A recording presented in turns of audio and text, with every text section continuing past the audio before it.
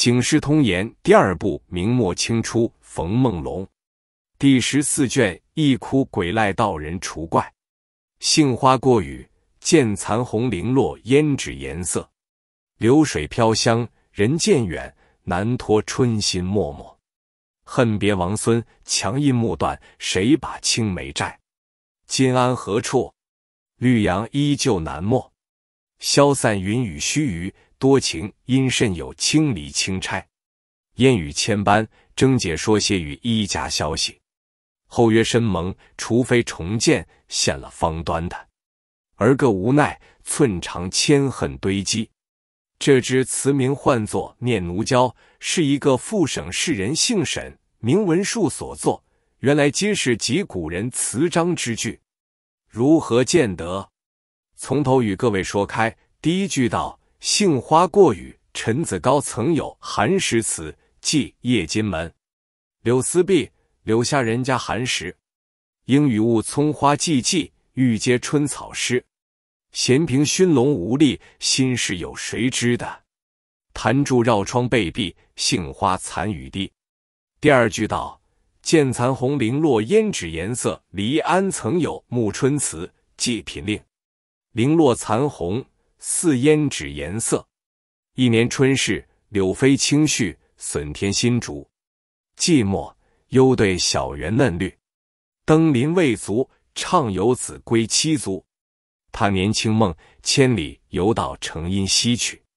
应有凌波，实为故人凝目。”第三句道：“流水飘香，延安李氏曾有春雨词，寄浣溪沙。无力蔷薇带雨滴，多情蝴蝶趁花飞。流水飘香如燕啼。南浦魂销春不管，东阳衣剪尽先知。小楼今夜月依依。”第四句道：“人渐远，难托春心脉脉。宝月禅师曾有春词，寄柳梢青。脉脉春心。”情人渐远，难托离愁。而后寒清，风前香软，春在梨花。行人已掉天涯，酒醒处残阳乱压。门外秋千，墙头红粉，深院谁家？第五句、第六句道：恨别上孙，强音木断。欧阳永叔曾有清明词，寄一壶珠。伤春怀抱。清明过后樱花好，劝君莫向仇人道。又比香轮斩破青青丹。夜来风月连清晓，强音木断无人道。恨别王孙愁多少，犹顿春寒未放花之老。第七句道：谁把青梅摘？朝无旧曾有卷词，寄青商院。风摇动，雨轻松，翠条柔弱花头重。春山窄，娇无力，已得当初。共一把青垢来摘，都如梦，何时共？可怜敲损钗头凤。关山阁，暮云碧，雁鱼来也，全然又无蝎子消息。第八句、第九句道：今安何处？绿杨依旧难没。柳涕青曾有春词，寄清平乐。阴晴未定，薄日轰云影。今安何处寻芳径？绿杨依旧难没径。燕燕几许春情，可怜老去难闲。看去孽残双鬓，不随芳草重生。第十句道：消散云雨须臾。晏殊园曾有春词，寄予美人。飞花自有千情处，不向枝边住。晓风飘薄已堪愁，更伴东流流水过秦楼。消散须臾云雨怨。闲倚兰榆线，远潭霜泪湿香红。暗根欲言光景与花同。第十一句道：多情因甚有轻离轻拆。魏夫人曾有春词，寄卷珠帘。记得未时春未暮，执手攀花，绣染花梢露。暗补春心共花雨，争寻双朵争先去。多情因甚相辜负。有轻拆轻离，向谁分诉？泪湿海棠花之处，东君空把奴吩咐。第十二句道：燕语千般。康伯可曾有春词？寄剪自木兰花。杨花飘尽，云压绿，阴风乍定。帘幕闲垂，弄雨千般燕于飞。小楼深静，睡起残妆犹未整。梦不数归，泪滴斑斑金缕衣。第十三句道：征解说蝎子一家消息。秦少游曾有《春词》，寄夜游宫。何事东君又去？空满院落花飞絮。巧燕呢，补向人语，何曾解说一家蝎子？况是伤心绪，念个人而成暖阻。一绝相思梦回处，连宵更那堪闻杜字。第十四句、第十五句道：后曰深盟，除非重见。黄鲁直曾有《春词》，寄捣链子，眉吊粉，柳摇金，微雨清风敛墨尘。后曰申祖何处宿？除非重见那人人。第十六句道。献了方端的，周美成曾有《春词》，寄滴滴金，梅花漏泄春消息，柳丝长，草芽碧，不觉星霜鬓白，念时光堪惜。兰堂把酒思佳容，黛眉蓬愁春色。因书千里相书阁，献了方端的。第十七句、第十八句道：而今无奈。寸长前恨堆积。欧阳永书曾有词记《蝶恋花》，帘幕东风寒料峭，雪里梅花先报春来早。而今无奈寸长丝，堆积千愁空懊恼。玄暖金炉墨兰坐，问把金刀剪彩成仙巧。绣被五更香睡好，罗维不绝纱窗小。话说沈文树是一个士人，自家今日也说一个士人。因来行在临安府取选，便作十数回敲奇作怪的小说。我且问你，这个秀才姓甚名谁？却说绍兴十年间，有个秀才是福州七五军人，姓吴名洪，离了乡里，来行在临安府求取功名，指望一举首登游虎榜。十年甚到凤凰塔，争知道时运未至，一举不中。吴秀才闷闷不已，又莫甚魔盘缠，也自休归故里，且只得胡乱在金石洲桥下开一个小小学堂度日，等待后三年春榜动，选场开，再会求取功名。逐月却与几个小男女打交，年只开学堂后，也有一年之上，也醉过那街上人家，都把孩儿们来与他教训，颇自有些攒足。当日正在学堂里教书，只听得青布帘脊上铃声响，走将一个人入来。吴教授看那入来的人不是别人，却是半年前搬去的邻舍王婆。原来那婆子是个撮合山，专靠做媒为生。吴教授相依罢，道：“多时不见，而今婆婆在那里住？”婆子道：“只道教授忘了老媳妇。”如今老媳妇在钱塘门里盐城住。教授问婆婆高寿，婆子道：“老媳妇大马之年七十有五。”教授青春多少？教授道：“小子二十有二。”婆子道：“教授方山二十有二，却想三十以上人。想教授每日驾费多少心神？据老媳妇愚见，也少不得一个小娘子相伴。”教授道。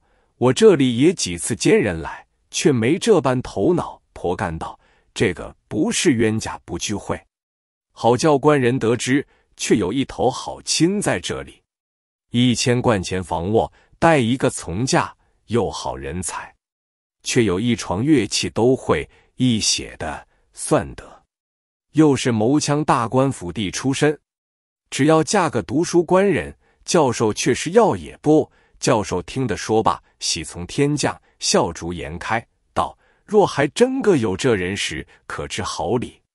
只是这个小娘子如今在那里失魄于道，好教教授得知。这个小娘子从秦太师府三通判位下出来，有两个月，不知放了多少帖子，也曾有省部院里当执事的来说他，也曾有内清司当差的来说他。”也曾有门面铺袭人来说他，只是高来不成，低来不就。小娘子道：“我只要嫁个读书官人，更坚毅没有爹娘，只有个从嫁名唤景儿。因他一床乐器都会，一府里人都叫做李乐娘。现今在白燕池一个旧邻舍家里住。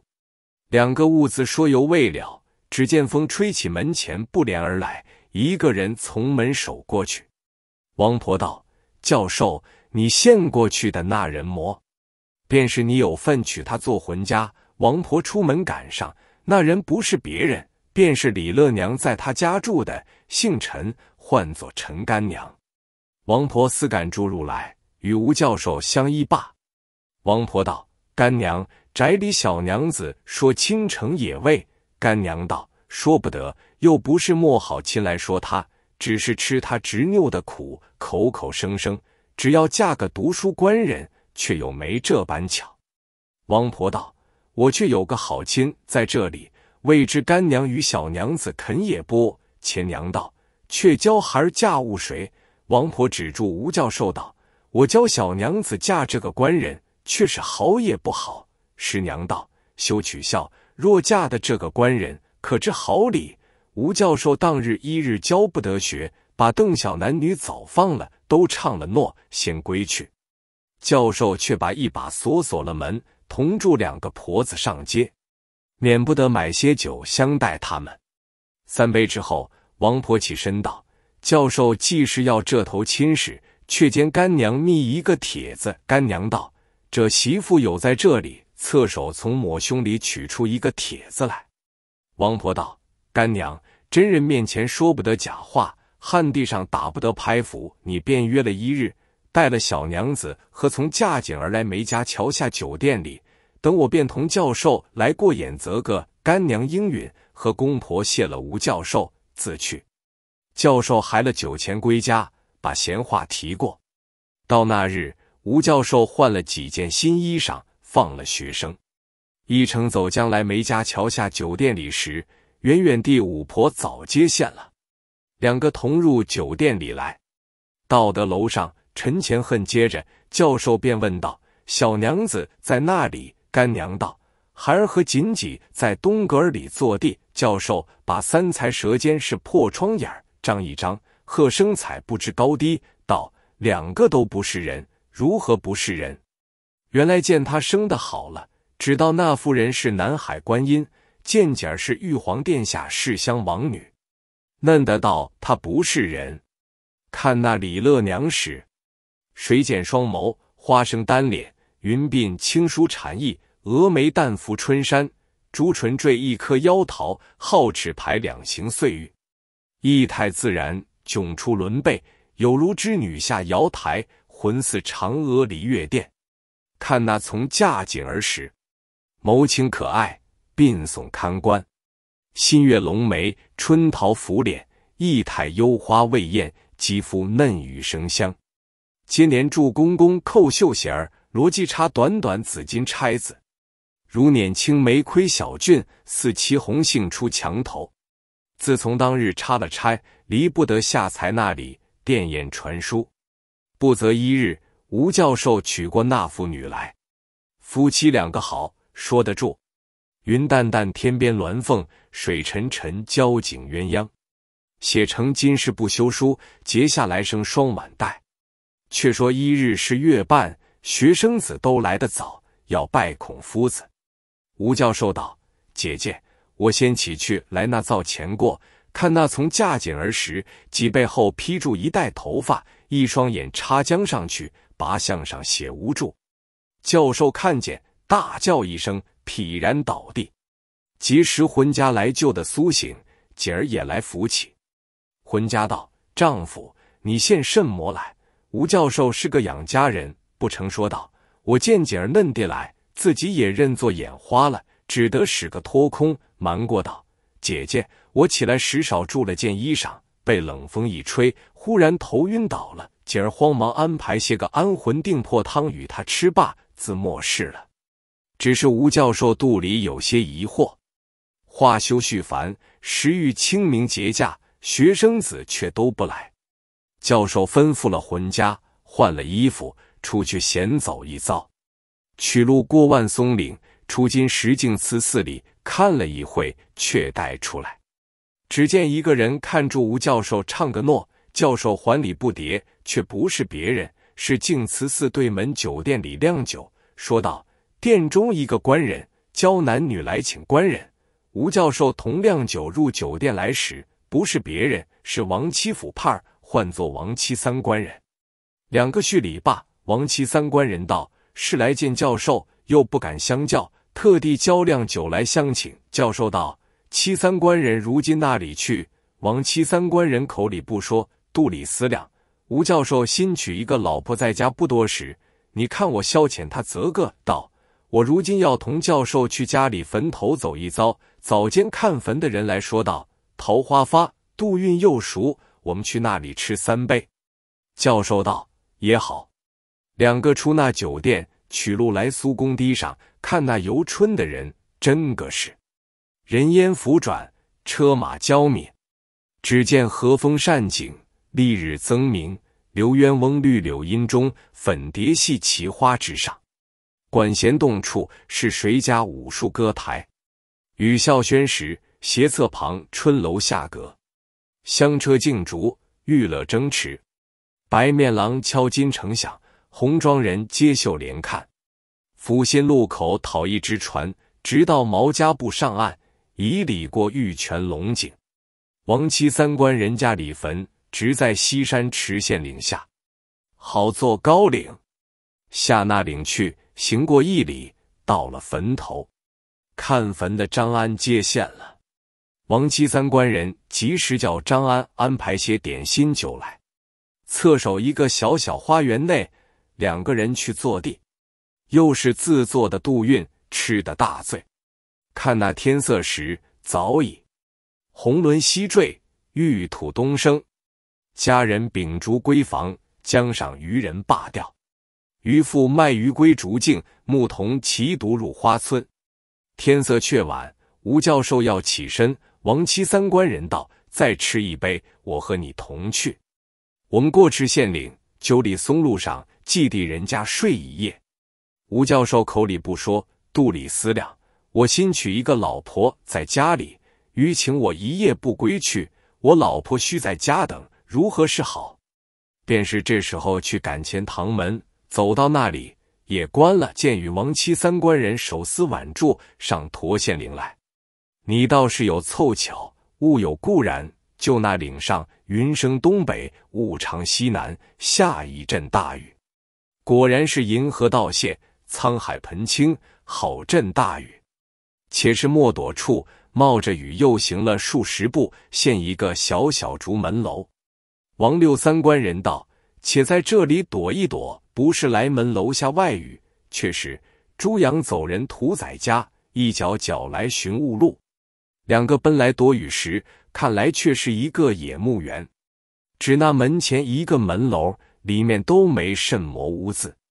石坡上两个坐住，等雨住了行，正大而下。只见一个人貌官玉子院家打扮，从隔壁竹篱笆里跳入墓园，走将去木堆鱼上叫道：“朱小四，你这所有人请唤，今日顿当你这厮出头。”木堆子里慢应道：“阿公，小四来也。”不多时，墓上土开，跳出一个人来，玉子思赶住了自去。吴教授和王妻三官人见了，被膝斩斩，两股下摇而自顾。看那雨却往了，两个又走，地下又滑，肚里又怕，心头疑似小鹿儿跳，一双脚疑似斗败公鸡，后面疑似千军万马赶来，再也不敢回头。行到山顶上，侧住耳朵听时，空谷传声，听得林雨里面断棒响。不多时，则见玉子曲江木堆子里跳出那个人来，两个现了又走。岭门首却有一个拜落山神庙，人去庙里，慌忙把两扇庙门关了。两个把身躯抵住庙门，真个气也不敢喘，屁也不敢放。听那外边时，只听得一个人声唤过去，道：“打杀我也！”一个人道：“打几网漏，你这厮许了我人情，又不害我，怎地不打你？”王七三官人低低说：“与吴教授道，你听得外面过去的。”便是那玉鱼和木堆里跳出来的人，两个在里面颤作一团。吴教授却埋怨王妻三官人道：“你一时教我在这里受惊受怕，我家中魂家却不知怎地盼望事。”兀自说言未了，只听得外面有人敲门，道：“开门则个。”两个问道：“你是谁？”仔细听时，却是妇女声音，道：“王妻三官人好也，你却将我丈夫在这里一夜，直教我寻到这里。童儿，我和你推开门，叫你爹爹。”吴教授听得外面声音，不是别人，是我浑家和姐儿，怎知道我和王七三官人在这里？莫叫也是鬼，两个都不敢啧声。只听得外面说道：“你不开庙门。”我却从庙门禅里钻人来，两个听得嫩。他说：“日里吃的酒都变作冷汗出来。”只听得外面又道：“告妈妈，不是锦儿多口，不如妈妈且归。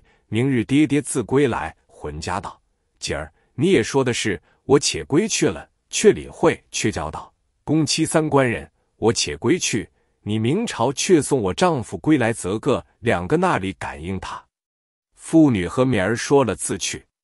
王妻三官人说：“吴教授，你家里老婆和从娇明儿都是鬼，这里也不是人去处，我们走休。”坐开庙门看时，约莫是五更天气，兀自未有人行。两个下的岭来，上有一里多路，现一所林子里，走出两个人来。上手的是陈干娘，下手的是土婆，道。吴教授，我们等你多时，你和王七三官人却从那里来时，吴教授和王七三官人看见道：“这两个婆子也是鬼了。”我们走休，真个便是张奔路跳，煞月满飞下那岭来。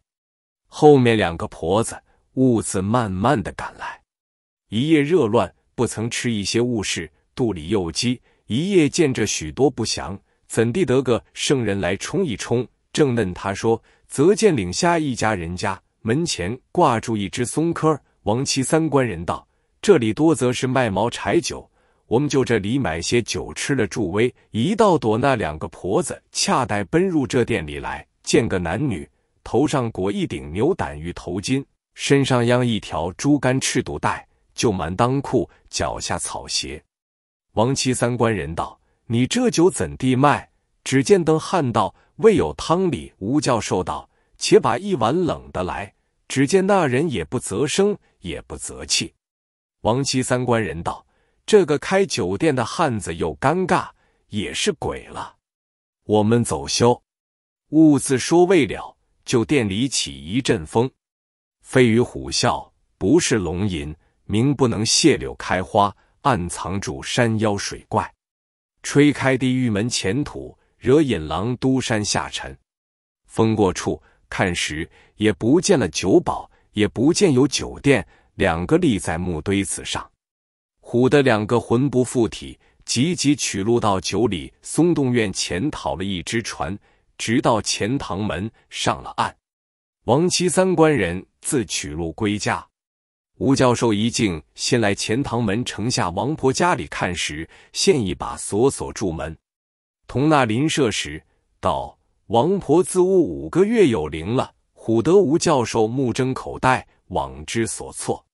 一程离了钱塘门，取经石景林公共院前过梅家桥，到白燕池边来，见到陈干娘门首时，十字竹竿封住门，一碗关灯在门前，上面写住八个字道：“人心似铁，官法如炉。”问那里时。陈干娘也死一年有余了，离了白燕扇，取路归到周桥下，现自己屋里，一把太被着门，见邻舍家里捉妻和粗婢那里去了。邻舍道：“教授昨日一出门，小娘子吩咐了我们，自和姐儿在千娘家里去，直到如今不归。”吴教授正在那里面面思去，作声不得。只见一个妙道人看住吴教授道。关公妖气大众，我与你早早断除，免之后患。吴教授及时请那道人人去安排香烛符水。那个道人做起法来，念念有词，喝声道：“急！”只见一员神将出现，黄罗抹额，锦带缠腰，皂罗袍，绣绣团花，金甲束身，微窄地。剑横秋木，靴踏脚泥，上通碧明之间，下彻九幽之地。夜龙作祟，向海波水底擒来，邪怪未妖入山洞穴中捉出。六丁谈判，全为福利之名，上帝阶前赐有天丁之号。神将生暗道：“真君遣何方使令？”真人道。在吴贡家里兴妖，景池县岭上喂怪的，都与我捉来。神将领旨，就吴教授家里起一阵风，无形无影透人怀。二月桃花被戳开，就地搓姜黄叶去，入山推出白云来。风过处，捉将鸡个喂怪的来。吴教授的浑家李乐娘。是秦太师府三通判尉乐娘，因与通判怀身产亡的客，从嫁姐儿因通判夫人杜色吃打了一毒，因嫩的自割杀，他自是割杀的鬼。王婆是害水谷病死的鬼。保亲臣干娘因在白燕池边洗衣裳，落在池里死的鬼。在朱县岭上被玉子叫开木堆跳出来的朱小口。在日看坟害疾病死的鬼，那个岭下开酒店的是叫伤寒死的鬼。道人一一审间明白，去腰边取出一个葫芦来，人见时便道是葫芦，鬼见时便是卯兜玉。做起法来，那些鬼个个抱头鼠窜，捉入葫芦中。吩咐吴教授把来埋在池县岭下，乞道人将拐杖望空一撤。便做一只仙鹤，道人乘鹤而去。吴教授直下拜道：“吴红肉眼不识神仙，情愿相随出家，望真仙救度弟子，则个。”只见道人道：“我乃上界干真人，你原是我旧日采药的弟子，因你凡心不净，终道有退悔之意，因此堕落。今生乏味贫诺，教你背尝鬼去，消遣色情。”你今既已看破，便可离尘半道，直待一季之年，无当度汝。说罢，化阵清风不现了。吴教授从此舍俗出家，云游天下。十二年后，遇甘真人于终南山中，从之而去。是曰：一心半道绝凡尘，众魁如何敢出人？邪正尽从心剖判，西山鬼哭早翻身。第十五卷，金令十美必酬秀童。塞翁得马非未及，宋子双忙起师兄。祸福前程如期案，但凭方寸达天宫。话说苏州府城内有个玄都观，乃是梁朝所建。唐四史刘禹锡有诗道：“玄都观里陶钱树，就是此地。一名魏玄妙观。这关距郡城之中，为姑苏之盛。”机止宽敞，庙貌重宏，上至三清，下至十殿，无所不备。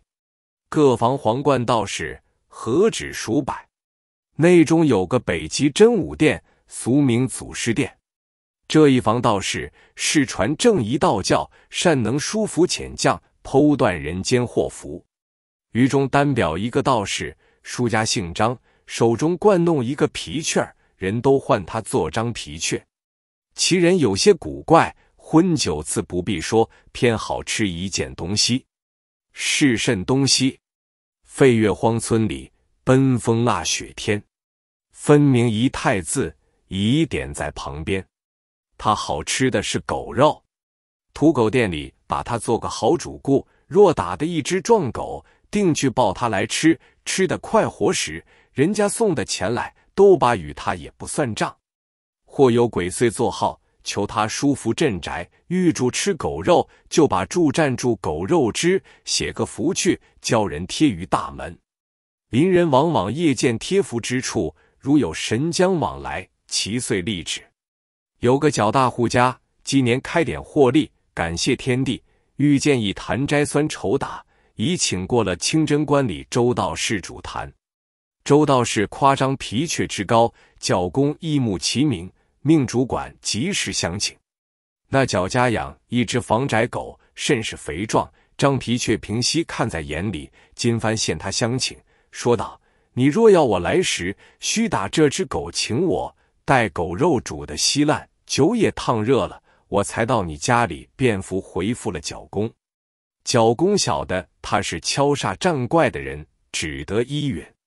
果然烫热了酒，煮烂了狗肉。张皮却道门主人迎人堂中，告以相请之意。党中乡人灯烛摆得齐整，供养住一堂柳道。众道士已起过香头了。张皮却昂然而入，也不眨神，也不与众道士作揖，口中只叫：“快将烂狗肉来吃。”酒要热些，角公道，且看他吃了酒肉如何作用。当下大盘装狗肉，大壶盛酒，应列张皮雀面前，自以逐之，吃得盘无鱼骨，酒无余滴，十分醉饱。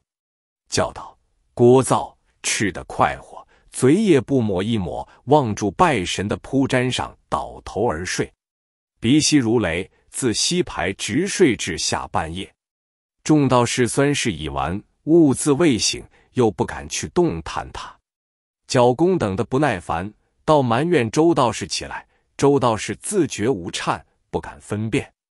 想到张皮却时常吃醉了，一睡两三日不起，今番正不知几时才醒，只得将表彰焚化了，辞神谢将，收拾道场。弄到五更，众道士吃了酒饭，刚欲告辞。只见张皮却在拜毡上跳江起来，团团一转，乱叫：“十日十日，五日五日。”角公和众道士见他疯了，都走来围住看。周道士胆大，向前抱住，将他唤醒了，口里还叫：“五日五日。”周道士问其缘故，张皮却道：“是才表彰，谁人写的？”周道士道：“是小道亲手善写的。”张皮却道：“中间落了一字，差了两字。”角公道：“学生也亲口念过几遍，并无差落，那有此话？”张皮却袖中速速想，抽出一幅黄纸来，道：“这不是表彰。”众人看见，个个骇然道：“这表彰已焚化了，如何却在他袖中？直角也不动半毫。”仔细再念一遍。到天尊宝号中，果然落了字，却看不出差处。张皮却指出其中一联云：“吃亏吃苦，挣来一倍之钱；亲短理长，仅做千金之子。”吃亏吃苦，该写吃字，今写吃字是吃蛇的吃字了。吃音赤，吃音格两音也不同。耐字。是李奈之奈，奈字是奈何之奈，奈字是耐烦之耐，耐短耐长该写耐烦的耐字，耐是果名，借用不得。你欺负上帝不识字魔，如今上帝大怒，教我也难处。角公和众道士见了表文，不敢不信。齐都求告道：如今重修章奏，再见斋坛。不知可否十张皮却道没用，没用。你表文上插落字面还是小事。上帝因你有这道奏章，在天曹日记簿上查你的善恶。你自开解库，为富不仁，轻对出，重对入，水丝出，足文入，兼将解了的诸灾，但减好的都换了自用。又几只物之前者，才足了年数，就假托变卖过了。不准赎取，如此刻剥贫户，以致肥饶。你奏章中全无悔罪之言，多是自夸之语，以命雷不虞及焚烧汝屋，当回你的家私。我只为感你一狗之惠，求宽至十日，上帝不允。再三恳告，已准到五日了。你可出个小字，凡五日内来赎点者免利。只收本钱，其向来欺心，换人珠宝，赖人置物。虽然事难土退，发心喜舍，便是为修桥补路之费。有此善行，上帝必然回甚，或者收回雷布，也未可知。角公初时也还有信从之意，听说到收回雷布，也未可知，倒不免有疑。这封道士必然假托此音来不失我的财物。难道雷布如此一收一放？况且掌财的人算本算利，怎肯放松？口中答应，心下不以为然。张皮却和众道士辞别自去了。角公将此话搁起不行。到第五日，解库里火起，前堂后厅稍作白地。第二日，这些至当的人家都来讨当，又不肯赔偿，结起送来，连田地不卖了。脚大户一贫如洗。有人知道张皮却曾预言雷火之期，从此意境而位。张皮却在玄都关五十余年后出渡钱塘江，风逆难行。张皮却遣天将打缆，其去如飞。皮却呵呵大笑，触了天将之怒。为其所击而死。后有人于徽商家服务，皮却降笔，自称原是天上狗元帅，尘缘已满，众将请他上天归班，非击死也。徽商闻真武殿之灵异，舍施千金，于殿前堆一担假山，以为壮观之柱。这假山虽则美观，反破了风水。从此本房道侣，更无得道者。诗云。雷火曾将点库坟，伏驱鬼虫果然真。玄都观里张皮雀，莫道无神也有神。为何说这张皮雀的话？只为一般有个人家信了书符赵江，险些儿冤害了人的性命。那人姓金名满，也是苏州府昆山县人。少时读书不就，江银元立纳了个令史，就参在本县虎防卫里。他原是个乖巧的人，待人接物十分客气，同意中甚是的和。做不上三四个月令史，衙门上下莫一个不喜欢他。又去结交这些门子，要他在知县相公面前帮衬，不时请他们吃酒，又送些小物事。但与知县相公比较，审问到夜静更深时，他便留在家中宿歇，日主打魂。那门子也都感激。在县主面前虽不能用力，美事却也十分周全。时于五月中旬，金令使知立房要开个例送监库房，恩亮要谋这个美缺。那库房就例一例轮管两季，任凭县主随意点的。众吏因县是个立方，人人思想要管，屡屡县主点来都不肯服，却去上司具城批准。要六房中择家道阴时老成犹过犯的，当堂拈月，葛立具皆申报补司。方新村及一将满者，拒不许阅。然虽如此，其权出在立房，但平日与立房相厚的送些东道，他便混账开上去，那里管新参已满，家道殷实不殷实，这叫做官清私暗。却说金满暗想到：我虽是新参。那立房留令时与我甚厚，怀送些东面与他，自然送监的。若往得住，也不枉费这一片心机；倘监不住，却不空丢了银子，又被人笑话。怎的一个避住之策便好？忽然想起门愚公文英，他在衙门有年，甚有见识，何不寻他计较？一径走出县床，恰好县门口就遇住王文英，道：“金阿叔。”忙忙的那里去？金满道：“好兄弟，正来寻你说话。”王文英道：“有什么事做成我？”金满道：“我与你做了方好说。”二人来到侧边一个酒店里坐下。金满一头吃酒，一头把要谋库房的事说与王文英知道。王文英说：“此事只要由房开的上去，包在我身上，使你揪着。”金满道：“立房是不必说了。”但与唐年酒怎么这等把稳？王文英附耳低言道：“只消如此如此，何难之有？”金满大喜，连声称谢。若得如此，自当后谢。二人又吃了一回，起身会超而别。金满回到公序里买东买西，备下夜饭，请立房令使刘云到家，江上相事与他说至。刘云应允。金满取出五两银子。送与刘云道：“些小薄礼，先送阿哥买果吃，待事成了，再找五两。”刘云假代谦让道：“自己弟兄怎么这样客气？”金满道：“阿哥从直些吧，不嫌轻，就是阿哥的盛情了。刘云道：“既如此，我全收去，在楚把银绣了，摆出果品摇转。”二人背来斩去，只引至更甚而散。明日有一领使察听了些风声，拉了重力与刘云说：“金某他是个新村，未及半年，怎么就想要做库房？这个定服不成的。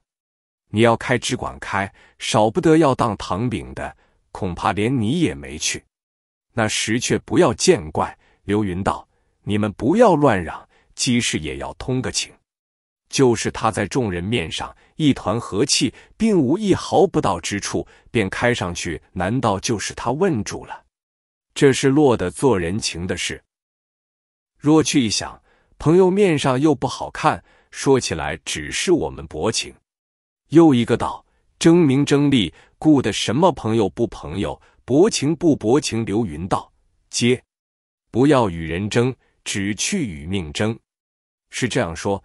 明日就是你兼住便好，若不是你，连这几句话也是多的，还要算长。内中有两个老成的，见刘云说的有理，便道：“老刘，你的活虽是，但他特性急了些，就是做库房，未知是祸是福，只等接了局，方山见的好歹。什么正经，做也罢，不做也罢，不要闲争，个人自去前正事。”遂各散去。金满闻的众人有言，恐怕不稳，又去接债。央本县显要士夫写书嘱托知县相公，说他者成明理，家道颇裕，诸事可托。这分明是叫把库房与他管，但不好明言耳。话休繁叙，到年究这日，刘云将应问个例名字，开列一单，呈与知县相公看了。换里书房一样，写下条子，又呈上看罢，命门子乱乱的总做一堆，然后唱名取究。那卷札传递的门子，便是王文英，已坐下壁，金满一手拈起，扯开，恰好正是。你倒当堂拈究，怎么做的弊？原来刘云开上去的名单，却从吏、户、礼、兵、刑、工挨次写的。立房也有管过的，也有一满块的，已下在数内。金满是护房司吏，单上便是第一名了。那龚文英卷闸的时节，已做下暗号。金满第一个上去拈时，却不似易如反掌。众人哪知旧理，正是随你官清似水，难逃丽华如油。当时众吏县金满监住，都跪下想说。他是个新村，尚不该问库。况且钱粮干系不是小事，就要拒接申报上可的。若是金满管了库，众吏不敢轻易直结的。县主道：既是新参，就不该开在单上了。众吏道：这是立房刘云得了他贿赂，混开在上面的。县主道：立房既是混开，你众人何不先来禀明？只等他揪住了，方来禀话。明明是个妒忌之意，众人见本官做了主，谁敢再道个不字？反讨了一场没趣。县主落得在乡官面上做个人情，又且当堂揪住，更无斑驳。那些众吏虽怀妒忌，无可奈何，做好做欠的说发金满备了一席细酒，放出结状申报上司，不在话下。且说金满自六月初一交盘上库接管。就把五两银子谢了刘云，那些门子因作弊成全了他，当作恩人相看，比钱愈加亲密。他虽则管了库，正在农忙之际，诸事俱停，那里有什么钱粮玩呐？到七八月里，却又个把月不下雨，做了个秋旱，虽不至全灾，却也是个半荒。乡间人纷纷的都来告荒，知县相公。只得各处去踏勘，也莫甚大生意。眼见的这半年库房扯得直就够了。时光迅速，不觉到了十一月里，钦天监奏准本月十五日月时行文天下救护。本府奉文铁下属县。是夜，知县向工具及辽属师生僧道人等再现旧户，就立库房备办公宴，于后堂款待众官。金满因无人相帮，将银教厨夫备下酒席，自己却不敢离库。转央刘云及门子在席上点管酒器，支持诸事。众官不过拜几拜，应了故事，都到后堂悠酒。只留这些僧道在前边打一套挠脚，吹一番戏乐，直闹到四重方散。刚刚收拾的完，恰又报新案院到任。县主急忙忙下船到府迎接，又要支持船上住还供应，准准的一夜盐也不合。天明料，查点东西时，不见了四锭元宝。金满自想，昨日并不曾离库，有追人用杖眼法偷去了，只恐怕还失落在那里。各处搜寻，那里见个分毫。住了急，连声叫方道。这般晦气，却失了这二百两银子。如今把什么来赔补？若不赔时，一定京官出丑，如何是瞎？一头叫严，一边又重新寻起，就把这间屋翻转来，何尝有个影儿？慌作一堆，正没理会。那时外边都晓得库里失了银子，进来探同，倒办得口鱼舌碎。内中单喜欢的那几个不容他管库的令史。一味说轻话，做鬼脸，喜谈乐道。正是本哉乐祸于人有，替力分忧半个无。过了五六日，知县相公接了案院，回到县里。金满只得将此事禀知县主。县主还未开口，那几个令史在旁边你一嘴我一句，道自己管库没了银子，不去赔补，倒对老爷说：难道老爷赔不成？县主因前翻究库时，有些偏护了金满，今日没了银子，颇有权容。喝道：“库中是你执掌，又莫闲人到来，怎么没了银子？毕竟将去嫖赌花费了，在此之无，今且饶你的打，限十日内将银补库。如无，定然参究。”是满气闷闷地走出县来，及时寻县中阴补商议。江南人说阴补，就是北方叫番子手一般。其在官有明寒谓之官补，帮手谓之白补。今个使下居官补、白补都邀过来，到酒店中吃三杯。说道：“金某今日劳动列位，非为己私，四定元宝，寻常人家可有？不比散碎的好用，少不得败露出来。只要列位用心。”若机访得时，拿货赃到时，小子愿出白金二十两酬劳。捕人齐答应道：“当得，当得。一日三，三日九，看看十日现足。”捕人也吃了几遍酒水，全无影响。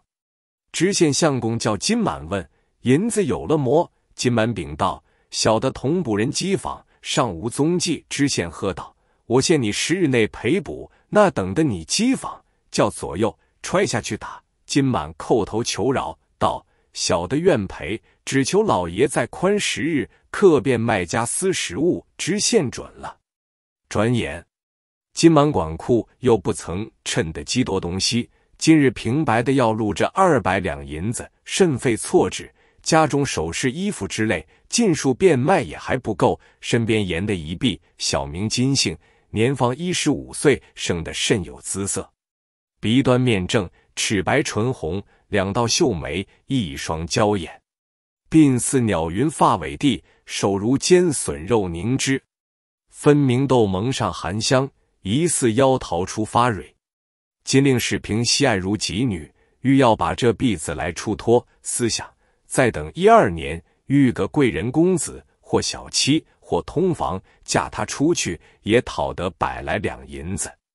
如今忙不择嫁。岂不可惜？左思右想，只得把住身的几问房子全结于人，将银子凑足二百两之数，倾成四个元宝，当堂对准，封住库上，吩咐他下次小心。金令史心中好生不乐，把库门锁了，回到宫儿里，独坐在门首，越想越恼，助甚来由，用了这主屈才。却不是清白晦气。正纳闷间，只见家里小厮叫做秀童，吃得半醉，从外走来，现了家长，倒退凡步。金令使骂道：“蠢奴才！家长气闷，你倒快活吃酒。我千里没钱使用，你倒有闲钱买酒吃。”秀童道：“我见阿爹两日气闷，连我也不喜欢。常听见人说酒可忘忧，身边偶然积的积分银子，买杯中物来散闷。阿爹若没钱买酒时，我还余的有一壶酒钱在殿上，取来就是。”金令使喝道。谁要你的吃？原来苏州有件风俗，大凡做令史的，不拘内外人都称呼为相公。秀童是九岁时卖在金家的，自小抚养，今已二十余岁，只当过继的一男，故称阿爹。那秀童要取壶酒与阿爹散闷，是一团孝顺之心。谁知人心不同，倒挑动了家长的一个机括，险些儿送了秀童的性命。正是老龟烹不烂，疑惑前哭丧。当时秀仲自尽去了。金令使蓦然想到，这一夜眼也不曾合，那里有外人进来偷了去？只有秀童拿的东西进来几次，难道这银子是他偷了？又想到这小厮自幼跟随奔走，甚是得力，从不见他手脚有甚毛病，如何陡然生起盗心了？想到。这个四平西好酒，凡味道的都从酒赌钱两件上起。他吃溜了口，没处来方，现了大锭银子，又且手边方便，如何不爱？不然终日买酒吃，那里来这许多钱广？又想到不是他，他就要偷食或者溜鸡块散碎银子。这大锭元宝没有这个力量，就余了时，那里出赤？终不然，放在钱柜上灵之前，少不得引路人眼目。就是拿出去时，只好一定，还留丁三锭在家。我今夜把他床铺搜检一番，便知分晓。又想到这也不是常法，他若果偷了这大银，必然寄遁在家中父母处，怎肯还放在身边？搜不着时，反惹他笑。若不是他偷的，冤了他一场。反冷了他的心肠。哦，有计了。刚爱郡城有个莫道人，赵江段氏，吉凶如赌。见玉在玉峰寺中，何不请他来一问，以绝胸中之疑？过了一夜，次日今满早起，吩咐秀童买些香烛、纸马、果品之类，也要买些酒肉，为谢江之用。自己却到玉峰寺去请莫道人。却说金令使旧邻有个闲汉，叫做季七官，偶在街上看见秀童买了许多东西，气愤愤的走来，问其缘故。秀童道：“说也好笑，我爹真是交了败运，钱这样没正经事，二百两银子已自赔去了，认了晦气罢休。却又听了别人言语，请什么道人来照江。等贼道今日鬼混。”哄了些酒肉吃了，明日少不得还要索谢，成不成？吃三瓶，本钱去的不爽利，又添些利钱上去，好没要紧。七官人，你想这些道人可有真正活神仙在里面磨？有这好酒好肉，倒把羽绣童吃了，还替我爹出的些气力，摘了这贼道的嘴，碾造也可谢你一声魔。正说之间，恰好金令使从玉峰寺转来，秀童见驾常来了，自去了。金满与季七官相见，问道：“你与秀童说甚么？”知七官也不信赵江之事的，就把秀众适才所言述了一遍，又道：“这小厮倒也有些见识。”金满沉吟无语，邓记七官也只当闲活叙过，不想又挑动了家长一个机括。只因家常心仪，先使童儿命丧。金令使别了祭七官，自回县里，腹内踌躇。这话一发可疑。他若不曾偷银子，由我赵江变了，如何要他怪那个道士？口虽不言，分明是土中去哈，满肚泥心。少廷莫道人到了，排设坛场，却将林家一个小学生附体。莫道人作章作志，不刚踏斗，念咒书符。小学生就武将起来，像一个捧剑之士，口称邓将军下坛，其声颇红，不似小学生口气，是满县真将下将，叩首不迭，至心通臣，求判偷银之贼。天将摇手道：“不可说，不可说。”金满再三叩求，怨气大将只是真道性命。莫道人又将灵牌施设，喝道：“鬼神无私，明以报应。”有寇急搭，急急如金。金满叩之不已。天将道：“平退贤人，无当告汝。其实这些令史们家人及衙门内做工的，闻的莫道人在金家赵江做一件稀奇之事，都走来看，赛作一屋。金满好言好语都请出去了，只剩的秀童一人在旁答应。天将叫道：“还有闲人。”莫道人对金令史说。连秀童都遣出屋外去。天将教金满书触手来，金满跪而书其左手。天将伸指头蘸酒在金满手心内，写出“秀童”二字，喝道：“记住！”金满大惊，正合他心中所疑，有恐畏的叩头默默祝告道：“金满抚养秀童已十余年，从无偷窃之行。若此银果然是他所盗。”便当严刑纠训，此非轻易之事。神明在上，岂在家详查？莫随人心，莫随人意。天将又站住酒，在桌上写出“秀童”二字，又向空中指画，详其字是“一此”二字。金满以为实然，更无疑矣。当下莫道人输了退服，小学生望后便道：“扶起，良久方醒。”问之一无所知，金满把谢江的三生与莫道人散了符，只推送他一步，连夜去换阴补拿贼。未投的张阴补叫做张二哥，当下扣其所以。金令使江秀童口中所言及天将三变指明之事，被细说了。连阴补也有八九分道士，只不是他机坊来的，不去担这雨季。推辞道：“未经道官，难以调考。孤满是衙门中出入的，岂不会意？”便道：“此事由我做主，与列位无涉。只要严刑纠考，考得真赃出来，向时所许二十两，不敢短少分毫。”张英补应允，同兄弟四哥去叫了帮手，及时随金令使行走。此时已有起更时分，秀童收拾了堂中家伙。吃了夜饭，正提万行灯出现来迎候家主，才出得县门，比三四个阴卜将麻绳往颈上便套，不由分说，直拖至城外一个冷铺里来。秀童却合开口，比阴补将铁尺向肩虾上痛打一下，大喝道：“你前的好事！”秀空腹痛叫道：“我千何想来！”阴补道：“你偷库内这四锭元宝藏于何处？”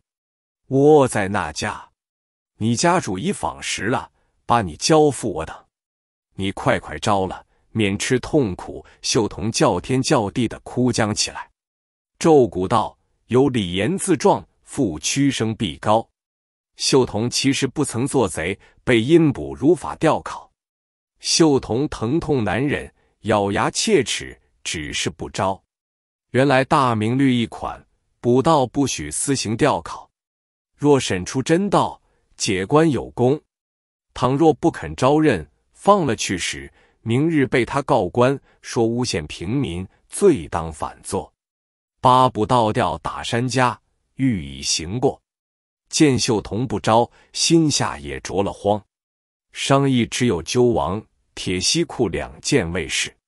严公是脑箍上的箍。眼睛内鸟珠都长出寸许，铁西裤是将石屑放于夹棍之内，未曾收紧，痛已异常。这是考贼的极刑了。秀童上了脑箍，乌而复苏者数次，昏债中承认了，醒来依旧说没有。阴补又要上铁西库，秀童忍痛不起，只得招道：“是我一时见财起意，偷来藏在姐夫李大家床下，还不曾动。因卜将板门台绣重到于家中，用粥汤将息，等候天明。到金令史公暂不支持这个字的发音里来报信。此时秀童奄奄一息，爬走不动了。金令史叫了船只，自同卜义到李大家去起丧。李大家住相问，与秀童爹娘家相去不远。因不到时，李大又不在家，吓得秀童的姐儿面如土色，正不知甚么缘故，开了后门，往爹娘家奔去了。阴斋走人卧房，发开床脚，看地下土势不松，以致虚掩。金令史定要将锄头啃起，其土尺余，并无一物。众人道：“有心到这里薅脑一番了，翻箱倒笼，满屋寻一个遍，那有些影。”金令史只得又同音不转来，亲去叩问秀童。秀童泪如而下，答道：“我实不曾未到。”你们飞行吊考，勿要我招认。吾吃苦不过，又不忍忘班他人，只得自认了。说姐夫床下赃物，实是浑话，毫不相干。吾自九岁时蒙爹抚养成人，今已二十多岁，在家未曾有半点差错。前日看见我爹废产完官，暗地心痛之，又见爹信了野道，赵江废钱，愈加不乐。不想倒爹一到我身上，今日我只欠爹一死，更无别话。说罢闷绝去了。众阴卜叫唤，方山醒来，兀自哀哀的哭个不住。金令使心下一觉惨然。须臾，秀童的爹娘和姐夫李大都到了，见秀童躺在板门上，六风八伤，一死两气，大哭了一场，奔到县前叫喊。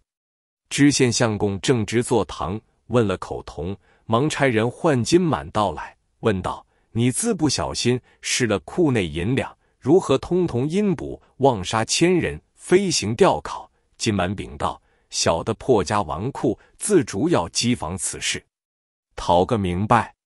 由莫道人善于赵江，天将降坛，三遍写出秀童名字。小的又见他言语可疑，所以信了。”除了此奴，更无影响。小的也是出乎无奈，不是故意。知县也晓得他赔补的苦了，此情未知真伪，又被秀童的爹娘左想右想，无可奈何。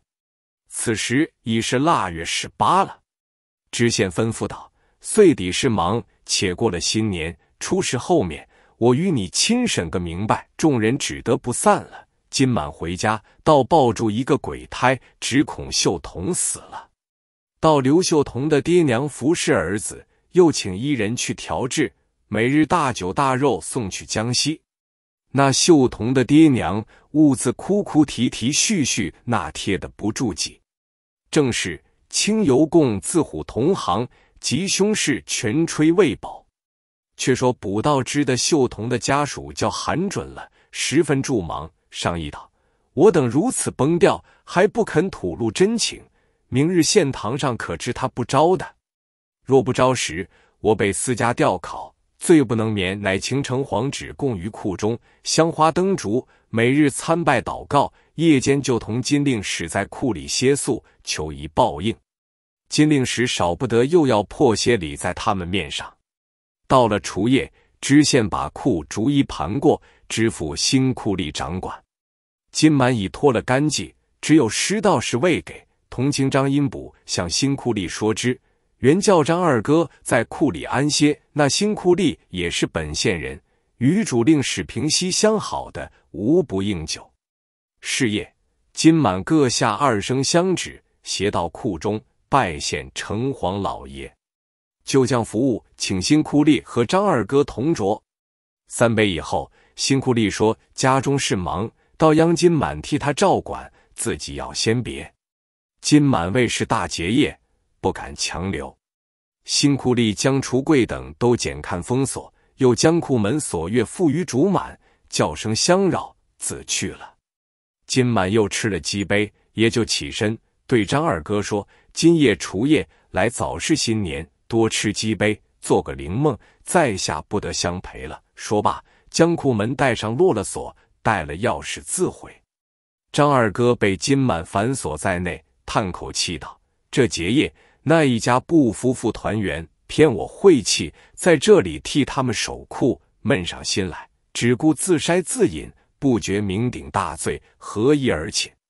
睡至四更，梦见神道伸只靴脚踢他起来，道：‘银子有了，陈大寿将来放在橱柜顶上葫芦内了。’张英卜梦中惊觉，慌忙爬起来，向橱柜顶上摸个遍，那里有什么葫芦？难道神道也捉弄人？还是我自己心神恍惚之故，须臾之间又睡去了。梦里又听得神道说：“银子在葫芦里面，如何不取？”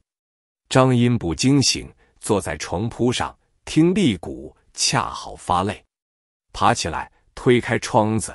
微微有光，再向厨书上下看时，并无些子物事。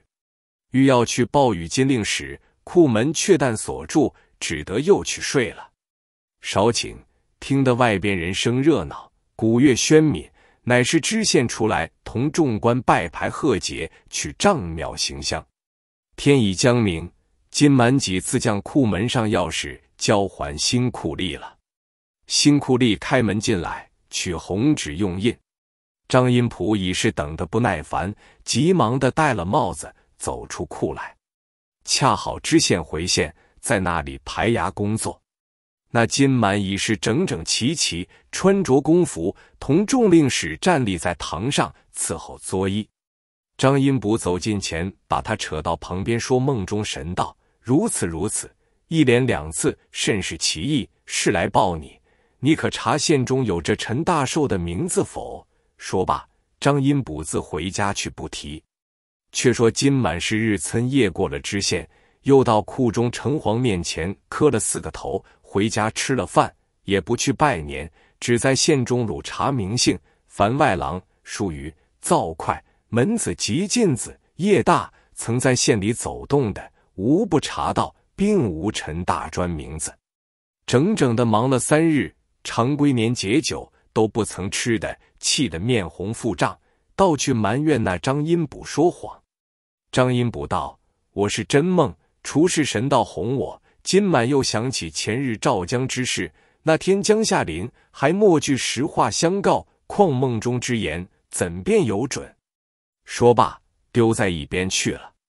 又过了两日，是正月初五，苏州风俗是日家家户户。祭献五路大神为之烧利市，吃过了利市饭，方山出门做买卖。今晚正在家中吃利市饭，忽见老门余陆有恩来拜年，叫道：“金阿叔，恭喜了！有利是酒，请我吃碗。”金令使道：“兄弟总是节物，不好特地来请得。今日来的极妙，且吃三杯。”急忙教嫂子宣一壶酒。安排些建成鱼肉之类，与陆门子对酌。闲话中间，陆门子道：“金阿叔，偷银鱼的贼有些门路魔？”金满摇手：“那里有。”陆门子道：“要赃路，问阴补。你若多许阴补几两银子，随你飞来贼，也替你仿住了。”金满道：“我也许过他二十两银子，只恨他没本事赚我的钱。”陆门子道。假如今日有个人讥讽的贼人真信来报你时，你还舍得这二十两银子磨？金满道：“怎么不肯？”陆门子道：“金阿叔，你方真个把二十两银子与我，我就替你拿出贼来。”金满道：“好兄弟，你果然如此，也教我明白了这桩官司，出脱了秀童。好兄弟，你须是眼见的时，莫又做猜谜的活。”陆门鱼道。我不是十分看得的时，怎敢多口？金令使急忙脱下帽子，向屁上取下两钱重的一根金袜儿来，递与陆有恩道：“这件小意思，权力信物追出赃来，莫说有余，就是只剩的二十两，也都与你。”陆有恩道：“不该要金阿叔的。今日是初五，也得做兄弟的发个利是。”陆有恩是已惯的门子，就将挖耳插于网中之内，叫。金阿叔，且关了门，与你细讲。今晚将大门闭了，两个促膝细谈。正是踏破铁鞋无觅处，得来全不费功夫。原来陆有恩间必助的也是个门子，姓胡，名美，年十八岁，有个姐大叫做卢志高。那卢志高因死了老婆，就与小舅同住。这胡美生的齐整，多有人调戏他，倒也是个本分的小厮。白从父母双亡，全亏住姐姐居管。一从姐姐死了，跟着姐夫，便学不出好样，惯熟的是那妻子晶儿，随钱吃酒养婆娘。去年腊月下旬，陆门子一日出去了。浑自闻的肩壁有斧凿之声，初次也不以为意。以后，但是街门下出去了，就听得他家关门打得一片响。陆门子回家就住了声。浑家到除夜，与上夫饮酒，说及此事，正不知凿甚么东西。陆门子有心，过了初一伯、初二、初三，一连在家住两日，侧耳而听，寂然无声。到初四日，驾坐出门往亲戚家拜节，却远远站住，等坚壁关门之后，敲得回来，藏在家里。果听得坚壁退凿之声，从壁缝里张看，只见胡美与卢志高俱蹲在地下。胡美拿住一锭大银，卢志高将斧敲那锭边下来。陆门宇看在眼里，晚间与二人相恶问道。你家常常葵凿什么东西？胡美面红不语。卢志高道：“祖上传下一块好铁条，要敲断打出刀来用。”陆有恩暗想到：“不是那火戟是什么？他两个那里来有这元宝？当夜留在肚里，次日料的金令使在家稍看事，所以特地来报。”金满听了这席话，就同陆有恩来寻张二哥不遇。其夜就留陆有恩过宿，明日初六起个早，又往张二哥家，并拉了四哥，仅四个人，四到胡美家来。只见门上落锁，莫人在内。陆门子叫浑家出个问其缘故。浑家道：昨日听见说要叫船往杭州进香，今早双双出门，恰山去的。此时就开了船，也去不远。四个人飞行赶去。刚刚上四马桥，只见小游船上的上溜在桥郡下买酒来米。令使们时常叫他的船，都是相熟的。王溜儿道：“金相公今日起得好早。”金令使问道：“李儿，你赶早买酒煮米，在那里去？”溜基道：“拖赖揽个杭州的仔，要上有个把月生意。”金满拍住肩问：“是谁？”王溜附耳低言道。是胡门言同他姓卢的亲眷合教的船。金满道：“如今他二人可在船里？”公溜基道：“那卢家在船甩，胡舍还在岸上接表子。未来张英卜听说，高先把干盒儿扣住。”溜儿道：“我得何罪？”金满道：“不干你事，只要你引我到船，就放你。”溜儿连灭的酒来的米都系在垫上，引住四个人下桥来。八只手准备拿贼，这正是闲时不学好，今日悔应迟。却说卢志高在船中靠住蓝千，眼盼盼望那胡美接表子下来同乐，却一眼瞧见金令使，又见王溜儿颈上麻绳带住，心头跳动，料到有些诧异，也不顾铺盖，跳在岸上舍命奔走。公溜儿知道。那戴孝头巾的，就是姓卢的。众人放开脚去赶，口中只叫盗库的贼休走。卢志高住了忙，跌上一跤，被众人赶上，一把拿住，也把麻卷扣紧，问道：“胡美在那里？”卢志高道：“在表子刘丑姐家里。”众人教卢志高做眼，其奔刘丑姐家来。胡美先前听的人说，外面拿盗库的兔打住心头。不对表子说，预先走了，不知去向。众人只得拿刘丑姐去，都到张二哥家里搜卢志高身边，并无一物，即搜到毡袜里，搜出一锭突元宝，锭边凡都敲去了。张二哥要带他到城外冷铺里去吊考。卢志高道：“不必用刑，我便招了。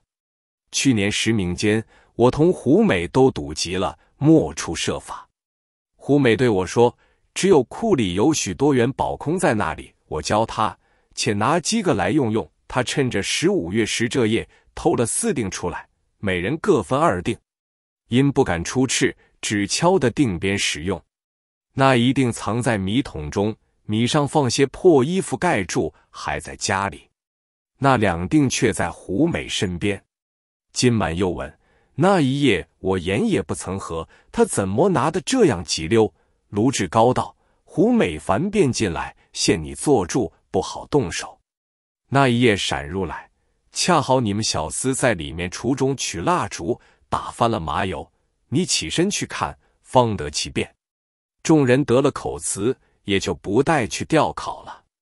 此时，秀童在张二哥家江西悬洞探不得，见拿住了真赃真贼，咬牙切齿的骂道：“这砍头贼，你变到了银子，却害得我好苦。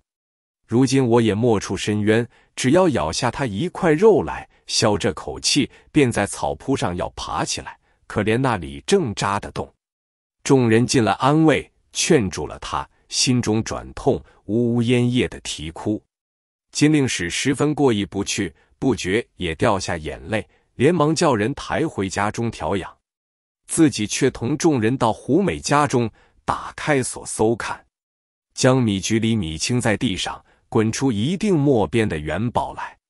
当日众人就带卢志高道县，禀明了知县相公，知县验了银子，小的不在。即将卢志高重则五十板，取了口词收监。等拿获胡美时，一同拟罪。出个广补文书，讥访胡美，误在避祸。传呼王溜儿、乐富留仇解，原不知情，且赃物未现破散，暂时复保在外。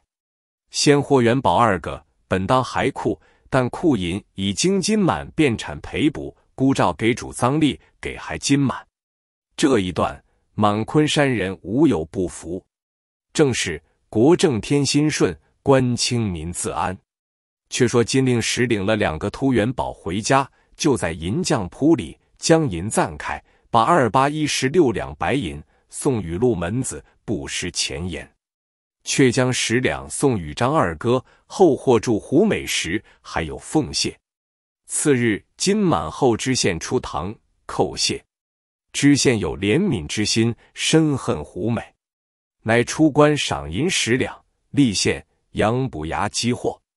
过了半年之后，张四哥偶有事到湖州双林地方，船从苏州楼门过去，忽见胡美在楼门堂上行走。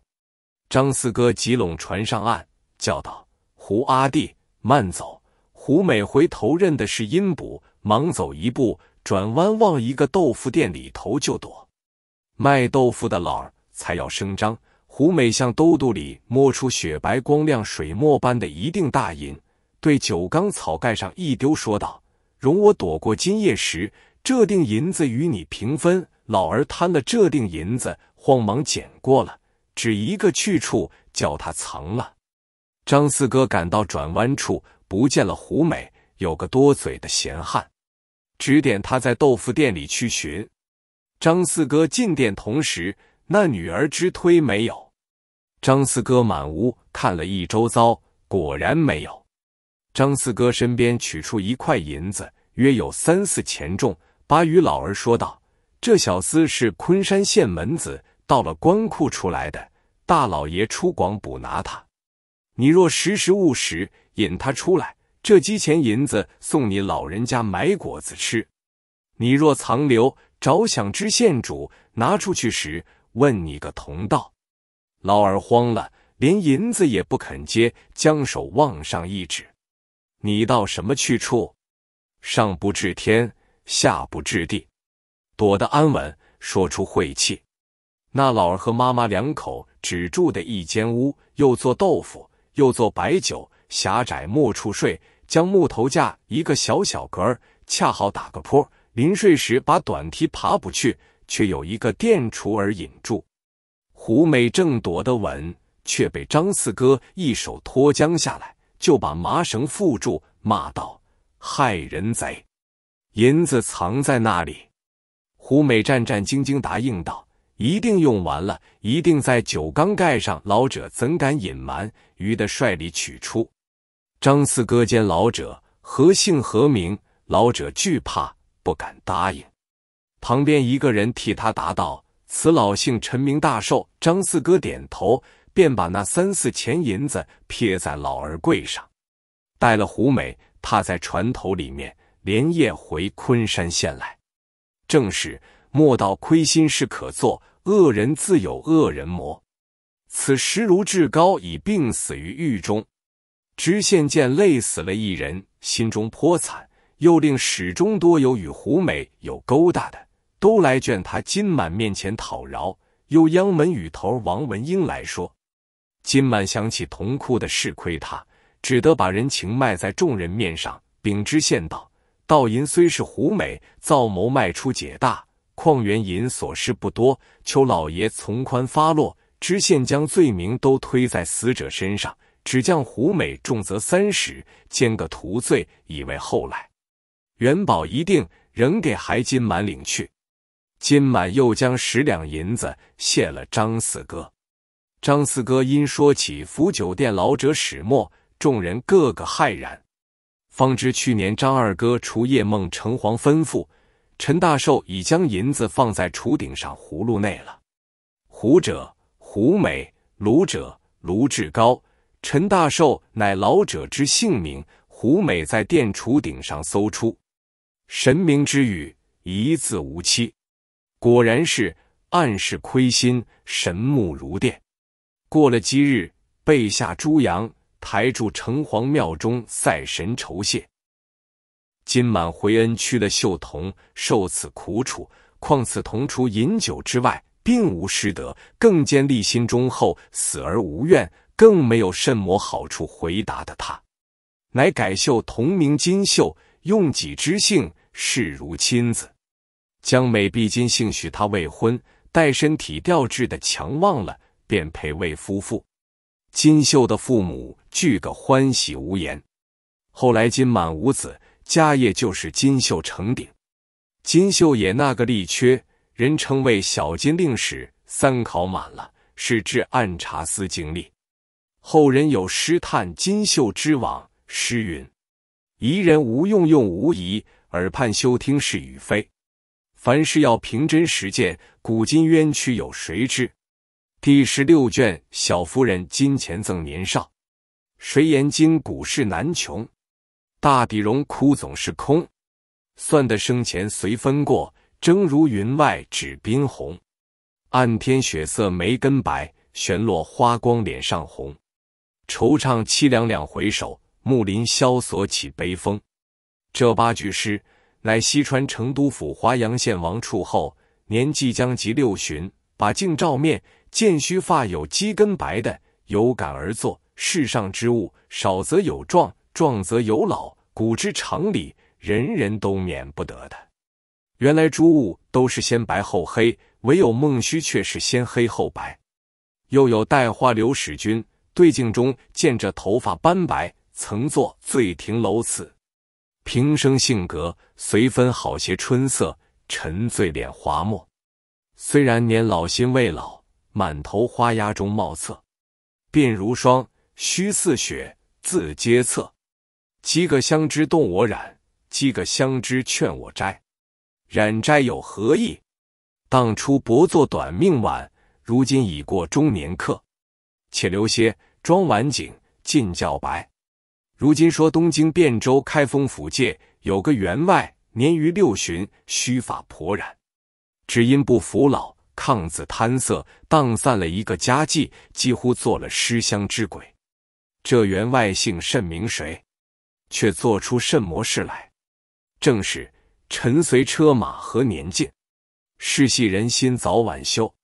话说东京汴州开封府界身子里，一个开县铺的员外张世廉，年过六旬，妈妈死后孑然一身，并无儿女，家有十万资时，用两个主管营运。张员外忽一日拍胸长叹，对二人说：“我许大年纪，无儿无女，要十万家财何用？”二人曰。员外何不娶房娘子，生得一男半女，也不觉得香火。员外甚喜，差人随即唤张梅、李梅前来。这两个媒人端地是开言成匹配，举口合姻缘。一世上凤之鸾姑，管宇宙单眠独宿。传言玉女用机关把臂拖来，是按金童下说辞拦腰抱住。调唆之女害相思，引得嫦娥离月殿。员外道：“我因无子，相反你二人说亲。”张梅口中不道，心下思量道：“大摆子许多年纪，如今说亲，说甚魔人似的？教我怎地应他？”则见李梅把张梅推一推，便道：“容易。”临行又叫住了道：“我有三句话，只因说出这三句后来，叫员外。青云有路。”番为苦楚之人，白骨无坟，化作尸香之鬼。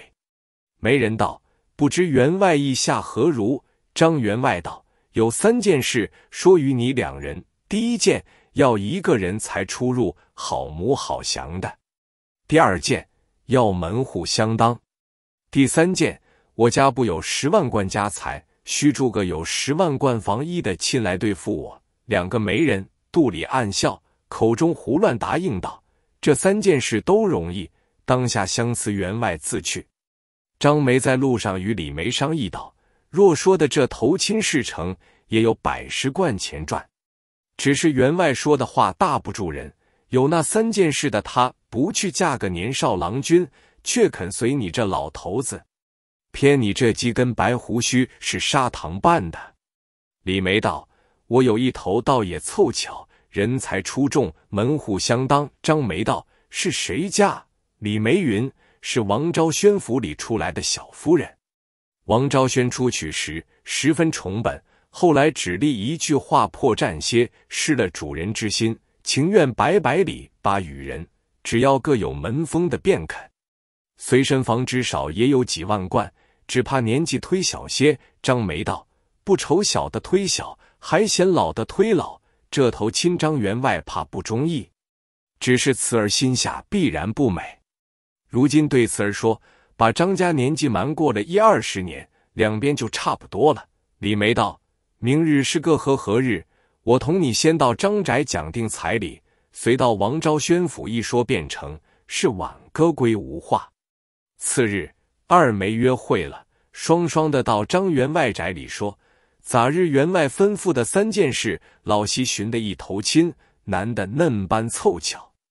第一件，人才十分足色；第二件是王昭宣府里出来有名声的；第三件，十万贯房搭，则怕员外嫌他年小。张员外问道：“却几岁？”张梅应道：“小员外三四十岁。”张员外满脸堆笑道：“权杖做成则个。”话休叙繁，当下两边俱说允了，少不得行财那里，殿宴已毕，花烛成亲。次早参拜家堂，张员外穿紫罗衫，新头巾，新靴，新袜。这小夫人著干红绡巾，大袖团花霞状，绡巾盖头，生的新月龙眉，春桃拂脸，意态幽花疏丽，肌肤嫩玉生光。说不尽万种妖娆，画不出千般艳也。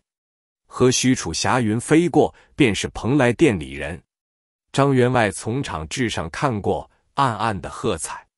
小夫人揭起盖头，看见员外须眉皓白，暗暗的叫苦。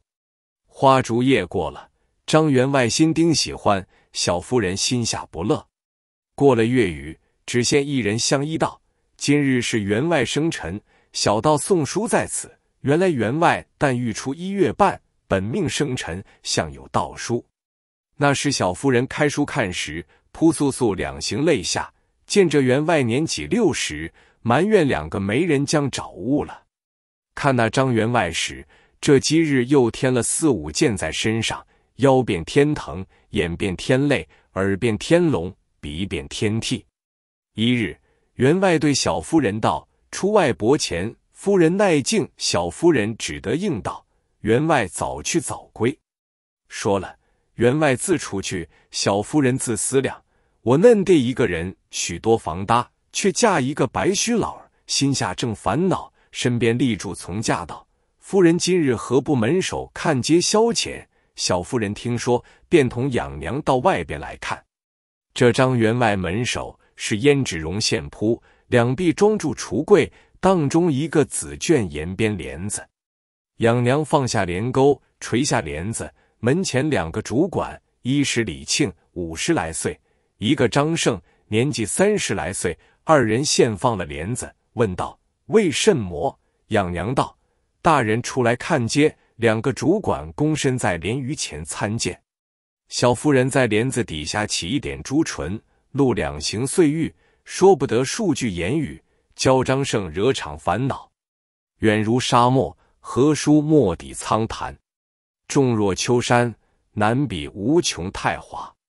小夫人先叫李上管问道：“在员外宅里多少年了？”李主管道：“李庆在此二十余年。”夫人道。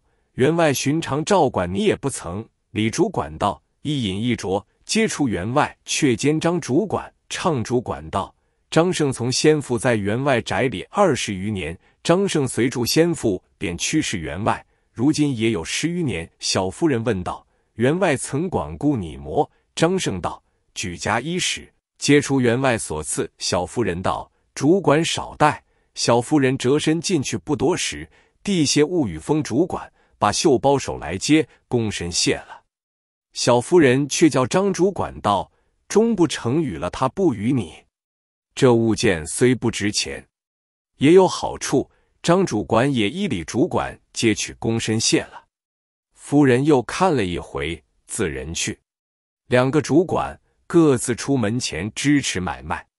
原来李主管得的是十文银钱，张主管得的却是十文金钱。当时张主管也不知道李主管得的是银钱，李主管也不知张主管得的是金钱。当日天色已晚，旦现，野烟四合，宿鸟归林，家人秉烛归房，路上行人投店。渔父负鱼归竹径，牧童骑犊后孤村。当日晚算了账目，把文部呈张员外。今日卖鸡账，买鸡文，人上欠鸡文。都钱押了。原来两个主管各轮一日在铺中当值，其日却好正轮助张主管直宿。门外面一间小房，点住一盏灯。张主管闲坐半晌，安排歇宿。忽听得有人来敲门。张主管听的，问道：“是谁？”应道：“你则开门，却说与你。”张主管开了房门，那人呛将人来。闪身倚在灯光背后，张尚福看时是个妇人。张主管吃了一惊，慌忙道：“小娘子，你这早晚来有甚事？”那妇人应道：“我不是私来，早问与你务事的，教我来。”张主管道：“小夫人与我十文金钱，想是教你来讨还。”那妇女道：“你不理会得，封主管得的是银钱。”如今小夫人又交把一件物来与你，只见那妇人背上取下一包衣装，打开来看到这鸡件把与你穿的，又有鸡件妇女的衣服把与你娘。只见妇女留下衣服，作别出门，复回身道还有件要紧的，倒忘了。又向衣袖里取出一锭五十两大银，撇了肉去。当夜张胜无故得了许多东西。不明个白，一夜不曾睡着。明日早起来，张主管开了店门，一日做买卖。等的李主管到了，将铺面交割与他。张胜自归到家中，拿出衣服银子与娘看。娘问：“这物是那里来的？”张主管把夜来的话一一说与娘知。婆婆听得说道：“孩儿，小夫人她把金钱与你。”又把衣服银子与你，却是甚么意思？娘如今六十以上年纪，自从没了你爷，便满眼只看你。若是你做出事来，老身靠谁？明日便不要去。这张主管是个本分之人，况又是个孝顺的。听见娘说，便不往铺里去。张员外见他不去，使人来叫，问道：“如何主管不来？”婆婆应道。孩儿感些风寒，这几口身子不快，来不得。传与员外得知，贪便来。又过了几日，李主管见他不来，自来叫道：“张主管如何不来？铺中没人相帮，老娘只是推身子不快。这两日反重，李主管自去。张员外二五便使人来叫做娘的，只是说未得好。张员外见三回五次叫他不来，猜道心事别有去处。张胜自在家中，时光迅速，日月如梭，年指之间，在家中早过了一月有余。道不得坐吃山崩。虽然的小夫人许多物事，那一定大银子，容易不敢出斥；衣裳又不好变卖，不去营运，日来月往，手内使得没了，却来问娘道：“不教儿子去张员外宅里去，闲了经济，如今在家中日逐盘费，如何错之？”那婆婆听得说，用手一指，指住屋梁土道：“孩儿，你现也不见。”张胜看时。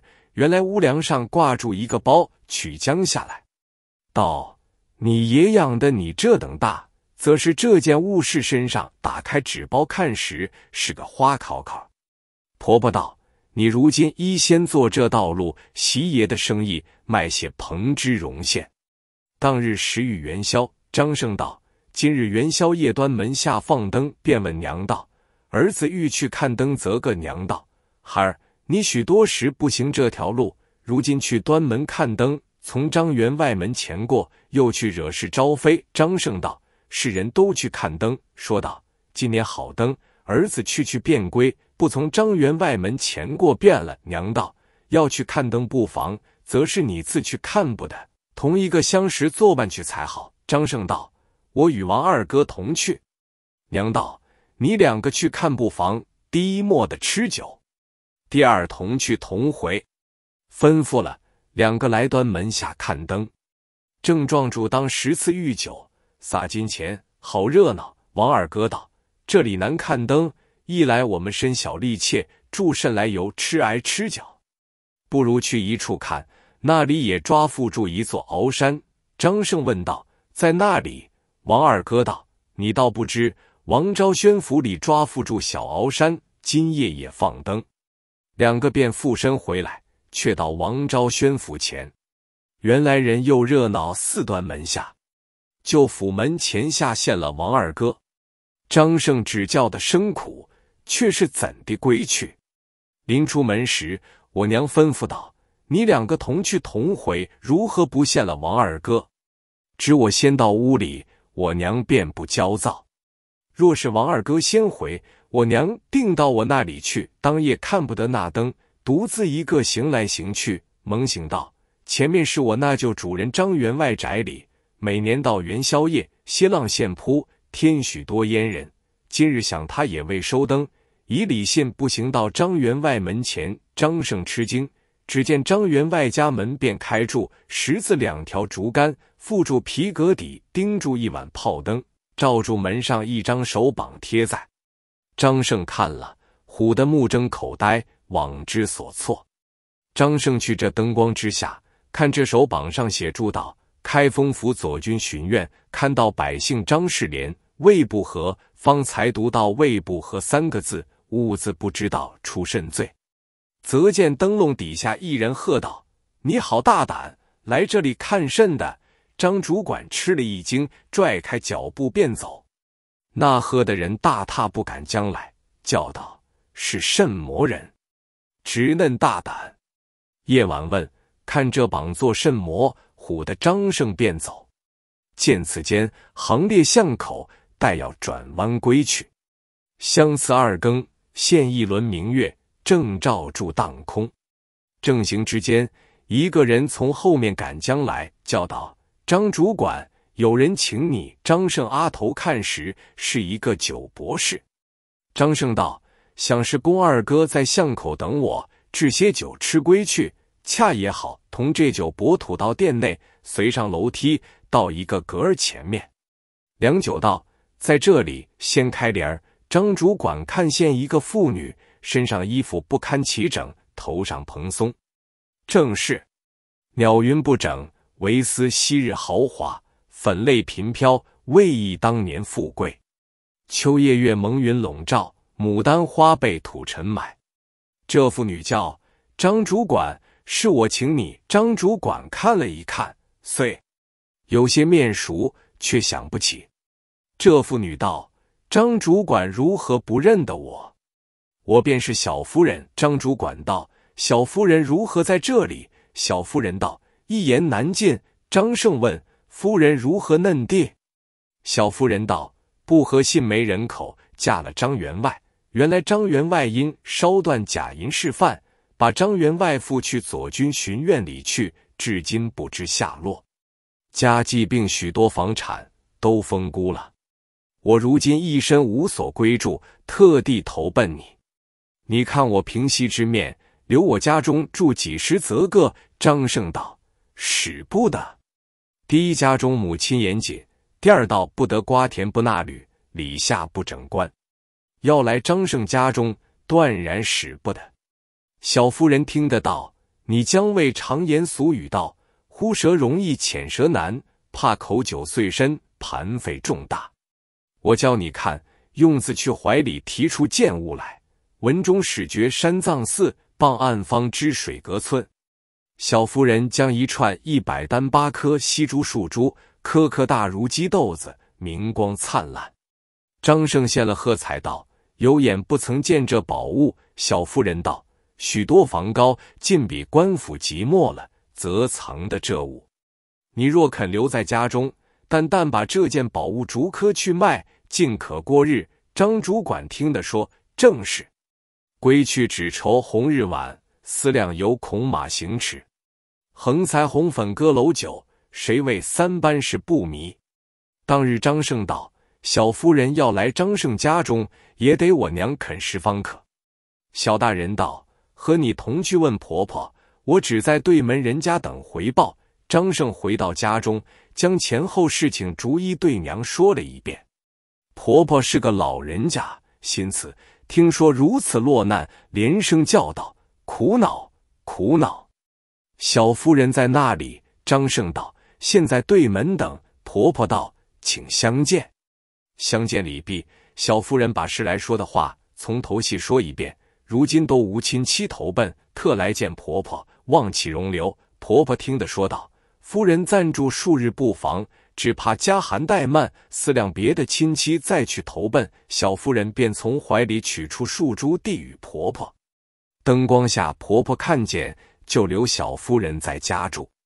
小夫人道：“来日捡棵来货卖，开启胭脂绒线铺，门前挂着花烤烤慰藉。”张胜道：“有这件宝物。”胡乱卖动，便是若钱钱。况且五十两一定大银未动，正好收买货物。张胜自从汉店借了张员外一路买卖，其实人唤张胜做小张员外。小夫人屡次来缠张胜，张胜心坚似铁，只以主母相待，并不急乱。当时清明节后，怎现的？清明何处不生烟？郊外微风挂纸钱。人笑人歌芳草地，乍晴乍雨杏花天。海棠枝上眠满雨，杨柳堤边醉容眠。红粉佳人争画板，彩丝摇曳学飞仙。满城人都出去金明池游玩，小张员外也出去游玩。晚间来，却带入万盛门则厅的后面，人叫张主管。当时张胜自思道。如今人都叫我做小张员外，甚人叫我主管。场间头看时，却是日主人张员外。张胜看张员外面上刺著四字金印，蓬头垢面，衣服不整齐，及时进入酒店里，一个吻便隔而坐下。张胜问道：“主人缘何如此狼狈？”张员外道：“不合成了这头亲事。”小夫人原是土昭宣府里出来的。今年正月初一日，小夫人自在莲儿里看街，只一个安童拖住盒儿，打从面前过去。小夫人叫住问道：“府中近日有甚事说？”安童道：“府里别无甚事，则是前日王昭宣寻一串一百单八颗西珠数珠不现，带累的一府的人，莫一个不吃罪责。”小夫人听得说。脸上或青或红，小安童自去，不多时，二二十人来家，把他房仓和我的家私都办将去，便捉我下左军巡院拷问，要这一百担八棵树珠。我从不曾见，回说没有，将我打顺毒棒，拘禁在监。倒亏当日，小夫人人去房里自吊身死，官司莫决彻，把我断了，则是一事。至今日，那一串一百单八颗树珠，不知下落。张胜闻言，心下自私道：“小夫人也在我家里，树珠也在我家里，早剪动刀顺了，甚是惶惑。”劝了张员外些酒食，相别了。张胜沿路思量道：“好事惑人。”回到家中，见小夫人，张胜一步退一步道：“告夫人，饶了张胜性命。”小夫人问道：“怎嫩？”他说：“张胜把事来大张员外说的话说了一遍。”小夫人听得到，却不作怪。你看我身上衣裳有缝，一声高似一声，你岂不理是得？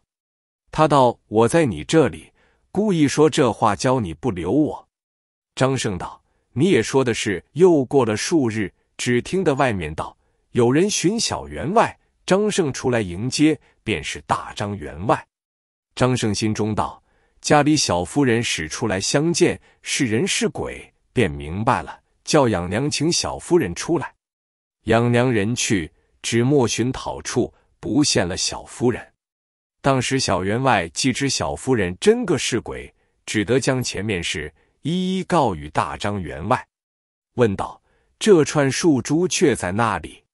张胜去房中取出，大张员外叫张胜同来王昭宣府中说，将树珠交纳，其余减去数棵，将钱取赎器。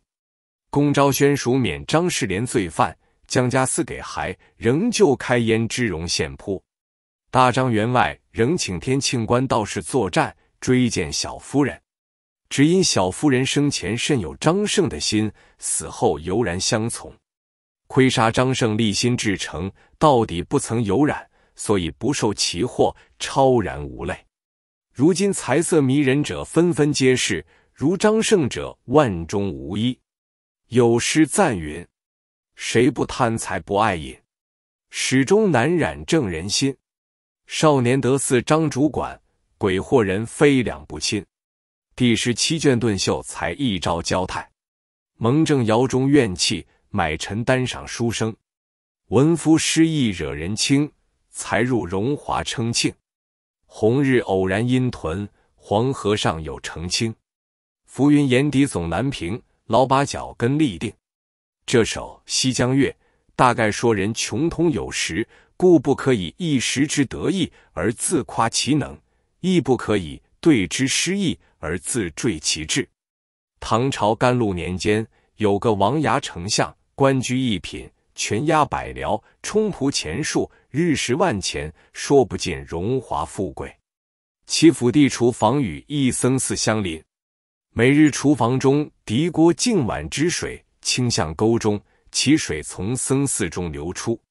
一日，寺中老僧出行，偶见沟中流水中有白雾，大如雪片，小如玉屑。近前观看，乃是上白米饭，王丞相厨下锅里碗里洗刷下来的。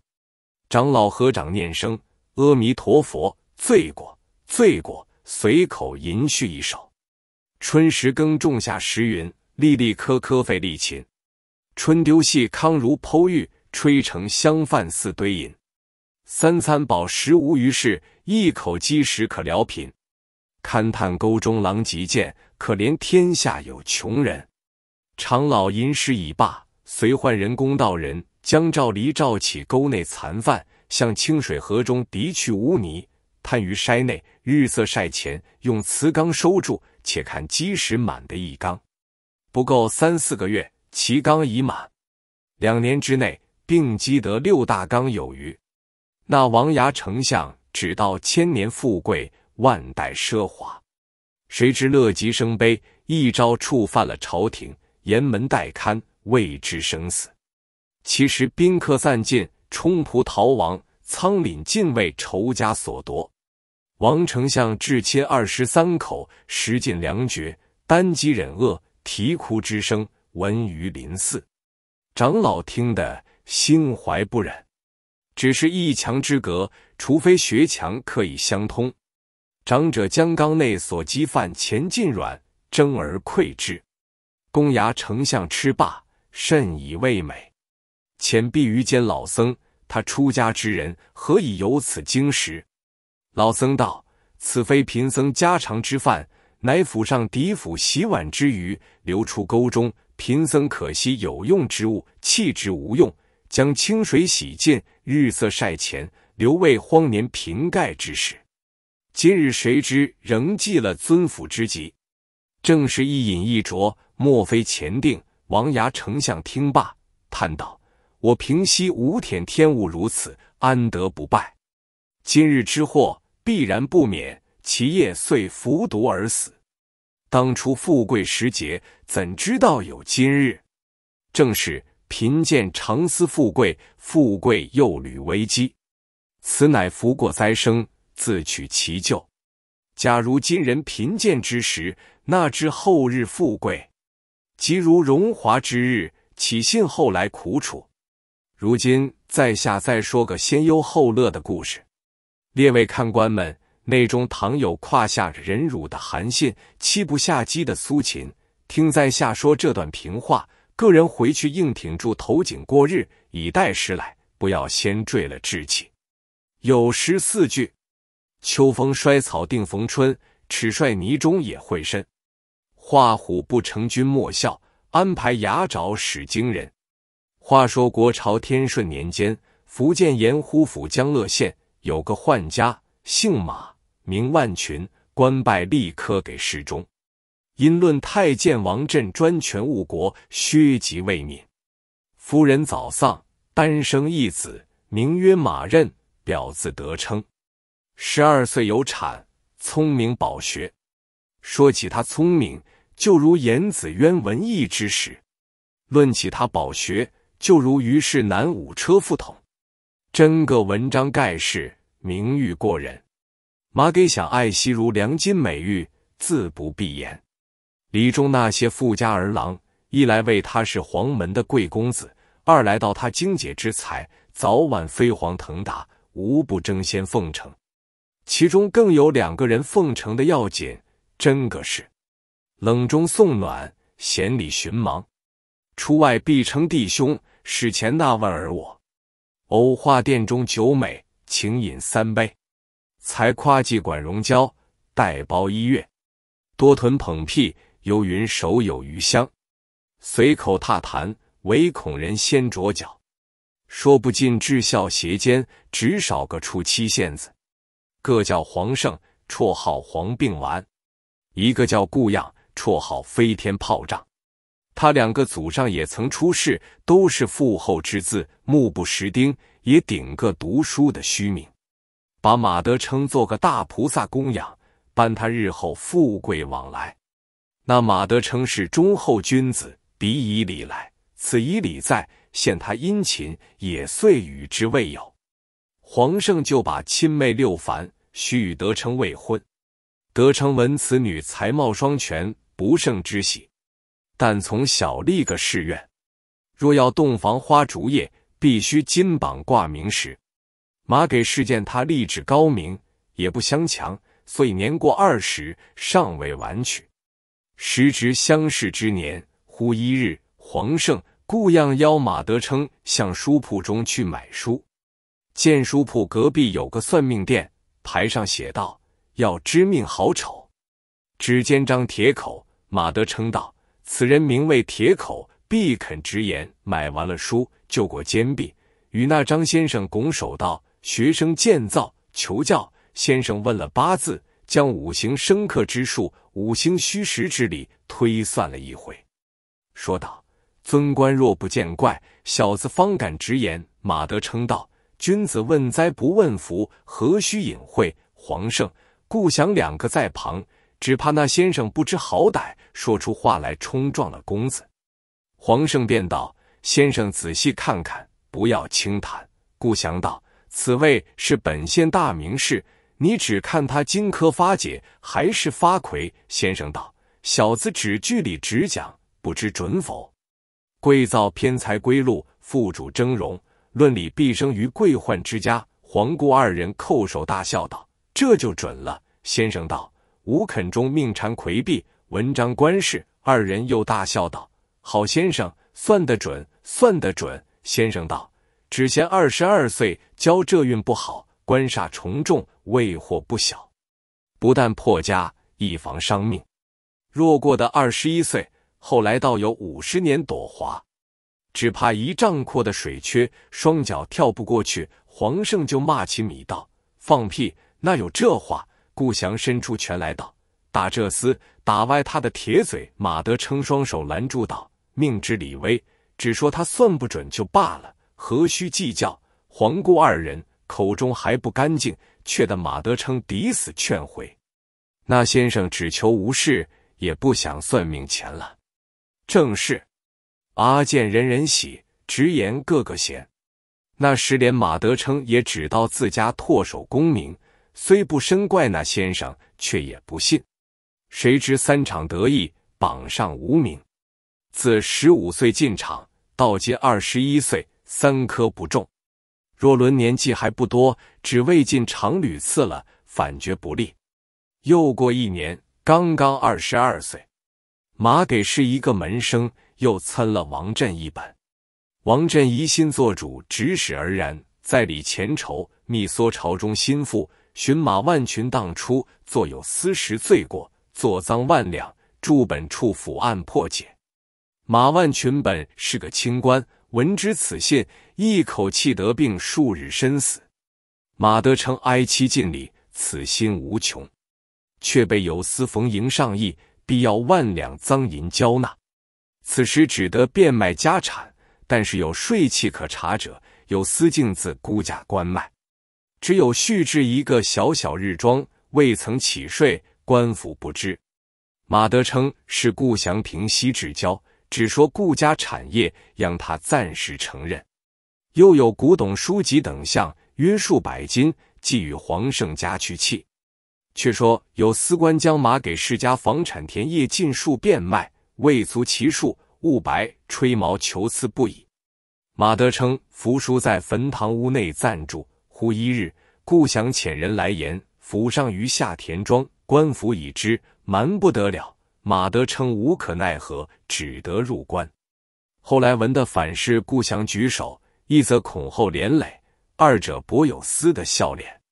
德称之人情好险，付之一笑。过了岁余。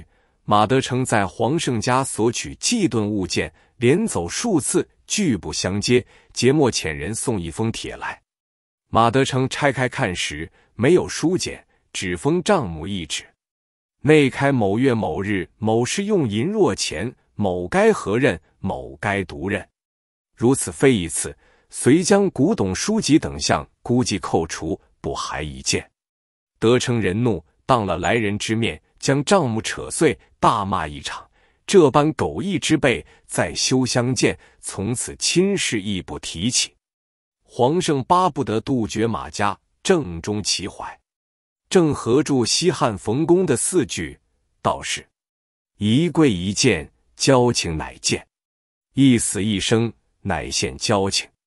马德称在坟屋中守孝，弄得衣衫褴褛，口实不周。当初父亲存日，也曾周济过别人。今日自己遭困，却谁人周济我广守坟的老王？调夺他把坟上树木倒卖与人，得称不肯。老王指住路上几棵大柏树道：“这树不在泵旁，卖之无妨。”得称一九，讲定价钱，先到一棵下来，中心都是虫蛀空的，不值钱了。再到一棵，亦复如此。德称叹道：“此乃命也。”就交住手。那两棵树只当烧柴，卖不多钱，不两日用完了。身边只剩的十二岁一个家生小厮，养老工作中也卖与人，得银五两。这小厮过门之后，夜夜小姨起来，主人不要了，退还老王处，索取原价。得称不得已，情后减退了二两身价卖了。好奇怪，第二遍去就不小姨了。这鸡叶小姨分明是打落得称这二两银子，不在话下。光阴似箭，看看福满。德成贫困之极，无门可告。想起有个表叔在浙江杭州府做二府，湖州德清县知县也是父亲门生，不如去投奔他。两人之中也有一遇。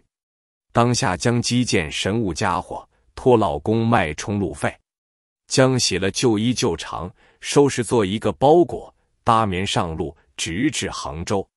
见那表叔刚刚十日之前已病故了。随到德清县头那个知县时，又正遇这几日为钱粮事情与上司争论不和，使性要回去告病关门，无由通报。正是时来奉宋厨下阁，运女雷轰见福碑。德城两处投入不住，想得南京衙门做官的多有年纪，又趁船到京口，欲要渡江，怎奈连口大西风。土木船寸步难行，只得往巨令一路步行而入，径往刘都。屈蜀国都那几个城门，神策金川移封门，怀远请粮到石城，三山聚宝连通济，洪武朝阳走太平。马德称由通济门人城到饭店中宿了一夜，次早往布科等个衙门打听。往年多有年届未官的，如今生的生了，转的转了，死的死了，坏的坏了，一无所欲。乘兴而来，却难兴尽而返，流连光景，不觉又是半年有余，盘缠俱已用尽。虽下学武大夫无门乞食，也难免吕蒙正僧院投斋。忽一日，得称投斋到大报恩寺，欲献个相识相亲。问其乡里之想，方知本省宗师按临岁考，得称在先府满时，因无礼物送与学礼师长，不曾动得起副文书及游学垦子，也不想如此久客于外。如今音信不通，教官竟把他做必考深处，千里之遥，无由便复。真是屋漏更遭连夜雨，船迟又遇打头风。德称闻此消息。长叹数声，无面回乡，意欲觅各管地，权且教书糊口，再做道理。谁知世人言浅，不识高低。闻之异乡公子如此形状，必是个浪荡之徒，便有锦心袖长。谁人信他？谁人请他？又过了几时，和尚们都怪他蒿脑，语言不逊，不可尽说。幸而天无绝人之路。有个运粮的赵指挥要请个门管先生同往北京，一则陪话，二则代笔。偶与承恩寺主持商议，得称闻之，想消，乘此机会往北京一行，岂不两便？遂央僧此戏。那俗僧也巴不得遣那穷鬼起身，就在指挥面前称杨德称好处，且是减情甚少。赵指挥是武官。不管三七二十一，只要省，便约德称在寺。头次相见，择日请了下船同行。德称口如悬河，宾主颇也得和。不一日到黄河岸口，德称偶然上岸登东，忽听发一声响，犹如天崩地裂之形。慌忙起身看时，吃了一惊，原来河口绝了。赵指挥所统粮船三分四散。不知去向，但见水势滔滔，一望无际。德成举目无依，仰天嚎哭，叹道：“此乃天绝我命也，不如死休。”方欲投入河流，欲一老者相救，问其来历。德成速罢，老者恻然怜悯道：“看你青春美质，将来岂无发迹之期？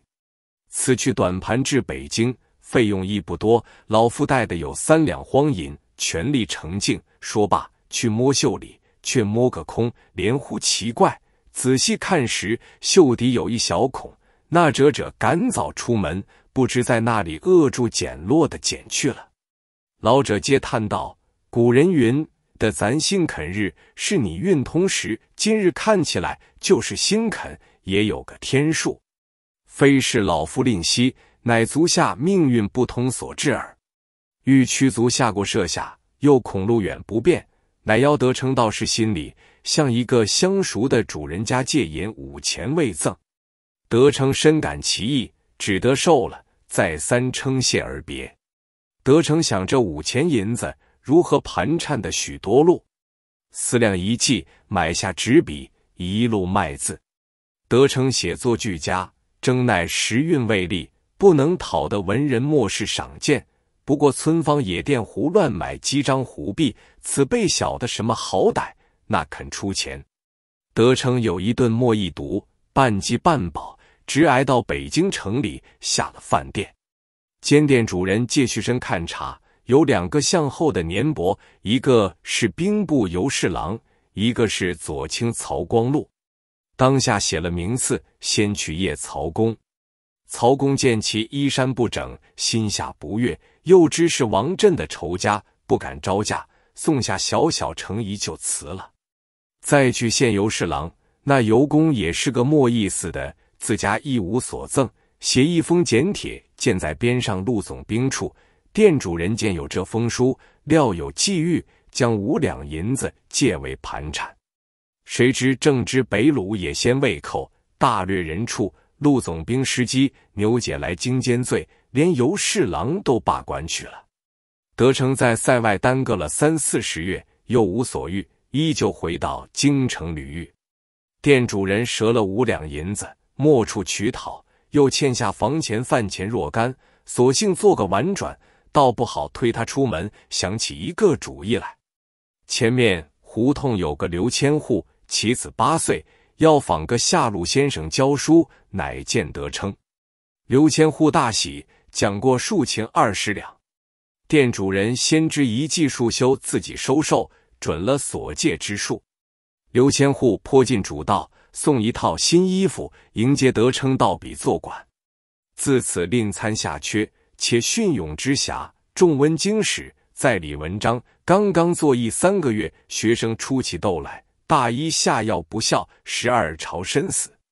刘谦护单知此子正在哀痛，又有刻薄小人对他说道：“马德称是个降祸的大岁，好气的贺神，所到之处必有灾殃。”赵指挥请了他，就坏了粮船；尤侍郎见了他，就坏了官职。他是个不吉利的秀才，不该与他亲近。刘千户不想自儿死生有命，倒抱怨先生带累了。各处传说，从此京中起他一个艺名，叫做顿秀才。凡顿秀才街上过去，家家闭户，处处关门。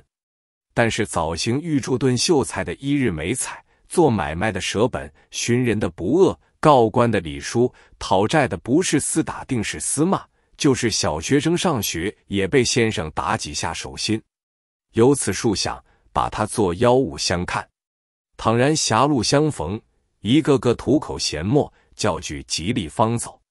可怜马德称衣冠之胄，饱学之诺，今日时运不利，弄得日无饱餐，夜无安宿。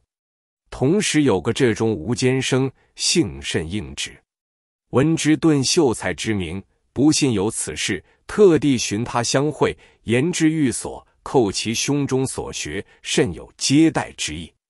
作息犹未宣，忽得家书报家中老父病故，踉跄而别，转见与同乡吕红肿。吕公请之寓所，待以圣传，方山举箸。忽然，厨房中火起，薛家惊慌逃奔。德成因父馁惊行了几步，被地方拿他做人头，解去官司，不由分说下了监铺。姓吕红种是个有天理的人，替他使钱，免其家责。从此顿秀才其名义著，无人招接，仍复卖字未生。关于表家书寿着，喜逢新岁写春联。夜间常在祖师庙、关圣庙、五显庙这几处安身，或与道人代写书头，趁机文钱度日。话分两头，却说黄病鬼黄胜，自从马德称去后，出师还驳他还乡，到宗师行处不见回家。又有人传信，道是随诏指挥粮船上京，破黄河水决，以赵莫矣。心下淡然无虑，朝夕逼勒妹子六姨改聘。六嫔以死自誓，绝不二夫。到天顺晚年乡试，皇圣董元贿赂，买中了秋榜，李中奉承者田门色户。闻知六焕年常未嫁，求亲者日不离门，六魔坚持不从，皇圣也无可奈何。到冬底，打叠行囊在北京会试，马德称献了乡试录，已知皇圣得意，必然到京。想起旧恨，羞与相见，欲先出京躲避。谁知皇上不耐功名，若是自家学问上挣来的前程，倒也理之当然，不放在心里。他原是买来的举人，小人成君子之气，不绝手之舞之，足之蹈之。又将银五十两买了个看盒，迟意到京，寻了个大大的下处，且不去温习经史。终日穿花接过柳巷，在院子里表子家行乐。常言道：“乐极悲生，嫖出一身了疮。”科场渐近，将白金百两送大衣，只求速愈。大医用清粉解药，数日之内身体光鲜，草草完场而归。不够半年，疮毒大发，医治不全，呜呼哀哉，死了。既无兄弟。又无余息，族间都来抢夺家私。其妻王氏又莫主张，全赖六焕一身。内知丧事，外应亲族，按谱立嗣，众心俱悦服无言。六焕自家也分得一股家私，不下数千金。想起丈夫复州消息，未知真假，假了多少盘缠，各处遣人打听下落。有人自北京来。传说马德称未死，落寞在京，京中都呼为顿秀才。六焕是个女中大夫，甚有批注，收拾起辎重银两，带了丫鬟壮仆，雇下船只，一往来到北京寻娶丈夫。方知马德成在真定府隆兴寺大悲阁写《法华经》，怕乃将白金百两、新衣数套、新笔作书，尖锋停当，差老家人工安泽去迎接丈夫。吩咐道：“我如今便与马相公原力入监，请马相公到此读书应举，不可迟滞。”王安到游兴寺见了长老，问：“福建马相公何在？”长老道：“我这里只有个顿秀才，并没有什么马相公。”王安道：“就是了。”凡引相见，和尚引到大悲阁下，只道旁边桌上写经的不是顿秀才。主安在家时曾见过马德称几次，今日虽然褴褛，如何不认得？一见德称，便跪下磕头。马德称却在贫贱患难之中，不料有此，一时想不起来，慌忙扶住，问道：“足下何人？”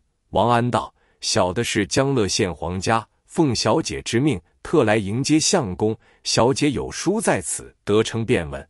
你小姐嫁归何宅？广王安道：小姐守制至今，誓不改氏。因家相公禁锢，小姐亲到京中来访相公，要与相公入宿北雍，请相公早办行期。德成方才开见而看，原来是一首诗。诗曰：“何事萧郎恋远游？应知鸟貌为龙头。图南自有风云变，且整双消极凤楼。”德成看罢。微微而笑，公安献上衣服银两，且请启程日期。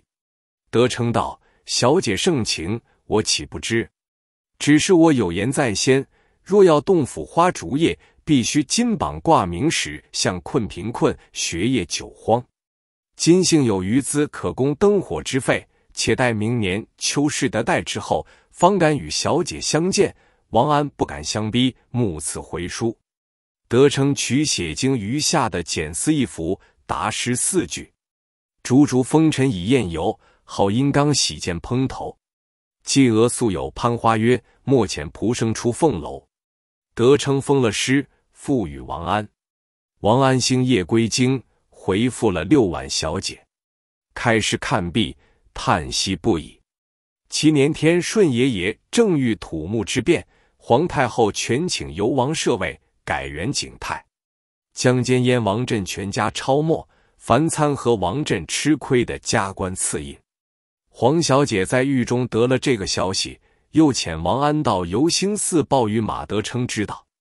总称此时虽然戒狱僧房，图书满案，鲜衣美食已不似在先了。和尚们晓得是马公子、马相公，无不亲近。其年正是三十二岁，交逢好运，正应张铁口先生推算之语。可见万般皆是命，半点不由人。德成正在寺中温习就业，又得了公安报信，收拾行囊。别了长老赴京，另寻一寓安歇。黄小姐、波家冲二人服侍，一应日用供给，络绎奉送。德成草成表彰，续先臣马万群直言得祸之由：一则为父亲启恩昭雪，一则为自己辩复前程。圣旨道：准付马万群原官，仍加三级。马人复学附魔，所抄没田产，有司追给。德成差家董报与小姐知道，黄小姐又差王安送银两到德成狱中，叫他度力入宿。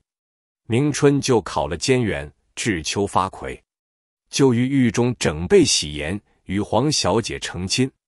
来春又中了第十名会魁，殿试二甲，考选数即事，上表给贾还乡，焚黄叶木，圣旨准了。夫妻衣锦还乡。府县官员出郭迎接，往年抄没田宅，俱用官价赎海，造册交割，分毫不少。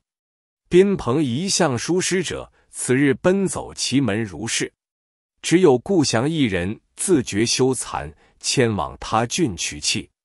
十张铁口先生尚在，闻知马公子得地荣归，特来拜贺，得称厚赠之而去。后来马人直做到礼兵。行三部尚书，六摩小姐封一品夫人，所生二余，剧中贾科替应不绝。至今延平府人说读书人不得地者，把顿秀才未比。后人有诗叹云：“十年落魄少知音，一日风云的称心。秋菊春桃十个有，何须海底去捞针？”第十八卷老门生三世报恩。买只牛儿学种田，结间茅屋向林泉。也知老去无多日，且向山中过几年。未立未官中宦客，能诗能酒总神仙。试问万物俱增价，老去文章不值钱。这八句诗乃是达者之言。魏勾说：“老去文章不值钱。”这一句还有个评论：“大抵功名迟速，莫逃乎命。”也有早成，也有晚达。早成者未必有成，晚达者未必下达。不可以年少而自恃，不可以年老而自弃。这老少二字也在年数上论不得的。假如甘罗十二岁为丞相，十二岁上就死了，这十二岁之年就是他发白齿落、背去腰弯的时候了。后头日子已短，叫不得少年。又如姜太公八十岁还在渭水钓鱼，遇了周文王以后，车载之，拜为师上父。文公崩，武上立，他又秉所谓军师，左武功代商，定了周家八百年基业，封于齐国。又教其子丁公治齐，自己流向周朝，直活到一百二十岁方死。你说八十岁一个老渔翁，谁知同后还有许多事业，日食正常理。这等看将起来，那八十岁上还是他出束发、刚顶冠、做新郎、应童子事的时候，叫不得老年。做人只知眼前贵贱，那知去后的日长日短。见个少年富贵的奉承不暇，多了积年年纪，路呛不遇，就怠慢他，这是短线薄食之辈。譬如农家也有早谷，也有晚稻。正不知邓一种收成的好，不见古人云：“东园桃季花，早发还先萎；迟迟见盼松，郁郁含晚翠。”闲话休提。却说国朝正统年间，广鲁桂林府兴安县有一秀才，父姓鲜于，名同，字大通。八岁时曾举神童，十一岁游库超增补国。论他的才学，便是董仲舒、司马相如也不住在眼里，真个是胸臆万卷，笔扫千军。论他的志气，便像冯京、何侠连中三元，也只算他使代理东西，真个是足孽风云，气冲牛斗。何其才高而数奇，志大而命薄，年年科学，岁岁官场，不能得朱衣点额，皇榜标明。到三十岁上，荀子该出贡了。他是个有才有志的人，贡图的前程是不屑旧的。思量穷秀才家，全亏学中年归这几两康银，做个读书本钱。若出了学门，少了这项来路。又去作奸，反费盘缠。况且本省比监里又好中，算计不通。偶然在朋友前露了此意，那下手该供的秀才就来打话要他让供，情愿将几十斤酬谢。谢于同又得了这个利息，自以为的计。第一便是个情，第二便是个利，人人要供，个个争先。谢于同自三十岁上让供起，一连让了八遍。到四十六岁，兀自沉埋于半水之中，持足于清补之队。也有人笑他的，也有人怜他的，又有人劝他的。那笑他的，他也不睬；连他的，他也不受。只有那劝他的，他就勃然发怒起来，道：“你劝我就供，只无过到俺年长，不能个磕地了。”却不知龙头属于老成，梁浩八十二岁中了状元。也替天下有骨气、肯读书的男子争气。俺若情愿小就时，三十岁上就了，肯用力钻刺，少不得做个辅佐宪政，昧住心田做去，尽可容身肥家。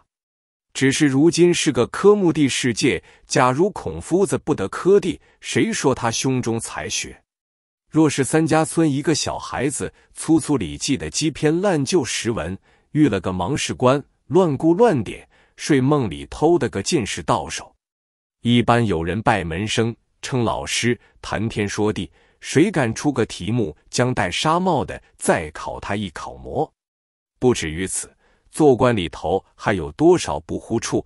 进士官就是个铜打铁铸的，撤慢做去，没人敢说他不字。科贡官兢兢业业，捧了卵子过桥，上司还要询称他，比及暗怨复命。参论的但是进士官，凭你虚爱极贪极酷，公道看来，拿问也还透头。说到节末，生怕断绝了贪酷种子，道：“此一臣者，官真虽真，但或念出任，或念年轻，尚可望其自心，测其末路，孤照浮躁，或不极力降调，不够积年功夫，依旧做起。腾斗的些银子，央要到晚回，不过对调个地方。”全然漠视，科贡的官一分不是，就当做十分。晦气预祝别人有势有利，没处下手，随你清廉贤宰，少不得借重他替进士顶缸。有着许多不平处，所以不中进士，再做不得官。俺宁可老如终身，死去到阎王面前高声叫屈，还博十来世出头，岂可屈身小就，终日受人懊恼？吃顺气玩度日，遂吟诗一首。诗曰：“从来资格困朝身，只重科名不重人。处事凤歌诚恐待，叶公龙豪气求真。若还黄跨中无分，宁可轻趁劳此身。铁砚磨穿豪杰士，春秋晚玉说平津。汉时有个平津侯，复姓公孙，名弘。五十岁读《春秋》，六十岁对策第一。”做到丞相封侯，谢玉同后来六十一岁登帝，人以为诗场，此是后话。却说先于同自吟了这八句诗，奇志玉锐，怎奈时运不利，看看五十齐头，苏姓还是旧苏秦，不能兄改换头面。再过儿年，连小考都不利了。每到科学年分，第一个拦场告考的就是他，讨了多少人的厌见。到天顺六年，鲜于同五十七岁，鬓发都苍然了，兀自己在后生家队里谈文讲义，娓娓不倦。那些后生见了他，或以为怪物，望而避之；或以为笑句，久而戏之，这都不在话下。却说兴安县知县，姓赐，名玉石，表字顺治，浙江台州府仙居县人士。少年科甲，身价甚高，喜的是谈文讲义，商贾论今。只是有件毛病，爱少见老，不肯一视同仁。献了后生英俊，加以讲戒。若是年长老成的，侍卫朽物，口胡先辈，甚有戏武之待。其年乡试届期，宗师行文，命献李禄科。荔枝县江河县生源考试，弥封阅卷，自是福利。从公品地黑暗里拔了一个第一，心中十分得意，向众秀才面前夸奖道：“本县拔得个手卷，其仗大有吴越中气脉，必然廉洁，通县秀才皆莫能及。”众人拱手听命。却似汉皇筑坛拜将，正不知拜那一个有名的豪杰。比及差号唱名，只见一人应声而出，从人丛中挤将上来。你道这人如何？矮又矮，皮又胖，须变黑白各一半，破如中，欠十样，阑珊不恐重重战。你也瞧，我也看，着还冠带像湖畔，不再夸。不再赞，先被今朝说嘴惯，休嫌他，莫自叹，少不得大家做老汉，不须赢，不须干，续齿轮流做领案。那案首不是别人，正是那五十六岁的怪物，笑句名叫鲜鱼童。荷塘秀才轰然大笑，都道先于先辈又启用了，连蒯公也自羞得满面通红，顿口无言。一时间看错文字，今日众人瞩目之地如何翻悔？忍住一肚子气，胡乱将试卷拆完。喜的除了第一名，此下一个个都是少年英俊，还有些咳重待喜。是山公发放诸生事毕，回衙闷闷不悦，不在话下。却说先于同少年时本是个名士，因腌制了数年，虽然志不曾灰，却也是。则信屈原饮毒苦，洛阳记千面多残。今日出其不意，考个案首，也自觉有些兴头。到学到考试，未必爱他文字，亏了县家案首，就搭上一名科举，喜滋滋去赴省试。众朋友都在下处看经书，温后场，只有先于同宾西饱学，终日在街坊上游玩。旁人看见，都猜到。这位老相公不知是送儿子孙儿进场的，世外之人好不悠闲自在。若晓得他是科举的秀才，少不得要笑他几声。日居月诸，忽然八月初七日，街坊上大吹大擂，迎士官进贡院。先于潼关看之际，建兴安县蓝公主旨聘作礼记棚房考官。先于同自想：我与毕公同经。他考过我案首，必然爱我的文字。金帆玉合，十有八九。谁知山公心里不然，他又是一个见识道：我娶个少年门生，他后路悠远，官也多做积年，房事也靠得住他。那些老师素儒，取之无益。又道：我科考时不合昏了眼，错取了先于先辈，在众人前老大没趣。金帆再取中了他。却不又是一场笑话。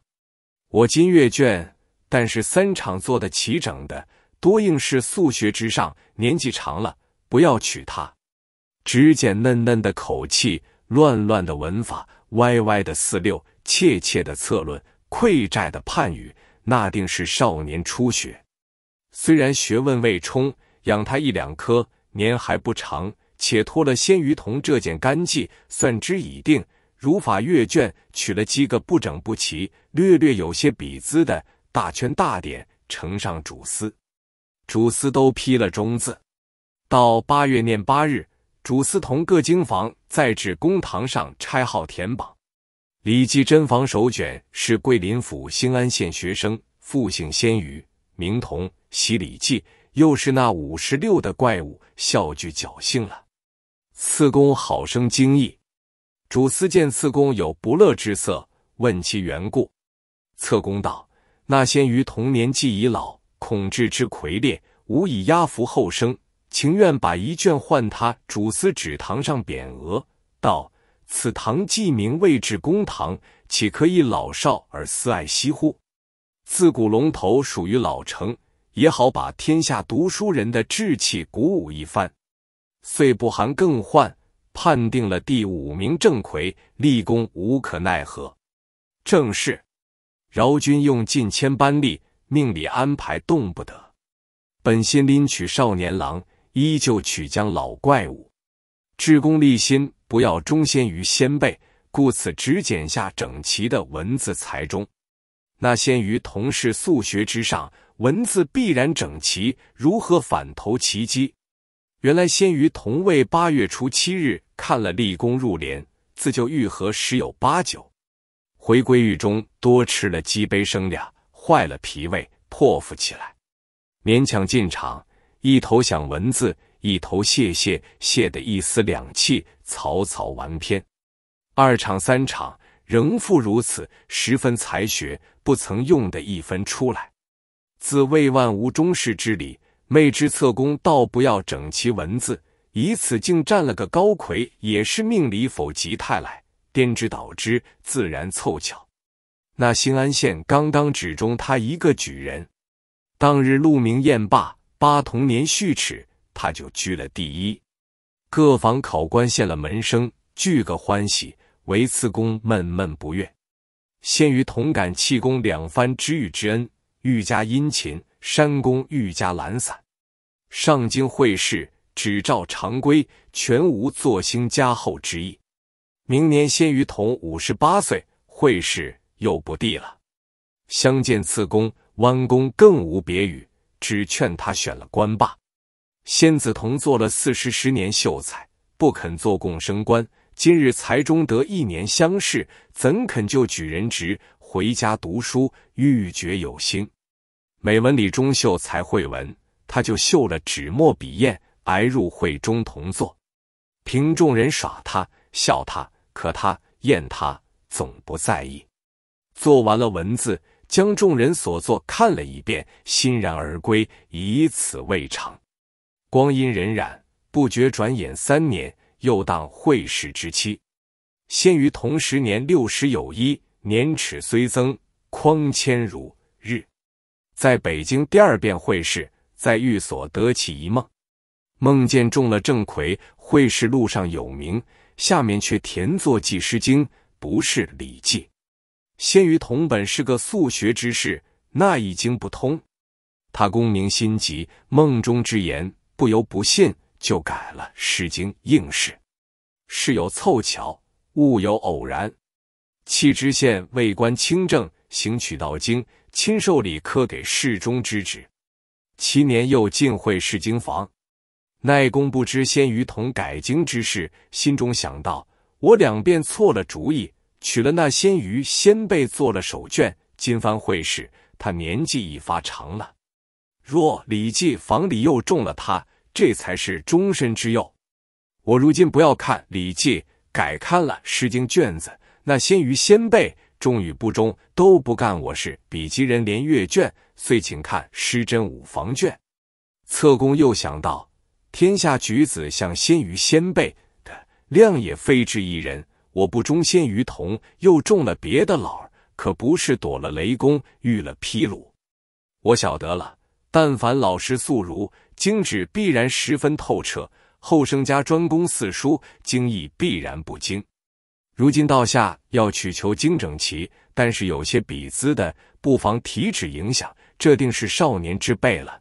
阅卷进城，等到揭晓，博五房头卷列在第十名正魁，差号看时，却是桂林府兴安县学生，复姓先于，名同，喜《诗经》，刚刚又是那六十一岁的怪物，笑句，气得刺恶石木睁口呆，如槁木死灰模样。早知公贵生成定，悔却从前再用心。奈公又想到，论起世上同名姓的尽多，只是桂林府兴安县却没有两个先于同。但他向来是《礼记》，不知何故又改了《诗经》，好生奇怪。后其来业，扣其改经之故。先于同将梦中所见说了一遍。奈公叹息，连声道：“真命尽世，真命尽世。”自此，策公与先于同师生之意比前反觉厚了一分。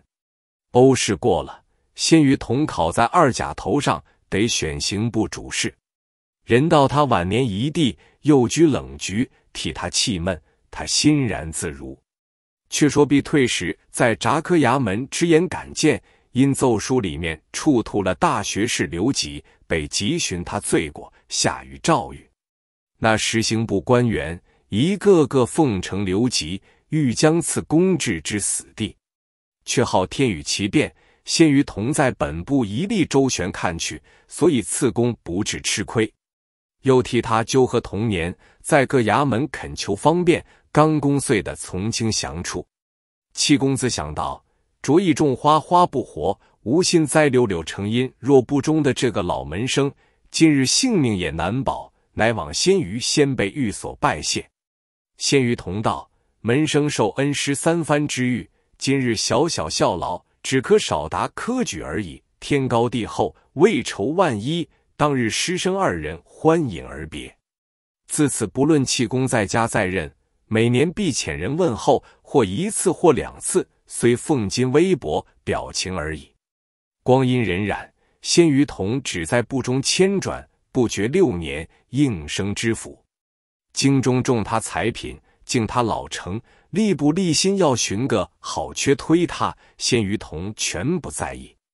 偶然仙居具有信志立功的公子蓝进贡与豪户查家争坟的疆界，唆骂了一场。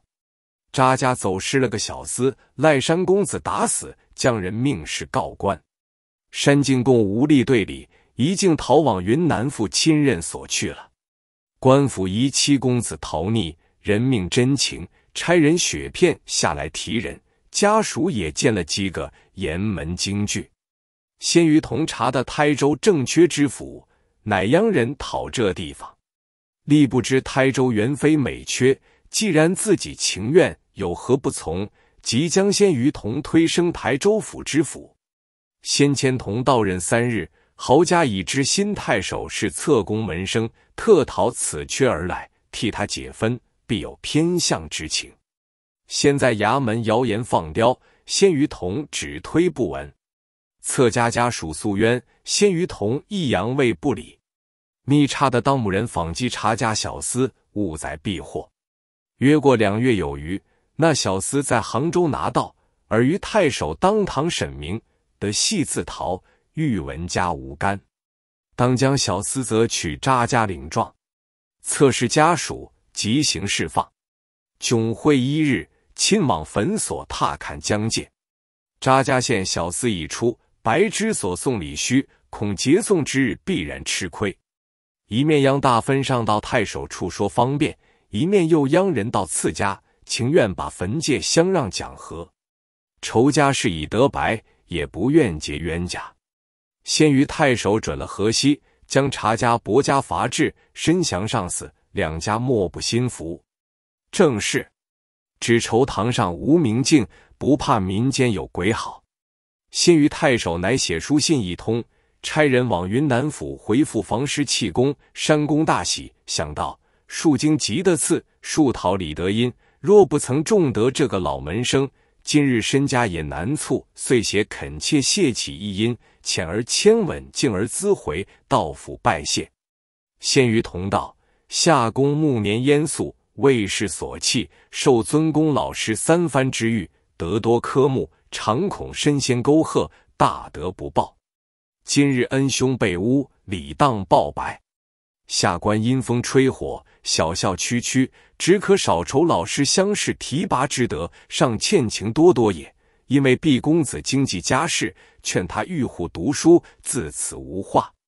先前同在台州做了三年知府，声名大振，生在辉宁道做兵县，累升河南连使，亲于官职年至八旬，经历比少年兀自有余，推升了浙江巡抚。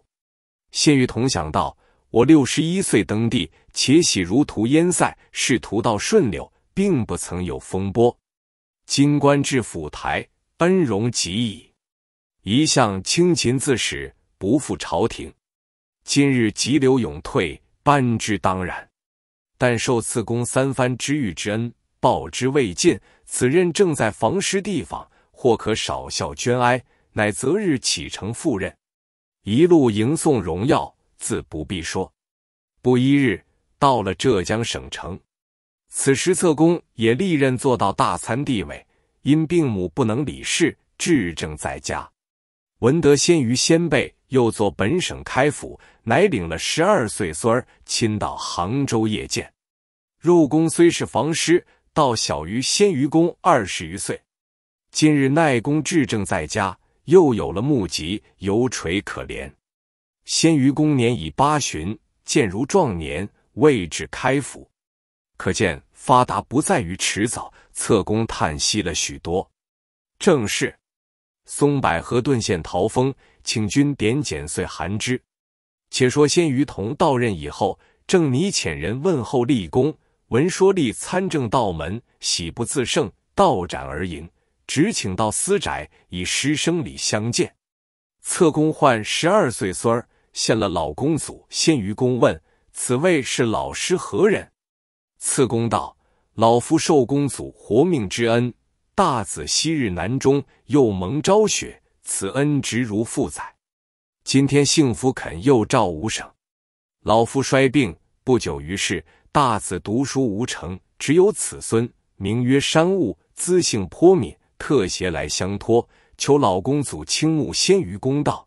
门生年齿，己非仕途人物，正为师恩仇报未尽，所以强言而来。今日程老师已令孙相托，此乃门生报德之会也。彼意欲留令孙在碧崖同小孙辈课业，未审老师放心否？启公道：若蒙老公祖教训，老夫死亦瞑目。遂留两个书童服侍吏务，在都府衙内读书。策公子别去了。那闹武资性过人，文章日进。就是年之秋，学到暗林，先于公立见神童，进学不领，依旧留在衙门中勤学。三年之后，学业已成，先于公道：“此子科取科第，我亦可以报老师之恩矣。”乃将俸银三百两赠与逼屋为笔砚之资，亲送到台州仙居县。是值次公二日前一病身亡，仙子公哭奠已毕。问老师临终亦有何言？毕竟共道，先父遗言，自己不幸少年登第，原儿爱少见老，偶尔暗中摸索，得了老公祖大人。后来许多年少的门生，咸鱼不等，生辰不一，俱不得其气力，全亏了老公祖大人一人，始终看去。我子孙世世不可怠慢老成之事。先于公呵呵大笑道：“下官今日三报师恩。”正要天下人晓得扶持了老成人也有用处，不可爱少而见老也。罢，作别回省，草上去章，告老致仕。得知预告，迟意还乡，悠悠林下。每日训课儿孙之暇，同理中富者饮酒赋诗。后八年，长孙先于韩相榜高魁，赴京会试，恰好仙居县赐务是年中举，也到京中。两人三世通家，又是少年同窗，并在一离读书。比及会试涛小，同年迸世，两家互相称贺。谢玉童子五十六岁登科，六十一岁登甲，历时二十三年，腰金一子，西恩三代。告老回家，又看了孙儿科第，直活到九十六岁，整整的四十年晚运。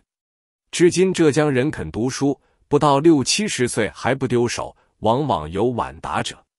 后人有诗叹云：“立明何必苦奔忙，迟早须臾在上苍。但学番陶能结果，三千余岁未未尝。”第十九卷崔衙内白药招妖，古本作定山三怪，又云新罗白药。早退和朝宠则妃，见张征敢傍丹泽。蓬莱殿里迎伯驾。花尊楼前进荔枝，接鼓为钟龙鼓动，羽衣犹在战衣追。子孙番作生平祸，不念先皇创业时。这首诗题注唐时第七帝，一法谓之玄宗。古老相传云：天上一座星，谓之玄星；又谓之金星，又谓之参星，又谓之长庚星，又谓之太白星，又谓之启明星。世人不识，叫做小星。初上时，东方未明，腰色将晓，那座星渐渐的暗将来，先明后暗，这个谓之玄。唐玄宗字尧崇，宋琼未相，米麦不过三四钱，千里不愧行两。自从尧宋二相死，杨国忠、李林甫未相，教玄宗生出四件病来：内作色荒，外作秦荒，丹酒是阴，俊子雕强。玄宗最宠爱者一个贵妃，叫做杨太真。那贵妃又被地里宠一个活儿姓安，名禄山，负重三百六十斤，坐绰飞燕，走疾奔马，善舞胡旋，奇疾如风。玄宗爱其骁健，因而得宠。禄山遂拜玄宗为父，贵妃为母。杨妃把这安禄山头发都剃了，擦一脸粉，画两道眉。打一个白鼻儿，用锦绣彩罗做成炸宝，选粗壮宫娥数人扛抬，绕那六宫行走。当时则是取笑，谁知浸润之间，太真与禄山未乱。一日，禄山正在太真宫补行乐，宫娥报道驾到，禄山皎洁非常，于墙半去。贵妃轮皇出迎，官发散乱，语言失度。错呼圣上为郎君，玄宗驾即时起，使六宫大使高力士、高齐送太真归地，使其省过。贵妃求见，邀于不得，替为出宫。却说玄宗自离了贵妃三日，食不甘味，卧不安息。高力士探知圣意，启奏道：“贵妃昼寝困倦，言语失次，得罪万岁御前。今省过三日，想以知罪。”万岁爷何不召之？玄宗命高监往看飞鱼在家做何事？高继奉旨到杨太师私地见过了贵妃，回奏天子言：娘娘容颜愁惨，书目俱废。一见奴婢，便问圣上安否，泪如而下。乃取妆台对镜，忽持冰舟剪刀，解散青丝，剪下一缕，用五彩绒绳结之，手自封记。托奴婢传语，送到御前。娘娘含泪而言：“妾一身所有，皆出皇上所赐，只有身体发肤，受之父母，以此祭谢圣恩。愿无忘七夕夜半之约。”原来玄宗与贵妃七夕夜半曾在沉香亭有私事，愿生生世世同案同枕。此时玄宗闻之，高之所奏，见贵妃风髻青丝，钗而观之，凄然不忍。即时命高力士用香车细辇迎贵妃入宫，自此愈加宠幸。其实四方贡献不绝：西夏国晋越洋琵琶，南越国进武笛，西凉州进葡萄酒，新罗国进白药子。这葡萄酒共进御前，琵琶赐予正观音，玉笛赐予玉帝宁王，新罗白药赐予崔丞相。后因李白学士题陈香亭牡丹诗。将赵飞燕比诸大真娘娘，暗藏讥刺，被高力士奏告贵妃，未诉天子，将李白处贬。崔丞相原来与李白是故交，事相连累，得指令判河北定州中山府。正是老龟烹不烂，一祸即哭丧。崔丞相来到定州中山府，远近皆入进府，交割排印了毕。在任果然是如水之清。如秤之平，如绳之直，如镜之明。不一月之间，至得府中路不拾矣。时聊天宝春初，春春柳嫩花新，梅谢粉，草铺阴，秧啼北里，烟雨南岭。郊原似宝马，紫陌广香轮。日暖冰消水绿，风和雨嫩烟青。东阁广排公子宴。锦城多少看花人？崔丞相有个衙内，名唤崔亚，年纪二十来岁，生的美大夫，幸好败劣。见这春问天色，宅堂里插手向前道：“告爹爹，请一日严假，欲出野外游猎，不知爹爹尊意如何？”相公道：“吾儿出去，则所早归。”衙内道：“领爹遵旨。”则是儿有一事，欲娶父辞父。相公道：“你有甚说？”衙内道：“欲借御赐新罗白药同往。”相公道：“好，把出去照管，休叫失了。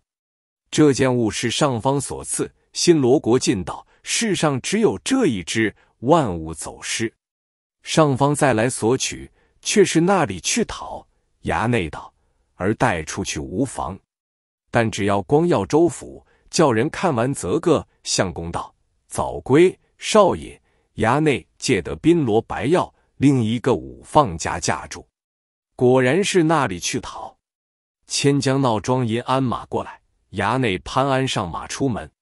明是说话的当时同年生，颈肩长，劝住崔衙内，只好休去。千不合，万不合，带这只新罗白药出来，惹出一场怪事。真个是亘古未闻，于今罕有。有诗为证：外作秦荒，内色荒，烂毡蝎子又何妨？早晨驾出苍鹰去，日暮归来红粉香。崔衙内寻常好拜猎，当日借得新罗白药，好生喜欢。教这五放家架住，一行人也有把水磨脚，把弹弓，燕木乌春奴子，架演员铁爪嘴弯鹰，千石耳细腰身口犬。出得城外，穿桃溪，过梅坞，登绿杨林，设方草渡。杏花村高悬俩望，毛右盼低雅清廉。正是不暖不寒天气，半村半郭人家。行了二三十里，觉到个人走得辛苦，寻一个酒店，衙内推鞍下马，入店问道：“有甚好酒买些个？”光靠上众人住脚力，只现走一个酒保出来唱题。看那人时，生的身长八尺。豹头烟领，环眼骨浅，有如一个巨水断桥张翼德，远水镇上王彦章。衙内看了酒保，早吃一惊，道：“怎么有这般生的恶相貌的人？”酒保唱了案，站在一边。衙内叫有好酒，把些个来吃，就犒赏众人。那酒保从里面多一桶酒出来，随行自有带住底酒盏，安在桌上。筛下一盏，先敬衙内。酒酒酒，腰棚会友，君莫待。时长久，明乎时前，礼于茶后。临风不可无，对月须较有。李白一饮一啖，刘伶解醒五斗。公子沾唇脸似桃，佳人入腹腰如柳。衙内见筛下酒色红，心中早惊，如何嫩地红？踏住酒保脚跟，入去到酒缸前，扬开缸盖，只看了一看，吓得衙内顶门上不现三魂，脚底下荡散七魄。只见血水里面浸住浮米。衙内出来，教一行人且莫吃酒，把三两银子与酒保还了酒钱。那酒保接钱，唱诺谢了。衙内攀鞍上马，离酒店又行了一二里地。又见一座山冈，原来门外谓之郭，郭外谓之郊，郊外谓之野，野外谓之破。行了半日，相次到北岳衡山，一座小峰在衡山脚下，山势果是雄勇。山山土雾回环，罗翠带，列青蓝，洞云飘渺，涧水滑琴，峦若前山外，蓝光一望间。暗想云峰尚在，宜陪谢旅众攀。既是七贤虽可爱，胜十四号奇险。衙内恰带上那山去，抬起头来，见山脚下立住两条木栓，柱上钉住一面板牌，牌上写住几句言语。衙内立马看了道：“这条路上嫩地厉害！”勒住马，叫回去修。众人都赶上来。衙内止住板牌，教众人看，有识字的读道：“此山通北岳衡山路，名为定山。有路不可行，其中精灵不少，鬼怪极多。行路君子可从此山下手小路来往，切不可经此山过。特欲禀之，如今却怎地好？衙内道：“且只得回去，待要回来，一个一脖上架住一枚角鸡，出来道：‘副衙内，男女在此居，上面万千景致，生树般敲息，作怪值钱的飞禽走兽。’衙内既是出来拜猎，不入这山去，从小路上去，那里是平地，有甚飞禽走兽？可惜闲了新罗白药，也可惜闲了某手中角鹰。这一行架的小药。”猎狗、弹弓、奴子都为器物。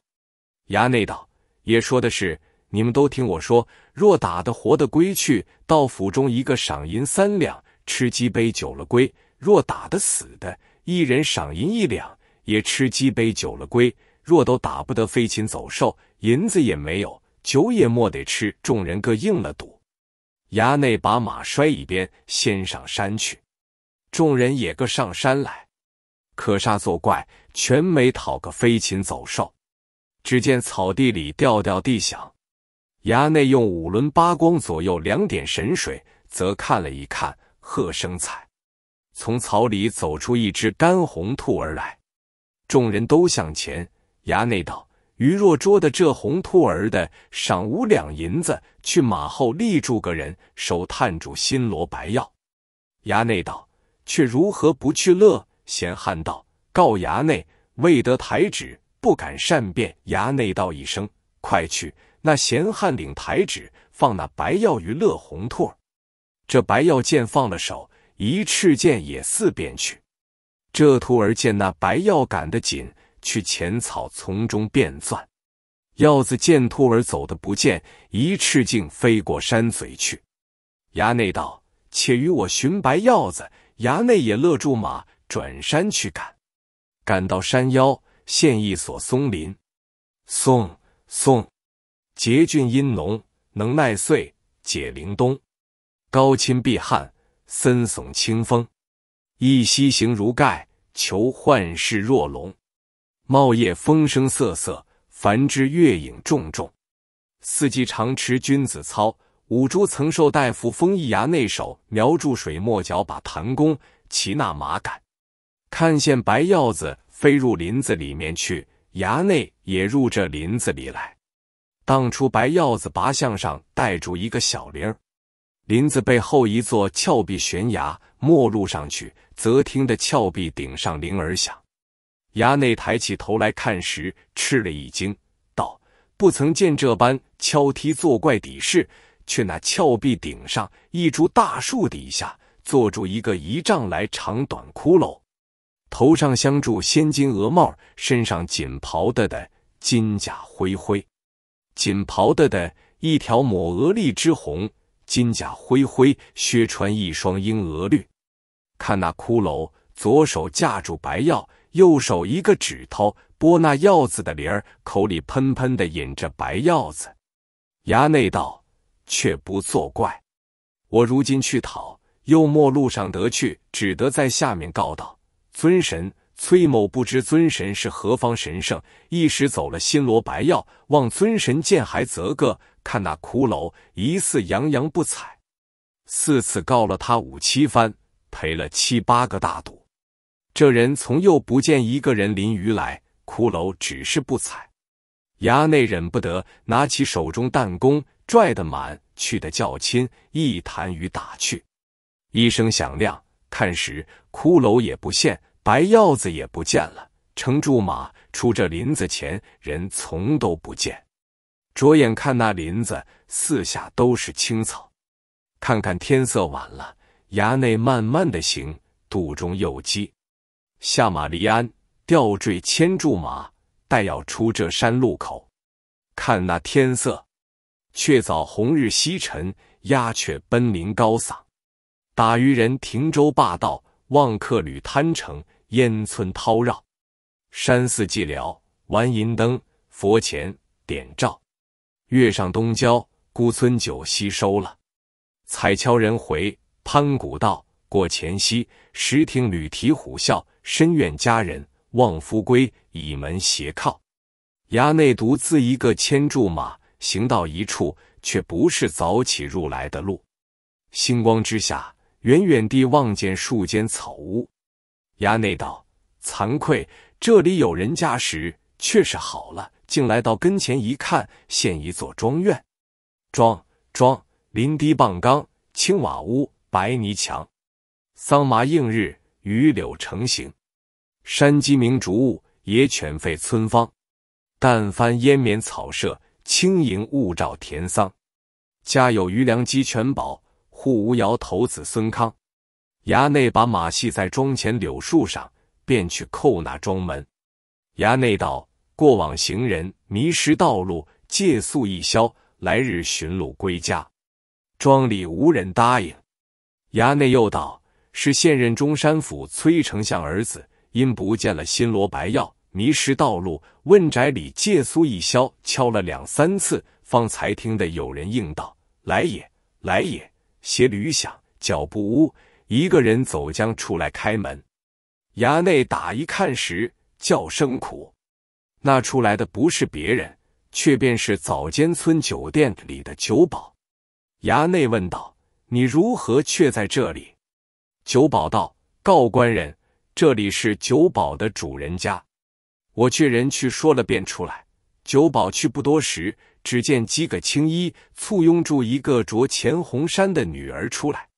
无道子善丹青，错不出风流体断；侧闻通能舌辩，说不尽许多精神。衙内不敢抬头，告娘娘：崔亚迷失道路，赶就贵庄借宿一宵，来日归家。丞相爹爹却当报效，只羡女娘道。奴等衙内多时，果蒙重访，请衙内且入壁庄。衙内道：“岂敢折入？再三再四，只管相请。”衙内唱了赌，随着入去。到一个草堂之上，见灯烛荧黄，青衣点将茶来。衙内告娘娘：“敢问此地是何去处？”娘娘是何姓氏？女娘听得问，起一点朱唇。露两行碎玉，说出数句言语来。衙内道：“这是又作怪。”茶罢，接过盏托。衙内自思量道：“先自肚里一饥，却叫吃茶。正嫩沉吟间，则见女娘娇安排酒来。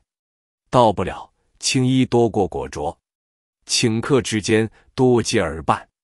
沐天席地，灯烛荧黄。”沿排一抿齐杯，席盏金皮王血，猪吞撞成一果，玉盘醋就珍馐。珊瑚岩上，青衣美丽捧霞翅，流刀杯中，粉面丫鬟甄玉叶。衙内插手向前，多猛赐酒，不敢抵受。女娘道：“不妨。”屈郎少饮。家间也是勋臣贵戚之家。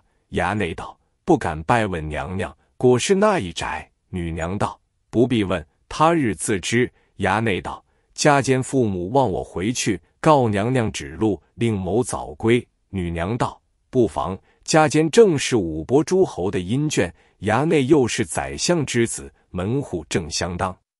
奴家见爹爹一亲，东来不就，西来不成，不想姻缘却在此处相会。伯听的说，愈加心慌，却不敢抗为，则应的落。”一杯两盏，酒至数巡。衙内告娘娘，只一条路，交某归会。女娘道：“不妨，左右明日教爹爹送衙内归。”衙内道：“男女不同席，不共食。自古瓜田不纳履，礼下不整冠，深恐得罪于尊前。”叫女娘道：“不妨，纵然不做夫妇，也待明日送衙内回去。”衙内似梦如醉之间，则听得外面人与马嘶。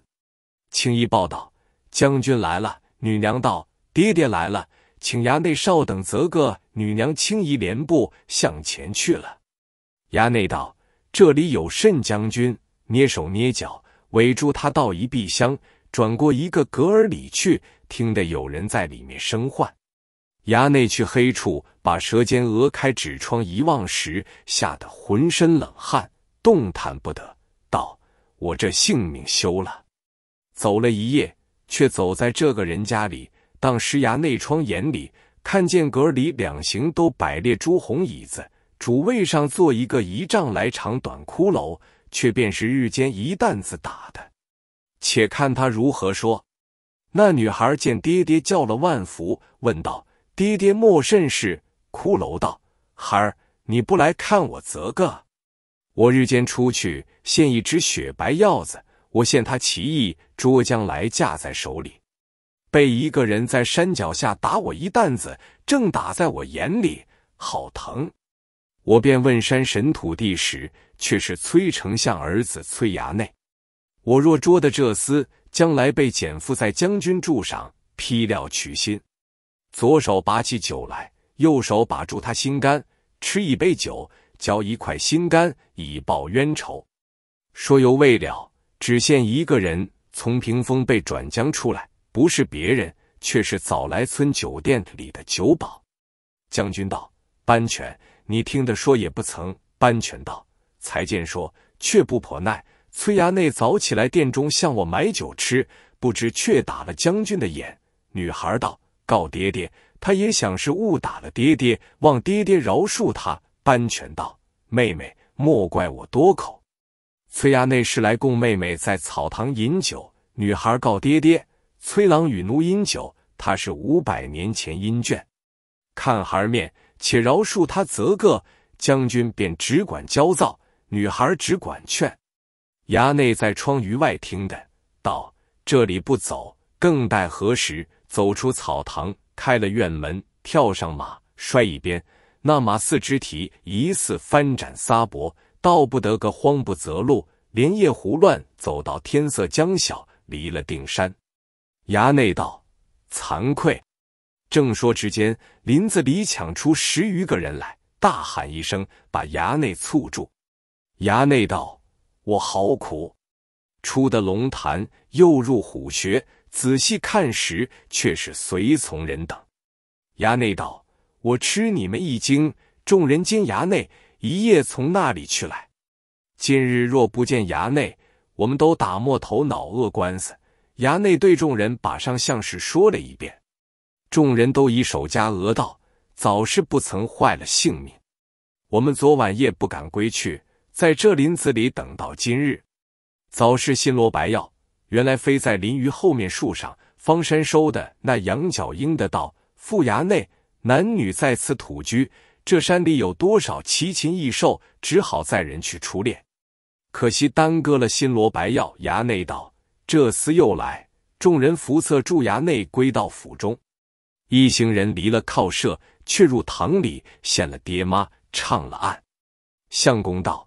一夜你不归，那里去来？忧杀了妈妈。衙内道：“告爹妈，儿子昨夜现一件诧异的事，把说过许多活从头说了一遍。”相公焦躁，小后生乱道胡说，且罚在书院里，教院子看住，不得出离。衙内只得入书院。时光似箭，日月如梭，拈指间过了三个月。当时是夏间天气。夏夏于庭煞，完善清，尖风乍，散发披巾，弹旗打马，鼓顶焚龙涎，照壁鸣人画。当头竹网风声，两行青松暗瓦。最好陈李与浮瓜，对清薄悬开新鲜。衙内过三个月不出书院门。今日天色却热，且离书院去后花园里乘凉。坐定，衙内道。三个月不敢出书院门，今日在此乘凉，好快活。听那更点，早是二更。只见一轮月从东上来，月月圆休无歇，夜东升，晓西灭。少见团圆，多逢乌缺。偏以午夜时，最称三秋节。幽光解放严霜，好色能欺瑞雪。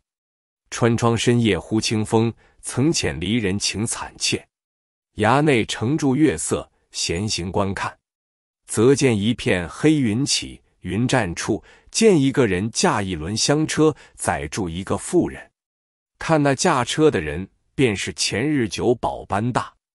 香车里坐住钱红山女儿，衙内月光下认的是庄内借宿留他吃酒的女娘，下车来到：“衙内，外日奴好意相留，如何不别而行？”衙内道：“好，不走。左手把浊酒，右手把柱心干坐下口，告娘娘饶崔某性命。”女孩道：“不要怕，我不是人，亦不是鬼，奴是上界神仙，与衙内是五百年姻眷，今时特来效于妃之乐。”叫班犬自驾香车去，衙内一时被他这色迷了。色色难离异惑，隐身归葬柳墨。长小人志，灭君子德。后主慢多才，纣王空有力。伤人不痛之刀，对面杀人之贼。方知双眼是横波，无限咸鱼被沉溺。两个同在书院里过了数日。院子道：“这几日衙内不许我们入书院里，是何意故？”当夜张见一个妖媚的妇人。院子先来副管家婆，便来赴了相公。相公焦躁作一片，仗剑入书院里来。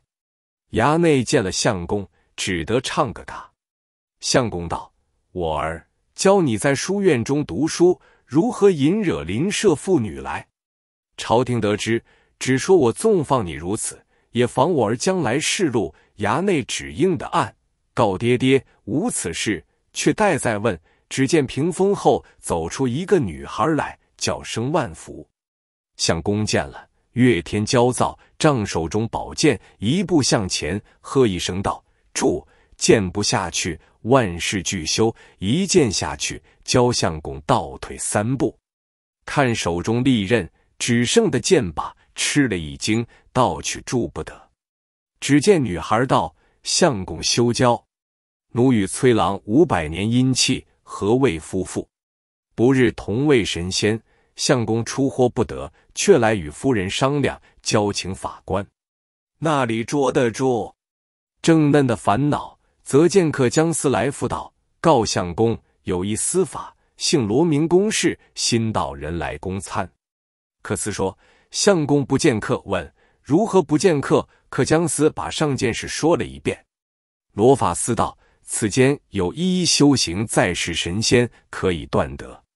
姓罗名公远，是某家兄。客司赴相公，相公即时请相见。茶汤罢，便问罗真人在何所。得了背戏，便修札子，请将罗公远下山到府中献了。崔丞相看那罗真人。果是生得非常，便引到书院中，与这妇人相见了。罗真人劝谕那妇人，看罗某面，放射崔衙内妇人那里肯依。罗真人既再三劝谕，不从，做起法来，呼起一阵怪风，风风荡翠飘红，忽南北，忽西东。春开柳叶，秋谢梧桐，凉入朱门内。寒天漏巷中，似鼓声摇陆地，如雷响震晴空。乾坤收拾尘埃净，现日宜阴却有功。那阵风过处，叫下两个道童来，一个把住一条附魔索，一个把住一条黑柱杖。罗真人令道童捉下那妇女，妇女见到童来捉，他叫一声班犬。从虚空中跳下班大来，愤愤地擎起双拳，竟来抵敌。原来邪不可以于正，被两个道童一条锁子，先缚了班大，后缚了甘红山女儿。喝叫现行，班大变做一只大虫，于红山女儿变做一个红兔。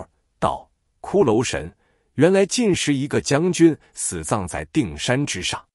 岁九年身，成器了，现行作怪。罗真人断了这三怪，救了崔衙内性命。从此至今，定山一路太平无事。这段话本则唤作《新罗白药定山三怪》。有诗为证：虎奴兔女活枯居，作怪成群山上头。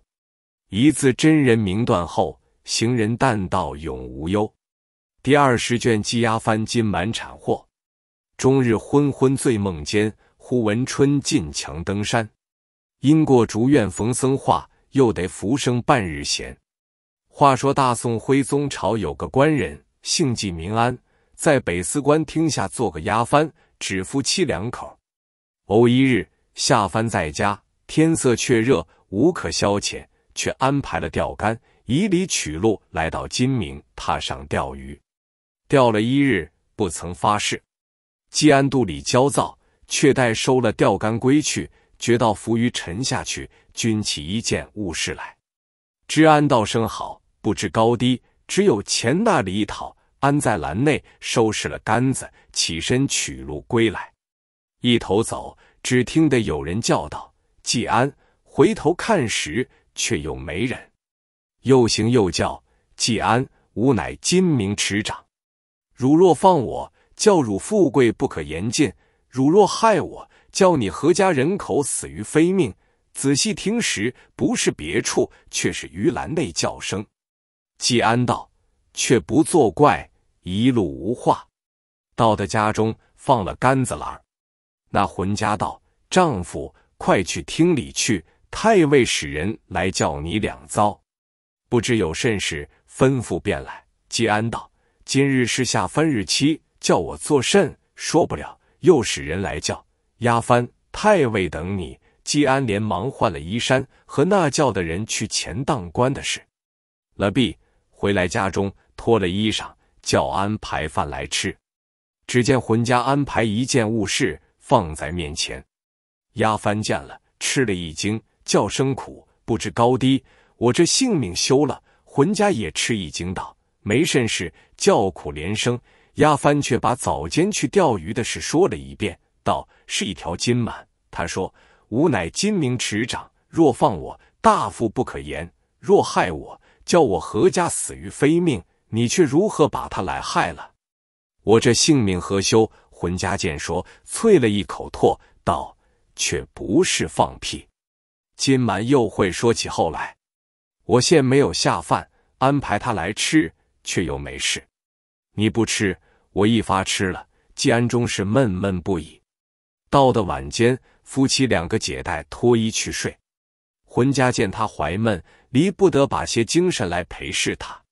自当夜之间，那浑家身怀六甲，只见眉低眼慢，腹大乳高。疏忽见又十月满足，临盆之时，叫了收生婆生下个女孩来，正是。野花不种年年有，烦恼无根日日生。那丫鬟看了，夫妻二人好不喜欢，取名叫做庆奴。时光如箭，转眼之间，那女孩年登二八，长成一个好身材，伶俐聪明，又教成一身本事。爹娘怜惜，有如性命。石玉静康炳五年间，市马离乱，因此。季安家夫妻女儿三口收拾随身细软包裹，流落州府。后来打听的车驾杭州驻业，官员都随驾来临安。季安便以离曲路奔行再来。不择一一日，三口儿入城，全时讨得个安歇，便去询问。日日官员相见了，一就收留在厅注意，不在话下。季安便叫人寻间房。安顿了妻小居住，不止一日。季安去住浑家道：“我下番无事，若不做些营生，恐坐吃山空，须得歇个道业来相助方好。”浑家道：“我也这般想，别莫甚事好做，算来只好开一个酒店。便是你上番时，我也和孩儿在家里卖得。”季安道：“你说的是和我肚里一般，便去理会这节事。”次日。便去打和个酿酒的人，却是外方人，从小在临安讨一饭吃，莫爹娘独自一人，姓周名的排行第三。安排都场，选吉日良时，开张店面。周三就在门前卖些果子，自捏喝些汤水。到晚问，就在季安家睡。季安不在家，那娘儿两个自在家中卖。那周三直是勤力，却不躲懒，疏忽之间相及数月。忽朝一日，季安对妻子道：“我有句话和你说，不要嗔我。”浑家道：“却有甚事？只管说。”季安道：“这几日我见那庆奴，全不像那女孩相态。浑家道：“孩儿日夜不曾放出去，外莫甚事，想必长成了嫩模。”季安道：“莫托大。”我见他和周三两个打眼色，当日莫话说。一日，季安不在家，做娘的叫那庆奴来。我儿娘有件事和你说，不要瞒我。庆奴道：“没甚事。”娘便说道：“我这几日见你身体粗丑，全不像模样。”时对我说。庆奴见问，只不肯说。娘见那女孩前言不应后语，失张失智，倒三不住两，面上忽青忽红。娘道必有缘故，捉住庆奴，搜检他身上时，只叹的口气，叫声苦，连腮增长。打那女儿，你却被何人坏了？庆奴吃打不过，哭住道：“我和那周三两个有事。”梁健说不敢出声，斜住脚。只叫的苦，却是怎的季节？爹归来时须说我在家管甚事，装这般幌子。周三不知里面许多事，兀自在门前卖酒。到晚，季安归来歇息了，安排些饭食吃罢。浑家道：“我有件事和你说。”果应你的言语，那丫头被周三那厮坏了身体。那季安不听的说：“万事全休。”听得说时，怒从心上起，恶向胆边生，便要去打那周三。浑家拦住道：“且商量，打了他，不争我家却是甚活计。”季安道：“我指望教这件人去个官员府地，却做出这般事来。譬如不养的，把这丫头打杀了罢。做娘的再三再四劝了一个时辰，爹性稍过，便问这事却怎地出货。做娘的不慌不忙，说出一个法儿来，正是：金风吹树蝉先绝，断送无长死不知。浑家道：“只有一法，免得装幌子。”季安道：“你且说。”浑家道：“周三那厮又在我家的使，何不把他来招赘了？”说话的当时不把女儿嫁与周三，只好休，也只被人笑的一场。两下赶开去，却没后面许多说话。不想季安听清了妻子之言，便道：“这也使得当日且吩咐周三归去。”那周三在路上思量：我早间见那做娘的打庆奴，晚间押翻归，却打发我出门，莫是东窗事发。若是这事走漏，须叫我吃官司。如何季节没做理会处？正是。乌鸦与喜鹊同行，吉凶事全然未保。闲话提过，离不得之押番，使人去说和周三下才那里，择日成亲，不在话下。疏忽之间，周三入赘在家一载有余，夫妻甚是说得住。两个暗地计较了，只要搬出去住，在家起暗睡早，躲懒不动。周三那厮打出调入。公然前移，季安忍不得，不住和那周三厮闹，便和浑家商量，和这厮官司一场，夺了休，却不妨碍。日前时便怕人笑，莫出手。金帆只说是招那厮不住，便安排圈套，捉那周三些个事，闹僵起来，和他打官司。邻舍劝不住，夺了休。周三只得离了季押番家，自去赶趁。庆奴不敢则声，肚里自烦恼，正自生离死别。讨休在家相及半载，只见有个人来寻押番娘，却是个说亲的媒人。相见之后，坐定道：“闻知宅上小娘子要说亲，老媳妇特来。”季安道：“有甚好头脑？万望主蒙。”婆子道：“不是别人，这个人是虎翼营有请受的官绅。”战役在官员去处，姓戚名清。季安见说姻缘相撞，却便肯，及时便出个帖子，几杯酒相待。丫鬟娘便说道：“婆婆用心则个。”事成时，却得相谢。婆婆谢了，自去。夫妻两个却说道：“也好，一则有请受官身，二则年纪大些，却老成。三则周三那厮不敢来胡生事，已自嫁了个官身。”我也认得这七卿，却善熟，话中现快，没人一合说成。依旧少不得许多节次成亲。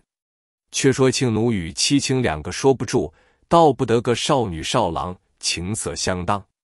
戚青却年纪大，便不中纳请奴役，却整日闹吵，莫一日敬办。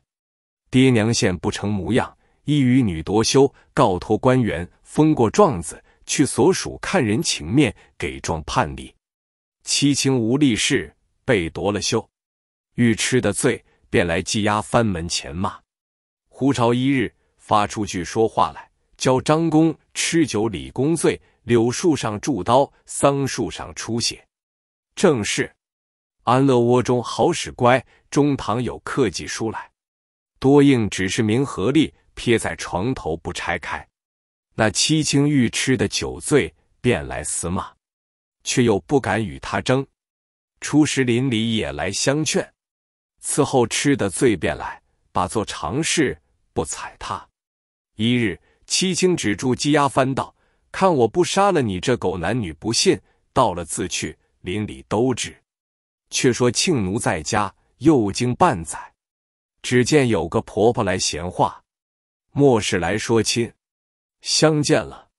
茶罢，婆子道：“有件事要说，怕压翻焦躁。”季安夫妻两个道：“但说不妨。”婆子道：“老媳妇见小娘子两边说亲不住，何不把小娘子去个好官员家，三五年一成，却出来说亲也不迟。”季安听说，肚里道：“也好，一则两边装幌子。”二则坏了些钱物，却是又嫁什么人似的，便道：“婆婆有什么好去处教孩去择个？”婆子道：“便是有个官人要小娘子，特地叫老媳妇来说，现在家中安歇。他曾来宅上吃酒，认得小娘子，他是高邮军主簿，如今来这里理会差遣，莫人相伴，只是要带归宅里去。”却不知丫鬟肯也不肯，夫妻两个记忆了一会，便道：“若是婆婆说时，必不肯相误。望婆婆主蒙则个，当日说定，商量拣日，做了文字。那庆奴拜辞了爹娘，便来服侍那官人。有分教做个失乡之鬼，父子不得相见。正是天听寂无声，苍苍何处寻？飞高亦飞远。”都只在人心。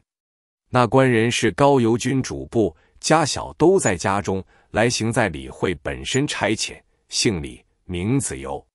讨得庆奴，便宜似夫妻一般。日间寒食节，夜里正月半。那庆奴思衣得衣，思食的食。数月后，官人家中信道，催那官人去，恐在都下费用钱物。不止一日。钱当完备，安排行装，买了人事，雇了船只，即日启程，取水路归来。在路贪花恋酒，千言成途，直是快快。相次到家，当真人等接着。那工人出来与官人相见，官人只应的曹，便道：工人在宅前管不易，便教庆奴入来参拜工人。庆奴低住头。走入来立地，却待拜。工人道：“且休拜。”便问：“这是甚魔人？”广官人道：“实不瞒工人，在都下早晚无人使唤，胡乱讨来相伴。今日带来服侍工人。”工人看了庆奴道：“你却和官人好快活，来我这里做什么？”庆奴道：“奴一时遭际。”工人看离乡背景之面。只见工人教两个养娘来，与我除了那贱人官子，脱了身上衣裳，换几件粗布衣常住了，解开脚，蓬松了头，罚去厨下打水烧火做饭。庆奴只叫得万万声苦，哭告工人道：“看奴家中有老爹娘之面，若不要庆奴，情愿转那身钱，还归宅中。”工人道：“你要去，可知好礼？”且罚你厨下吃些苦，你从前快活也够了。庆奴看住那官人道：“你带我来，却教我嫩的模样。你须与我告工人则个。”官人道：“你看工人何等情性，随你了得的包待制，也断不得这事。你且没奈何，我自性命不保。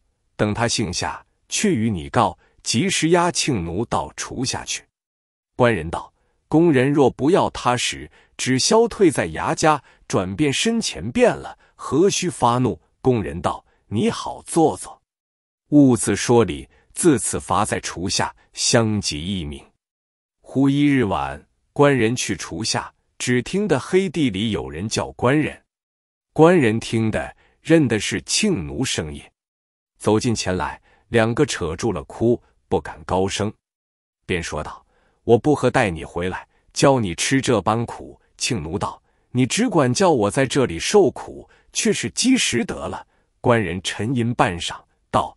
我有道理救你处，不若我告他，只做退你去衙家，转变身前，安排谢社，悄悄的教你在那里往。我自教人把钱来，我也不识字来和你相聚，是好也不好。庆奴道：若得如此，可知好礼。却是灾星退度，当夜官人离不得把这事说道。庆奴受罪也够了，若不要他时。交发赴牙家去，转变身前，工人应允，不知里面许多事。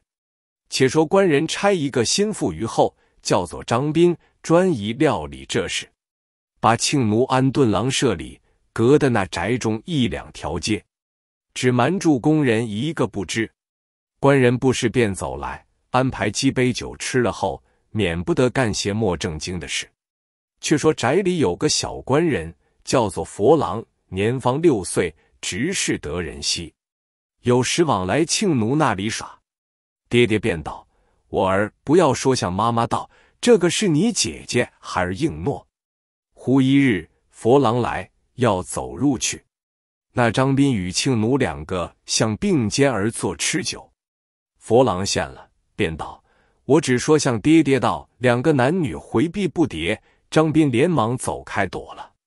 庆奴一把抱住佛郎，坐在怀中，说：“小官人不要胡说，姐姐自在这里吃酒，等小官人来，便把果子与小官人吃。”那佛郎只是说：“我向爹爹道，你和张鱼后两个做甚么？”庆奴听了，口中不道，心下思量：“你说了，我两个却如何？”眉头一纵，计上心来，宁苦你，莫苦我，没奈何。来年今月今日今时，是你继臣，把条手中捉住佛郎，扑翻在床上，便去一勒。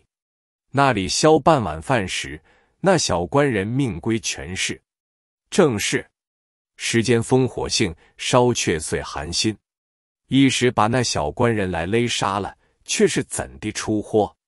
正没理会处，只见张斌走来，庆奴道：“颇耐这厮。”只要说与爹爹知道，我一时慌促，把来勒死了。那张斌听说，叫声苦，不知高低，道：“姐姐，我家有老娘，却如何出货？”庆奴道：“你教我坏了他，怎嫩他说？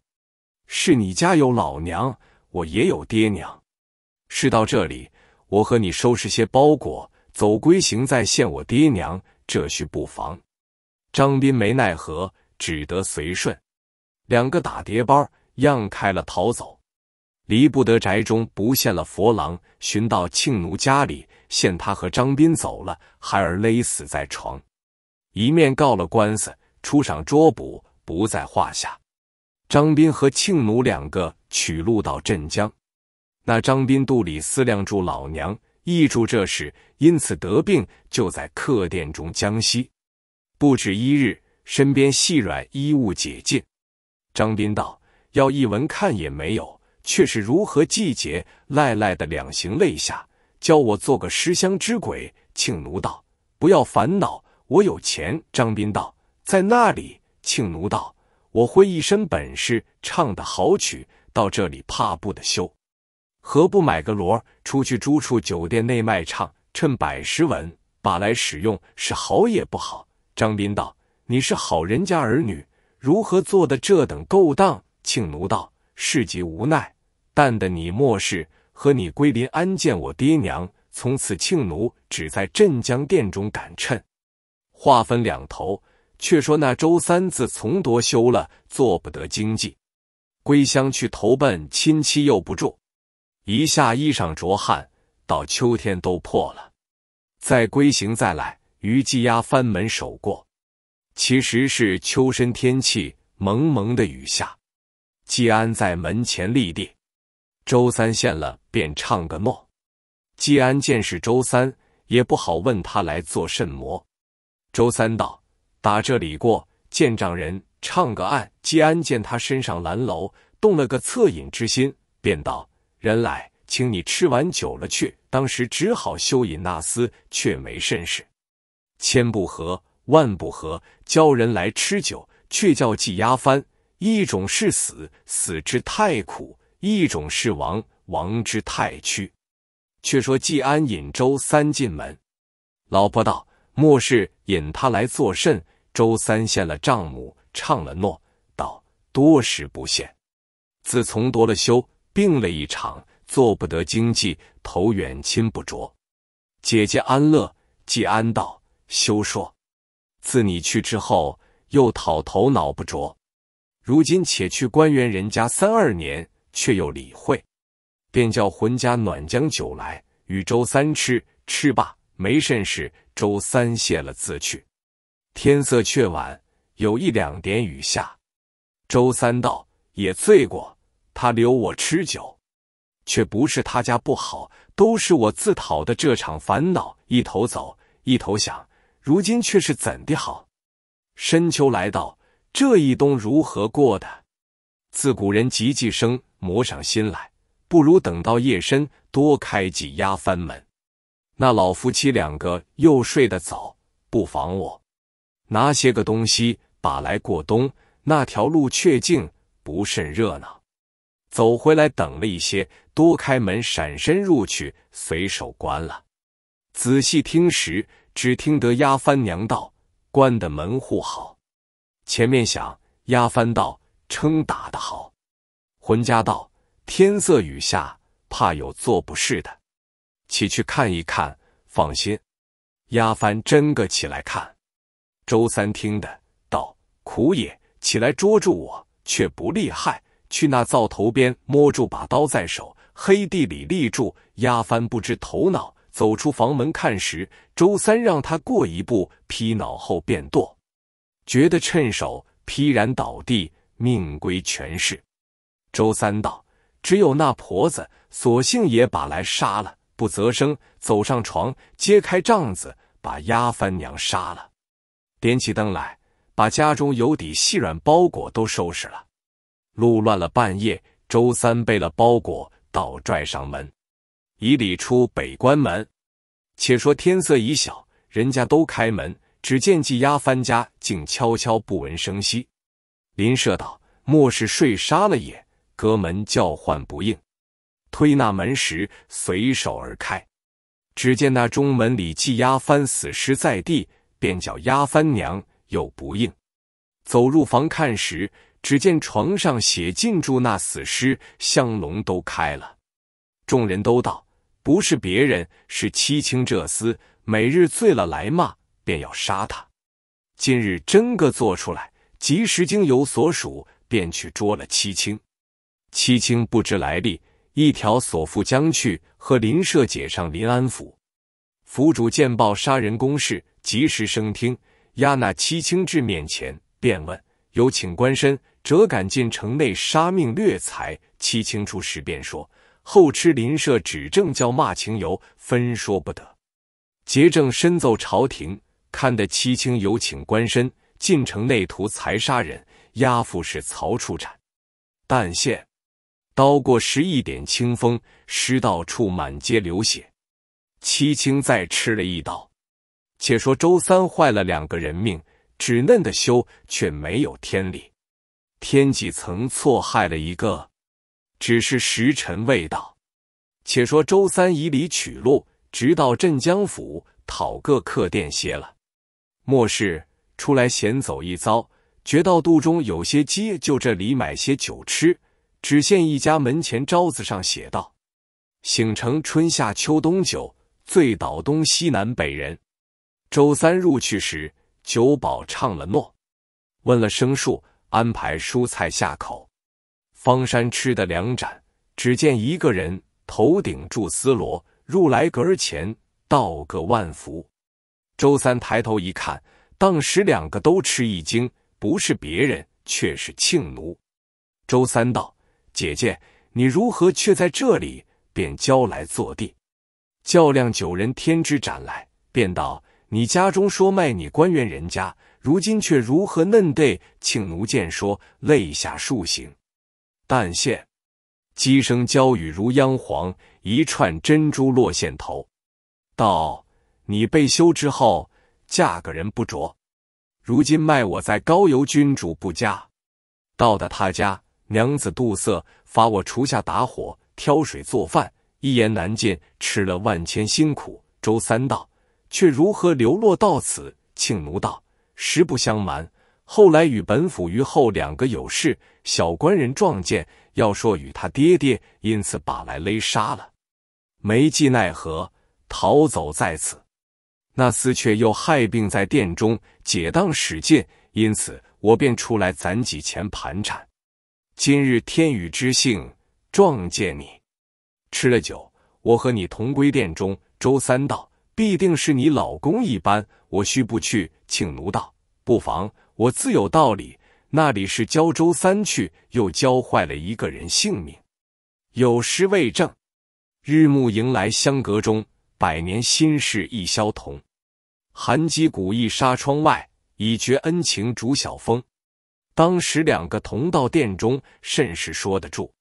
当初兀自熟要煮粥去看那张斌，伺候有了周三，便不管他有一毒没一毒。张斌又见他两个公然在家前科，先自十分并作十五分，得口气死了。两个正是推门入派，免不得买具棺木成殓，把去烧了。周三搬来殿中，两个依旧做夫妻。周三道。我有句话和你说，如今却不要你出去卖唱，我自寻些道路赚的钱来使。庆奴道：“怎么嫩？”他说：“当初是莫计奈何，做此道路，自此两个恩情，便是云淡淡天边架凤，水沉沉交颈鸳鸯。欢娱嫌夜短，寂寞恨更长。”忽一日，庆奴道：“我自离了家中，不知音信。”不若和你同去行在，投奔爹娘。大虫扼杀不吃儿。周三道：好却好，只是我和你归去不得。庆奴道：怎的？周三却待说，又忍了。当时只不说便休，千不合，百不合，说出来分明似飞蛾投火，自送其死。正是花枝叶下有藏刺，人心怎保不怀毒？庆奴勿要奸割背戏。周三道：“实不相瞒，如此如此，把你爹娘都杀了，却走在这里，如何归去的？”庆奴见说，大哭起来，扯住道：“你如何把我爹娘来杀了？”周三道：“住住，我不合杀了你爹娘，你也不合杀小官人和张斌，大家是死的。”庆奴沉吟半晌，无言抵对。疏忽之间，相及数月，周三忽然害住病，起床不得，身边有些钱物，又都使尽。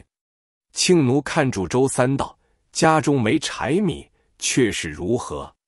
你却不要可我，钱回一纸金帆在，依旧去卖唱几时？等你好了，却又理会。”周三无计可施，只得应允。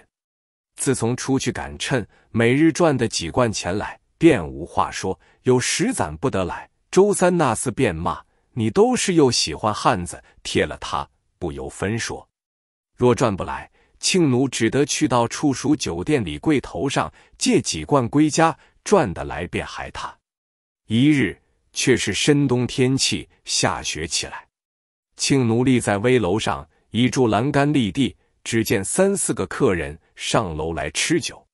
庆奴道。好大雪，晚间没钱归去。那厮又骂：“且喜那三四客人来饮酒，我且胡乱去卖一卖，便去揭开帘儿打个照面。”庆奴只叫的苦也，不是别人，却是宅中当值的，叫一声：“庆奴，你好，坐坐。”却在这里吓得庆奴不敢啧声。原来宅中下状得知道走过镇江，便差宅中一个当值司赶着做工的来捉，便问张斌在那里。庆奴道：“生病死了。我如今却和我先头丈夫周三在店里住。那厮在临安把我爹娘来杀了，却在此撞见，同坐一处，当日酒也吃不成。及时付了庆奴，到店中床上托起周三，付了，解来府中，尽请看解。两个各自认了本身罪犯，身奏朝廷。那有七卿屈死。”别做施行。周三不合图财杀害外父外母，庆奴不合因好杀害两条性命，押赴是曹处斩。但现犯由前引，棍棒后随，前贤后相。这翻过后击十回，把眼睁开，今日始知天报尽。正是但存夫子三分札，不犯萧何六尺条。这两个正是名有刑法相系，暗有鬼神相随，道不得个善恶到头中有报，只争来早与来迟。后人评论此事，道济压翻掉了金蛮。那时金蛮在竹篮中开口圆说道：“汝若害我，教你何家人口死于非命，只合计压翻夫妻长命，如何又连累周三、张斌、戚清等许多人？”想来这一般人也是一缘一会，该是一宗案上的鬼，只借金蛮做个引头，连着金蛮说话。金明池执掌，未知虚实，总是个凶妖之先兆。季安既知其意，便不该带回家中，以致害他性命。大凡物之异常者，便不可加害，有失为证。李就诛蛇得美妹，孙一龙子获其书。劝君莫害非常物，祸福明中报不虚。第二十一卷，赵太祖千里送京娘，兔走乌飞即若迟。百年世事总依稀，累朝富贵三更梦，历代君王一举起。禹定九州汤寿业，秦吞六国汉登基。百年光景无多日，昼夜追欢还是迟。话说赵宋未年。河东石室山中有个隐士，不言姓名，自称石老人。有人认得的，说他原是有才的豪杰，因遭胡元之乱，曾义军门献策不听，自起义兵，恢复了几个州县。后来见时势日速，知大势已去，乃微服前遁，隐于此山中。指山未幸，农圃自己，齿言事尽。或与谈论古今兴废之事，娓娓不倦。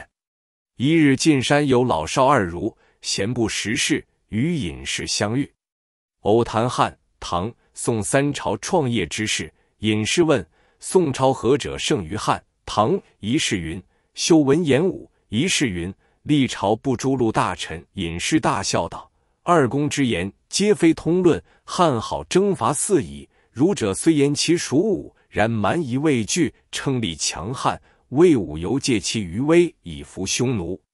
唐初府兵最盛，后便为藩镇，虽跋扈不臣，而大牙相制，终借其力。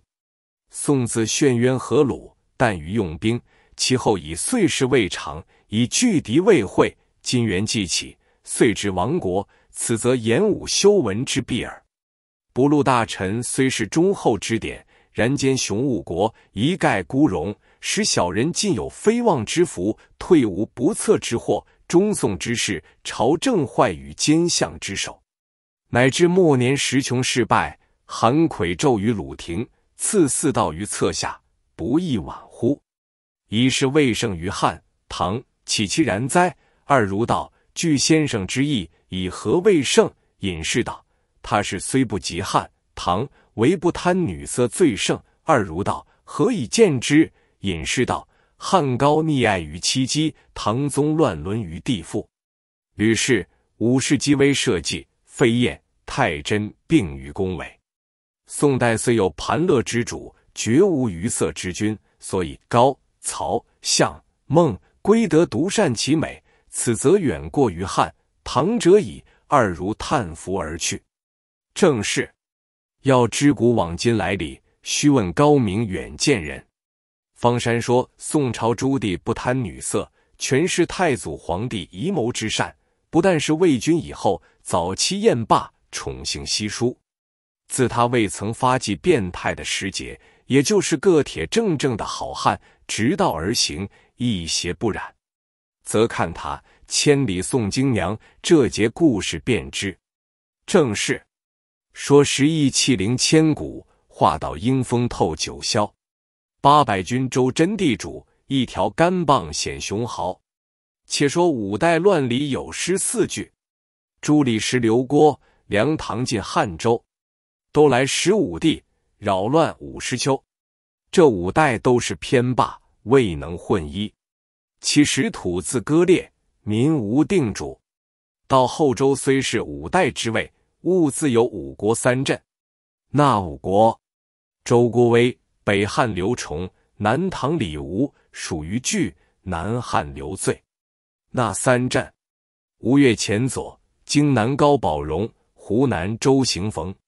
虽说五国三镇，那周朝成梁、唐、晋、汉之后，号为正统。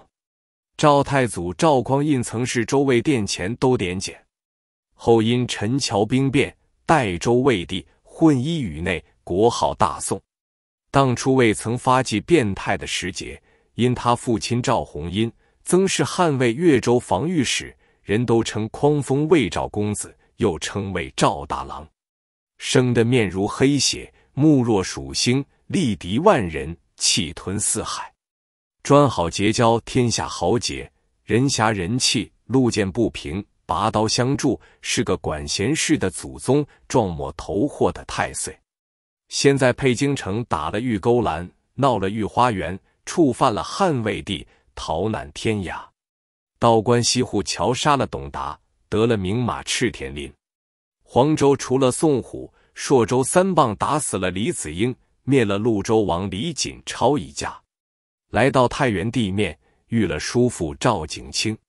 石景清在清游关出家，就留赵公子在关中居住。谁知染病，已卧三月。比其病愈，景清朝夕相陪，要他将息身体，不放他出外闲游。一日，景清有事出门，吩咐公子道。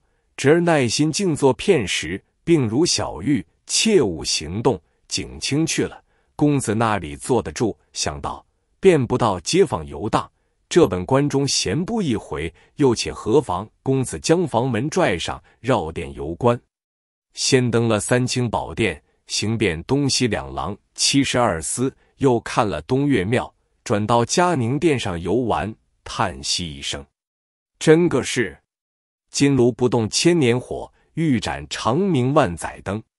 行过多景楼、玉皇阁，一处处殿子催鬼，制度红场。公子喝来不迭，果然好个清游官，观之不足，玩之有余。转到哪都地府冷静所在，却见小小一殿，正对那子孙宫相近，上写住降魔宝殿，殿门深闭。公子前后观看了一回。正欲转身，忽闻有哭泣之声，乃是妇女声音。公子侧耳而听，其声出于殿内。公羽道：“暖敲作怪，这里是出家人住处，缘何藏匿妇人在此？其中必有不明之事。且去问到童桃取钥匙，开这店来看个明白，也好放心。”回身到房中，唤到童讨降魔殿上钥匙，道童道。这钥匙师傅自家收管，其中有机密大事，不许闲人开看。公子想到，莫信直中直，须防人不忍。原来俺叔父不是个好人，三回五次只叫俺静坐，莫出外闲行。原来干着勾当，出家人成甚规矩？俺今日便去打开店门，怕怎的？方玉一步，只见赵景清回来。公子含怒相迎，口中也不叫叔父，气愤愤的问道：“你老人家在此出家，余的好事？”景清出其不意，便道：“我不曾做甚事。”公子道：“将魔殿内锁的是什么人？”景清方才省得，便摇手道：“贤侄莫管闲事，公子急得暴躁如雷，大声叫道：“出家人清净无畏，红尘不染，为何殿内所着个妇女在内哭哭啼啼？必是非礼不法之事！你老人家也要放出良心，是一是二，说得明白，还有个商量，休要欺三瞒四。我赵某不是与你和光同尘的。”景清见他言辞峻厉，便道：“贤侄，你错怪余叔了。”公子道：“怪不怪是小事，且说殿内可是妇人？”景清道：“正是。”公子道：“可又来？”景清晓得公语性躁，还未敢明言，用缓同答应道：“虽是妇人，却不干本官道众之事。”公子道：“你是个一官之主，就是别人做出歹事，忌遁在殿内，少不得你知情。”景清道。贤侄息怒，此女乃是两个有名响马，不知那里掳来。一月之前寄于此处，托吾等替他好生看守。若有差池，寸草不留。因是贤侄病未全，不曾对你说得。公子道：“响马在那里？”景清道：“暂往那里去了。”公子不信道：“岂有此理？快与我打开店门，唤女子出来，俺自审问她详细。”说罢。戳了混铁齐眉短棒，往前先走。景清知他性如烈火，不好遮拦，慌忙取了钥匙，随后赶到降魔殿前。景清在外边开锁，那女鱼在殿中听得锁响，只道是强人来到，愈加啼哭。公子也不谦让，才等门开，一脚跨进。那女子躲在神道背后，虎作一团。公子近前放下齐眉短棒，看那女子果然生得标致，眉扫春山，眸横秋水，含愁含恨，犹如西子捧心，欲为玉啼，宛似杨妃剪发。琵琶声不响，是个未出塞的明妃；胡前调若成，分明强和番的蔡女。天生一中风流态，便是丹青画不真。公子抚慰道。小娘子，俺不比奸淫之徒，你休得惊慌。且说家居何处？谁人引诱到此？倘有不平，俺赵某与你解救则个。那女子方山举袖拭泪，深深道个万福。公子还礼。女子先问尊官高兴？景清代答道：“此乃佩京赵公子。”女子道：“公子听禀。”未曾说的一两句。早已扑簌簌流下泪来。原来那女子也姓赵，小字京娘，是蒲州解良县小祥村居住，年方一十七岁。因随父亲来阳曲县海北岳乡院，路遇两个响马强人，一个叫做满天飞张管，一个叫做着地滚周进。见京娘颜色，饶了他父亲性命，掳掠到山神庙中。漳州二强人争要成亲。不肯相让，议论了两三日，二人恐坏了义气，将这京娘寄遁于清游关降魔殿内，吩咐道士小心供给看守，再去别处访求个美貌女子，掳掠而来，凑成一对，然后同日成亲，为压寨夫人。那强人去了一月，至今未回，倒是惧怕他，只得替他看守。京娘叙出缘由。赵公子方山向景清道：“适才甚是粗鲁，险些冲撞了叔父。既然京娘是良家侍女，无端被强人所掳，俺今日不救，更待何人？”又向京娘道：“小娘子休要悲伤，万事有赵某在此，管教你重回故土，再现萌娘。”京娘道：“虽承公子美意，释放奴家出于虎口，奈家乡千里之遥。”奴家孤身女流，怎生跋涉？公子道：“救人须救撤，俺不远千里，亲自送你回去。”京娘拜谢道：“若蒙如此，便是重生父母。”景清道：“贤侄，此事断然不可。那强人势大，官司进补他不得。你今日救了小娘子，点首者难辞其责，再来问我要人，教我如何对付。”须当连累于我。公子笑道：“大胆天下去得，小心寸步难行。俺赵某一生见义必畏，万夫不惧。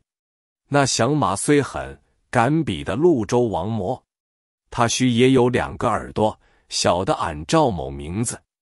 既然你们出家人怕事，俺留个记号在此，你们好回复那响马。说罢，抡起混铁漆煤棒，横住身子，向那殿上朱红童子狠的打一下，哩啦一声，把棂花窗窟都打下来。再复一下，把那四扇棍子打个东倒西歪，唬得精娘战战兢兢，远远的躲在一边。景晴面如土色，口中只叫罪过。公子道：“强人若再来时，只说赵某打开店门抢去了，冤个有头，债个有主。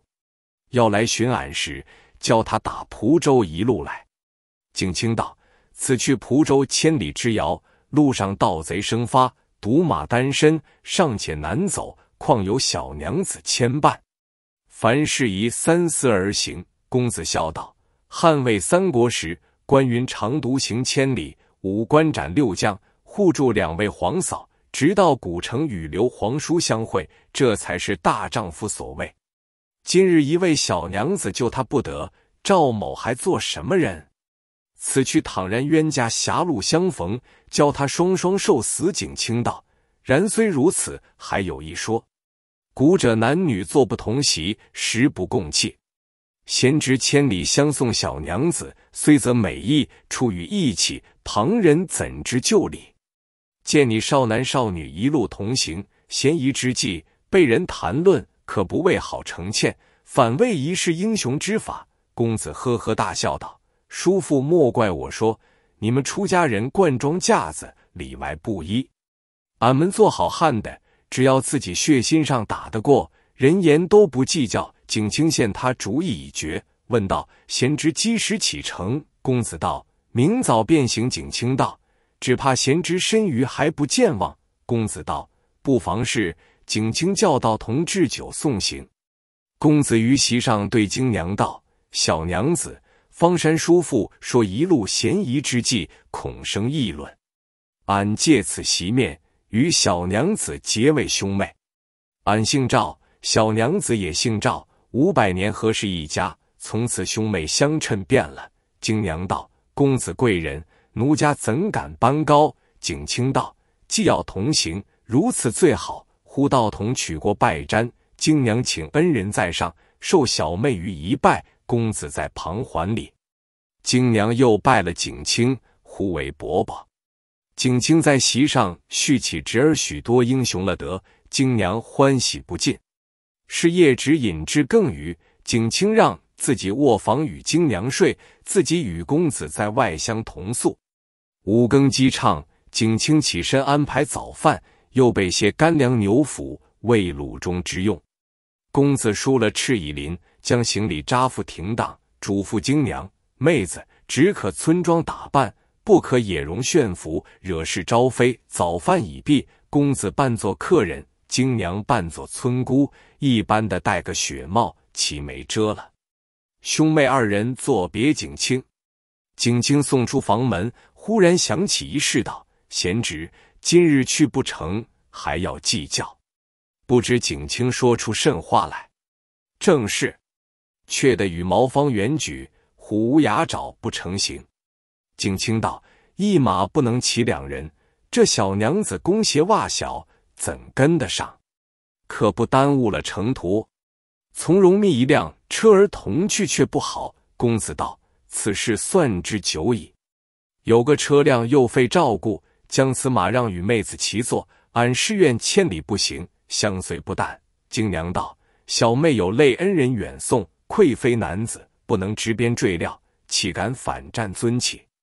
绝难从命。公子道：“你是女流之辈，必要脚力。赵某脚又不小，不行，正合其宜。”金娘再次推辞，公子不允，只得上马。公子挎了腰刀，手执混铁杆棒，随后向景清一一而别。景清道：“贤侄路上小心。”恐怕遇了两个响马，需要用心提防，下手斩绝些，莫带累我关中之人。公羽道：“不妨，不妨。”说罢，把马尾一拍，喝声：“快走！”那马拍腾腾便跑，公子放下脚步，紧紧相随。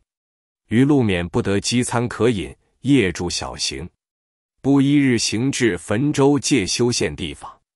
这赤隐林原是千里龙驹马，追风逐电，自清游关至汾州不过三百里之程，不够名马半日驰骤。一则公子步行恐奔赴不及，二则京娘女流不惯驰骋，所以控配缓缓而行。兼之路上贼寇生发，需要慢起早些。每日只行一百余里，公子是日行到一个上冈之下，地名黄毛店。当初原有村落，因事乱人荒，都逃散了，还存得个小小店儿。日色将补，前途旷野。公子对京娘道：“此处安歇，明日早行罢。”京娘道：“但凭尊意。”店小二接了包裹，京娘下马去了雪帽。小二一眼瞧见，舌头吐出三寸，缩不进去。心下想到：如何有这般好女子？小二牵马系在屋后，公子请京娘进了店房坐下。小二哥走来贴住呆看。公子问道：“小二哥有甚话说？”小二道：“这位小娘子是客官甚魔人？”公子道：“是俺妹子。”小二道：“客官不是小人多口，千山万水。”路途间不该带此美貌佳人同走。公子道：“为何？”小二道：“离此十五里之地，叫做界山，得旷人稀，都是绿林中好汉出没之处。倘若强人知道，只好百百里送与他做压寨夫人，还要贴他个利是。”公子大怒，骂道：“贼狗大胆，敢须眼孔虎客人！”照小二面门一拳打去。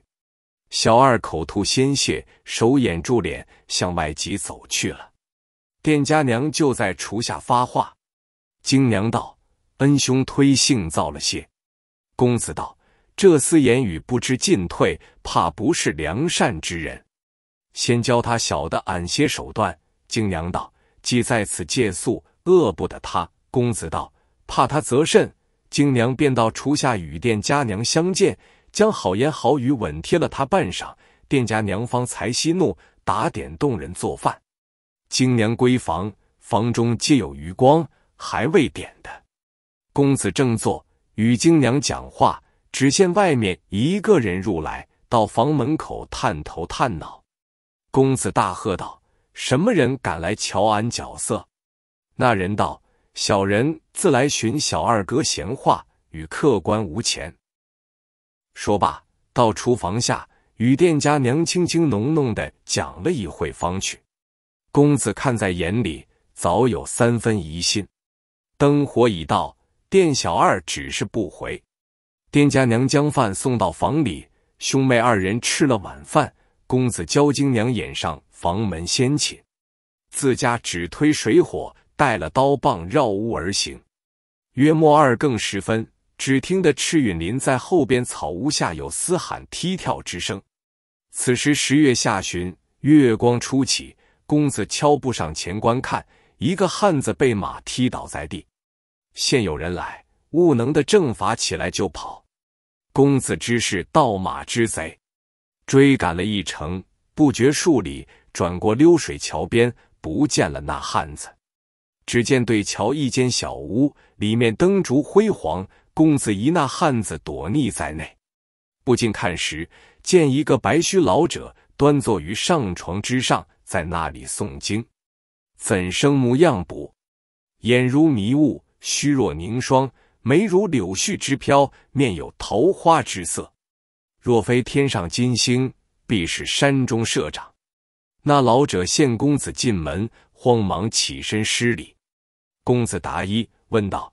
长者所诵何经？老者道：“天皇救苦经。”公子道：“送他有甚好处？”老者道：“老汉见天下分崩，要保佑太平天子早出，扫荡烟尘，救民于涂炭。”公子听得此言，暗合其机，心中也欢喜。公子又问道：“此地贼寇颇多，长者可知他的行藏魔？”老者道。贵人莫非是同一位骑马女子下在坡下茅店里的？公子道：“然也。”老者道：“幸遇老夫，险些而惊了贵人。公子问其缘故，老者请公子上座，自己旁边相陪，从容告诉道：“这界山新生两个强人，聚集扑罗，打家劫舍，扰害坟墓地方。一个叫做满天飞张管，一个叫做着地滚周进。半月之间，不知那里抢了一个女子，二人争取未决，计遁他方，待再寻的一个来，各成婚配。这里一路店家。”都是那强人吩咐过的，但访的有美貌佳人，急忙报他，重重有赏。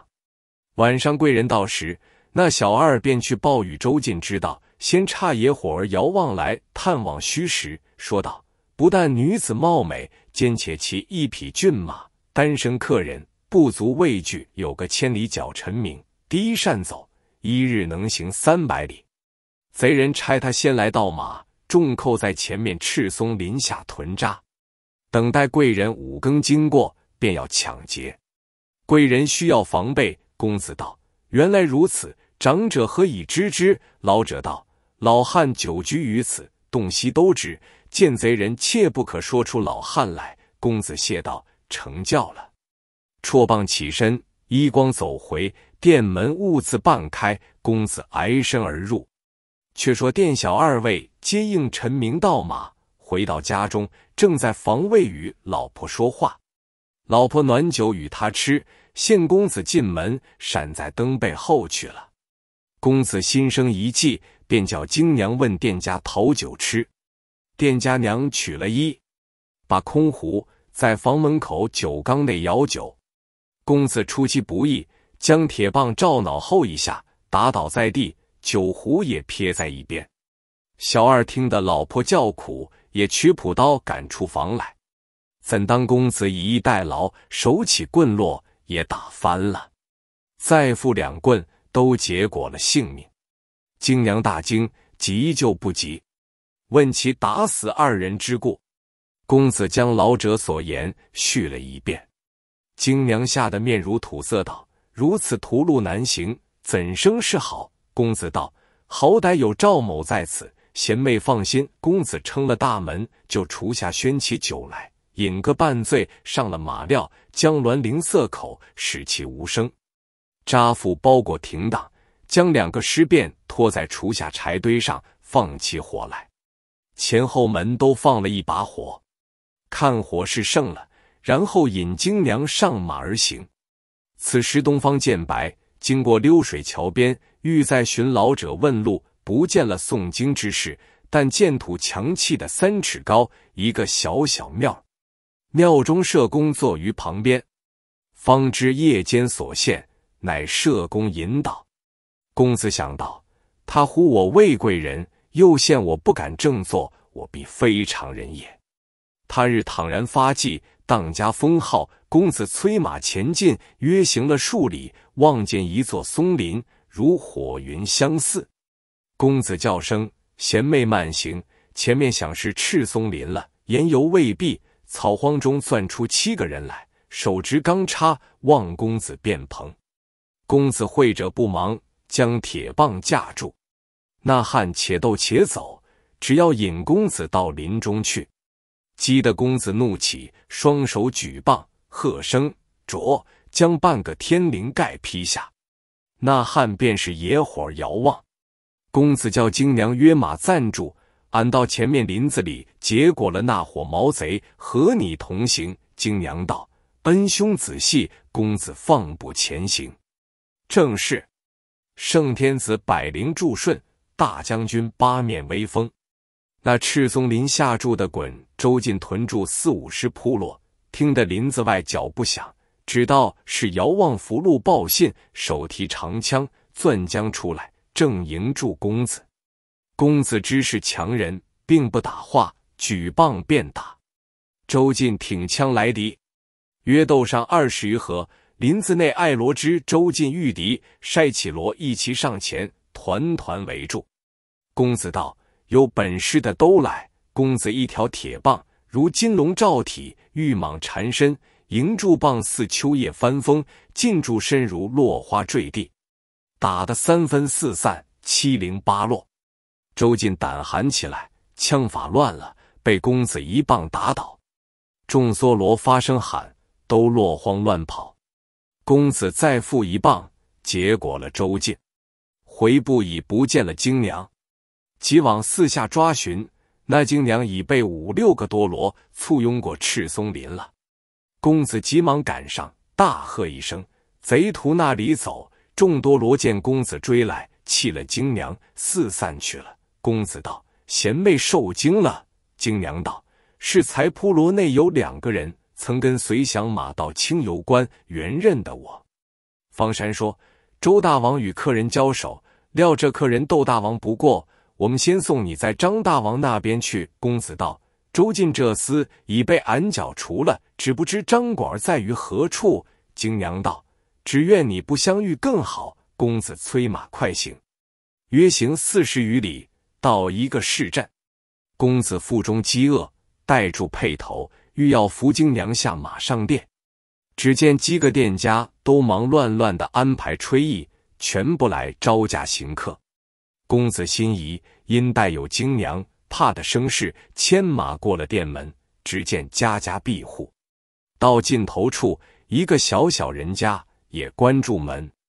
公子心下奇怪，去敲门时，没人答应。转身到屋后，将马拴在树上，轻轻的去敲他后门。里面一个老婆婆开门出来，看了一看，意中甚是惶惧。公子慌忙跨进门内，与婆婆作揖道：“婆婆休讶，俺是过路客人，带有女眷，要借婆婆家中火，吃了饭就走的。”婆婆撵神撵鬼的叫华生。京娘一进门相见，婆婆便将门闭了。公子问道：“那边店里安排酒会，迎接什么官府？”婆婆摇手道：“客人休管闲事。”公子道：“有甚闲事？”直嫩厉害，俺这远方客人，樊婆婆说明则个。婆婆道：“今日满天飞大王在此经过，这乡村脸前备饭，买镜求安。老身有个儿子，也被殿中叫去相帮了。公子听说，思想原来如此，一不做二不休，索性与他个干净，绝了清油关的祸根罢。公子道：“婆婆，这是俺妹子。”为还南越相愿到此，怕逢了强徒，受他惊恐。有樊婆婆家藏匿片时，等着大王过去之后方行。自当后谢婆婆道：“好为小娘子，全躲不妨事，只客官不要出头惹事。”公子道：“俺男子汉自会躲闪，且到路旁打听消息，则个。”婆婆道：“仔细，有建成蟹店，饶口热水，等你来吃。”饭却不方便，公子提棒仍出后门，欲带乘马前去迎他一步。忽然想到，俺在清游关中说出了千里不行，今日畏惧怕强贼乘马，不算好汉，遂大踏步奔出路头。心生一计，附身到店家，大盼盼的叫道：“大王即刻到了，洒家是打前站的，你下马饭碗也未？”店家道：“都完了。”公子道。先摆一席与洒家吃，众人激威之下，谁敢辨其真假？还要他在大王面前方便，大鱼大肉、热酒热饭，只顾搬将出来。公子放量大嚼，吃到九分酒，外面废船。大王到了，快摆香案。公子不慌不忙，取了护身龙，出外看时，只见十余对枪刀棍棒摆在前岛。到了店门，一齐跪下。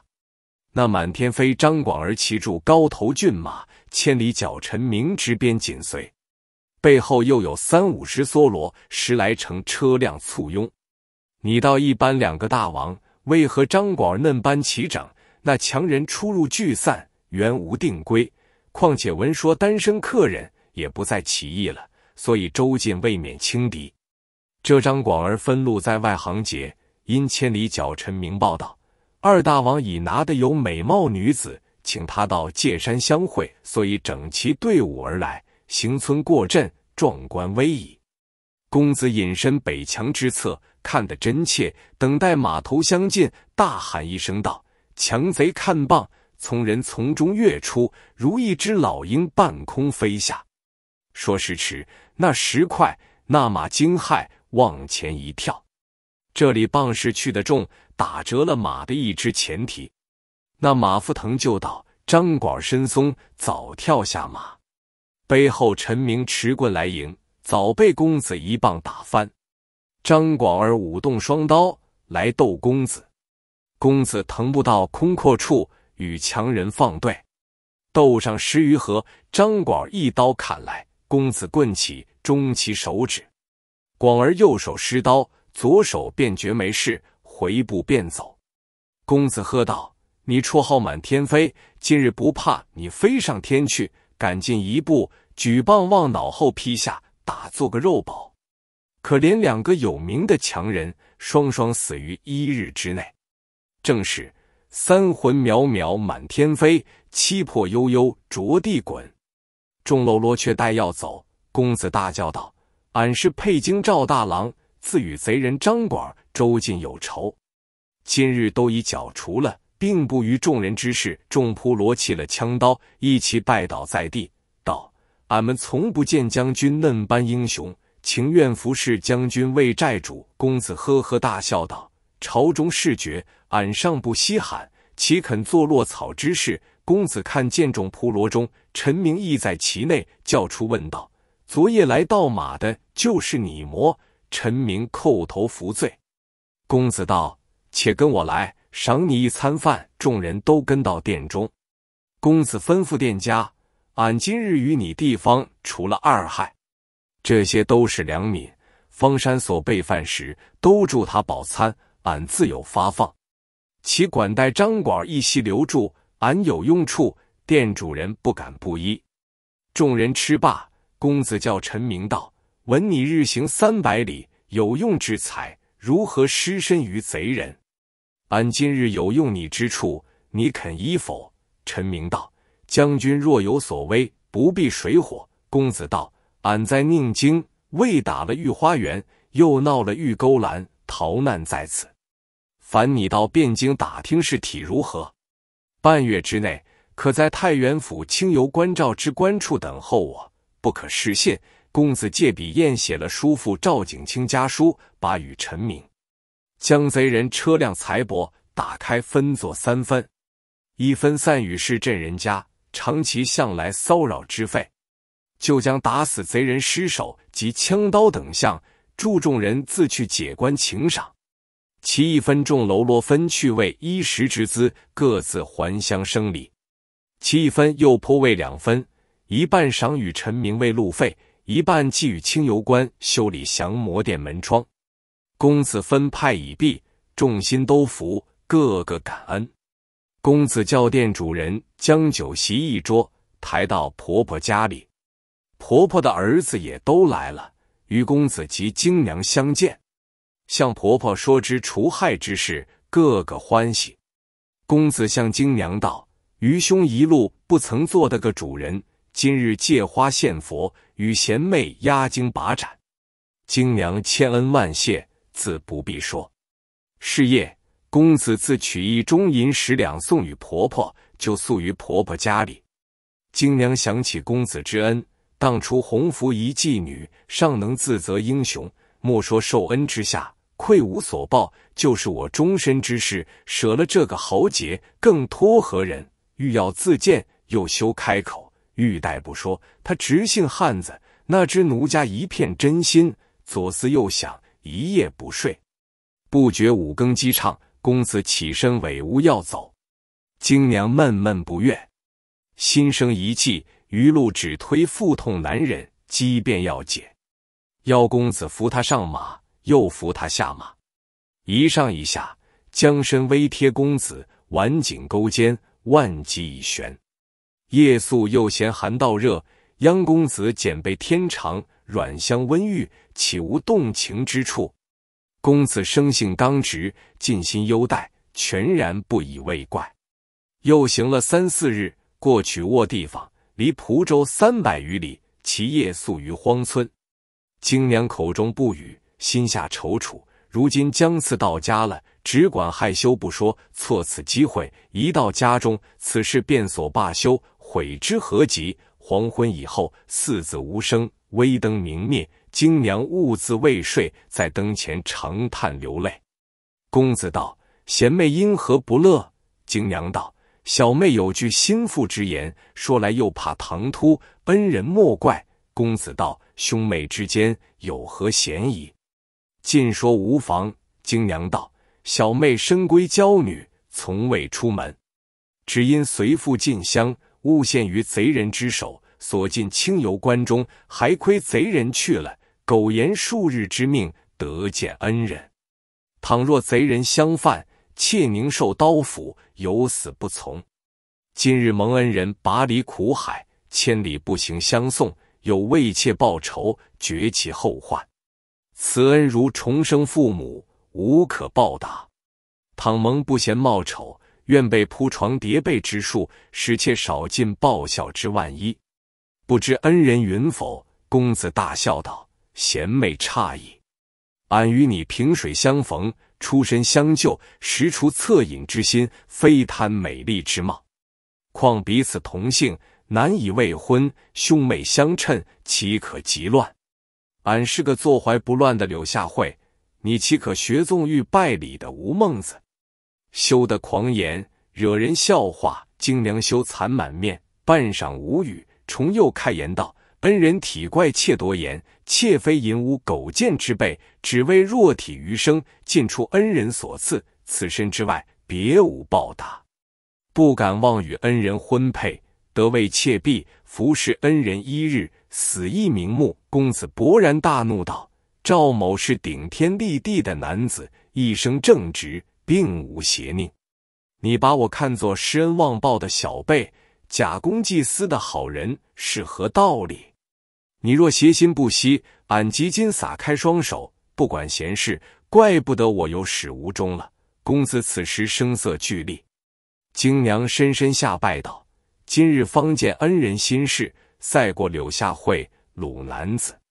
愚昧是女流之辈，坐井观天，望起恩人恕罪则个。”公子方山息怒道：“贤妹，非是俺浇筑古色，本为义气上于礼，不行相送。”今日若就私情，与那两个响马何异？把从前一片真心化为假意，惹天下豪杰们笑话。京娘道：“恩兄高见，妾今生不能补报大德，死当衔环接草。”两人说话直到天明。正是落花有意随流水，流水无情恋落花。自此，京娘愈加严敬公子，公子亦愈加怜悯京娘。一路无话，看看来到蒲州。京娘虽住在小样村，却不认得。公子问路而行，京娘在马上望见故乡光景，好生伤感。却说小祥村赵员外，自从失了京娘，将及两月有余，老夫妻每日思想啼哭。忽然庄客来报，京娘骑马回来，后面有一红脸大汉，手执干棒跟随。赵员外道：“不好了，响马来讨庄茶了。”妈妈道：“难道响马只有一人？且教儿子赵文去看个明白。”赵文道：“虎口里那有回来肉？妹子被响马劫去，岂有送转之理？必是容貌相像的，不是妹子。道犹未了，京娘已进中堂，爹妈见了女儿，相抱而哭。哭罢，问其得回之故。京娘将贼人锁进清油关中，幸遇赵公子路血不平，开门救出，认为兄妹，千里步行相送，并途中连珠二扣大略叙了一遍。金恩人现在，不可怠慢。赵员外慌忙出堂，献了赵公子拜谢道：“若非恩人英雄了得，吾女必陷于贼人之手，父子不得重逢矣。”遂令妈妈同京娘拜谢，又唤儿子赵文来见了恩人，庄上宰猪设宴款待公子。赵文私下与父亲商议道：“好事不出门，恶事传千里。妹子被强人劫去，家门不幸。今日跟着红脸汉子回来，人无利己，准肯早起，必然这汉子与妹子有情，千里送来，岂无缘故？”妹子经了许多风波，又有谁人聘她？不如招赘那汉子在门，两全其美，省得旁人议论。赵公是个随风倒舵、没主意的老儿。听了儿子说话，便叫妈妈唤金娘来，问他道：“你与那公子千里相随，一定把身子许过他了。如今你哥哥对爹说要招赘于你未夫，你意下如何？”金娘道：“公子正直无私，与孩儿结为兄妹，如嫡亲相似，并无调戏之言。今日望爹妈留他在家，管待他十日半月，少尽其心。”此事不可提起。妈妈将女儿言语述与赵公，赵公不以为然。少间筵席完备，赵公请公子坐于上席，自己老夫妇下席相陪。赵文在左席，京娘右席。久之数旬，赵公开言道：“老汉一言相告，小女余生皆出恩人所赐，老汉越门感得，无以为报。幸小女尚未许人。”意欲献与恩人，为鸡肘之妾，扶起物具。公子听得这话，一盆烈火从心头多起，大骂道：“老匹夫，俺为义气而来，反把此言来侮辱我。俺若贪女色时，路上也就成亲了，何必千里相送？你这般不识好歹的，枉费俺一片热心。”说罢，将桌子掀翻，往门外一直便走。赵公夫妇唬得战战兢兢，赵文见公子粗鲁，也不敢上前。只有金娘心下十分不安，急走去扯住公子衣裾，劝道：“恩人息怒，且看愚昧之面。”公子那里肯依，一手欺托了金娘，奔至柳树下，解了赤蚁林，跃上鞍辔，如飞而去。金娘哭倒在地，爹妈劝转回房。把儿子赵文埋怨了一场，赵文又羞又恼，也走出门去了。赵文的老婆听得爹妈为小姑上埋怨了丈夫，好生不喜，强作相劝，将冷雨来奚落金娘道：“姑姑，虽然离别是苦事，那汉子千里相随，忽然而去，也是个薄情的。他若是有仁义的人，救了这头亲事了。姑姑青年美貌。”怕没有好姻缘相配，羞得愁烦则个，气得精娘泪流不绝，顿口无言。心下自想到：因奴命奏时乖，遭逢强暴，幸遇英雄相救，指望托以终身。谁知事既不协，反射瓜李之嫌。今日父母哥嫂亦不能相谅，何况他人？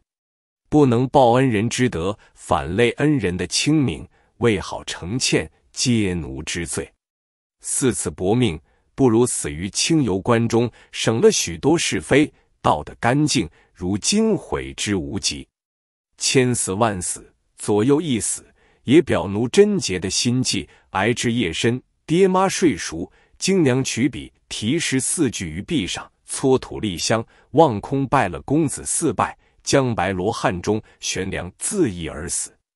可怜闺秀千金女。化作南柯一梦人。天明，老夫妇起身，不见女儿出房。到房中看时，见女儿亦在梁间，吃了一惊，两口放声大哭。看壁上有诗云：“天父红颜不遇时，受人凌辱被人欺。今宵一死仇公子，彼此清明天地志。”赵妈妈解下女儿，儿子媳妇都来了。赵公玩其失意。方知女儿冰清玉洁，把儿子痛骂一毒，免不得买官获殓，则的安葬不在话下。再说赵公子乘住千里赤谷林，连夜走至太原，与赵之官相会。千里脚陈明已到了三日，说汉后主已死，郭令公禅位，改国号曰周，招纳天下豪杰。公子大喜，住了数日，别了赵之官。同陈明还归汴京，应募为小校。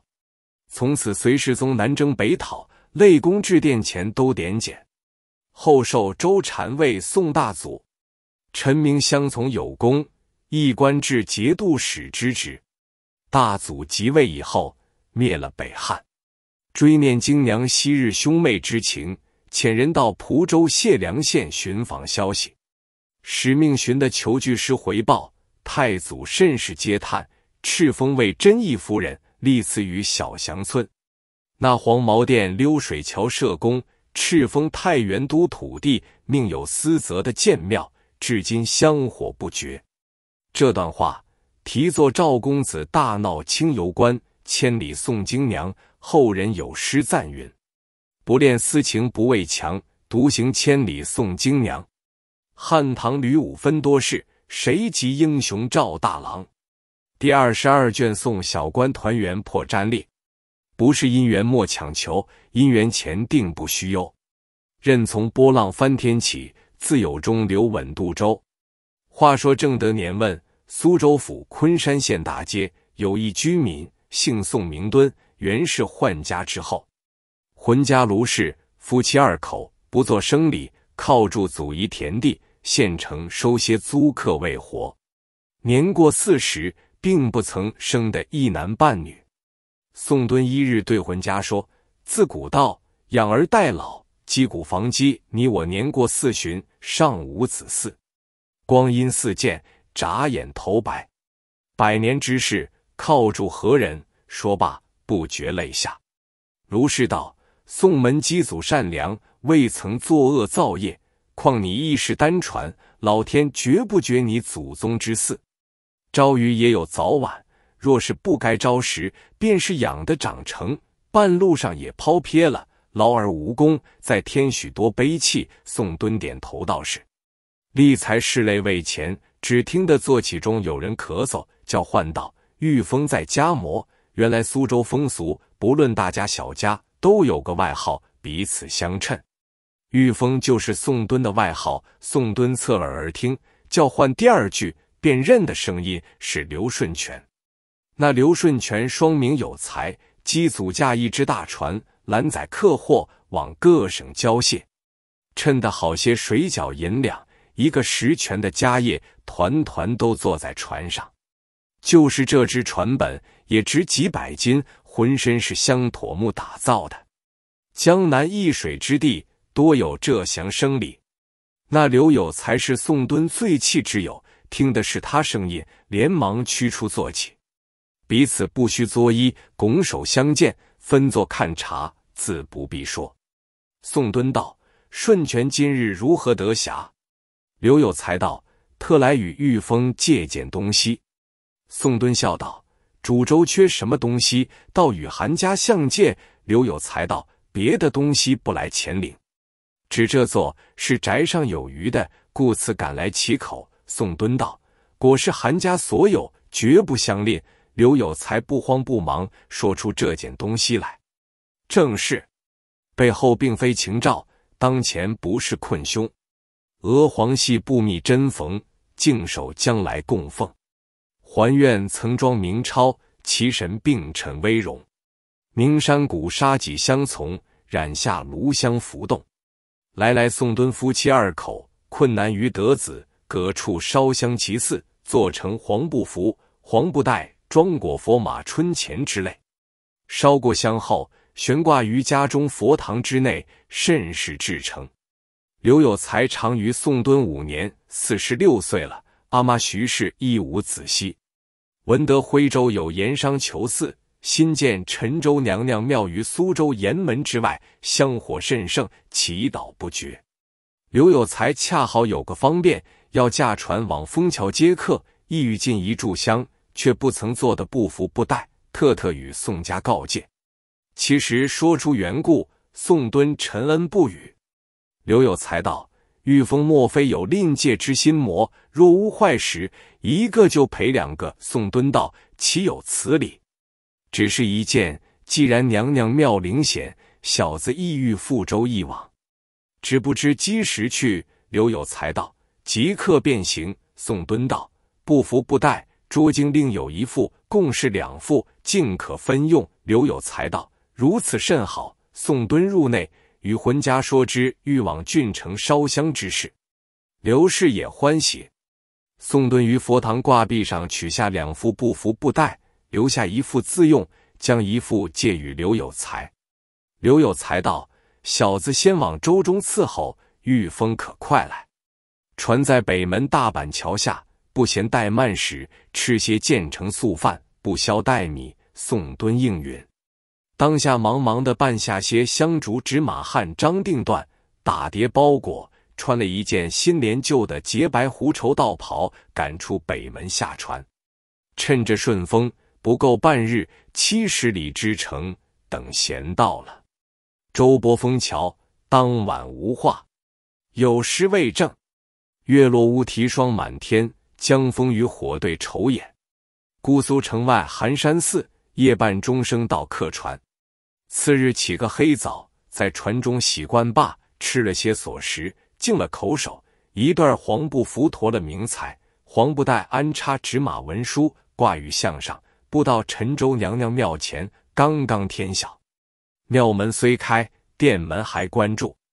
二人在两廊游绕，观看了一遍，果然造得齐整。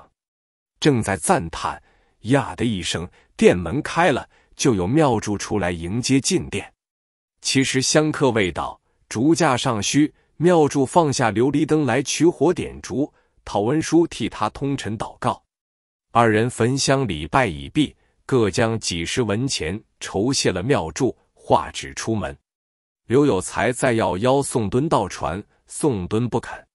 当下刘有才将布服布袋交还宋敦，个个称谢而别。刘有才自往枫桥接客去了。宋敦看大色尚早，要往楼门乘船回家。刚欲一步，听得墙下呻吟之声。近前看时，却是矮矮一个芦席棚，搭在庙园之侧，中间卧住个有病的老和尚，奄奄欲死，呼之不应，问之不答。宋敦心中不忍，停眸而看。旁边一人走来说道。客人，你只管看他则甚，要便做个好事了去。宋敦道：“如何做个好事？”那人道：“此僧是陕西来的，七十八岁了。他说一生不曾开荤，每日只诵《金刚经》。三年前在此木化建安，没有施主，搭这个芦席棚儿住下，诵经不辍。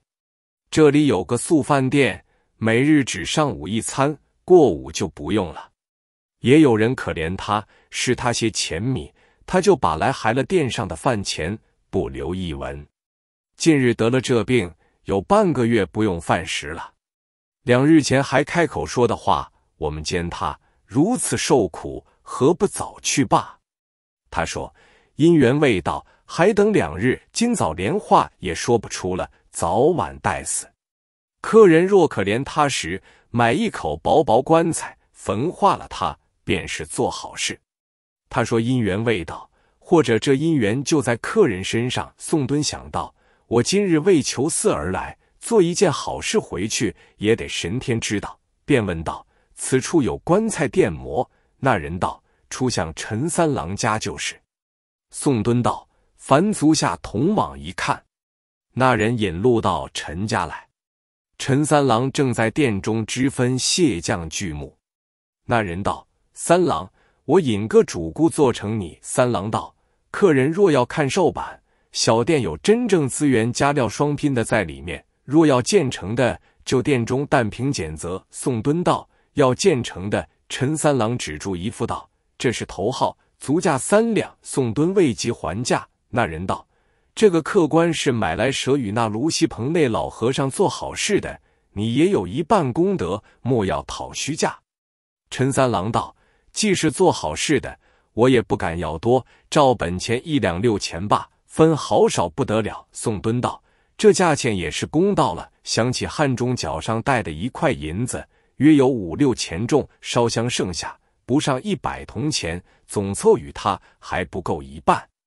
我有储了。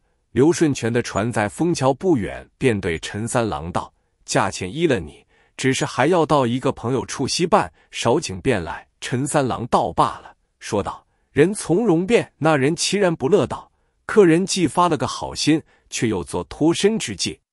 你身边没有银子，来看则甚。”说由来了，只见街上人纷纷而过，多有说这老和尚可怜，半月前还听得他念经之声，今早无呼了。正是三寸气在千般用，一旦无常万事休。那人道：“客人不听的说魔。那老和尚已死了，他在地府睁眼等你断送礼。”宋敦口虽不语，心下复想道：“我既是看定了这具棺木，倘或往枫桥去，刘顺全不在船上，终不然呆坐等他回来。况且常言道：‘嫁一不择主，倘别有个主顾，添些价钱，这副棺木买去了，我就失信于此僧了。’罢罢，便取出银子，刚刚一块，讨等来一称，叫声惭愧。”原来是块元宝，看时像少，称时变多，倒有七钱多重。先叫陈三郎收了，将身上穿的那一件新连旧的洁白狐绸道袍脱下，道：“这一件衣服价在一两之外，倘嫌不值，全是相抵，待小子取赎。若用得时，便起收算。”陈三郎道：“小店大胆了，莫怪计较，将银子衣服收过了。”宋敦又在社上拔下一根银层，约有二钱之重，交与那人道：“这支卷相凡换些铜钱，以为并敛杂用。”当下店中看的人都道：“难得这位好事的客官，他担当了大事去。其余小事，我们地方上也该凑出些钱钞相助。”众人都凑钱去了。宋敦又附身到芦席边，看那老僧，果然化去。不觉双眼垂泪，分明如亲戚一般，心下好生酸楚，正不知什么缘故，不忍再看，含泪而行。到楼门时，航船已开，乃自换一只小船，当日回家。浑家见丈夫黑夜回来，身上不穿道袍，面又带忧惨之色，只道与人争竞，忙忙的来问。宋敦摇手道：“话长里。”一径走到佛堂中，将两副布符布袋挂起，在佛前磕了个头，进房坐下，讨茶吃了，方才开坛，将老和尚之事背细说之。浑家道：“正该如此，也不秀怪。”宋敦见浑家贤惠，倒也回愁作喜。是夜夫妻二口睡到五更，宋敦梦见那老和尚登门拜谢道：“还月命和五子。”寿数亦止于此矣。因谭月心田慈善，上帝命延寿半季。老僧与谭月又有一段姻缘，愿投宅上位儿，以报盖棺之德。卢氏也梦见一个金身罗汉走进房里，梦中叫喊起来，连丈夫也惊醒了，各言其梦，似信似疑，嗟叹不已。正是种瓜还得瓜，种豆还得豆。劝人行好心，自作还自受。从此卢氏怀孕，十月满足，生下一个孩儿。因梦见金身罗汉，小名金郎，官名就叫宋金。夫妻欢喜，自不必说。此时刘有才也生一女，小名宜春。个个长成，有人一多，两家对亲。刘有才倒也心中情愿，宋敦却嫌他传户出身。不是名门旧族，口虽不语，心中有不允之意。那宋金方年六岁，宋敦一病不起，呜呼哀哉了。自古道家中百事兴，全靠主人命。十个妇人敌不得一个男子。自从宋敦故后，卢氏长家连遭荒歉，又李中欺他孤寡，苛派护役，卢氏称吃不定。只得将田房渐次卖了，另屋而居。初时还是诈穷，以后作吃。山崩不上十年，弄作真穷了。卢氏亦得病而亡。断送了臂，宋金只剩的一双赤手，被房主赶逐出屋，无处投奔。且喜从幼学的一件本事，会写会算。偶然本处一个范举人选了浙江滁州府江山县知县，正要寻个写算的人。有人将宋金说了，范公就教人引来。见他年纪又小，又生得齐整，心中甚喜。扣其所长，果然疏通真草，算善归除。当日就留于书房之中，取一套新衣与他换过，同桌而食，好生优待。择了吉日。范知县与宋金下了官船，同往任所。正是东东画鼓催征兆，习习和风荡锦帆。却说宋金虽然贫贱，终是旧家子弟出身。今日做饭宫门馆，岂肯卑污苟贱，与同仆辈和光同尘，受其戏舞？那些管家们欺他年幼，陷他做作，欲有不然之意。自昆山启程，都是水路，到杭州便起旱了。众人调扭家主道：“宋金小厮家在此写算服侍老爷，还该小心谦逊，他全不知礼。老爷又待他推过分了。”与他同坐同食，周中还可混账，到陆路中火歇宿，老爷也要存个体面。小人们商议，不如教他写一纸靠身文书，方才妥帖。到衙门时，他也不敢放肆为非。范举人是棉花做的耳朵，就依了众人言语，唤宋金到仓，要他写靠身文书。宋金如何肯写？逼累了多时。范公发怒，喝焦拨去衣服，喝出船去。众仓头拖拖拽拽，拨得前前进进，一领单布衫赶在岸上，气得宋金半晌开口不得。只见叫马纷纷伺候范知县起路，宋金擒住双泪，只得回避开去。身边并无财物，受饿不过，少不得学那两个古人：五香吹箫子无门。韩王祭师于朴母，日间街坊乞食，夜间古庙栖身。还有一件，宋金忠是旧家子弟出身，任你十分落魄，还存三分骨气，不肯随那叫街盖户一流，奴颜婢膝，没廉没耻，讨得来便吃了，讨不来忍饿，有一顿莫一毒。过了饥时，渐渐面黄肌瘦，全无昔日风神。正是。好花遭遇红俱退，芳草经霜绿尽掉。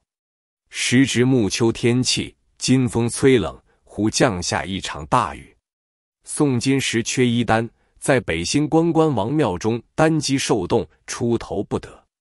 这与自陈牌直下至五牌方止。宋金将腰带收紧，那不出庙门来，未及数步，劈面遇住一人。宋金睁眼一看。正是父亲宋敦的最气之友，叫做刘有才，号顺全的。宋金无面目见江东父老，不敢相认，只得垂眼低头而走。那刘有才早已看见，从背后一手挽住，叫道：“你不是宋小官么？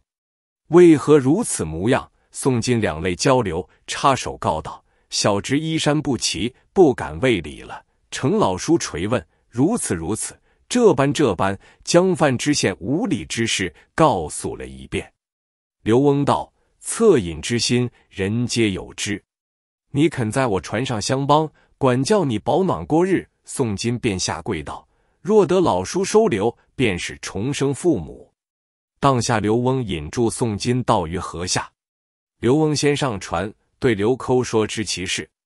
刘基道：“此乃两得其便。”有何不美？刘翁就在船头上招宋小官上船，于自身上脱下旧布道袍，叫他穿了。引他到后梢，见了妈妈徐氏，女儿宜春在旁，也相见了。宋金走出船头，刘翁道：“把饭与宋小官吃。”刘欧道：“饭便有，只是冷的。”宜春道。有热茶在锅内，宜春便将瓦罐鱼舀了一罐滚热的茶。刘欧便在橱柜内取了些烙菜和那冷饭，付与宋金道：“宋小官，船上买卖比不得家里，胡乱用些吧。”宋金接的在手。又见细雨纷纷而下，刘翁叫女儿后梢有旧毡笠，取下来与宋小官戴。宜春取旧毡笠看时，一边以次绽开。宜春手快。就盘射上拔下针线，将毡处缝了，丢在船棚之上，叫道：“拿毡笠去戴。”宋金带了破毡笠，吃了茶讨冷饭。刘翁教他收拾船上家伙，扫抹船只，自往岸上接客，至晚方回，一夜无话。次日，刘翁起身，见宋金在船头上闲坐，心中暗想：出来之人莫惯了他，便便喝道：“哥儿郎吃我家饭，穿我家衣，闲时搓些绳，打些锁，也有用处，如何空坐？”宋金连忙答应道：“但凭驱使，不敢有违。”刘翁便取一绒麻皮，付与宋金，叫他打锁子。正是，在他矮糟下，怎敢不低头？宋金自此朝夕小心，辛勤做活，并不偷懒，兼之写算精通。凡客货在船，都是他记账，出入分毫不爽。别船上交易，也多有央他去拿算盘、登账薄。客人无不敬而爱之，都夸道：“好个宋小官，少年廉吏。”刘翁、刘屈见他小心得用，另眼相待，好意好实的管顾他，在客人面前。任为表直，宋金亦自以为得所，心安体适，冒日丰腴。凡船户中无不新鲜。光阴似箭，不觉两年有余。刘翁一日暗想，自家年纪渐老，只有一女，要求各贤婿倚靠终身，似送小官一般，倒也十全之美。但不知妈妈心下如何，是夜与妈妈饮酒伴配。女儿宜春在旁，刘翁止住女儿，对妈妈道：“宜春年纪长成，未有终身之托，奈何？”刘基道：“这是你我靠老的一桩大事，你如何不上紧？”刘翁道：“我也日常在念，只是难得个十分如意的，像我船上送小官嫩般本事人才，千中选一，也就不能够了。”刘屈道：“何不就许了宋小官？”刘翁假意道：“妈妈说那里话。”他无家无倚，靠住我船上吃饭，手无分文，怎好把女儿许他？刘叔道：“宋小官是宦家之后，况系故人之子。当初他老子存时，也曾有人议过亲来，你如何忘了？今日虽然落薄，看他一表人才，又会写又会算，招的这般女婿，须不辱了门面。我两口儿老来也得所靠。”刘翁道：“妈妈，你主意已定否？”刘叔道：“有什么不定？”刘翁道：“如此甚好。原来刘有才平西是个怕婆的，久已看上了宋金，只愁妈妈不肯。今见妈妈慨然，十分欢喜，当下便唤宋金，对着妈妈面许了他这头亲事。宋金初时也谦逊不当，见刘翁夫妇一团美意。不要他费一分钱钞，只所顺从。刘翁往阴阳生家，选择周堂吉日，回复了妈妈，将船驾回昆山。先与宋小官上头做一套绸绢衣服与他穿了，浑身新衣、新帽、新鞋、新袜，装扮的宋金依法标致。虽无子见彩，胜似潘安茂十分。刘屈也替女儿备办些衣饰之类。吉日已到，请下两家亲戚，大设喜筵，将来金坠入船上未续。次日，诸亲作贺，一连吃了三日喜酒。宋金成亲之后，夫妻恩爱，自不必说。从此船上生理日行一日，光阴似箭，不觉过了一年零两个月。宜春怀孕日满，产下一女，夫妻爱惜如金。轮流怀抱，七岁方过，此女害了痘疮，医药不效，十二朝身死。宋金痛念爱女，哭泣过哀，七情所伤，遂得了个枕静之计。朝凉暮热，饮食渐减，看看骨碌肉消，行迟走慢。刘翁、刘叔初时还指望他病好，替他迎医问卜，延至一年之外，病势有加无减。三分人，七分鬼，写也写不动，算也算不动，倒做了眼中之钉，巴不得他死了干净，却又不死。两个老人家懊悔不迭，互相抱怨起来。当初只指望半子靠老，如今看着货色不死不活，分明一条烂死蛇缠在身上，摆脱不下。把个花枝般女儿误了终身，怎生事了？为今之计。如何生个计较？送开了那冤家，等女儿另招个家婿。方山称心，两口商量了多时，定下个计策，连女儿都瞒过了。只说有客货在于江北，遗传王载。行至池州五溪地方，到一个荒僻的所在，但见孤山寂寂，远水滔滔，野岸荒崖，绝无人迹。是小小逆风，刘公故意把舵使歪，船便向沙岸上隔住，却叫宋金下水推舟。宋金手持脚慢，刘公就骂道：“借病鬼！”莫力气使船时，岸上野柴也砍些来烧烧，省得钱买。宋金自觉惶愧，取了碎刀，正扎到岸上砍柴去了。刘公乘其未回，把舵用力撑动，拨转船头，挂起满风帆，顺流而下。不愁骨肉遭颠沛，且喜冤家里眼睛。且说宋金上岸打柴，行到茂林深处，树木虽多，那有气力去砍伐？只得拾些儿残柴，割些败棘，抽取枯藤，数作两大捆，却又没有气力背负的去。心生一支，再取一条枯藤，将两捆野柴穿作一捆，露出长长的藤头，用手挽之而行，如牧童牵牛之势。行了一时。想起忘了炸刀在地，又复自转去取了凿刀，也插入柴捆之内，缓缓地拖下岸来。到于亳州之处，已不见了船，但见江烟沙岛，一望无际。宋金沿江而上，且行且看，并无踪影。看看红日西沉，情之未丈人所弃。上天无路，入地无门。不觉痛切于心，放声大哭，哭得气咽喉子，闷绝于地，半晌方苏。忽见岸上一老僧，正不知从何而来，将拄杖着地，问道：“谭月伴侣何在？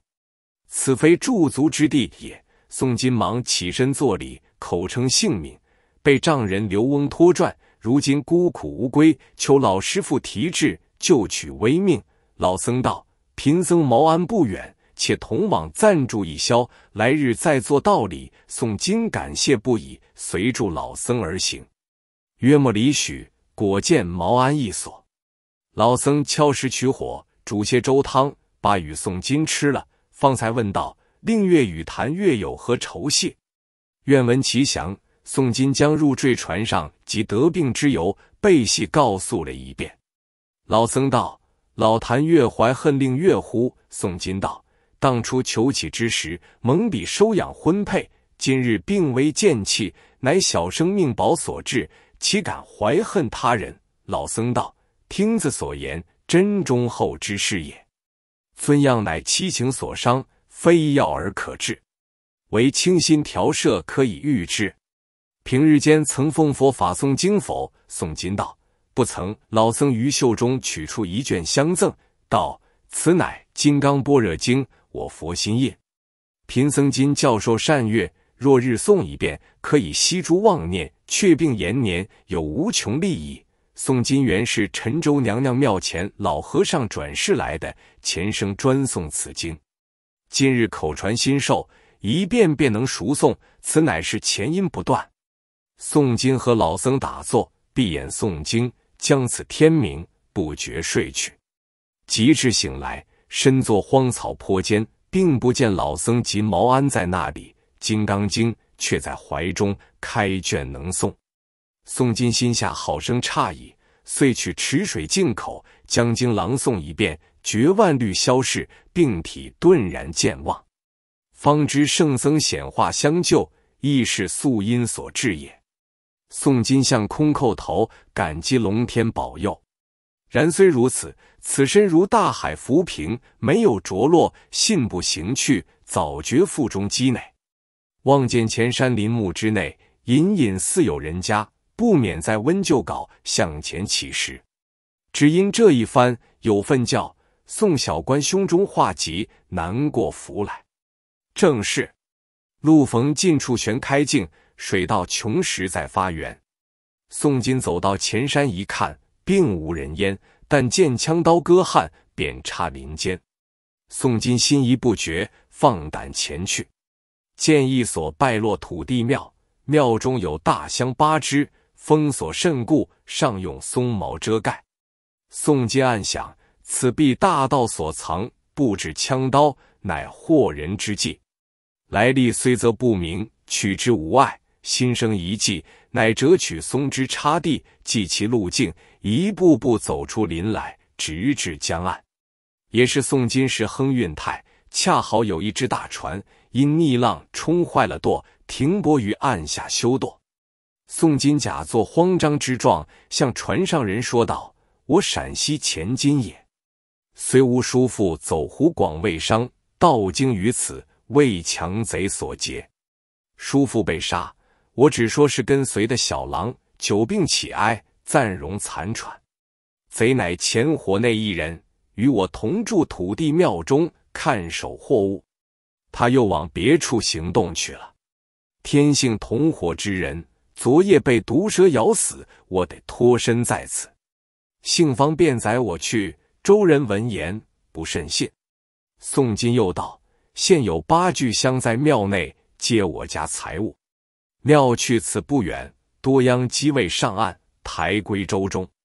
愿以一箱慰谢，必须速往。万一贼徒回转，不为无极干事，且有祸患。众人都是千里求财的，闻说有八箱货物，一个个欣然愿往。当时聚起十六筹后生，准备八副绳索杠棒，随宋金往土地庙来。果见巨箱八只，其箱甚重。每二人抬一箱，恰好八杠。宋金将林子内枪刀收起，藏于深草之内。八个箱子都下了船，舵已修好了。周人见宋金道：“老客今欲何往？”宋金道：“我且往南京省亲。”周人道：“我的船正要往瓜州，却喜又是顺便，当下开船，约行五十余里，方谢。”众人奉承陕西客有钱。到凑出银子买酒买肉，与他压惊称贺。次日西风大起，挂起帆来。不几日，到了瓜州停泊。那瓜州到南京只隔十竹里江面。宋金令换了一只渡船，江香龙只减重的抬下七个，把一个箱子送与舟中众人，以见其言。众人自去开箱分用，不在话下。宋金渡到龙江关口。寻了店主人家住下，换铁匠兑了池药，打开箱看时，其中充啊都是金玉珍宝之类。原来这伙强盗积之有年，不是取之一家，获之一时的。宋金先把一箱所需甭之于市，已得数千金。孔主人生疑，迁寓于城内，买家奴服饰，身穿罗髻，食用高粱。余六箱。只捡精华之物留下，其他都变卖，不下数万金。就于南京怡丰门内买下一所大宅，改造厅堂园亭，置办日用家伙，极其华整。门前开张点铺，又置买田庄数处，加充数十房，出色管事者十人，又续美童四人，随身答应。满京城都称他为千员外，出城与马，入拥金资。口占道：居一气，养一体。宋金今日才发身发，肌肤充悦，容彩光泽，绝无向来枯寂之容，寒酸之气。正是人逢运至精神爽，月到秋来光彩新。话分两头，且说刘有才那日哄了女婿上岸，拨转船头，顺风而下，瞬息之间已行百里。老夫妇两口暗暗欢喜，宜春女儿犹然不知，只道仗大还在船上煎好了汤药，叫他吃时，连呼不应，还道睡住在船头，自要去唤他，却被母亲劈手夺过药渣，向江中一泼，骂道：“借病鬼在那里？你还要想他？”宜春道：“真个在那里。”母亲道：“你爹见他病害的不好。”恐沾染他人，方山哄他上岸打柴。撑子转船来了，宜春一把扯住母亲，哭天哭的叫道：“还我送郎来！”刘公听得梢内啼哭，走来劝道：“我儿，听我一言，妇到家嫁人不住，一世之苦。那害戒的死在早晚，左右要拆散的，不是你因怨了，倒不如早些开交干净，免致耽误你青春。待做爹的另捡个好郎君，挽你终身。休想他爸。宜春道：“爹做的是什么事？都是不仁不义、伤天理的勾当。宋郎这头亲事，原是二亲主张，既做了夫妻，同生同死，岂可反悔？就是他病逝必死，亦当待其善终，何忍弃之于无人之地？宋郎今日为奴而死，奴绝不独生。爹若可怜见孩儿，快转船上水，寻取宋郎回来。”免被旁人讥谤。刘公道：“那害羊的不卸了船，定然转往别处村坊乞食去了，寻之何意？况且下水顺风，相去已百里之遥，一动不如一静。劝你息了心罢。”宜春见父亲不允，放声大哭，走出船舷就要跳水，喜得刘妈手快，一把拖住。宜春以死自誓，哀哭不已。两个老人家不到女儿直性如此，无可奈何，准准的看守了一夜。次早只得依顺他开船上水，风水巨逆，弄了一日，不够一半之路。这一夜啼啼哭哭，又不得安稳。第三日申牌时分，方到得先前隔船之处。宜春亲自上岸寻取丈夫，只见沙滩上乱柴二捆。左刀一把，认的是船上的刀。眼见的这捆柴是宋郎驮来的，物在人亡，愈加疼痛，不肯心死，定要往前寻觅。父亲只所跟随同去，走了多时，但见树黑山深，因无人迹。刘公劝他回船，又啼哭了一夜。第四日黑早，再叫父亲一同上岸寻觅，都是旷野之地。更无影响，只得哭下船来，想到如此荒郊，教丈夫何处乞食？况久病之人行走不动，他把柴刀抛弃沙崖，一定是覆水自尽了。哭了一场，望住将心又跳，早被刘公拦住。宜春道：“爹妈养得奴的身，养不得奴的心。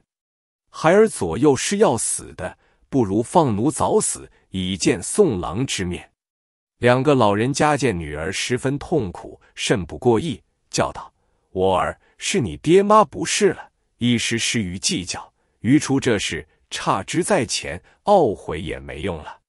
你可怜我年老之人，只生的你一人，你若死时，我两口性命也都难保。愿我儿恕了爹妈之罪，宽心度日，待做爹的写一招子，于沿江市镇各处粘贴。”倘若宋郎不死，现我招贴，定可相逢。若过了三个月无信，凭你做好事，追见丈夫。做爹的替你用钱，并不吝惜。宜春方山收泪谢道：“若得如此，孩儿死也瞑目。”刘公及时写个循序的招贴，粘于沿江市镇墙壁触眼之处。过了三个月，绝无音号。宜春道：“我丈夫果然死了。”急忙至背头梳麻衣，穿着一身重孝，设了灵位祭奠，请九个和尚做了三昼夜功德，自将受而不失，为亡夫祈福。刘翁、刘欧爱女之心无所不至，并不敢一些违拗，闹了数日方休。兀自朝哭五更，夜哭黄昏。临船闻之，无不感叹。有一般相熟的客人。闻知此事，无不可惜宋小官，可怜留小娘者。宜春整整的哭了半年六个月，方才住声。刘翁对阿妈道：“女儿这几日不哭，心下渐渐冷了，好劝她嫁人。终不然，我两个老人家守住个孤乳女儿，缓急何靠？”刘叔道：“阿老见的是，只怕女儿不肯，叙事缓缓的煨她。”又过了月余。其实十二月二十四日，刘翁回船到昆山过年，在亲戚家吃醉了酒，乘起酒兴来劝女儿道：“新春将近，除了孝罢。”宜春道：“丈夫是终身之孝，怎样除的？”刘翁睁着眼道：“什么终身之孝？做爹的许你待时便待，不许你待时就不容你待。刘基县老儿口重，便来收科道。再等女儿带过了残岁，除夜做晚更饭，起了灵。除孝罢，宜春见爹妈话不投机，便啼哭起来，道：“你两口和既害了我丈夫，又不容我带孝，无非要我改嫁他人。我岂肯失节以父送郎？宁可带孝而死，绝不除孝而生。”刘翁又待发作，被婆子骂了几句，披颈的推向船舱睡了。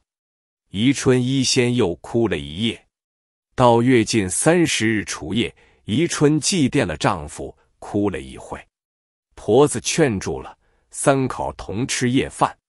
爹妈见女儿昏酒不闻，心中不乐，便道：“我儿，你孝事不肯除了，略吃点荤腥，何妨得？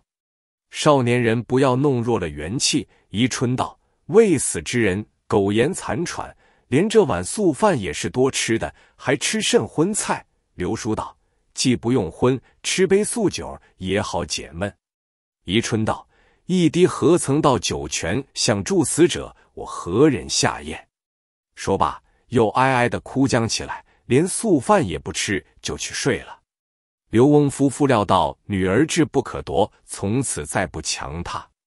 后人有诗赞宜春之节，诗曰：“闺中节列古今传，传女和曹月简编。”誓死不移金石志，百州端不愧前贤。话分两头。再说，宋金住在南京一年零八个月，把家业挣的实全了，却叫管家看守门墙，自己带了三千两银子，领子四个家人，两个美童，雇了一只航船，乘至昆山来访刘翁、刘屈。邻舍人家说道：“三日前往仪真去了。”宋金将银两贩了布匹，转至仪真，下个有名的主家上货了币。次日去河口寻住了刘家船只，遥见浑家在船烧麻衣素装，知其守节未嫁，伤感不已。回到下处，向主人王公说道：“河下有一周妇，待孝而甚美。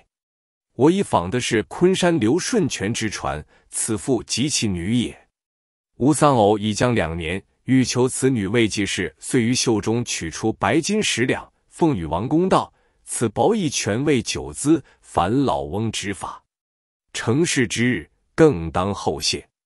若兼彩礼，虽千金，无一不吝。”王公皆迎欢喜，竟往船上邀刘翁到一酒馆，盛设相款，推刘翁于上座。刘翁大惊道：“老汉操舟之人。”何劳如此厚待？必有缘故。王公道：“且吃三杯，方敢启齿。”刘翁心中欲疑道：“若不说明，必不敢做。”王公道：“小店有个陕西前员外，万贯家财。丧偶将二载，目令爱小娘子美貌，欲求未继室，愿出聘礼千金。特央小子做法，望吾见惧。”刘翁道：“周女得佩服是，岂非志愿？”但吾儿守节甚坚，言及再婚，便欲寻死。此事不敢奉命，圣意亦不敢领，便欲起身。王公一手扯住道：“此设一出前员外之意，托小子做个主人。既已废了，不可虚之。事缘不谐，无害也。”刘翁只得做了。饮酒中间，王公又说起员外相求，出于至诚。望老翁回州从容商议。刘翁被女儿几遍投水唬坏了，只是摇头，略不同口酒散个别。王公回家，将刘翁之语述与员外。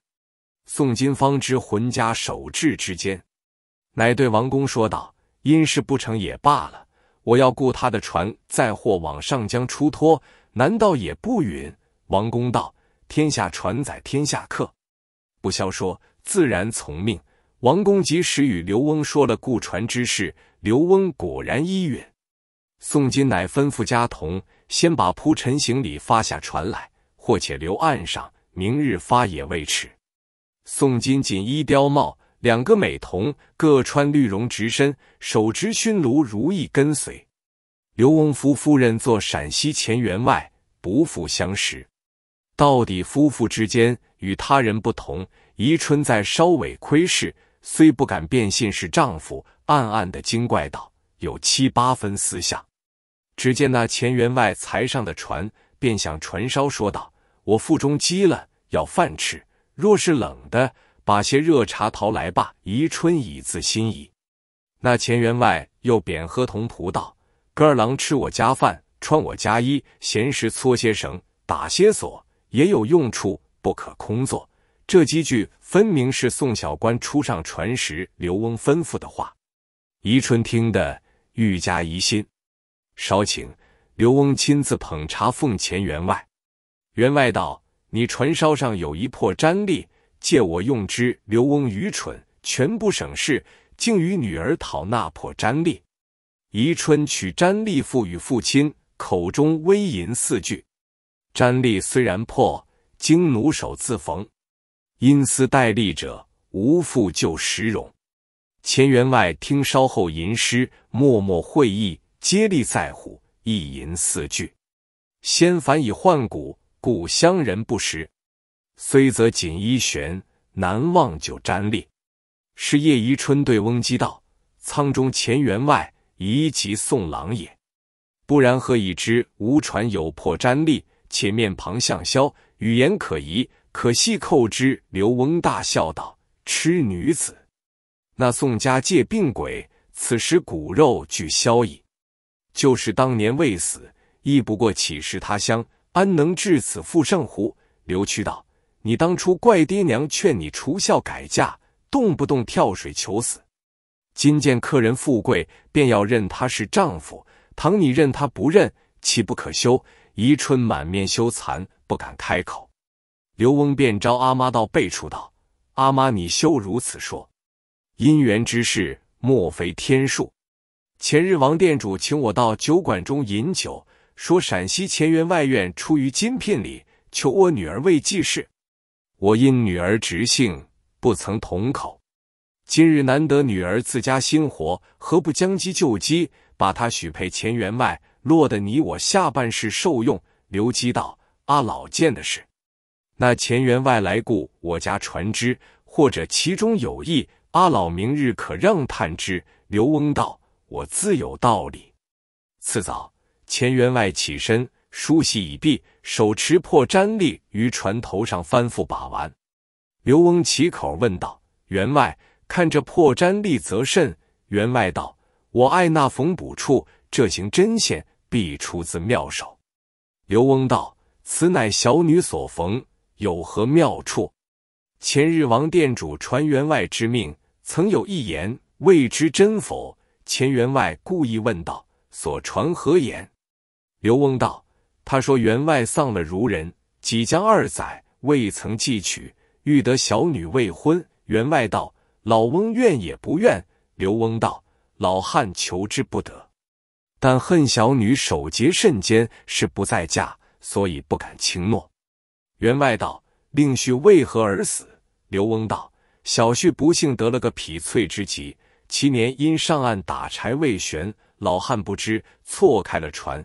以后曾出招贴寻访了三个月，并有动静，多是投江而死了。员外道：“令婿不死，他遇了各一人，病都好了，反获大财致富。老翁若要会令婿时，可孤令爱出来。”此时宜春侧耳而听，一闻此言，便哭将起来，骂道：“薄幸钱郎！”我为你带了三年重孝，受了于心万苦，今日还不说实话，待怎么？宋金也多累道：“我妻快来相见。”夫妻二人抱头大哭。刘翁道：“阿妈，眼见的不是什么钱员外了，我与你须所去谢罪。”刘翁、刘叔走进舱来，施礼不迭。宋金道：“丈人丈母不须恭敬。”只是小婿他日有病痛时，莫再拖转。两个老人家羞惭满面，宜春便除了校服，将灵位抛向水中。金宋变换跟随的童仆来与主母磕头。翁姬杀鸡置酒，管待女婿，又当接风，又是庆贺筵席。安息已毕，刘翁续起女儿自来，不吃荤酒之意。宋金惨然下泪，亲自与浑家把盏，劝他开荤。遂对翁屈道：“据你们设心托传，欲绝无命，恩断义绝，不该相认了。今日勉强吃你这杯酒，都看你女儿之面。”宜春道：“不因这番拖拽，你何由发迹？况爹妈日前也有好处，今后但积恩，莫积怨。”而宋金道：“仅依贤妻遵命，我已立家于南京，田园富足。你老人家可弃了驾舟之业，随我到彼，同享安乐，岂不美哉？”翁屈在三称谢，是夜无话。次日，王店主闻之鄙视。登船拜贺，又吃了一日酒。宋金、刘家同三人于王店主家发布取账，自己开船先往南京大宅子住了三日，同浑家到昆山故乡扫墓，追见王亲。宗族亲党各有厚赠。此时范知县已罢官在家，闻之宋小官发迹还乡，恐怕街坊撞见没去，躲向乡里，有月余不敢入城。宋金完了故乡之事，重回南京，闵家欢喜，安享富贵，不在话下。再说宜春见宋金，每早必进佛堂中拜佛诵经，问其缘故。宋金将老僧所传《金刚经》却病延年之事说了一遍。宜春一起信心，要仗大教诲了，夫妻同诵，到老不衰，后享受个九十余，无疾而终。子孙为南京世父之家，亦有发科第者。后人评云：刘老儿未善不忠，宋小官因祸得福。《金刚经》消除灾难，破粘立团圆骨肉。第二十三卷乐小社气生密偶，一名喜乐和顺记。怒气雄生出海门，周人云氏子虚魂。天排雪浪晴雷吼。地拥银山万马奔，上应天伦分会硕，下临宇宙定朝昏。吴征越战今何在？一曲渔歌过晚村。这首诗单题注杭州钱塘江潮，原来非同小可，刻石定信，并无差错。自古至今，莫能考其出没之由。从来说到天下有四绝，却是雷州幻谷。广德埋藏、登州海市、钱塘江潮，这三绝一年只则一变，唯有钱塘江湖一日两番。自古唤作罗沙江，为因风涛险恶，巨浪滔天，常翻了船，以此名之。南北两山多生虎豹，名为虎林。后因虎字犯了唐高祖之祖父玉会，改名武林。又因江潮险峻，怒涛汹涌，冲害居民，因取名宁海军。后至唐魏五代之间，去那径山过来，临安一人钱宽生的义子，生时红光满室，里人见者，将为火发，皆往救之。却是他家产下一男，两足下有青色毛，长寸余，父母以为怪物，欲杀之。有外母不肯，乃留之，因此小名婆留。看看长大成人，身长七尺有余，美容貌，有智勇，会罗字句美。幼年专做私商无赖，因官司缉捕甚紧，乃投径山法纪禅师躲难。法纪叶文寺中切兰云：“今夜前五苏王在此，无令惊动。”法纪知他是一人，不敢相留。乃作书谏，应往苏州投太守安缓。经乃用罗卫帐下都部署，每夜在府中马院宿歇。时遇炎天酷热，太守夜起独步后园，至马院边，只见前垂睡在那里。太守方坐间，只见那正厅背后有一眼枯井，井中走出两个小鬼来戏弄前罗。却见一个金甲神人。把那小鬼一喝都走了，口称道：“此乃武肃王在此，不得无礼。”太守听罢，大惊，即回府中，心大一之，以此好生看待钱婴。后因皇朝作乱，钱婴破贼有功，信宗拜为节度使。后遇董昌作乱，钱罗收讨平定，昭宗封为吴越国王，因杭州建都，致得国中宁静。只是地方狭窄，更兼长江汹涌，心肠不悦。忽一日，有司进到金色鲤鱼一尾，约长三尺有余，两目炯炯有光，将来作御膳。前王见此鱼壮健，不忍杀之，令处之池中。夜梦一老人来见，额冠博带。口称小生夜来孺子不孝，成酒醉，变作金色鲤鱼，游于江岸，被人获之，尽与大公作御膳，谢大王不杀之恩。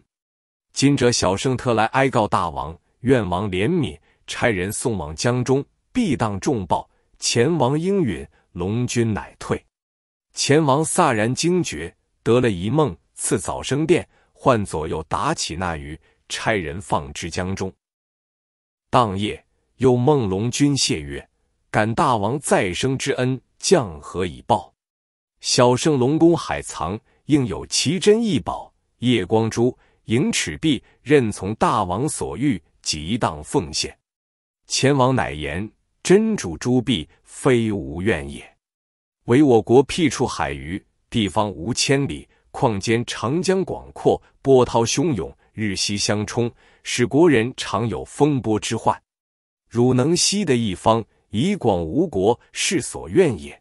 龙王曰：“此事甚易，然戒则戒，当在何日见孩？”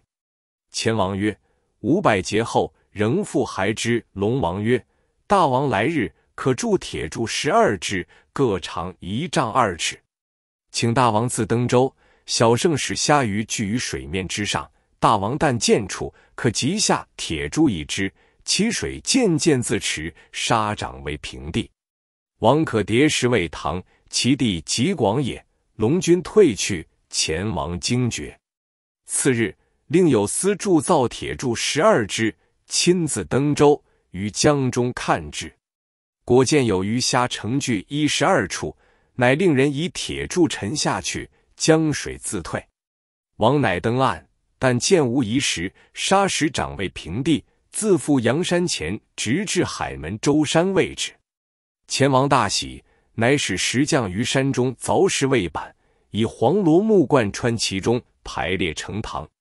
因凿石迟慢，乃下令：如有军民人等，以新旧石板将船装来，一船换米一船，各处即将船载石板来换米。因此弃了江岸，石板有余。后方史称魏钱塘江，至大宋高宗南渡，建都钱塘，改名临安府，称谓行在。方使人燕元吉，风俗纯美。四此每遇年年八月十八，乃朝生日，倾城士庶皆往江塘之上玩朝快乐。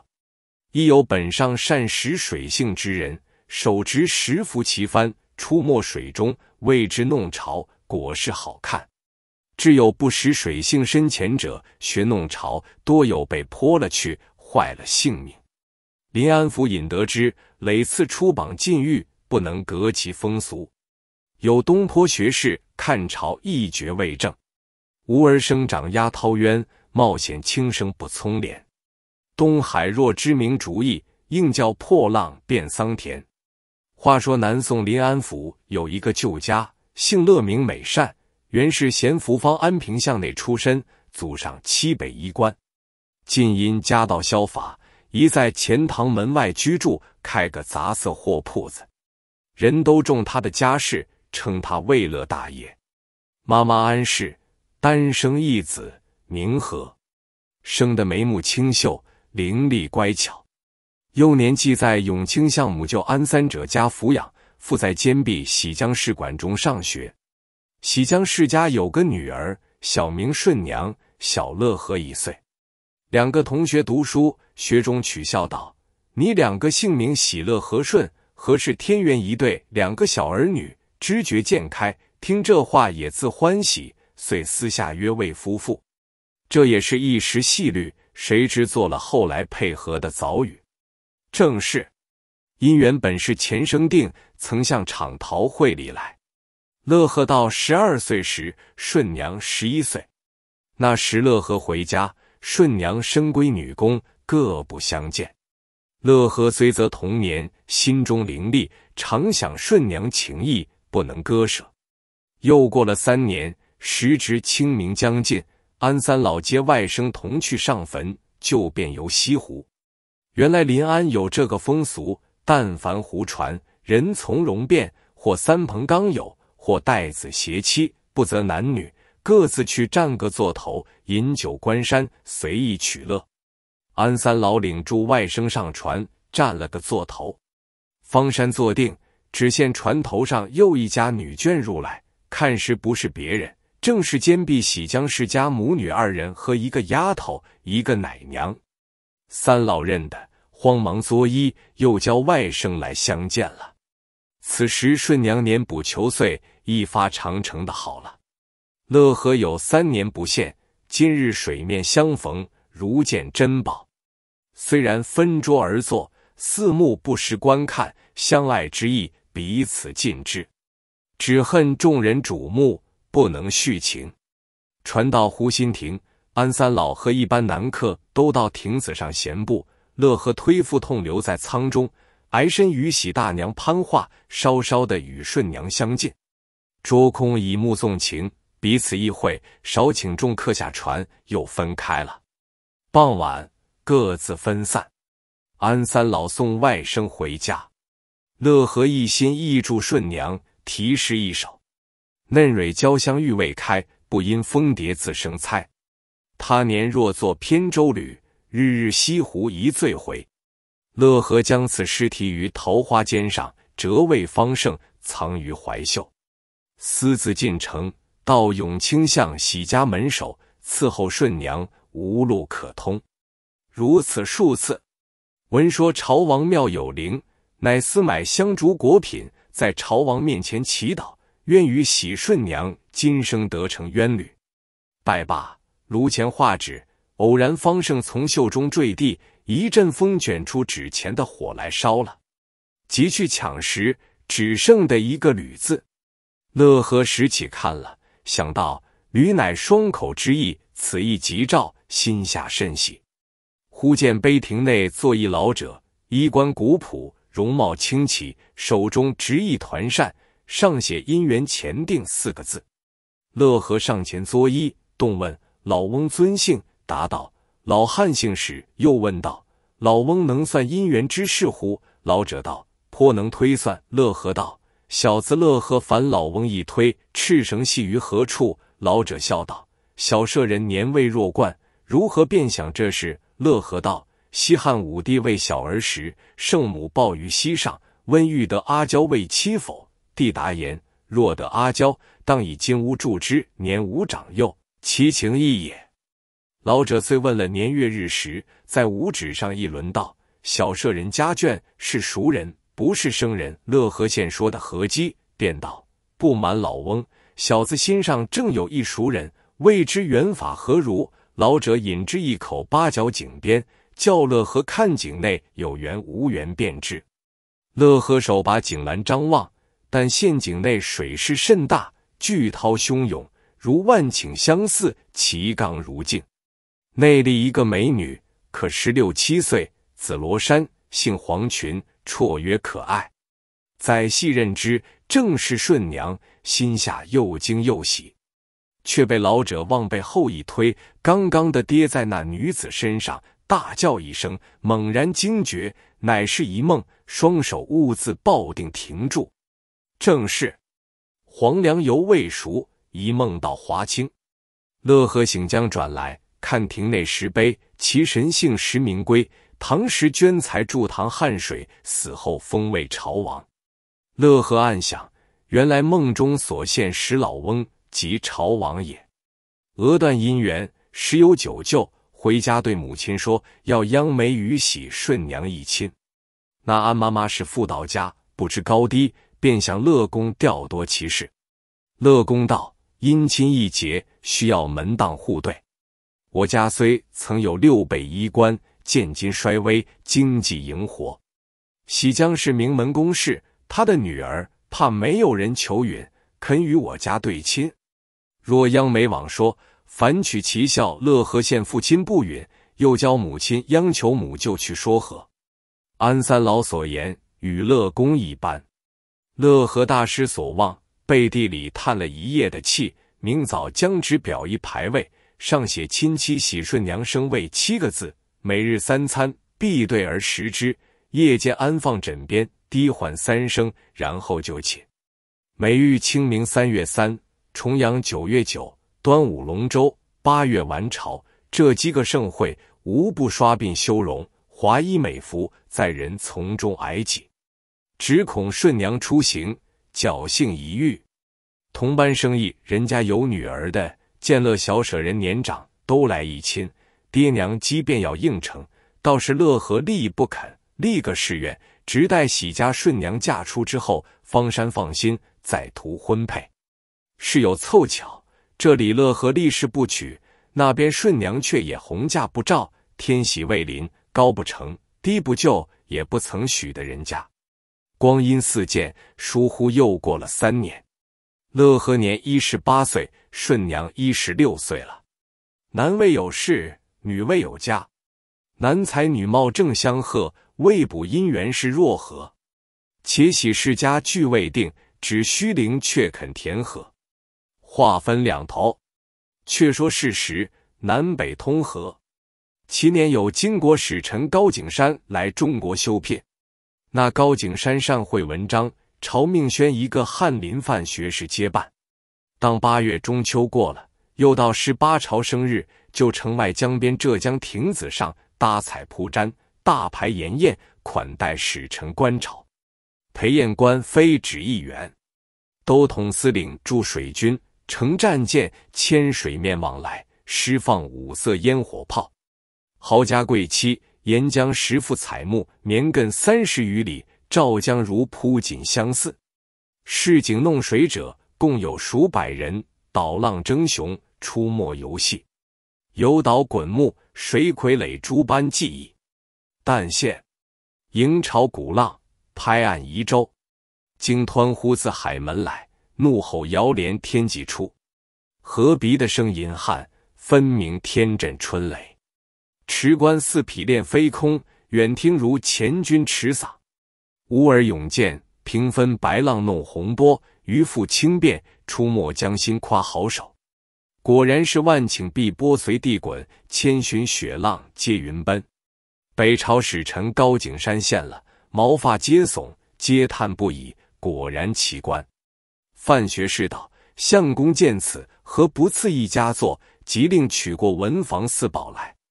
高景山谦让再三，作《念奴娇》词：“云涛千里，泛金谷绝志；东南风物，碧海云横出一线。忽尔雷轰苍壁，万马奔天，群鹅扑地，汹涌飞烟雪。”无人勇悍，便竟踏浪雄杰。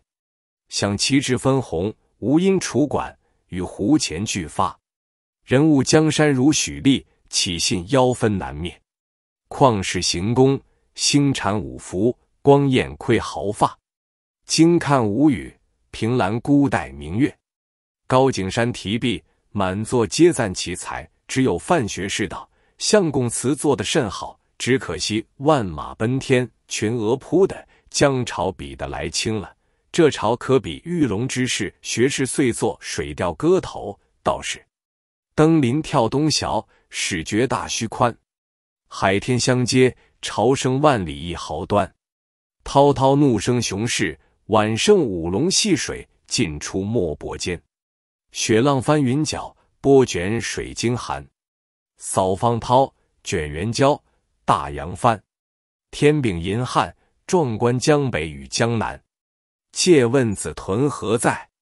博望乘挂仙去，直是几时还？上界银河窄，流泻到人间。范学士题罢，高景山现了，大喜道：“奇哉佳作！难比万马争驰，真是玉龙戏水。”不提各官尽欢饮酒，且说临安大小户人家。闻得是日朝廷款待北使，陈设百戏，倾城侍女都书观看。乐和打听的喜家一门也去看朝，清早便装扮齐整，来到钱塘江口，折来折去，找寻喜顺娘不住。节末来到一个去处，唤作天开图画，又叫做团围头，因那里团团围转，四面都看见潮头，故名团围头。后人讹传谓之团鱼头。这个所在潮势扩大。多有子弟立脚不牢，被潮头涌下水去；又有豁湿了身上衣服的，都在下铺桥边脚挤较钱。有人坐下临江仙一只，单朝那看湖的。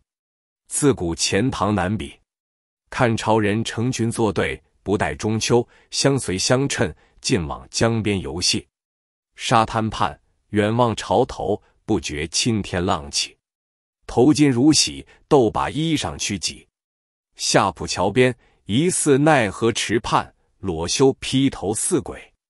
入城里，烘好衣裳，犹问鸡时起水。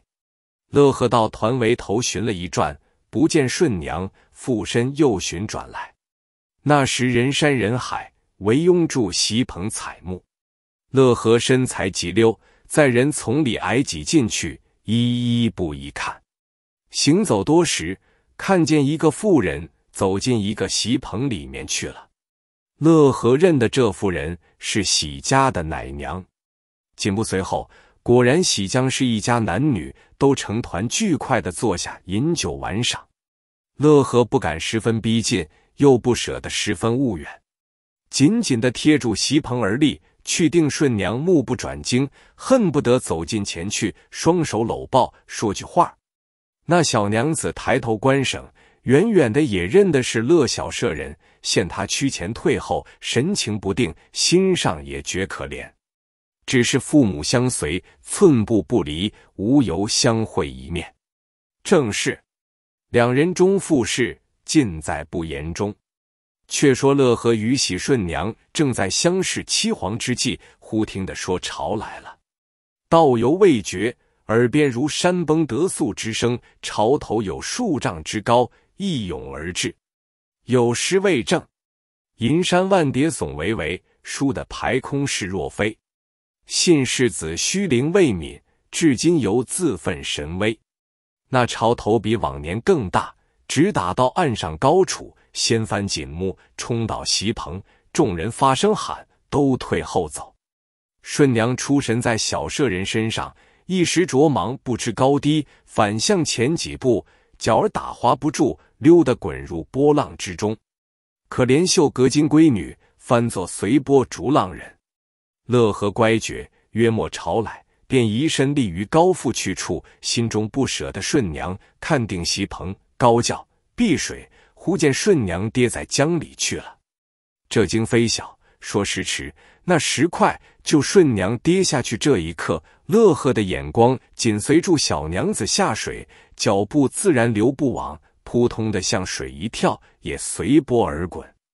他那里会水，只是为情所使，不顾性命。这里喜江氏夫妇见女儿坠水，慌极了，乱呼救人救人，救得五女，自有重赏。那顺娘穿住紫罗山杏黄裙，最好继任。有那一般弄潮的子弟们，踏住潮头，如履平地，摊住利舞，应声而往，翻波搅浪，来捞救那紫罗山杏黄裙的女子。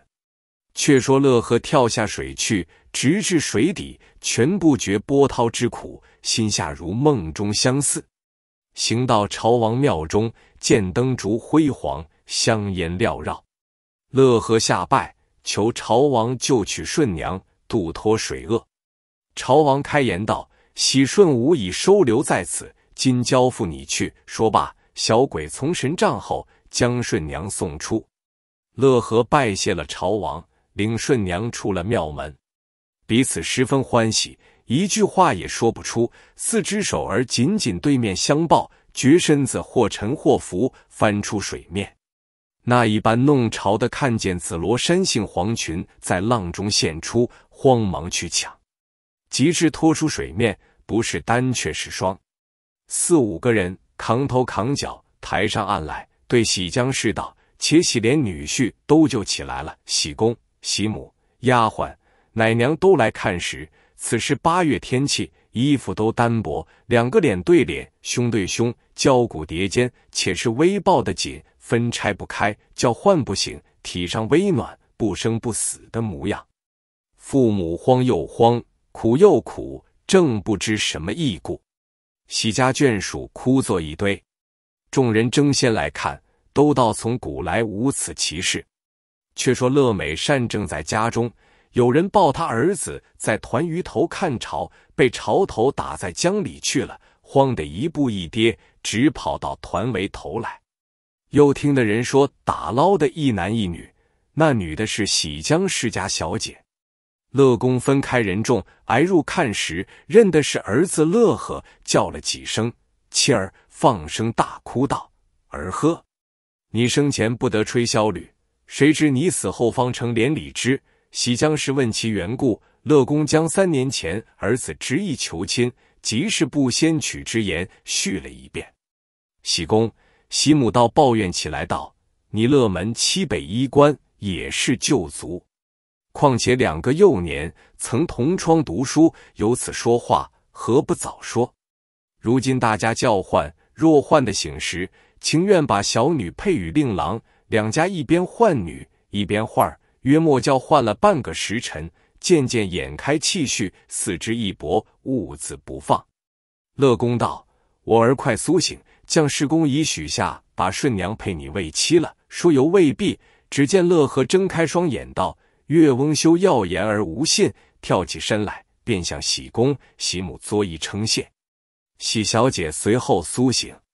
两口精神如故，清水也本吐一口。喜杀了喜将士，乐杀了乐大爷，两家都将千衣服换了，雇个小轿抬回家里。欢日倒是喜将士央没来乐家一亲，愿追乐和未许，没人就是安三老。乐家无不应允，择了吉日，喜家送些金帛之类。生肖古月，迎娶乐和到家成亲。夫妻恩爱，自不必说。满月后，乐和同顺娘备了三生祭礼，到朝玉庙去赛谢。喜将士见乐和聪明，严明师在家教他读书，后来连科及第。至今临安说婚姻配合故事，还传喜乐和顺四字。有诗未证，少妇情痴长更狂，却将情字赶朝王。钟情若到真深处，生死风波总不妨。第二十四卷《玉堂春落难逢夫》与旧客王公子奋之记不同。公子初年柳墨游，玉堂一见便愁侣。黄金数万皆消费，红粉双眸在泪流。财货拐，蒲居体，犯法红铜玉内求。按临驼马冤想托，百岁姻缘到白头。话说正德年间，南京金陵城有一人，姓王，名琼，别号丝竹，终以丑科进士，累官至礼部尚书。因留歹善权，合了一本，圣旨发回原籍，不敢激流，收拾轿马和家眷起身。王爷暗想，有几两俸银，都悉在他人名下，一时取讨不及。况长子南京中书。次子时当大笔，踌躇半晌，乃呼公子三官前来。那三官双名景龙，字顺清，年方一十六岁，生得眉目清新，风姿俊雅，读书一目十行，举笔即便成文，原是个风流才子。王爷爱惜，胜如心头之气，掌上之珍。当下王爷唤至，吩咐道。我留你在此读书，叫王定讨账，银子完日作速回家，免得父母牵挂。我把这里账目都留与你，叫王定过来。我留你与三叔在此读书讨账，不许你引诱他胡行乱为。吴若知道，罪则非笑。王定叩头说：“小人不敢。”次日收拾启程，前定与公子送别，转到北京，另寻寓所安下。公子锦衣复命。在与读书，王定讨账，不觉三月有余，三万银账都收完了。公子把抵账扣算，分离不欠，吩咐王定选日起身。公子说：“王定，我们事体俱已完了。我与你到大街上各巷口闲耍片时，来日起身。”王定遂即锁了房门，吩咐主人家用心看住牲口。房主说：“放心，小人知道。”二人离了寓所，至大街观看黄都景致。但见人烟凑集，车马喧天。人烟凑集，和四山五岳之音；车马喧兰，近六部九卿之辈。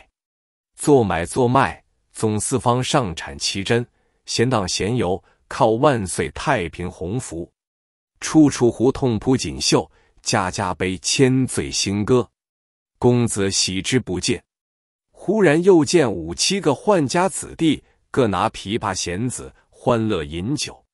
公子道：“王定，好热闹去处。”王定说：“三叔，这等热闹，你还没到那热闹去处里。”二人前至东华门，公子睁眼观看，好锦绣景致。只见门彩金凤，柱盘金龙。王定道：“三叔，好摸。”公子说：“真个好所在。”又走前面去，问王定：“这是那里？”王定说：“这是紫禁城。”公子往里一视，只见城内锐气腾腾，红光闪闪。看了一会，果然富贵无过于帝王，叹息不已。离了东华门往前，又走多时，到一个所在，见门前站住几个女子，衣服整齐。公子便问王定：“此是何处？”王定道：“此是酒店。”乃与王定进到酒楼上。公子坐下，看那楼上有五七席饮酒的，内中一席有两个女子坐主同饮。公子看那女子人物清楚，比门前站的更胜几分。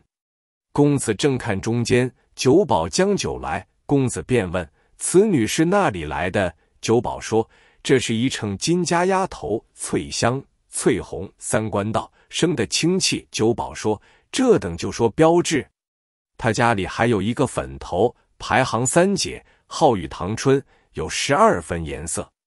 宝儿所价太高，还未梳拢。公子听说留心，叫王定还了酒钱，下楼去，说：“王定，我与你春苑胡同走走。”王定道：“三叔不可去，老爷知道怎了？”公子说：“不妨。”看一看就回，乃走至本寺院门首，果然是花街柳巷，绣阁朱楼，家家品珠弹丝，处处吊枝弄粉，黄金买笑，无非公子王孙，红袖腰欢，都是腰姿丽色。正宜香雾迷天霭，忽听歌声别院叫，纵然道学也迷魂，认是真僧顺破戒。公子看得眼花缭乱，心内踌躇，不知那是一乘金的门。正思中间有个卖瓜子的小伙，叫做金哥走来。公子便问：“那是一秤金的门？”金哥说：“大叔莫不是要耍？我引你去。”王定便道：“我家相公不嫖，莫错认了。”公子说：“但求二县。”那金哥就报与老鸨知道。老鸨慌忙出来迎接，请进待茶。王定见老鸨留茶，心下慌张，说：“三叔可回去罢。”老鸨听说，问道：“这位何人？”公子说：“是小驾。”宝子道：“大哥，你也进来吃茶去，怎么这等小气？”公子道：“休要听他，跟着老鸨往里就走。”王定道：“三叔不要进去，俺老爷知道，可不干我事。”在后边自言自语，公子那里听他，竟到了里面坐下。老鸨叫丫头看茶，茶罢，老鸨便问客官贵姓？公子道：学生姓王，家父是礼部正堂。老鸨听说，拜道：不知贵公子施瞻休罪。公子道：不爱，休要计较。久闻令爱玉堂春大名，特来相访。老鸨道：昨有一位客官要梳拢小女。送一百两彩礼，不曾许他。公子道：“一百两彩礼，小哉！”学生不敢夸大话，除了当今皇上，往下也属家父，就是家祖，也做过侍郎。老鸨听说，心中暗喜，便叫翠红请三姐出来见尊客。翠红去不多时，回话道：“三姐身子不健，辞了罢。”老鸨起身带笑说：“小女从幼养娇了，直待老婢自去唤她。”王定在旁吼挤，又说：“她不出来就罢了，莫又去唤。”老鸨不听其言，走进房中，叫三姐：“我的儿，你时运到了。今有王尚书的公子特慕你而来。”玉堂春低头不语。慌的那宝便叫：“我儿，王公子好个标致人物。”年纪不上十六七岁，耕中广有金银。你若打得上这个主机，不但名声好听，也够你一世受用。玉姐听说，及时打扮来见公子。临行，老鸨又说：“我儿用心奉承，不要怠慢他。”玉姐道：“我知道了。公子看玉堂春果然生得好，鬓挽乌云，眉弯新月，肌凝瑞雪，脸衬朝霞。”袖中玉笋尖尖，裙下金莲窄窄。雅淡书妆篇有韵，不施脂粉自多姿。便数尽满院明媚，总书他十分春色。B，，玉姐偷看公子，眉清目秀，面白唇红，身段风流，衣裳清楚，心中也是暗喜。当下玉姐拜了公子，老鸨就说：“此非贵客坐处，请到书房小叙。”公子相让。进入书房，果然收拾的精致，明窗净几，古画古炉。公子却无心细看，一心只对住玉姐。宝儿帮衬，叫女儿挨住公子肩下坐了，吩咐丫鬟摆酒。王定听见摆酒，一发助忙，连声催促三叔回去。老鸨丢个眼色与丫头，请这大哥到房里吃酒。翠香、翠红道。姐夫请进房里，我和你吃中喜酒。王定本不肯去，被翠红二人拖拖拽拽扯进去坐了，甜言美语劝了几杯酒。初时还是勉强，以后吃的热闹，连王定也忘怀了，索性放落了心，且于快乐。正饮酒中间，听得传语公子叫王定。王定忙到书房，只见杯盘罗列，本司自有答应乐人。奏动乐器，公子开怀乐饮。王定走进身边，公子附耳低言：“你到下处取二百两银子，四匹尺头，再带散碎银二十两，到这里来。”王定道：“三叔要这许多银子何用？”公子道：“不要你闲管。”玉定没奈何，只得来到下处，开了皮箱，取出五十两元宝四个，并尺头碎银，再到本寺院说。三叔有了，公子看也不看，都交送于宝说银两尺头，全为令爱出会治理。这二十两碎银，把做赏人杂用。王定只道公子要讨那三姐回去，用许多银子。听说只当出会之礼，吓得舌头吐出三寸。却说宝儿一献了许多东西，就叫丫头转过一张空桌。王定将银子尺头放在桌上。宝儿假意谦让了一回，叫玉姐：“我儿拜谢了公子。”又说：“今日是王公子，明日就是王姐夫了。”叫丫头收了礼物进去。小女房中还备的有小酌，请公子开怀畅饮。公子与玉姐肉手相搀，同至厢房，只见围屏小桌，果品珍馐俱已摆设完备。公子上座，宝儿自弹弦子。玉堂春清唱幼酒，弄得三观古松金仰，神荡魂迷。王定县天色晚了，不见三观动身，连催了几次。丫头受宝儿之命，不与他传。王定又不得进房，等了一个黄昏。翠红要留他宿歇，王定不肯，自回下处去了。公子指引到二鼓方散。玉堂春殷勤服侍公子上床。解衣就寝，真个男贪女爱，倒奉颠驾，彻夜交情不在话下。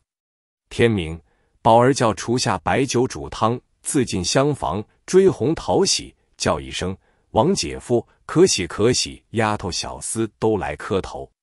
公子吩咐王定每人赏银一两。翠香、翠红各赏衣服一套，折背银三两。王定早晨本要来接公子回狱，见他洒漫使前，有不然之色。公子暗想，在这奴才手里讨针线，好不爽利，索性将皮箱搬到院里，自家便当。宝儿见皮箱来了，愈加奉承。真个朝朝寒食，夜夜元宵，不觉住了一个多月。老保要升新科派，设一大喜酒，班戏演乐，专请三官御姐二人复席。宝子举杯敬公子说：“王姐夫，我女儿与你成了夫妇，地久天长。凡家中事务，忘记扶持。那三官心里只怕宝子心里不自在。看那银子犹如粪土，凭老鸨说谎。”欠下许多债负，都替他悬。又打若前手是酒器，做若前衣服。又许他改造房子，又造百花楼一座，与玉堂春做卧房。随其科派，渐渐许了。正是酒不醉人人自醉，色不迷人人自迷。急得家人公定手足无措，三回五次催他回去。三官初时含糊答应，以后逼急了。反将王定痛骂，王定没奈何，只得到求玉姐劝他。玉姐素知前婆厉害，也来苦劝公子道：“人无千日好，花有几日红。你一日无钱，他翻了脸来就不认得你。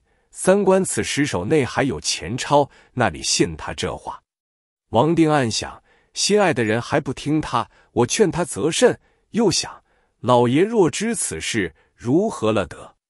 不如回家报与老爷知道，凭他怎么裁处。与我无钱。王定乃对三官说：“我在北京无用，先回去罢。”三官正厌王定多管，巴不得他开身，说：“王定，你去时，我与你十两盘费。你到家中查老爷，只说账未完。三叔先使我来监安，玉姐也送五两，宝子也送五两。”王定拜别三官而去，正是个人自扫门前雪，莫管他家瓦上霜。且说三官被酒色迷住，不想回家。光阴似箭，不觉一年。王八淫妇终日磕派，莫说上头做生讨粉头买丫鬟，连王八的受阔都打得到。三官手内财空，王八一见无钱。凡事疏淡，不照常答应奉承，又住了半月，一家大小作闹起来。老鸨对玉姐说：“有钱便是本寺院，无钱便是养鸡院。王公子没钱了，还留在此作甚？那曾见本寺院举了劫富，你却呆守那穷鬼作甚？”玉姐听说，只当耳边之风。一日，三官下楼往外去了，丫头来报与宝子。宝子叫玉堂春下来，我问你，几时打发王三起身？玉姐见话不投机，附身向楼上便去。宝子随即跟上楼来说：“奴才不理我魔。”玉姐说：“你们这等没天理！王公子三万两银子俱送在我家，若不是他时，我家东也欠债，西也欠债，焉有今日这等足用？”宝子怒发，一头撞去，高叫。三儿打娘里，王八听见，不分是非，便拿了皮鞭赶上楼来，将玉姐拨跌在楼上，举鞭乱打，打得环篇发乱，血泪交流。且说三观在午门外与朋友相叙，忽然面热肉颤，心下怀疑，即辞归，竟走上百花楼，看见玉姐如此模样，心如刀割，慌忙抚摸，问其缘故。玉姐睁开双眼，看见三观，强把精神正住，说：“俺的家务事与你无干。”三观说：“冤家，你为我受打，还说无钱，明日辞去，免得累你受苦。”玉姐说：“哥哥当初劝你回去，你却不依我，如今孤身在此，盘缠又无三十余里，怎生去得？我如何放得心？”你看，不能还乡，流落在外，又不如忍气，且住今日。三官听说，闷倒在地。玉姐近前抱住公子，说：“哥哥，你今后休要下楼去，看那王八淫妇怎么样行来。三官说：“欲带回家，难见父母兄嫂；待不去，又受不得王八冷言热语。我又舍不得你，带住。那王八淫妇只管打你。”玉姐说：“哥哥，打不打你休管他。我与你是从小的儿女夫妻，你岂可一旦别了我？看看天色又晚，房中往常时丫头丙登上来，今日火也不与了。”玉姐见三官痛伤，用手扯到床上睡了。一地一声长吁短气。三官与玉姐说：“不如我去罢。在皆有钱的客官，省你受气。”玉姐说：“哥哥，那王八淫妇任他打我，你好歹休要起身。哥哥在时，奴命在，你真个要去，我只一死。二人直哭到天明，起来。”无人与他玩水，玉姐叫场头拿盅茶来与你姐夫吃。宝子听见，高声大骂：“大胆奴才，少打！叫小三自家来取。”那丫头小厮都不敢来。玉姐无奈，只得自己下楼到厨下盛晚饭，泪滴滴自拿上楼去，说：“哥哥，你吃饭来，公子才要吃。”又听得下边骂，待不吃。玉姐又劝。公子方才吃的一口，那淫妇在楼下说：“小三大胆奴才，那有巧媳妇做出五米粥。”三官分明听得他话，只所隐忍。正是囊中有物精神旺，手内无钱面目残。却说王八恼恨玉姐，待要打他，倘或打伤了，难叫他挣钱；待不打他，他又恋住王小三，十分逼得小三急了。他是个酒色迷了的人，一时他寻个自尽，倘或尚书老爷差人来接，那时把泥做也不干。左思右算，无计可施。宝子说：“我自有妙法，叫他离咱门去。明日是你妹子生日，如此如此，换作到房记。”王八说：“倒也好。”宝子叫丫头楼上问：“姐夫吃了饭还没有？”宝子上楼来说：“休怪。”俺家务事与姐夫不相干，又照常摆上了酒。吃酒中间，老鸨忙陪笑道：“三姐，明日是你姑娘生日，你可禀王姐夫，封上人情，送去与他。玉姐当晚封下礼物。第二日清晨，老鸨说：王姐夫早起来，趁凉可送人情到姑娘家去。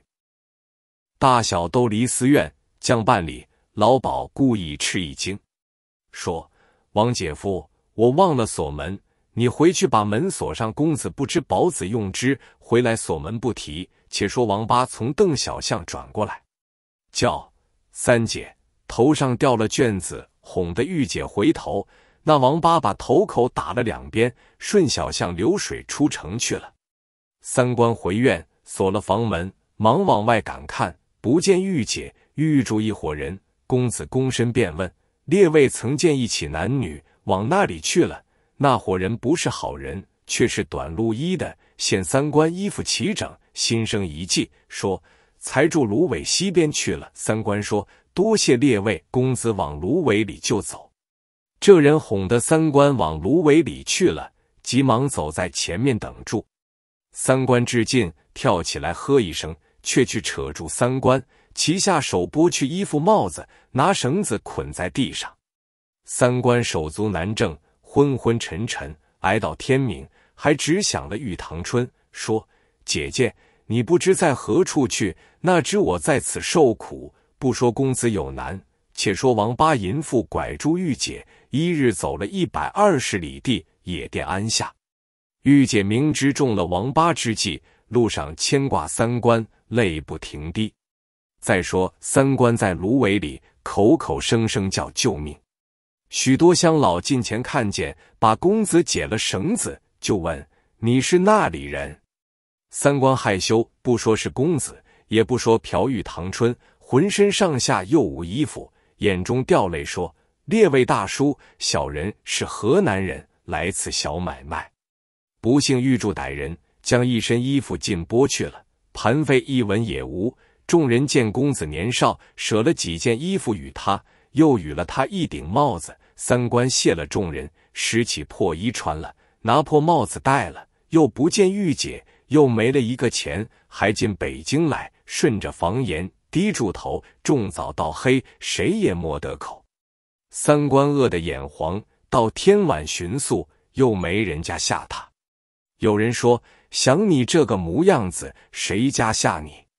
你如今可到总铺门口去，有密人打梆子，早晚勤谨，可以度日。”三官径至总铺门首，只见一个地方来雇人打更。三官向前叫：“大叔，我打头更。”地方便问：“你姓甚么？”公子说：“我是王小三。”地方说：“你打二更吧，失了更，短了仇，不与你钱，还要打理。”三官是个自在惯了的人，贪睡了，晚问把更湿了。地方骂小三。你这狗骨头也莫造化，吃着自在饭，快住走！三观自私无路，乃到孤老院里去存身。正是一般院子里苦乐不相同。却说那王八宝子说：“咱来了一个月，想那王三比回家去了，咱们回去吧，收拾行李回到本寺院。只有玉姐每日思想公子，寝食俱废。”宝子上楼来，苦苦劝说：“我的儿，那王三已是往家去了，你还想他怎么？北京城内多少王孙公子，你只是想助王三不接客。你可知道我的性子，自讨分晓。我再不说你了。”说罢自去了。玉姐泪如雨滴，想王顺清手内无半文钱，不知怎生去了。你要去时，也通个信息。免使我苏三常常挂牵，不知何日再得与你相见。不说玉姐想公子，且说公子在北京院讨饭度日。北京大街上有个高手王银匠，曾在王尚书处打过酒器。公子在钱婆家打手事物件，都用住他。一日往孤老院过，忽然看见公子，唬了一跳，上前扯住，叫。三叔，你怎么这等模样？三官从头说了一遍。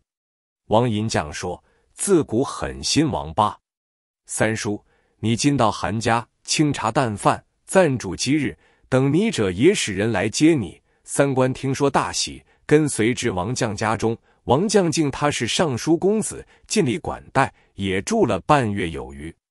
他媳妇子线短。不见尚书家来接，只道丈夫说谎，承住丈夫上街，便发说话。自家一窝子男女，那有闲饭养他人？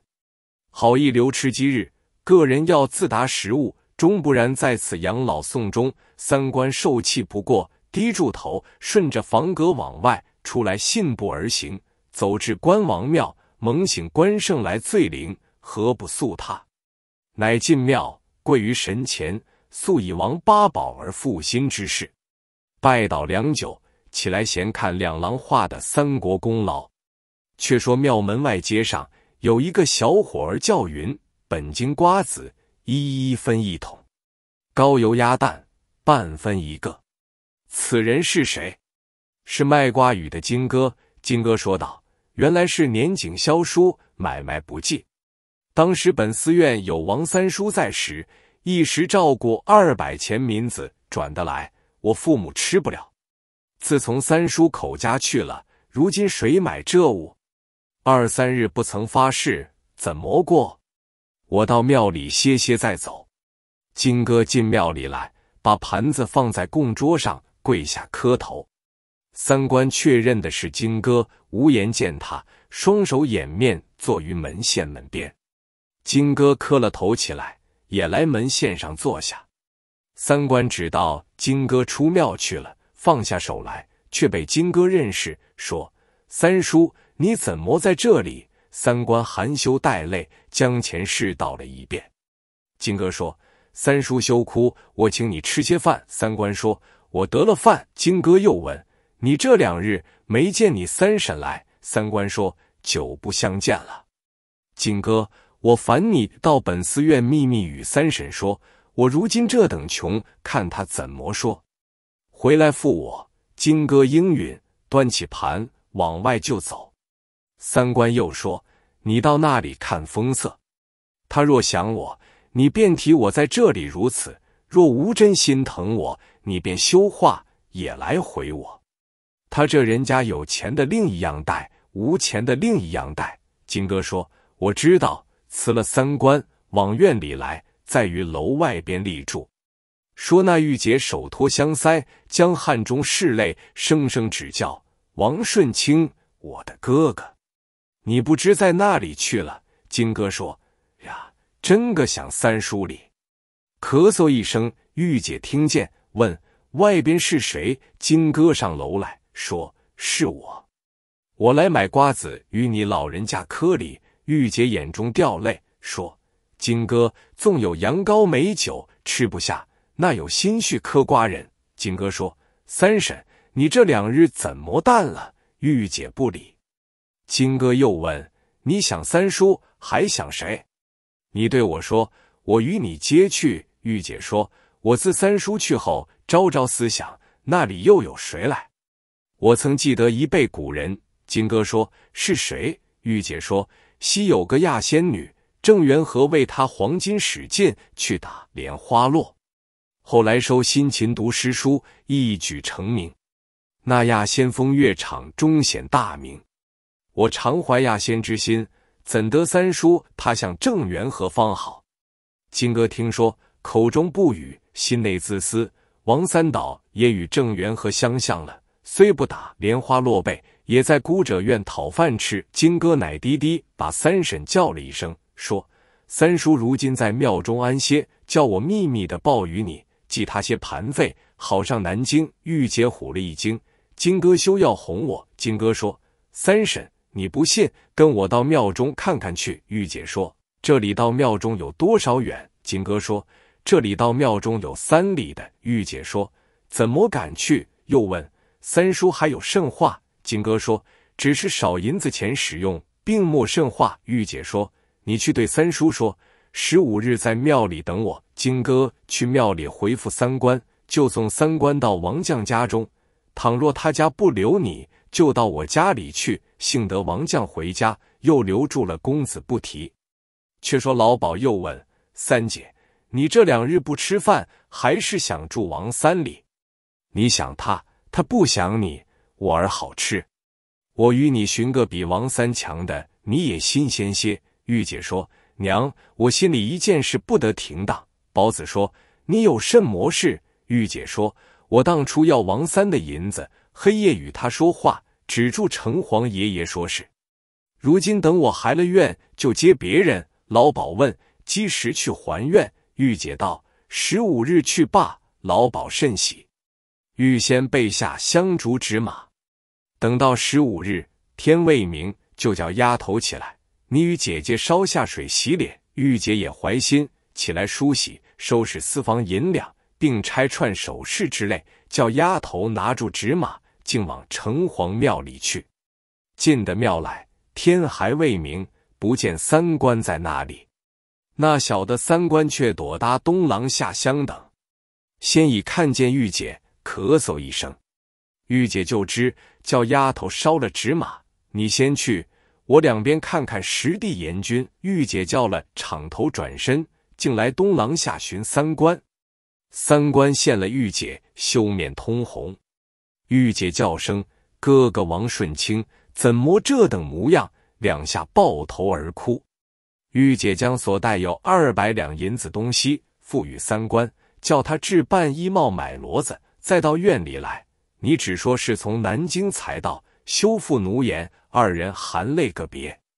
玉姐回至家中，宝子见了，欣喜不胜，说：“我儿还了愿了。”玉姐说：“我还了旧愿。”发下心愿，宝子说：“我儿，你发下甚魔心愿？”玉姐说：“我要再接王三，把咱一家子死的灭门绝户，天火烧了。”宝子说：“我儿这愿推发的重了些，从此欢天喜地不提。”且说三官回到王将家，将二百两东西递与王将，王将大喜，随即到了市上买了一身绣帛衣服、粉底皂靴、绒袜。瓦楞帽子、青丝绦、真穿扇、皮箱骡马，办得齐整。把砖头瓦片用布包裹，假充银两，放在皮箱里面，收拾打扮停当。雇了两个小厮跟随，就要起身。王将说：“三叔，略停片时，小子置一杯酒饯行。”公子说：“不劳如此，多蒙厚爱。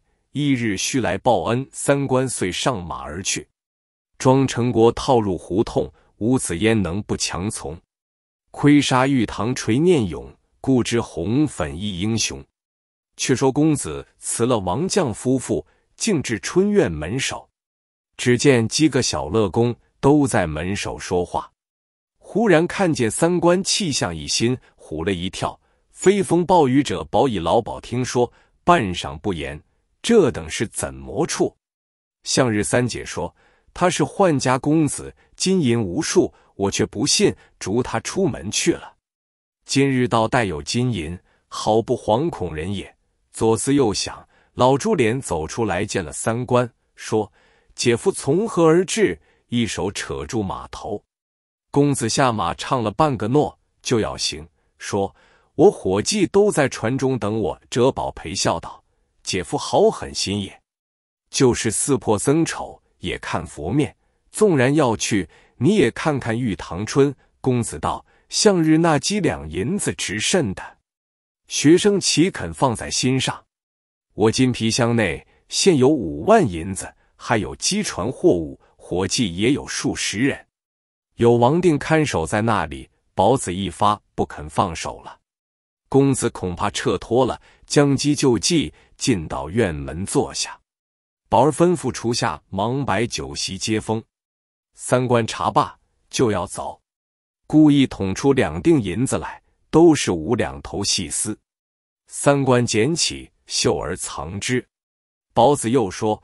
我到了姑娘家酒也不曾吃，就问你，说你往东去了，寻不见你，寻了一个多月，俺才回家。公子乘机便说：“亏你好心，我那时也寻不见你。”王定来接我，我就回家去了。我心上也牵挂住玉姐，所以急急而来。老鸨忙叫丫头去报玉堂春。丫头一路笑上楼来，玉姐已知公子到了。故意说：“奴才养肾魔。”丫头说：“王姐夫又来了。”玉姐故意唬了一跳，说：“你不要哄我，不肯下楼。”老鸨慌忙自来。玉居故意回脸往里睡。宝玉说：“我的妻儿，王姐夫来了，你不知道么？”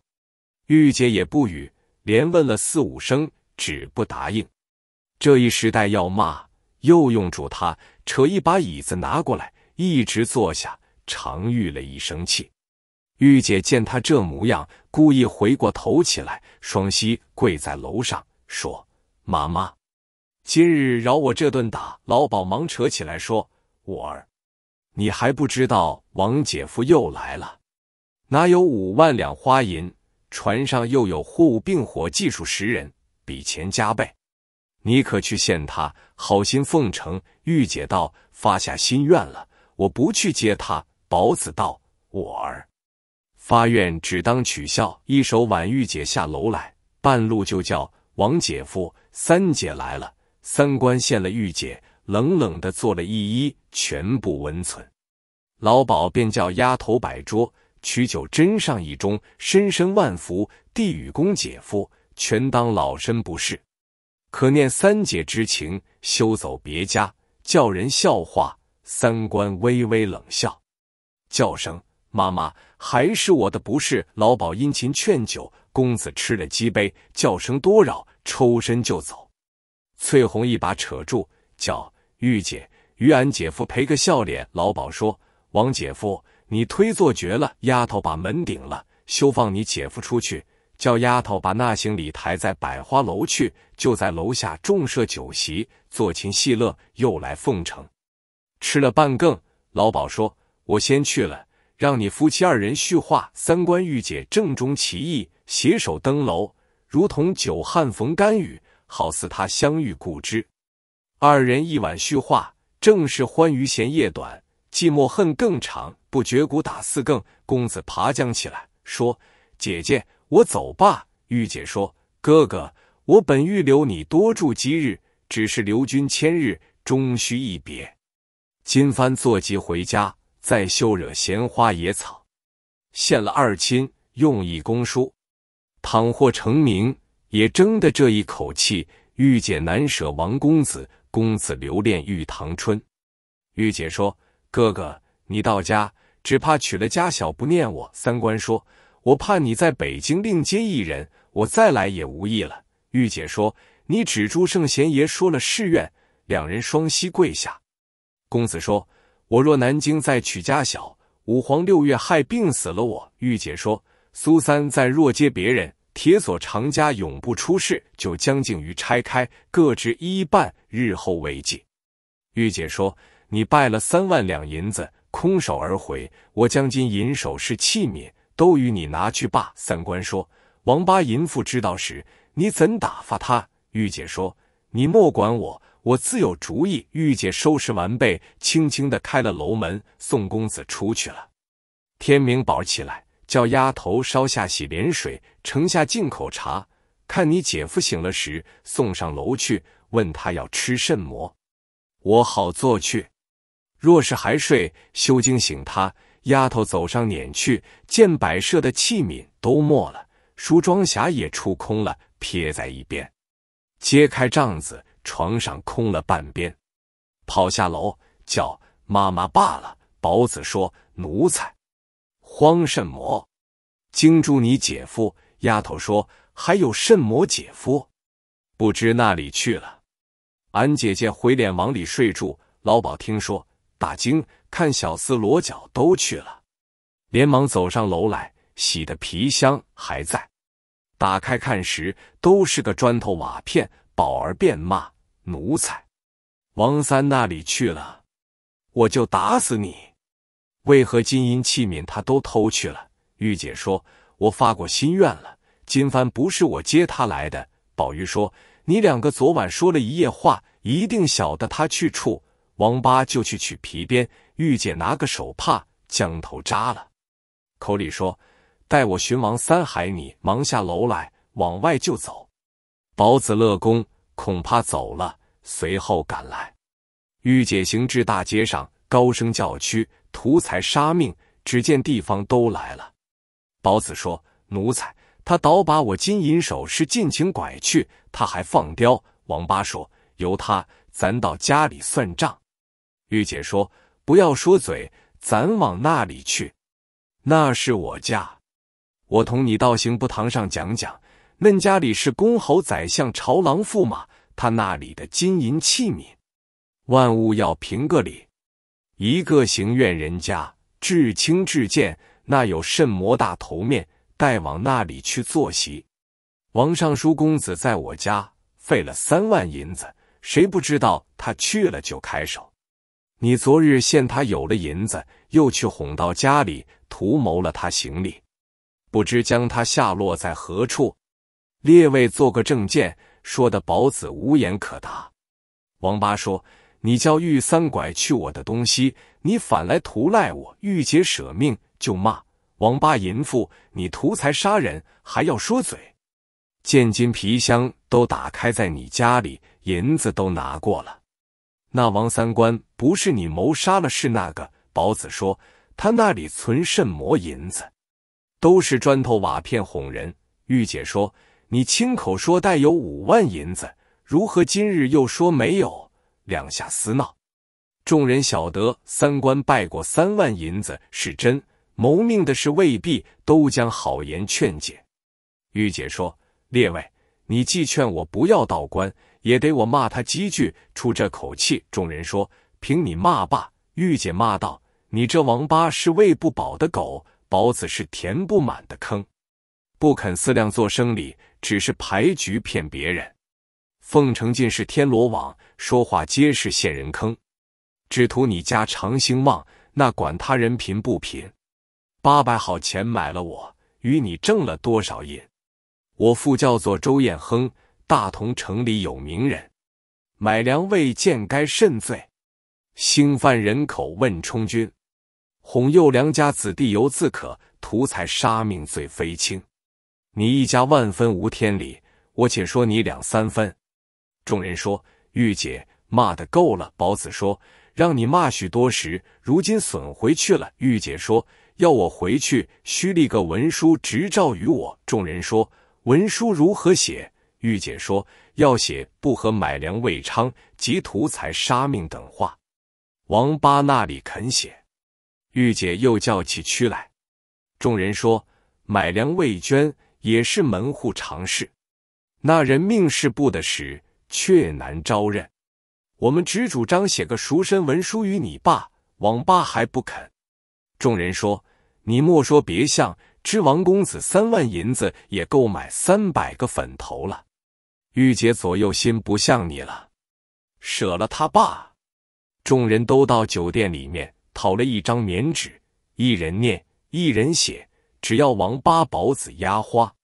玉姐道：“若写的不公道。”我就扯碎了。众人道：“还你停当！”写道：“立文书，本司乐户苏怀同妻一称金，向江前百文讨大同府人周燕亨女玉堂春在家，本望接客犒劳，奈女不愿未昌。”写到不愿未昌，玉姐说：“这句就是了，需要写收过王公子彩礼银三万两。”王八道：“三儿，你也拿些公道出来。”这一年多费用去了，难道也算？众人道：“只写二万罢。”又写道：“有南京公子王顺清与女相爱，怀得过银二万两，平重一作赎身财札。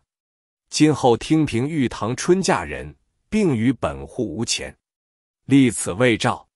后写正德年月日，立文书乐户苏怀同妻一称金，见人二有十余人。”众人先压了花，苏怀只得也压了一秤金，也画个十字。玉姐收气，又说：“列位老爹，我还有一件事要先讲个明。”众人曰：“又是甚事？”玉姐曰：“那百花楼原是王公子盖的，拨与我住丫头原是公子买的，要叫两个来服侍我。以后米面柴薪菜蔬等项，须是一一供给。”不许稍乐短少，只待我嫁人方止。众人说：“这事都依住你。”玉姐辞谢先回。王八又请众人吃过酒饭方散。正是周郎妙计高天下，赔了夫人又折兵。话说公子在路，夜住小行，捕鼠日，来到金陵自家门首下马。王定看见，唬了一惊，上前把马扯住，进的里面。三官坐下，王定一家拜见了。三官就问我老爷安摩，王定说安。大叔、二叔、姑爷、姑娘何如？王定说俱安。又问你听得老爷说我家来，他要怎么处？王定不言，长吁一口气，只看看天。三官就知其意，你不言语，想是老爷要打死我。王定说三叔。老爷是不留你，今番不要见老爷了，私去看看老奶奶和姐姐兄嫂，讨些盘费，他方去安身罢。公子又问老爷这二年与何人相厚，央他来与我说个人情。王定说无人敢说，只除是姑娘姑爹，意思间稍提提，也不敢直说。三官道：王定，你去请姑爹来，我与他讲这件事。王定及时去请刘斋长、和尚设道来叙礼毕，和刘二位说：“三舅，你在此等俺两个，与咱爷讲过，使人来叫你。若不依时，捎信于你，作速逃命。”二人说罢，竟往谭府来见了王尚书。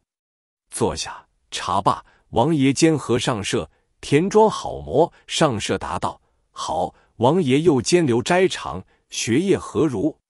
答说：“不敢，连日有事，不得读书。”王爷笑道：“读书过万卷，下笔如有神。秀才江河未本，家无读书子，官从何处来？今后须宜勤学，不可将光阴错过。”刘斋长唯唯谢教。和尚舍问：“客为前这强几时住的？”一向不见。王爷笑曰：“我年大了，无多田产。”日后恐怕大的二的争竞，预先分位两分。二人笑说：“三分家事，如何只做两分？”三官回来，叫他那里住。公爷闻说，心中大恼。老夫平生两个小儿，那里又有第三个？二人齐声叫：“爷，你如何不疼三官王景龙？当初还是爷不是，托他在北京讨账，无有一个去接寻。休说三官十六七岁，北京是花柳之所，就是久冠江湖也迷了心。”二人双膝跪下，掉下泪来。王爷说：“墨下烧的狗畜生，不知死在那里了。”再休提起了。正说间，二位姑娘也到。众人都知三官到家，只哄住王爷一人。王爷说：“今日不请都来，想必有甚事情，即叫家奴摆酒。”何静安欠身打一躬曰：“你闺女昨晚做一梦，梦三官王景龙身上褴褛，叫他姐姐救他性命。三更鼓做了这个梦，半夜捶床倒枕，哭到天明。”埋怨住我不接三官，今日特来兼问三舅的信因。刘心斋一说，自三舅在京，我夫妇日夜不安。今我与姨父凑些盘费，明日起身去接他回来。王爷含泪道：“贤婿，家中还有两个儿子，无他又待怎生？”呵，刘二人往外就走。王爷向前扯住，问贤婿何故起身？二人说：“爷撤手。”你家亲生子还是如此，何况我女婿也？大小儿女放声大哭，两个哥哥一齐下跪，女婿也跪在地上，奶奶在后边掉下泪来，引得王爷心动，一哭起来。王定跑出来说：“三叔，如今老爷在那里哭你，你好过去见老爷，不要待等恼了。”王定推住公子进前厅跪下说：“爹爹，不孝儿王景龙今日回了。”那王爷两手擦了泪眼，说：“那无耻畜生，不知死的往那里去了？北京足街上最多游时光棍，偶与畜生面庞私相，假充畜生来家，哄骗我财物。可叫小厮拿送三法司问罪。那公子往外就走。二位姐姐赶至二门手拦住，说：‘短命的，你带往那里去？’三官说：‘二位姐姐。’开放条路与我逃命罢！二位姐姐不肯撤手，推至前来，双膝跪下。两个姐姐手指说：“短命的，娘为你痛得肝肠碎，一家大小为你哭得眼花。那个不牵挂。”众人哭在伤情处，玉爷一声喝住众人不要哭，说：“我依住二位姐夫收了这畜生，可叫我怎么处他？”众人说：“消消气再处。”王爷摇头。奶奶说：“任我打罢。”王爷说：“可打多少？”众人说：“任爷爷打多少？”王爷道：“须依我说，不可阻我，要打一百。”大姐、二姐跪下说：“爹爹严命，不敢阻当，容你儿代替罢。”大哥、二哥每人替上二十，大姐、二姐每人一替二十。王爷说：“打他二十。”大姐、二姐说：“叫他姐夫也替他二十。”只看他这等黄瘦。一棍扫在那里，等他膘满肉肥，那时打他不迟。王爷笑道：“我儿，你也说的是。想这畜生，天理已绝，良心已丧，打他何意？我问你，家无生活计，不怕斗量金。我如今又不做官了，无处挣钱，做何生意以为糊口之计？要做买卖，我又无本钱与你。”二位姐夫间，他那银子还有多少？和刘便问三舅，银子还有多少？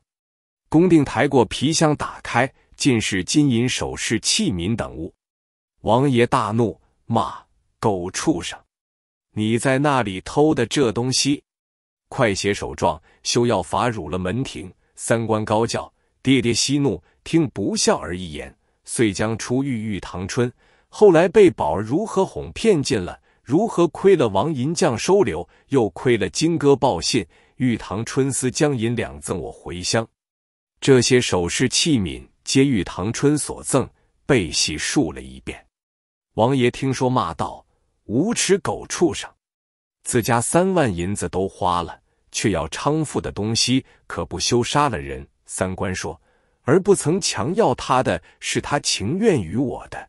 王爷说：“这也罢了，看你姐夫面上与你一个庄子，你自去耕地布种，公子不言。”王爷怒道：“王景龙，你不言怎么说？”公子说：“这是不是孩儿做的？”王爷说：“这是不是你做的？你还去嫖院罢？”三官说：“儿要读书。”王爷笑曰：“你已放荡了，心猿意马，读甚魔书？”公子说：“孩儿此口笃志，用心读书。”王爷说：“既知读书好，缘何这等胡味？”何静安立起身来说：“三舅受了艰难苦楚，这下来改过迁善，料想要用心读书。”王爷说：“就依你众人说，送他到书房里去，叫两个小厮去服侍他。及时就叫小厮送三官往书院里去。”两个姐夫又来说：“三舅久别，望老爷留住他。”与小婿共饮则可。王爷说：“贤婿，你如此乃非教子范方，休要纵他。”二人道：“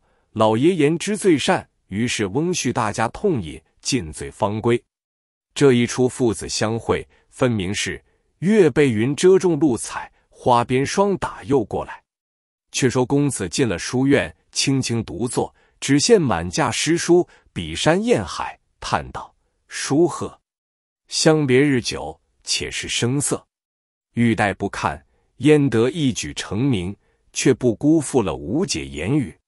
玉带读书，心源放荡，一马难收。公子寻思一会，拿住书来读了一会，心下只是想住玉堂春。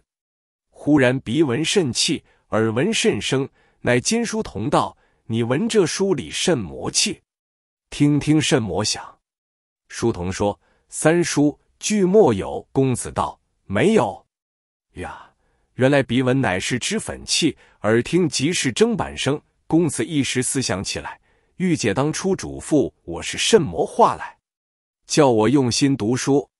我如今未曾读书，心意还丢他不下，坐不安，寝不宁，茶不思，饭不想，梳洗无心，神思恍惚。公子自私，可怎磨出他？走出门来。只见大门上挂住一联对语：“十年受尽窗前苦，一举成名天下闻。”这是我公公做下的对联。他中举会试，官至侍郎。后来咱爹爹在此读书，官到尚书。我今在此读书，亦要攀龙附凤，以继前人之志。右县二门上有一联对子：“不受苦中苦，难为人上人。”公子急回书房，看见风月机关，洞房春意。公子自私，乃是二叔乱了我的心，将一火而焚之，破镜分拆，俱将收了。心中回转，发至勤学。一日书房无火，书童往外取火。王爷正坐，叫书童。书童近前跪下，王爷便问：“三叔这一会用功不曾？”书童说：“禀老爷得知，我三叔先时通不读书。”胡思乱想，体瘦如柴。这半年整日读书，晚上读至三更方才睡，五更就起，直至饭后方才梳洗。口虽吃饭，眼不离书。王爷道：“奴才，你好说谎。我亲自去看他。”书童叫三叔，老爷来了。公子从从容容迎接父亲。王爷暗喜，观他行不安详。可以献他学问。王爷正面坐下，公子拜见。王爷曰：“我献的书你看了不曾？我出的题你做了多少？”公子说：“爹爹严命，馅儿的书都看了，题目都做完了，但有余力旁观之时。”王爷说：“拿文字来我看。”公子取出文字，王爷看他所作文课，一篇强如一篇，心中甚喜，叫景龙。去应个如是科举罢。公子说：“而读了今日书，敢望中举。”王爷说：“一遭中了虽多，两遭中了甚广。出去观官场，下科好中。”王爷就写书与题学察院，许公子科举。竟到八月初九日，进过头场，写出文字与父亲看。王爷喜道：“这七篇终有何难？”到二场、三场俱完。王爷又看他后场，喜道：“不再散举，绝世魁姐。”话分两头，却说玉姐自上了百花楼，从不下梯。是日闷倦，叫丫头拿棋子过来，我与你下盘棋。丫头说：“我不会下。”玉姐说：“你会打雕磨？”丫头说：“也不会。”玉姐将棋盘双路一接撇在楼板上。丫头见玉姐眼中掉泪，急忙夺过饭来说：“姐姐，自从昨晚没用饭，你吃个点心。”玉姐拿过分喂两半。右手拿一块吃，左手拿一块与公子。丫头欲接又不敢接，玉姐猛然睁眼见不是公子，将那一块点心掉在楼板上。丫头又忙多过一碗汤来说：“饭前造，吃些汤吧。”玉姐刚呷的一口，泪如涌泉，放下了，问：“外边是甚么响？”丫头说：“今日中秋佳节，人人玩月，处处作些。俺家翠香。”翠红姐都有客礼，玉姐听说，口虽不言，心中自私。哥哥今已去了一年了，叫丫头拿过镜子来照了一照，猛然唬了一跳。如何受得我这模样？把那镜丢在床上，长吁短叹，走至楼门前，叫丫头拿椅鱼过来，我在这里坐一坐。坐了多时，只见明月高升，绿楼鼓转。玉姐叫丫头，你可收拾香烛过来。今日八月十五日，乃是你姐夫进三场日子。我烧一炷香保佑他。玉姐下楼来，当天井跪下说：“天地神明，今日八月十五日，我哥王景龙进了三场，愿他早战鳌头，名扬四海。”祝罢，深深拜了四拜，有诗为证：“对月烧香祷告天，何时的谢府中冤？王郎有日登金榜，不在今生结好缘。”却说西楼上有个客人，乃山西平阳府洪洞县人，哪有整万银子来北京贩马？这人姓沈，名洪，因闻玉堂春大名，特来相访。老鸨见他有钱，把翠香打扮当作玉姐。相交数日，沈红方知不是，苦求一见。是夜丫头下楼取火，与玉姐烧香。小翠红忍不住多嘴，就说了：“沈姐夫，你每日问想玉姐，今夜下楼在天井内烧香，我和你悄悄的张他。”沈红将三钱银子买主了丫头，悄然跟到楼下，月明中看得仔细。等他拜罢，取出唱题，玉姐大惊，问是甚魔人？答道：“在下是山西沈红，有数万本钱在此贩马。”九牧玉姐大名，未得面睹，今日得见，如拨云雾见青天。望玉姐不弃，同到西楼一会。玉姐怒道：“我与你素不相识，今当副业，何故自夸才是，妄生事端？”沈红又哀告道：“王三官也只是个人，我也是个人。他有钱，我一有钱，那些儿强似我。”说罢，就上前要搂抱玉姐。被玉姐照脸震一口，急急上楼关了门，骂丫头好大胆，如何放这野狗进来？沈红没意思，自去了。玉姐思想起来，分明是小翠香、小翠红这两个奴才抱她，又骂小淫妇、小贱人。你接着得意孤老爷好了，怎该来落污我？骂了一顿，放声悲哭。但得我哥哥在时，那个奴才敢调戏我。又气又苦，越想越毒。正是，可人去后无日现，俗子来时不待招。却说三官在南京乡试中场，闲坐无事，每日只想御姐。南京一般也有本寺院，公子再不去走。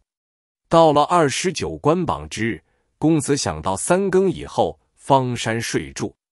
外边报喜的说，王景龙中了地球名。三官梦中闻信，起来梳洗，扬鞭上马，前拥后簇去赴陆屋宴。父母兄嫂、姐夫姐姐喜作一团，连日做庆贺筵席。公子谢了主考，辞了题学，坟前祭扫了，起了文书。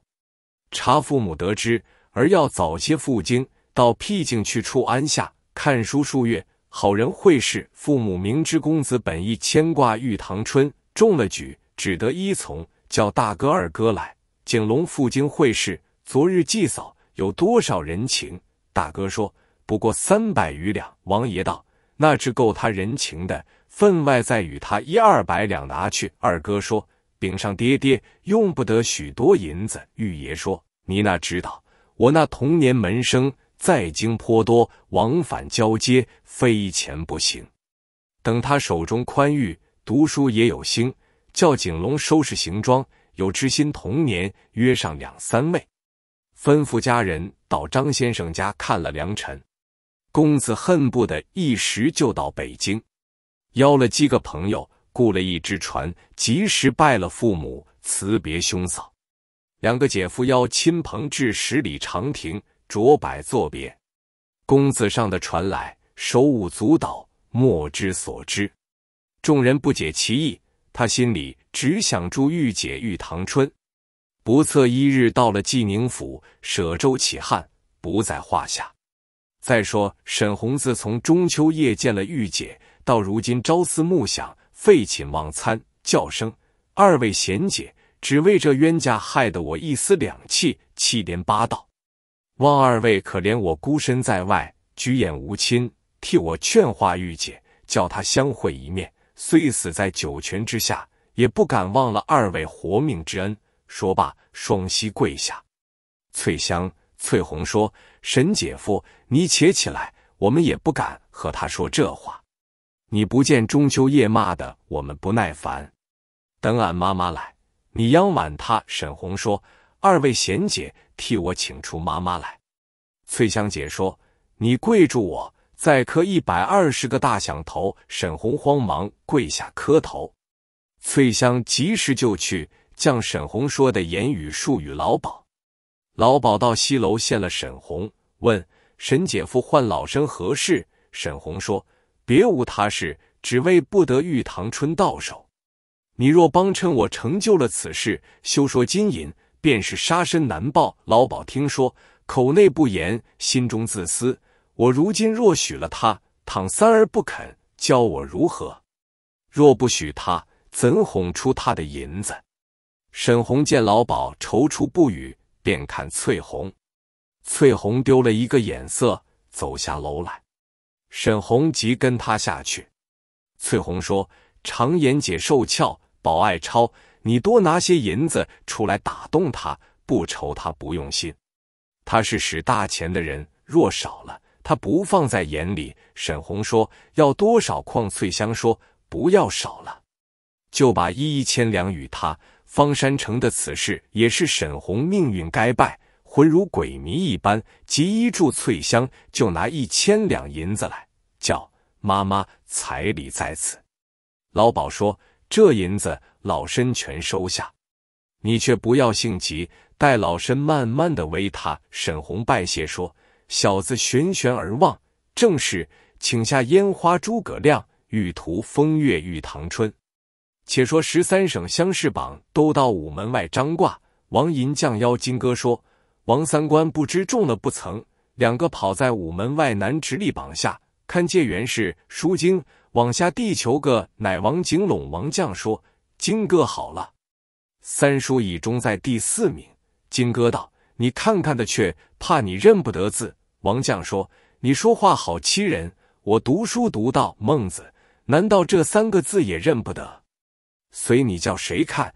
金哥听说大喜，二人买了一本乡试录，走到本寺院里去报与唐春说：“诏书中了。”玉姐叫丫头将试录拿上楼来，展开看了。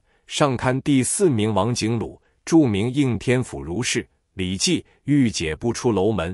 叫丫头忙排香案，拜谢天地，起来先把王将谢了，转身又谢金戈。虎德王八宝子魂不在体。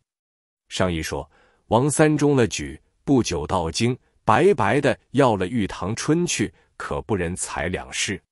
三儿向他孤老，绝没甚好言语，搬斗是非，教他报往日之仇。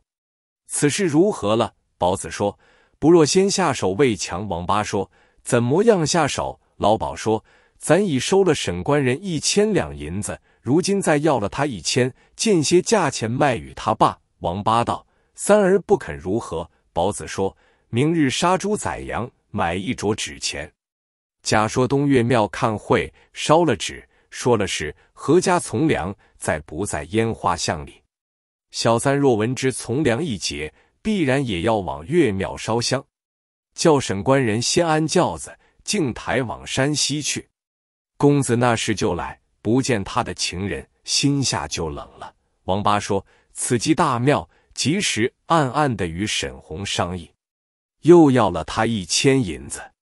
次早，丫头报与玉姐：“俺家杀猪宰羊，上岳庙里。”玉姐问：“为何？”丫头道：“听得妈妈说，魏王姐夫中了，恐怕他到京来报仇。今日发愿，阖家从良。”玉姐说：“是真是假？”丫头说：“等真理。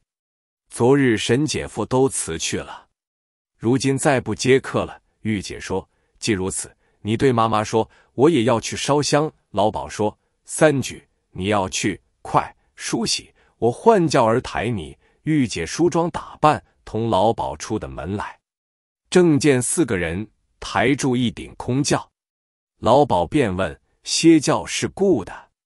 这人说：“正是。”老鸨说：“这里到岳庙要多少雇价？”那人说：“抬去抬来。”要一钱银子，老鸨说只是五分。那人说这个事小，请老人家上轿。老鸨说不是我坐，是我女儿要坐。玉姐上轿，那二人抬住，不往东岳庙去，竟往西门去了。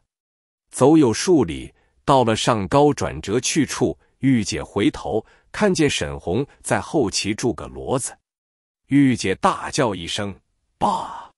想是王八宝鱼倒卖我了。玉姐大骂：“你这些贼狗奴，抬我住那里去？”沈红说：“往那里去？我为你去了二千两银子，买你往山西家去。”玉姐在轿中嚎啕大哭，骂声不绝。那轿夫抬了，飞也似走。行了日，天色已晚。沈红寻了一座店房，排喝一美酒，指望洞房欢乐。谁知玉姐提住便骂。处住便打，沈红见店中人多，恐怕出丑，想到瓮中之鳖，不怕他走了，全奈今日到我家中，何愁不从？于是反将好话奉承，并不去犯他。玉姐终日啼哭，自不必说。却说公子一到北京，将行李上殿，自己带两个家人，就往王银匠家探问玉堂春消息。王将请公子坐下，有见成酒，且吃三杯接风。慢慢告诉王将，就拿酒来斟上。三官不好推辞，连饮了三杯，又问玉姐敢不知我来？王将叫三叔开怀，再饮三杯。三官说够了，不吃了。王将说三叔久别，多饮几杯，不要太谦。公羽又饮了几杯，问这几日曾见玉姐不曾广？王将又叫。三叔，且莫问此事，再吃三杯。公子心仪，站起说：“有甚或长或短，说个明白，休闷死我也。”王将只是劝酒。却说金哥在门首经过，知道公子在内，进来磕头叫喜。三官问金哥：“你三婶近日何如？”金哥年又多嘴，说：“卖了。”三官急问说：“卖了谁？”王将瞅了金哥一眼，金哥缩了口。公子兼之盘问，二人瞒不过，说三婶卖了。公子问几时卖了？王将说有一个月了。公子听说，一头撞在尘埃，二人忙扶起来。公子问金哥卖在那里去了？金哥说卖与山西客人沈红去了。三官说你那三婶就怎么肯去？金哥叙出宝儿假意从良，杀猪宰羊上岳庙。哄三婶同去烧香，似与沈红约定，雇下轿子抬去，不知下落。公子说：“王八倒卖我玉堂春，我与他算账。”那时叫金哥跟着带领家人，进到本寺院里，进的院门，王八眼快跑去躲了。公子问众丫头：“你家玉姐何在？”无人感应。公子发怒，房中寻见老鸨，一把揪住。叫家人乱打，金戈劝诸公子就走在百花楼上，看见锦帐罗筛，越加怒恼，把香笼进行打碎，气得痴呆了。问丫头：“你姐姐嫁那家去了？”可老实说，饶你打。丫头说：“去烧香，不知道就偷卖了他。”公子满眼落泪，说：“冤家不知是正妻是偏妾。”丫头说：“他家里自有老婆。”公子听说，心中大怒，恨骂。王八淫妇，不仁不义。丫头说：“她今日嫁别人去了，还疼她怎的？”公子满眼流泪。正说间，胡服朋友来访。金哥劝三叔休恼，三婶一时不在了，你纵然哭他，他也不知道。今有许多相公在殿中相访，文公子在院中，都要来。公子听说，恐怕朋友笑话，即便起身回殿。公子心中气闷，无心应举，意欲树桩回家。朋友闻之，都来劝说：“顺清兄，功名是大事，表子是未结，那里有立表于而不去求功名治理？”公子说：“列位不知，我奋志勤学，皆为玉堂春的言语激我。冤家为我受了千辛万苦，我怎肯轻舍？”众人叫。顺清兄，你倘廉洁，幸在彼地，见之何难？你若回家，忧虑成病，父母悬心，朋友笑耻，你有何意？三观自私，言之最当。倘或侥幸得到山西，平生愿足矣。数言劝醒公子。会试日期已到，公子进了三场，果中金榜二甲第八名，刑部官正。三个月。选了真定府里刑官，即遣叫马迎请父母兄嫂，父母不来，回书说教他做官勤慎公廉。念你年长未娶，已聘刘都堂之女，不日送至人所成亲。公子一心只想珠玉堂春，全部以聘娶为喜。正是以江路柳卫连理，翻把家鸡做野鸳。且说沈弘之妻皮氏。也有几分颜色，虽然三十余岁，比二八少年也还风骚。平息间嫌老公粗蠢，不会风流，又出外日多，在家日少。皮氏色性大众，打熬不过，肩壁有个监生，姓赵名昂，自幼惯走花柳场中，为人风月。近日丧偶，虽徽是纳素相公，家道已在消乏一边。一日。皮氏在后园看花，偶然撞见赵昂，彼此有心，都看上了。赵昂访知巷口做歇家的王婆，在沈家走动时熟，且是利口，善于做媒说和，乃将白银二十两贿赂王婆，央他通缴。皮氏平息间不良的口气，已有在王婆肚里。况且今日你贪我爱，一说一上。幽期密约，一墙之隔，踢上踢下，做就了一点不明不白的事。赵昂一者贪皮氏之色，二者要骗他钱财，枕席之间竭力奉承。皮氏心爱赵昂，但是开口无有不从，恨不得连家当都津贴了他。不上一年，青耕稻筐，骗得一空。初时只推事故，暂时纳借。借去后分毫不悬，皮氏只愁老公回来盘同时无言回答。一夜与赵昂商议，欲要跟赵昂逃走他方。赵昂道：“我又不是赤脚汉，如何走的？便走了，也不免吃官司。指出暗地谋杀了沈红，做个长久夫妻，岂不尽美？”皮氏点头不语。却说赵昂有心打听沈红的消息，晓得他讨了愿记玉堂春一路回来，急忙报与皮氏知道，故意将言语处恼皮氏。皮氏怨恨不绝余生，问如今怎么样对付他说好诗？赵昂道：他进门时，你便说他不是，与他寻闹，叫他领住昌根令住，那诗平你安排了。我央王婆熟的些砒霜在此。去便放在石器内，把与他两个吃。等他双死也罢，单死也罢。皮氏说他好吃的是辣面。赵昂说辣面内正好下药。两人圈套已定，只等沈红人来。不一日，沈红到了故乡，叫仆人和玉姐暂停门外，自己先进门与皮氏相见，满脸陪笑说：“大姐休怪，我如今做了一件事。”皮氏说：“你莫不是娶了个小老婆？”沈红说：“是了。”皮氏大怒，说：“为妻的整年月在家守活孤娟，你却花柳快活，又带着泼淫妇回来，全无夫妻之情。你若要留这淫妇时，你自在西厅一带住下，不许来缠我。我也没福受这淫妇的拜，不安他来。昂然说罢，啼哭起来，拍是拍凳，口里千王八万淫妇骂不绝声。沈红劝解不得，想到且暂时依他言语，在西厅住几日，落得受用。等他气消了时，却领玉堂春与他磕头。沈红只道浑家是吃醋。谁知她有了私情，又且房既空虚了，正怕老公进房，借此机会打发他另居。正是你向东时，我向西，个人有意自加之，不在话下。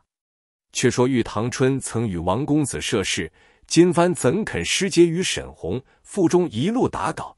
我若到这厌恶家中，将情节哭诉他大娘子，求他做主，以全节操。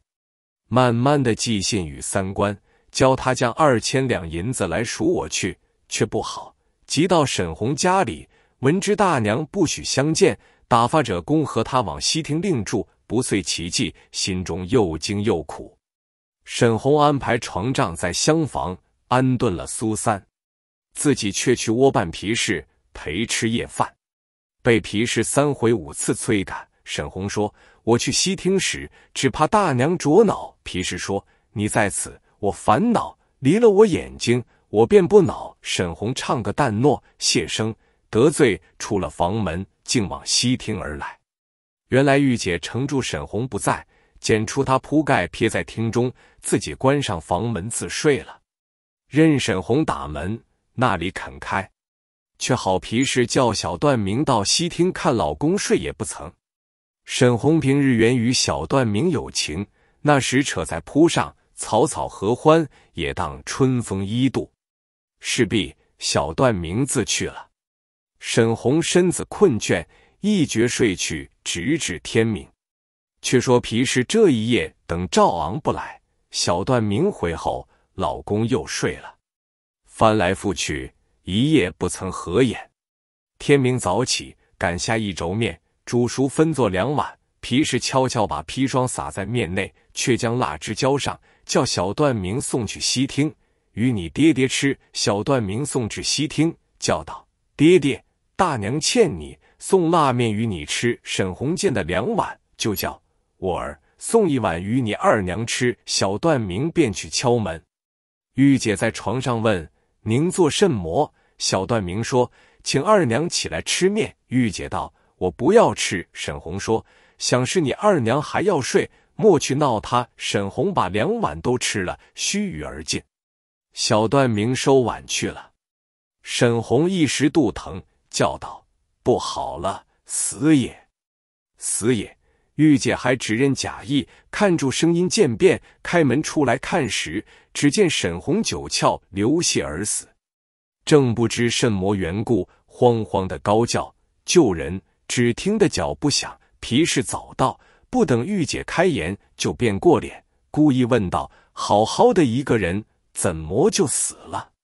想必你这小淫妇弄死了他，要去嫁人。”玉姐说：“那丫头送面来叫我吃，我不要吃，并不曾开门。谁知她吃了，便肚疼死了。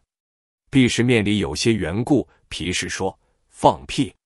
面里若有缘故。”必是你这小淫妇做下的，不然你如何先晓得这面是吃不得的，不肯吃？你说并不曾开门，如何却在门外？这谋死情由不是你是谁？说罢，假哭起养家的天来，家中冲仆养娘都乱作一堆。皮氏就将三尺白布摆头，扯了玉洁往知县处叫喊，正值公知县升堂。唤进问其缘故，皮氏说：“小妇人皮氏，丈夫叫沈红，在北京卫商，用千金娶这娼妇，叫做玉堂春为妾。这娼妇嫌丈夫丑陋，因吃辣面，暗将毒药放人，丈夫吃了，登时身死。望爷爷断他长命。王知县听罢，问玉堂春：“你怎么说？”玉姐说：“爷爷，小妇人原籍北直隶大同府人士，只因年岁荒旱，父亲把我卖在本司院苏家。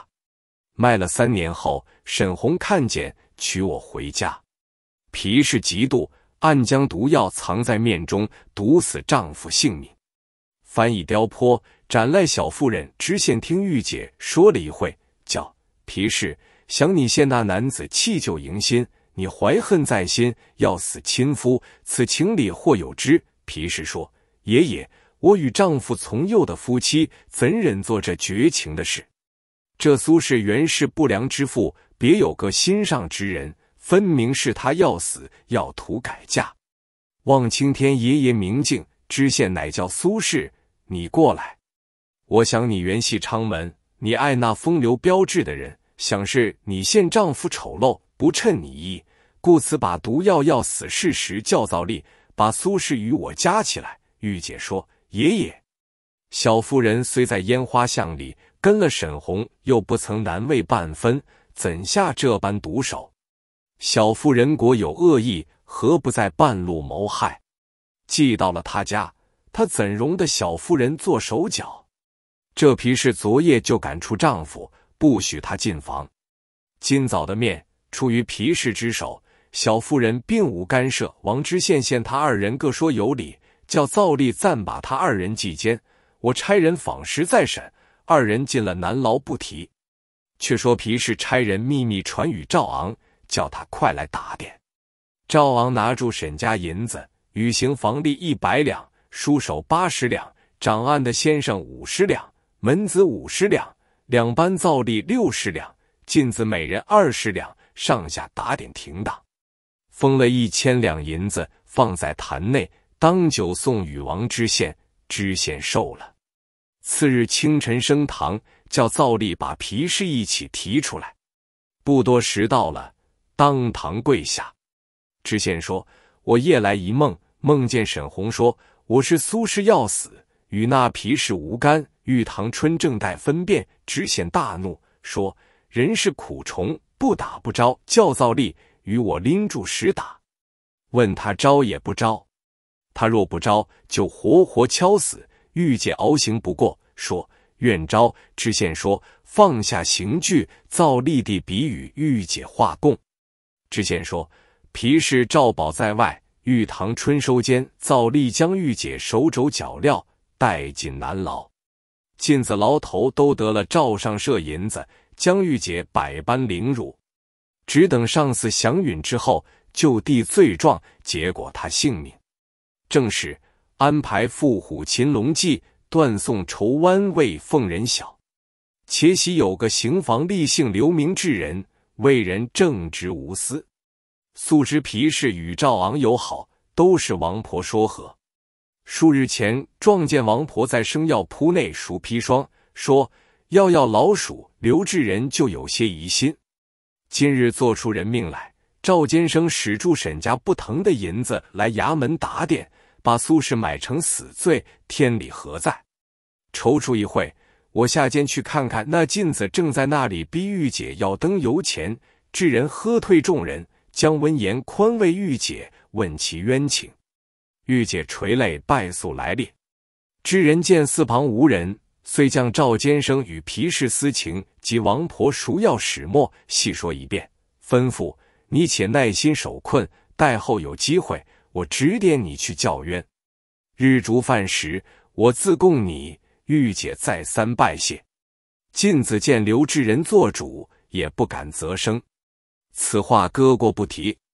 却说公子自到真定府为官，举例除害，立为民乐，只是想念玉堂春，无可不然。一日正在烦恼，家人来报，老奶奶家中送新奶奶来了。公子听说接近家孝见了新人，口中不言，心内自私，容貌倒也齐整，怎及得玉堂春风去？当国摆了合欢宴，吃下何否杯？鼻音之际，猛然想起多娇，当初指望白头相守，谁知你嫁了沈红，这官号却被别人承受了。虽然陪伴了刘氏夫人，心里还想住玉姐，因此不快，当夜中了伤寒。又想当初与玉姐别时，发下誓愿，各不嫁娶，心下疑惑，合眼就见玉姐在旁。刘夫人遣人到处齐住，府县官都来问安。请明一切脉调治，一月之外才得全可。公子在人年余，官升大柱，行取到京，吏部考选天下官员。公子再不点名已毕，回到下处，焚香祷告天地，只愿山西尉官好访问玉堂春消息。须臾马上人来报，王爷点了山西巡案。公子听说，两手加额，趁我平生之愿矣。次日领了敕印辞朝，连夜骑马往山西省城上任气，及时发牌，先出巡平阳府。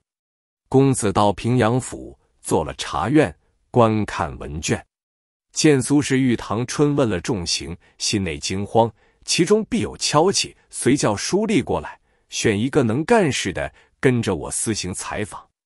你众人在内，不可走漏消息。公子时下换了素中青衣，随跟书吏暗暗出了茶院，雇了两个骡子往洪洞县路上来。这赶脚的小伙在路上闲问：“二位客官往洪洞县有甚贵干？”公子说：“我来洪洞县要娶个妾，不知谁会说媒。”小伙说：“你又说取笑俺县里一个财主，因娶了个小，害了性命。”公子问。怎的害了性命？小伙说：“这才主叫沈红，妇人叫做玉堂春，他是京里娶来的。他那大老婆皮氏与那邻家赵昂私通，怕那汉子回来知道，一服毒药把沈红要死了。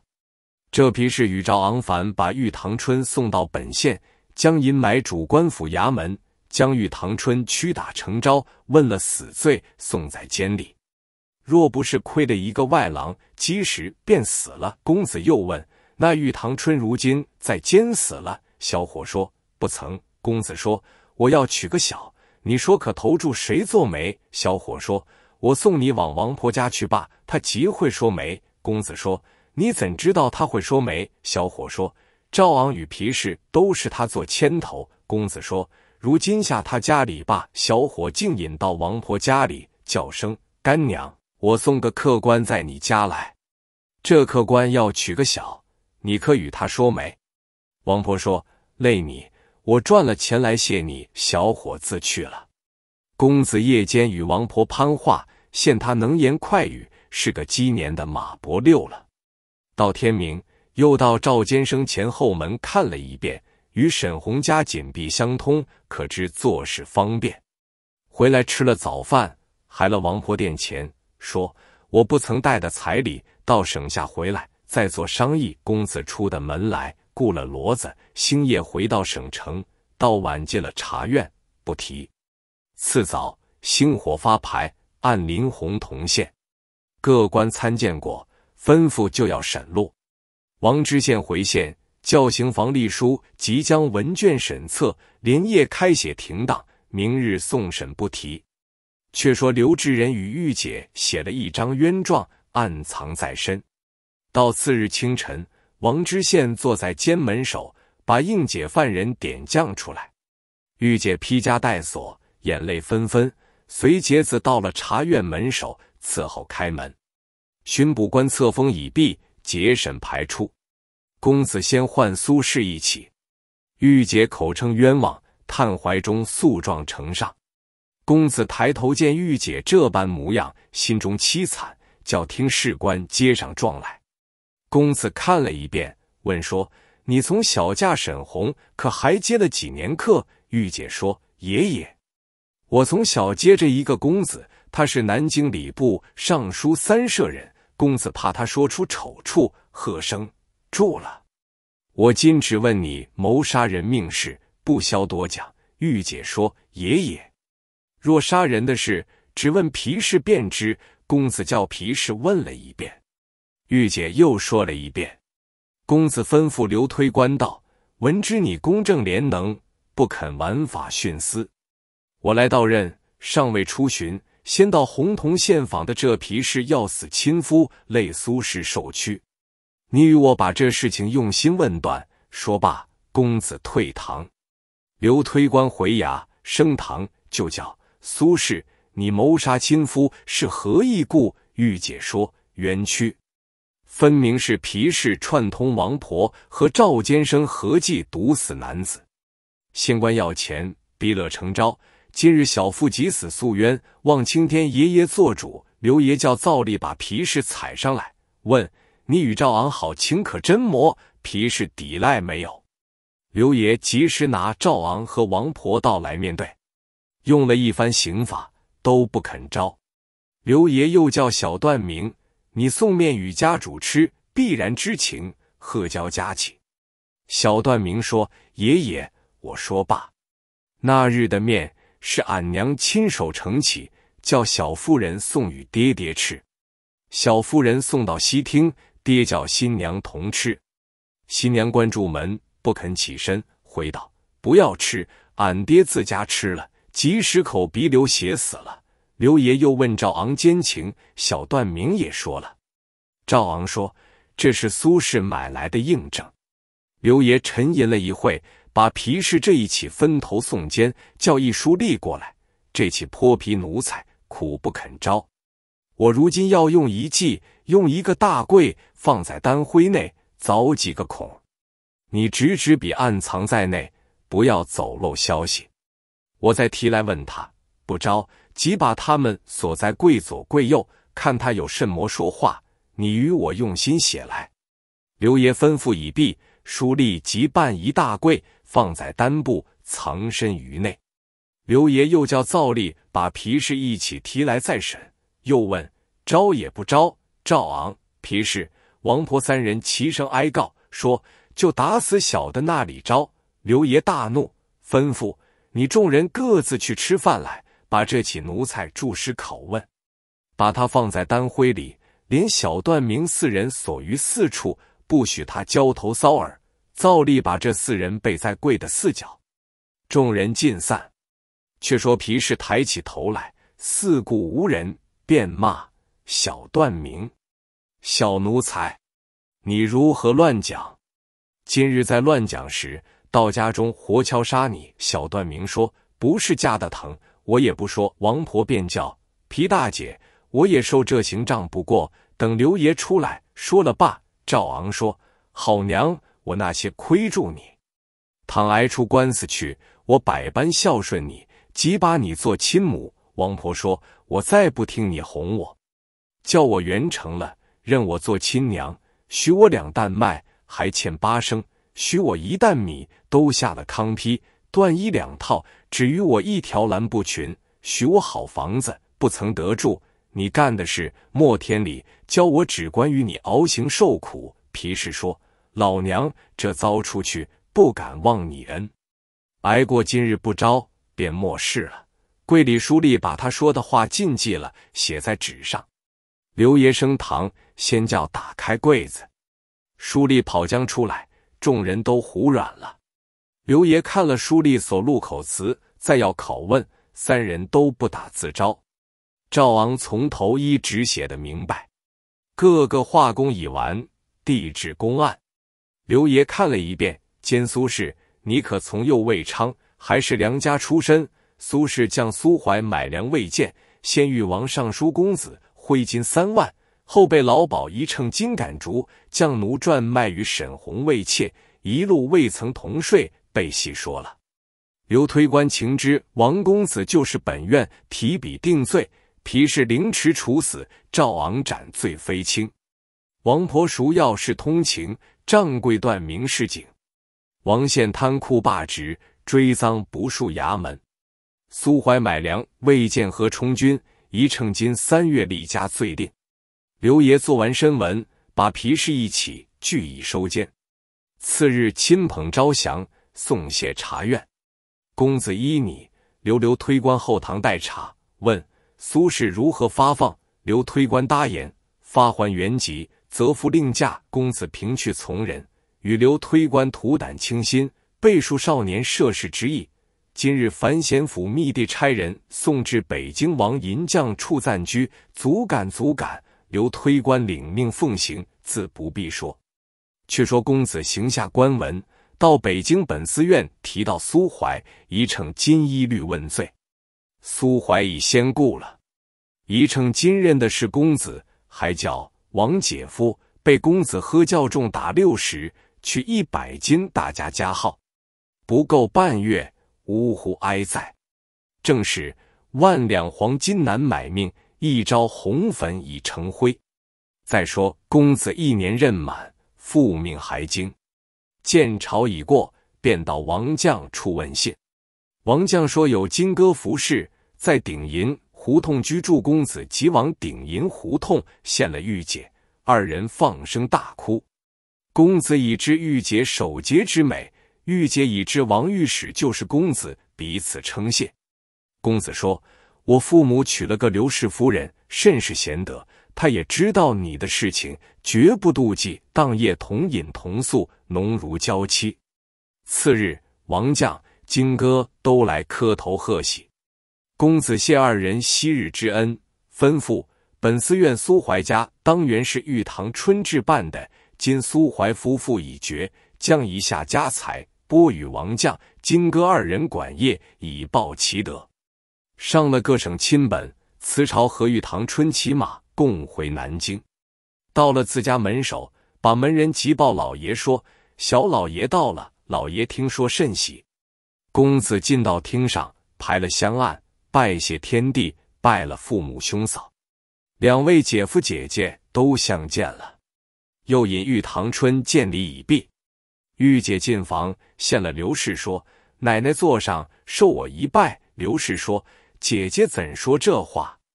你在先，奴在后。”玉姐说：“姐姐是名门宦家之子，奴是烟花，出身微贱，公子喜不自胜。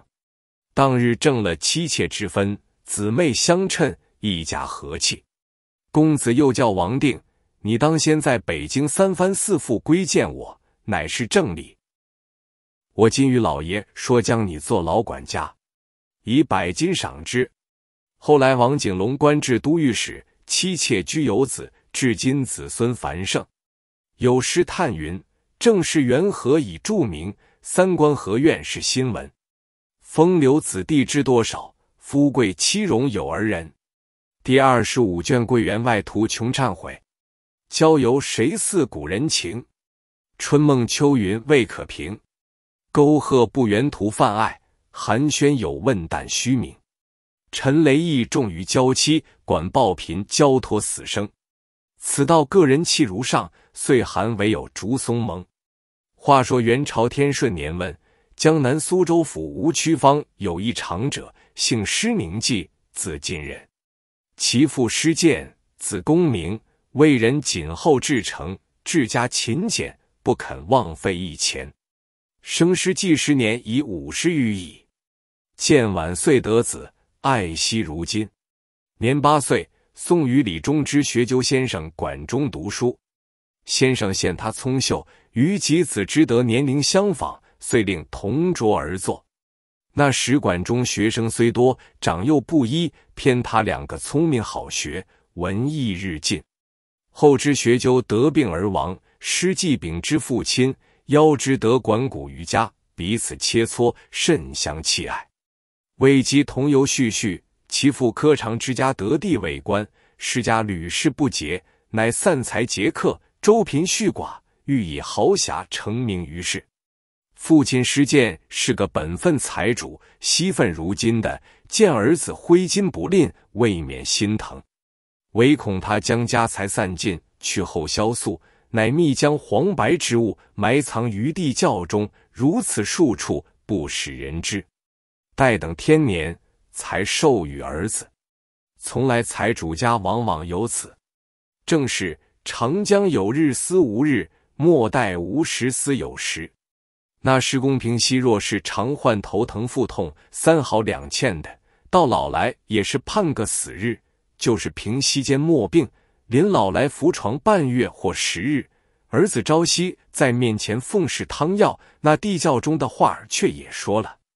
只为他年已九十有余，兀自精神健忘，饮吹坚人，步履如飞。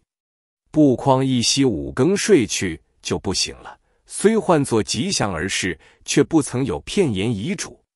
常言说得好：“三寸气在千般用，一日无常万事休。”那实际是有治学好的人。少不得并练祭葬，勿从其后。其实时纪年于四十，尚未生子。三年孝满，七言是劝令之切。师既不从，发心持诵《白衣观音经》，并刊本不施，许愿生于之日，舍三百金修盖殿字。今年之后，严氏得运，果生一男。三朝剃头，夫妻说起还愿之事。遂取名尸骸，到弥月做了汤饼会。师姬对浑家说：“收拾了三百两银子，来到虎丘山水月观音殿上烧香礼拜。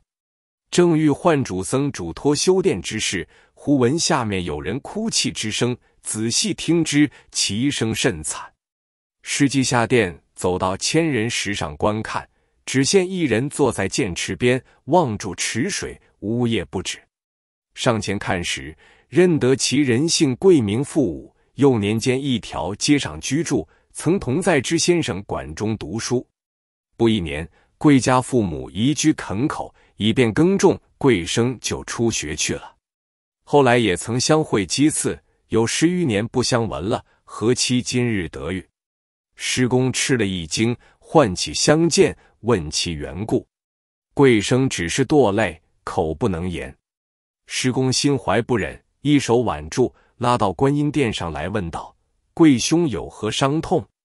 倘然见教，小弟或可分忧。贵父出时不肯说，被再三盘结，只得吐实道：“某祖已有屋一所，田百亩，自耕自食，尽可糊口。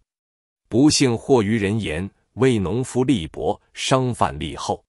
江波禅底借李平章府中本银三百两，犯沙断往燕京。”岂料运奏时乖，连走机变，本利俱训换家所债，如狼似虎，立上盘吏，江田房家私尽数估计，一妻二子，亦为其所有。尚然未足，要逼某攀害亲戚赔补。某情急，夜间逃出，思量无路，欲投涧水中自尽，是以悲泣耳。师公恻然道：“吾兄勿忧。”吾是代修殿银三百两在此，且以以相赠，使君夫妻父子团圆何如？贵生惊道：“足下莫非戏言乎？”师公大笑道：“君非有求于我，何戏之有？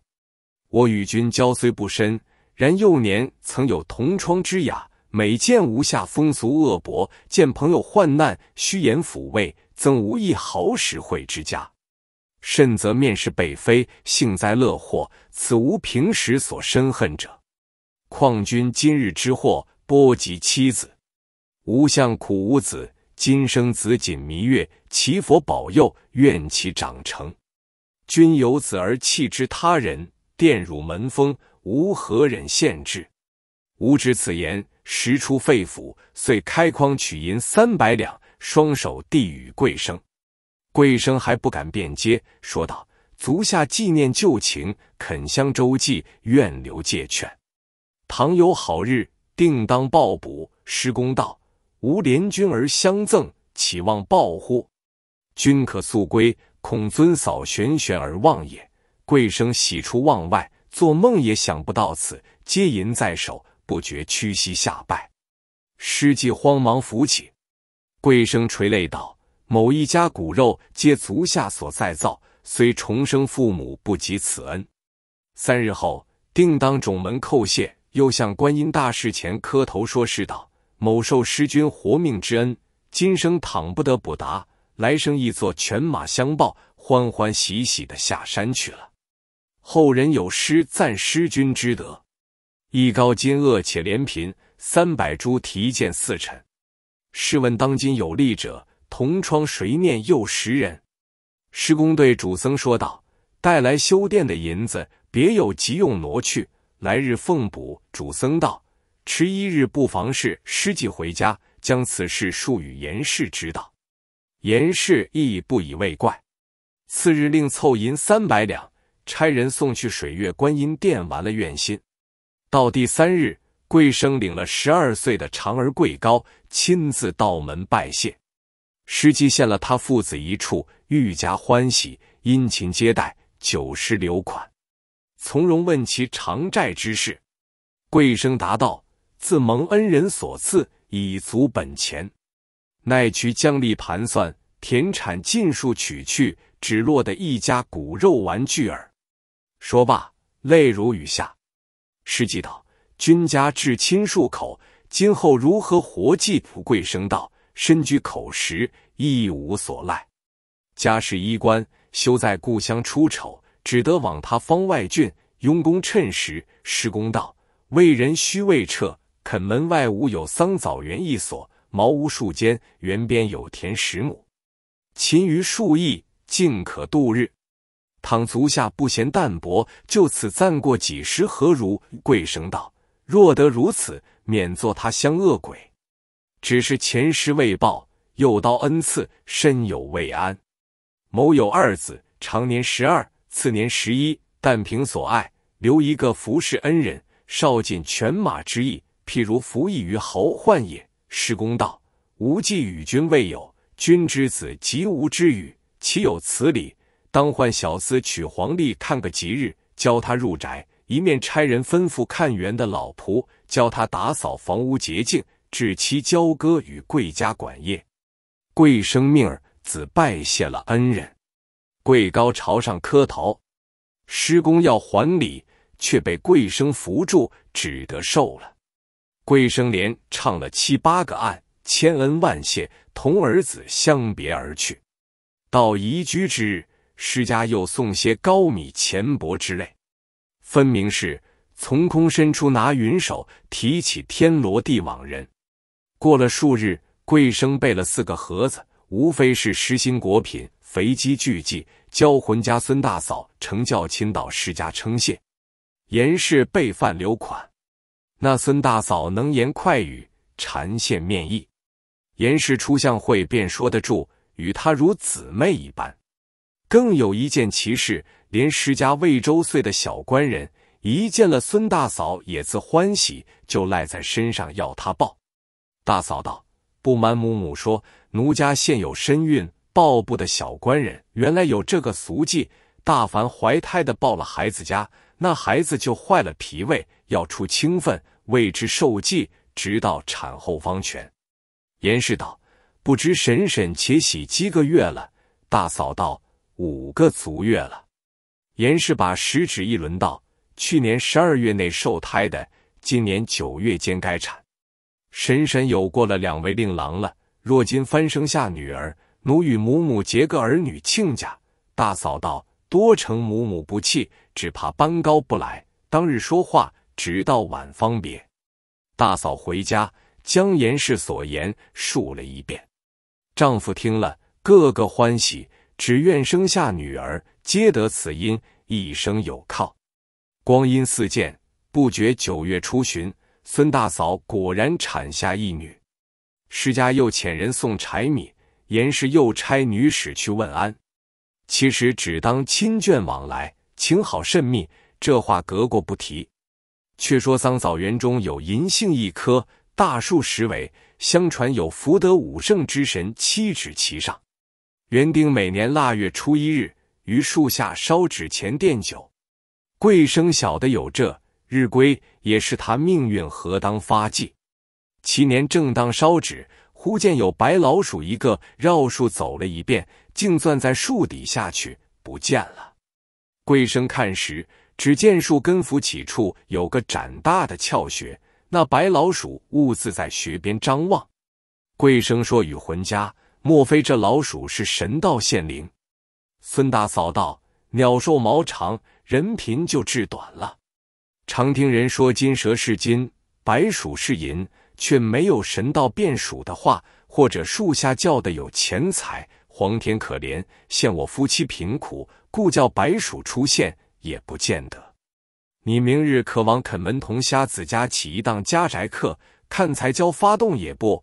贵生平日惯听老婆舌的，明日起早，真个到铜瞎子铺中起客，断得有十分彩彩。夫妻商议停当，买猪头祭献葬神。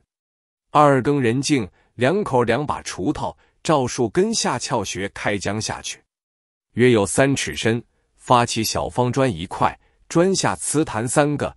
坛口铺住米都烂了，拨开米下边都是白雾。原来银子埋在土中，得了米便不走。夫妻二人叫声惭愧，四只手将银子搬进，不动那瓷坛，一日盖砖掩土。二人回到房中，看那东西约一千五百斤。贵生算计，要将三百两还施氏所赠之数。余下的将来营运，孙大嫂道：“确实不得。”贵生问道：“为何？”孙大嫂道：“师师知我赤贫来此，倘问这三百金从何而得，反生疑心。若知是银杏树下掘得的，原是他园中之物，祖上所遗。凭他说三千四千，你那里分辨？和盘托出，还只嫌少。”不为不见我们好心，反成不美。贵生道：“若依贤妻所见如何？”孙大嫂道：“这十亩田，几株桑枣，了不得你我终身之事。幸天赐藏金，何不与他相思，与这些产业，慢慢的脱身去，自做个财主。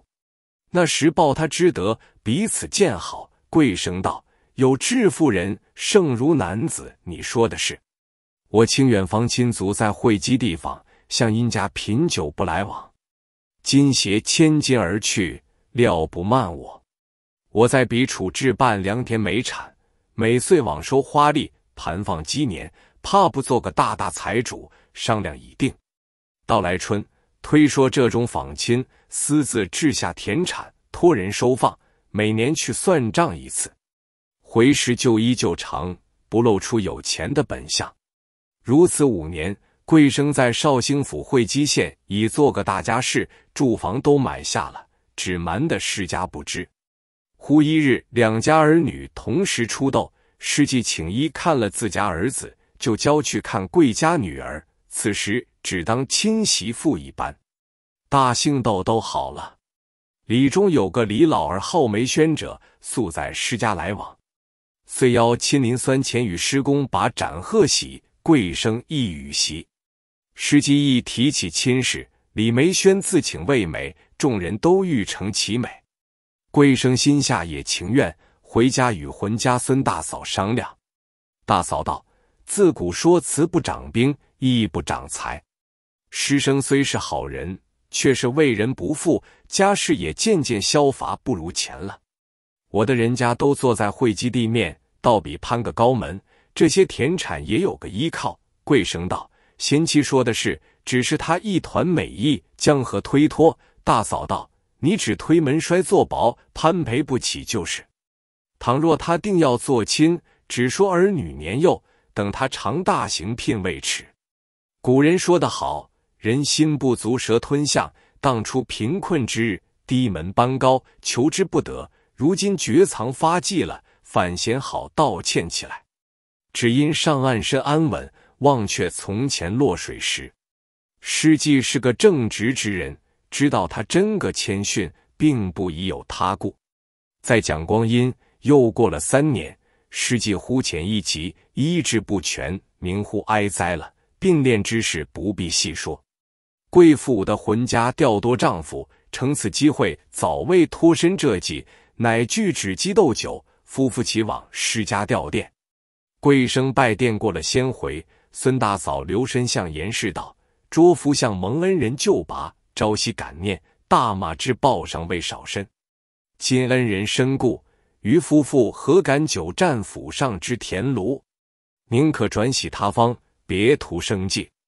今日就来告别。”严氏道：“婶婶何出此言？先夫虽则去世，奴家亦可做主。”孤苦中正要婶婶时常伴话，何忍舍我而去？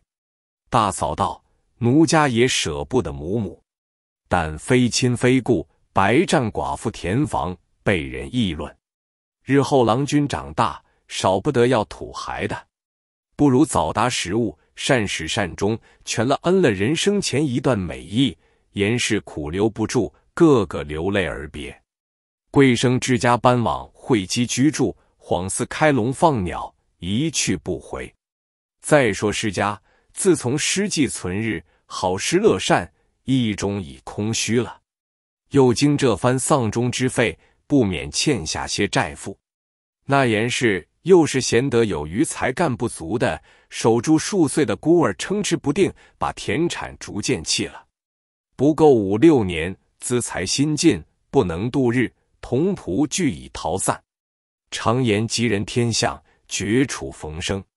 恰好遇一个人从任所回来，那人姓之明德，从小与师记同窗读书，一举成名，剔吏外任，官至四川路参政。此时元顺帝至正年问小人用事，朝政日稳，知得不愿为官。至正而归，闻师记故后，家日贫落，心甚不忍，特地登门吊唁。故于师还出营，年抚垂属，进退有礼。知翁问：曾聘妇否？师还答言：先人薄业已心，老母干指尚缺，何暇及此？知翁潸然泪下道：令先公忧人之忧，乐人之乐。此天的间有数好人，天理若下敏。子孙必然昌盛。某乔在疮疫，因久患远方，不能分忧共患，乃令先公之罪人也。某有爱女一十三岁，与贤之年颇相宜，欲遣媒的与令堂夫人一因，万望先未到达，是必勿惧。是还拜谢，口称不敢。次日，之翁差家人持金钱币帛之礼，同媒人往聘师世子为养婿。严氏感其美意，只得依允。师孩择日过门拜岳父岳母，就留在馆中读书。严明师以交之。又念亲母严氏在家薪水不给，提柴送米，每十日令其子归省一次。严氏母子感恩非浅。后人评论世俗以富欺贫，以定下婚姻犹有图赖者，况以宦家之爱女下坠贫友之孤儿。之翁真圣德之人也，这才是战财如粪土，仁义值千金。说那之翁虽然履任，立做清官的，所以患意甚薄，又添了女婿一家供给，力量甚是勉强。偶有人来说及贵妇武在桑枣园搬去会稽县造化发财，良田美宅，何止万贯？如今改名贵谦，外人都称为贵员外。知翁是晓得前因的，听得此言，遂向女婿说之：当初贵公武受你家恩惠，不一而足，别的不算，只替他偿债一主，就是三百两。如今他发迹之日不来看顾你，一定不知你家落薄如此。贤婿若往会稽投奔他，必然厚赠，此乃分内之财，谅他家也巴不得你去的，可与亲母记忆，是还回家。对母亲说了，严氏道：“若贵家果然发迹，必不负我。但当初你尚年幼，不知中间许多情节。他的浑家孙大娘与我姊妹情分，我与你同去。倘男子汉出外去了，我就好到他那里说话。是还回复了，知翁以盘费相赠，又作书与贵谦，自叙同窗之意，嘱他看顾失事母子二人。”当下买舟，竟往绍兴会稽县来，问贵谦员外家居何处？有人指引道，在西门城内大街上第一代高楼房，就是师还就西门外下个饭店。次日，严氏留指店中，师选写个通家晚辈的名次，带了知公的书信，进城到贵谦家来。门景甚是整齐，但现门楼高耸，屋子轩昂，花木。酒坠亭中，着以百列堂上，一条与稻花砖砌，三尺高阶着十层。仓头出入，无非是管屋管田，小户登门，不过是还租还债。桑枣园中绝藏客，会稽县里起家人。施小官人见贵家门庭赫义，心中思喜，这番投人投得住了。守门的问了来历，收了书帖，引到仪门之外一座照厅内坐下。厅内匾额题之“驾堂”三字，乃名人杨铁牙之笔。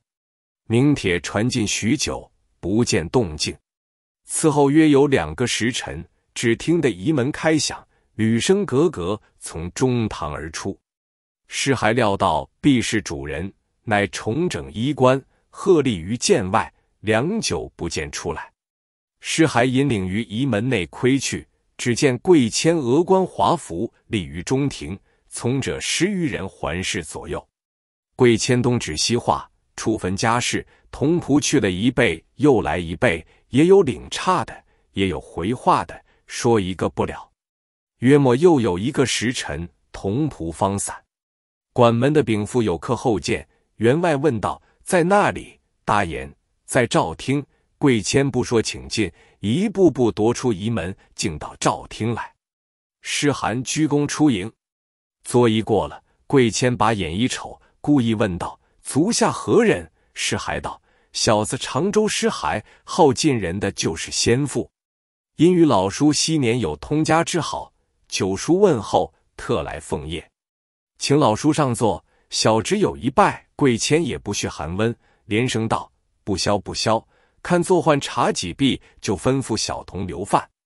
诗还却又暗暗欢喜。诗还开口道：“家母后者神母万福，现在旅社。先前小子通知，论起昔日受之深处，就该说：既然老夫人在此，请到舍中与捉精相会。”贵谦口中唯唯，全部招架。少廷，童子报午饭已备。贵生就叫摆在赵厅内，只一张桌子，却是上下两桌嘎饭。诗还谦让不肯上座，把椅拖在旁边。贵谦也不来安正。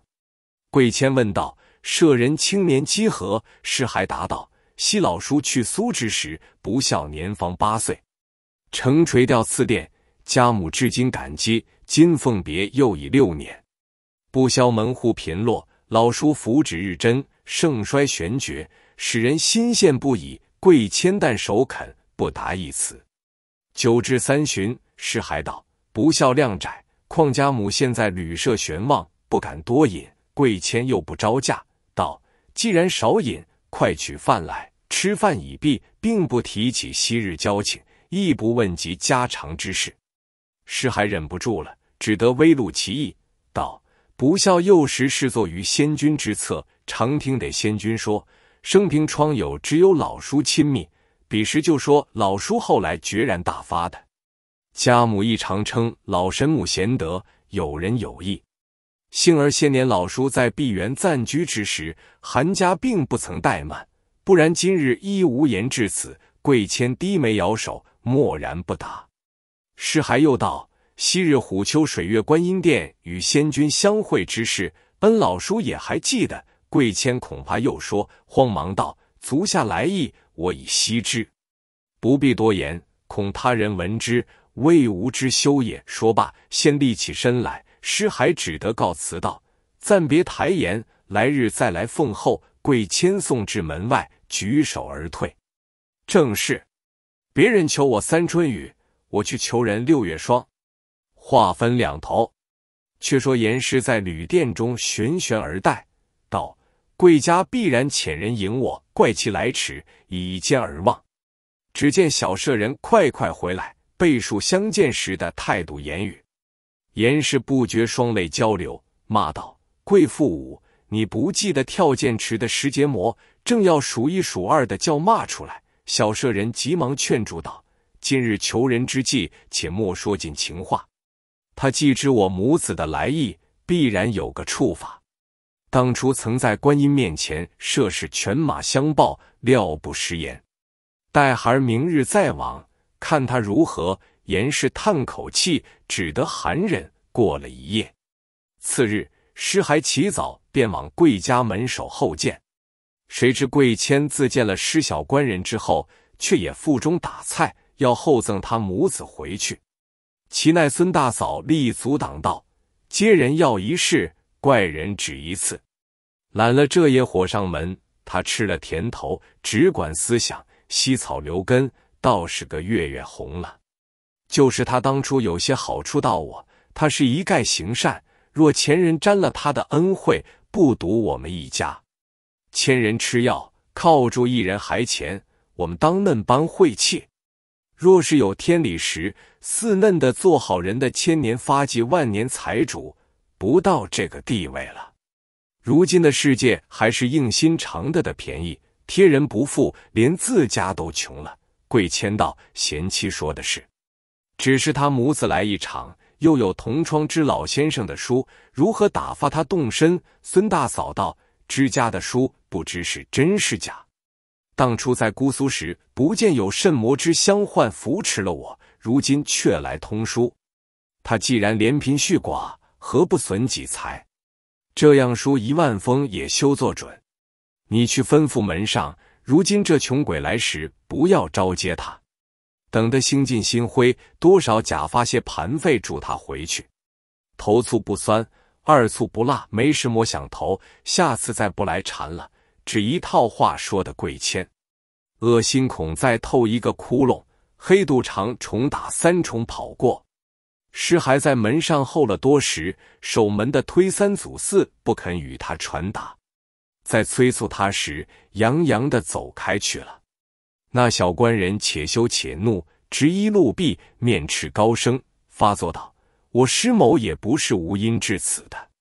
行得春风，指望下雨。当初我们做财主时节，也有人求我来，却不曾嫩般怠慢人，骂犹未绝。只见一位郎君衣冠齐整，自外而入，问骂者何人？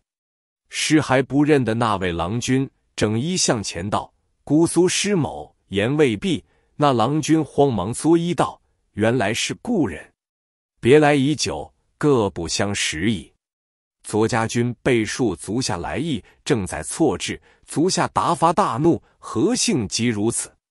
今亦不难，当即与家军说之，来日便有莫处。”诗还方知那郎君就是贵家长子贵高，见他说话入耳。自悔失言，方欲在宿中取那郎君，不别，竟自进门去了。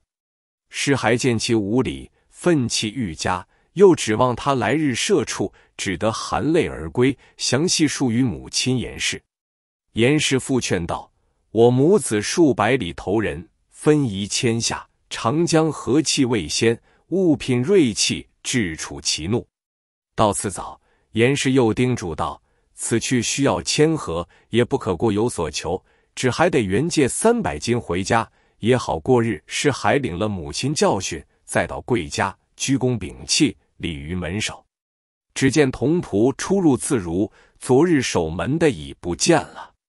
小舍人站了半日，只得扯住一个年长的仆者问道：“小生姑苏失玄，求见员外两日了，烦通报一声。”那仆者道。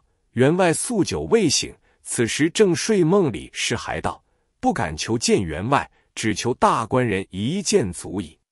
小生今日不是自来的，是大官人昨日面约来的。仆者道：大官人今早五谷驾船往东庄催租去了。是还道：二官人也罢。仆者道：二官人在学堂供书，不管闲事的。那仆者一头说，一头就有人唤他说话。忙忙的奔去了。诗海此时怒气填胸，一点无名火按捺不住，又想小人之言不可计较，家主未必如此，只得又忍气而待。须臾之间，只见仪门大开，贵谦在庭前乘马而出。诗海迎住马头，鞠躬致敬，千万不为礼，以鞭指道：“你远来相投，我又不曾耽搁你半月时日。”如何便使性气恶言辱骂？本欲从后，今不能已。回顾仆者，将拜匣内大银二锭，打发师生罢。又道：这二锭银子也念你先人之面，似你少年狂妄，休想分文则发。如今有了盘缠，可漱口去。是还在要开口，贵谦马上扬鞭如飞去了。正是鞭蛇口中草，蝎子尾后针。两班犹未读，最读负心人。那两锭银子只有二十两重，论起少年性子不稀罕，就撇在地下去了。一来主人已去，二来只有来的使费，没有去的盘缠。没奈何，含住两眼珠泪，口店对娘说了。母子二人看了这两锭银子，放声大哭。店家王婆见哭得悲切，问其缘故，严氏从头至尾未诉了一遍。王婆道：“老安人且省愁烦，老身与孙大娘相熟，时常进去的。那大娘最和气会接待人。他们男子汉孤恩负义，妇道家怎晓得？既然老安人与大娘如此情厚，待老身去与老安人传信，说老安人在小店中，他必然相请。”严氏收泪而谢。又次日，王婆当一节好事，进贵家去报与孙大嫂知。孙大嫂道：“王婆休听他话。当先我员外生意不济时，果然曾借过他些小东西，本利都清还了。他自不会作家，把个大家是费尽了，却来这里打秋风。我员外好意款待他一席饭，送他二十两银子。”是念他日前相处之情，别个也不能够如此。他倒说我欠下他债负未悬。王婆，如今我也莫说有欠无欠，只问他把借契出来看，有一百还一百，有一千还一千。王婆道：“大娘说的是。”王婆急忙转身，孙大嫂又换转来，叫养娘封一两银子，又取帕子一方，道：“这些微之物，你与我送施家母母。”表我的思敬，叫他下次切不可再来，恐怕怠慢了，伤了情分。王婆听了这话，倒疑心眼老安人不是，回家去说孙大嫂千好万好，叫老身寄礼物与老安人。又道若有就欠未清，叫老安人降借契送去，照契本利，不缺分毫。严民说当出园，没有契书。那王婆看着三百两银子，山高海阔。怎么肯信？母子二人凄惶了一夜，天明算了殿钱，起身回姑苏而来。正是人无喜事精神减，运到穷时落寞多。严氏为贵家呕气，又路上往来受了劳碌，贵家一病三月，师还寻医问卜，诸般不效，王之命已夫。一多关停，一事不办。只得将祖房绝卖于本县牛公子管业。那牛公子的父亲牛万户久在李平章门下用事，说是过钱，起家百万。公子已是妻人，无所不至。他门下又有个用事的，叫做郭雕，专一替他查访孤寡妇，便宜田产，半价收买。师还年幼，岳丈之功虽则乡绅，是个厚德长者，自己家事不屑照管。怎管的女婿之事？施小舍人急于求寿，落其圈套，房产值数千金。郭雕儿于中一孤，只值四百金，以百金押契，于四出房后方交。施还想营葬迁居，其费甚多，百金不能济事，再三请意，只许加四十金。还免之葬事，秋龙已成，所余无几。寻房子不来。牛公子雪片差人催促出屋，知翁看不过意，亲往谒牛公子，要与女婿说个方便。连去数次，并不接线。知翁道：“等他回拜时讲，牛公子却倒习个典故，是孔子拜阳货之法，因往而往。”知翁回家，连忙又去，仍回不在家了。知翁大怒，与女婿说道。那些市井之辈不通情理，莫去求他。贤婿且就生管权住几时，待寻的房子时，从容一千遍了。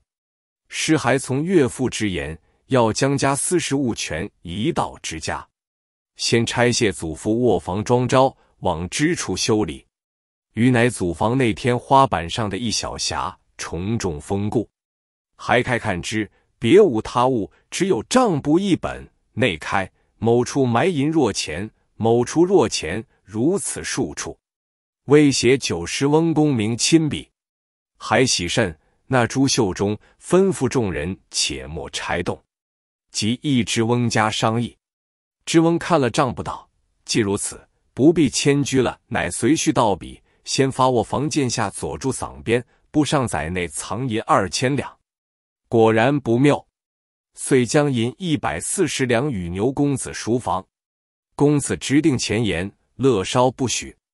知翁便求公子亲戚往说方便，公子索要加倍。杜氏家没有银子，谁知藏毛冲然。”一天平兑足二百八十两，公子莫里的讲，只得收了银子，推说文妻偶寻不出，再过一日送还。哄得尸骸转背，即将回阐事送于本府。本本府陈太守正直无私，所知牛公子之为人，又得知乡换替女婿分诉明白。断金回赎原价一百四十两，外加漆面银一十四两。其余一百二十六两追出助修学宫，文气追还失小官人郭雕做教唆问账。牛公子修辩成怒，写家书一封，差家人往京师捏造施家三世恶单，教父亲桃李平章关节，托主地方上司官，访拿尸骸出气。谁知人谋虽巧，天理难容。正是下水托人，他未逆逆风点火自先烧。那石原顺帝施政，红中贼起，大肆劫掠。朝廷命书密使遥遥征讨。李平章私受红中贼贿赂，主张招安。事发坐同逆细狱，穷至党羽，牛万户系首名，该全家抄斩，顷刻有诏书下来。家人得了这个凶信，连夜奔回说了。牛公子惊慌，收拾细软家私。带妻携女往海上避难，欲叛寇方国珍游兵夺其妻妾金帛，公子刀下亡身，此乃作恶之报也。却说尸骸自发了藏旅，属产安居，赵账簿以次发觉，不爽分毫，得财巨万。只有内开桑枣园银杏树下埋藏一千五百两，只剩得三个空坛。知道神物化去，付之度外。亦不宜贵生之事，自此便书田产，又得知翁代为经理，众位副士直待符合成亲，不在话下。再说桂员外在会稽为财主，因田多益众，官府生事亲于，甚以畏苦。近邻有游生好友滑稽，惯走京师，包揽事干，出入贵人门下。员外一日与他商及此事，游生道。何不入宿买官？一则灌溉容身，二则官户免役，两得其便。员外道：“不知所费积何？”仗者兄斡旋则个。游生道：“此事无所熟谓，吴中许万户魏千兵，都是我替他钱的。见今妖金一子，实录前史。兄若要做实，敢不效劳？多不过三千，少则二千足矣。贵生或于其言。”遂将白金五十两付与游生安家，又收拾三千余金，择日同游生赴京。一路上，游生将甜言美语哄诱贵生，贵生深信，与之结为兄弟。一到京师，将三千金唾手付之，自其所用。只要乌纱上顶，那故百纽空囊。又过了半年，游生来称贺道：“恭喜吾兄，旦夕未贵人矣。”但实在贪甚，凡百费十倍息年，三千不够，必得五千金方可成事。贵谦已费了三千金，只恐前功尽弃，遂托游生在士药家息银二千两，留下一半，以一千付游生使用。又过了两三个月，忽有立足四人传命，新任亲军指使老爷请员外讲话。贵谦疑是唐官之流，问。指使老爷何姓？立足道：“道比便知。今不可说。”贵谦急整衣冠，从四人到一大街门，那老爷乌纱袍带，端坐公堂之上。二人跟定贵谦，二人先人报，少请闻堂上传呼唤进。贵谦生平未入宫门，心头突突的跳。军校指引到于堂檐之下，喝叫跪拜。那官员全不打理。从容说道：“前日所付之物，我以便宜借用，侥似得官。相还有日，绝不相负。但新任缺钱使用，知汝囊中尚有一千，可速借我，一景送还。说罢，即命先前四族押到下处取银回话。如或不从，仍押来受罪，绝不轻待。贵谦被立足逼勒，只得将银交付去气，敢怒而不敢言。明日债主因贵生功名不就，执了文契取所原银。贵谦没奈何，特地差人回家变产，得二千余，家里偿还。贵谦受了这场屈气，没告诉处，休回故里。又见由滑稽乘马张盖前呼后拥，眼红心热，忍耐不过，狠一声：“不是他，就是我！”往铁匠店里打下一把三尖利刀，藏于怀中，等游生明日五谷入朝，刺杀他了。便长命也出了这口闷气，事不关心，关心者乱。打电做这节非常的事，夜里就睡不住了。看见月光射窗，直到天明，慌忙起身，听得进钟鼓才三下，附身回来，坐以待旦。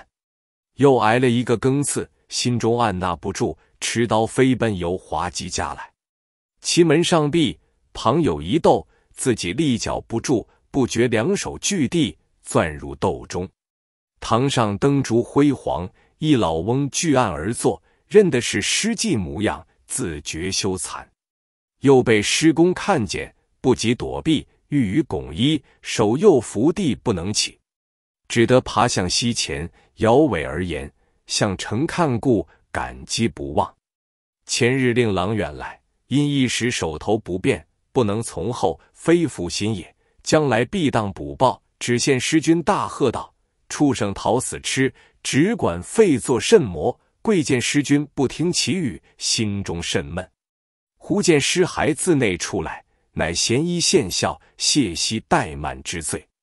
师孩骂道：“畜生作怪了！”一脚踢开，贵不敢分辨，俯首而行，不觉到厨房下，现师母言老安人坐于椅上，分派肉羹。贵闻肉香，乃左右跳跃良久，蹲足叩首，诉道：“向郎君性急，不能久待，以致老安人慢去，幸无忌怀。有余肉性见此一块，只见言老母患事毕，打这畜生开去。”养娘取灶内火插在手，跪大惊，奔至后园，看见其七孙大嫂与二子贵高、贵乔及少女琼枝都聚一处。细认之，都是犬形。回顾自己，亦化为犬，乃大骇，不觉垂下，问其妻何至于此？妻答道：“你不记得水月观音殿上所言乎？今生若不能补答，来生视作犬马相报。明中最重是语，今负了师君之恩，受此果报，复何说也？”贵抱怨道：“当初桑枣园中觉得藏诈。”我原要还施家债富，都听了你那不贤之妇瞒昧入己，及至他母子远来相投，我又欲厚赠其行，你又一力阻挡。今日之苦，都是你做成我的。其妻也骂道：“男子不听妇人言，我是妇人之见，准教你句句依我。”二子上前劝解道：“既往不咎，徒伤和气耳。腹中乃甚。”觅食要紧，于是夫妻父子相牵，同至后园，绕鱼池而走。现有人愤，明知龌龊，因恶及孤嗅之，气息亦不恶。见其与二儿攒聚先咬，不觉垂涎，是将舌欲，味觉甘美，但恨其少。忽有童儿来池边出宫，遂守其旁而去，所疑是前粪。以口咬之，误堕于池中，亦甚可惜。忽闻恶人传主人之命，于猪犬中选肥壮者烹食，复其长而去，长而哀叫甚惨。猛然惊醒，流汗浃背，乃是一梦，身子却在寓所，天际大明了。贵谦想起梦中之事，痴呆了半晌。昔日我父施家，今日由生负我，一般之理。只知责人，不知自责。天以此梦作醒我也。”叹了一口气，弃刀于河内，急急束装而归，要与妻子商议寻师弑母于报恩。只恩一梦多奇异，唤醒忘恩负义人。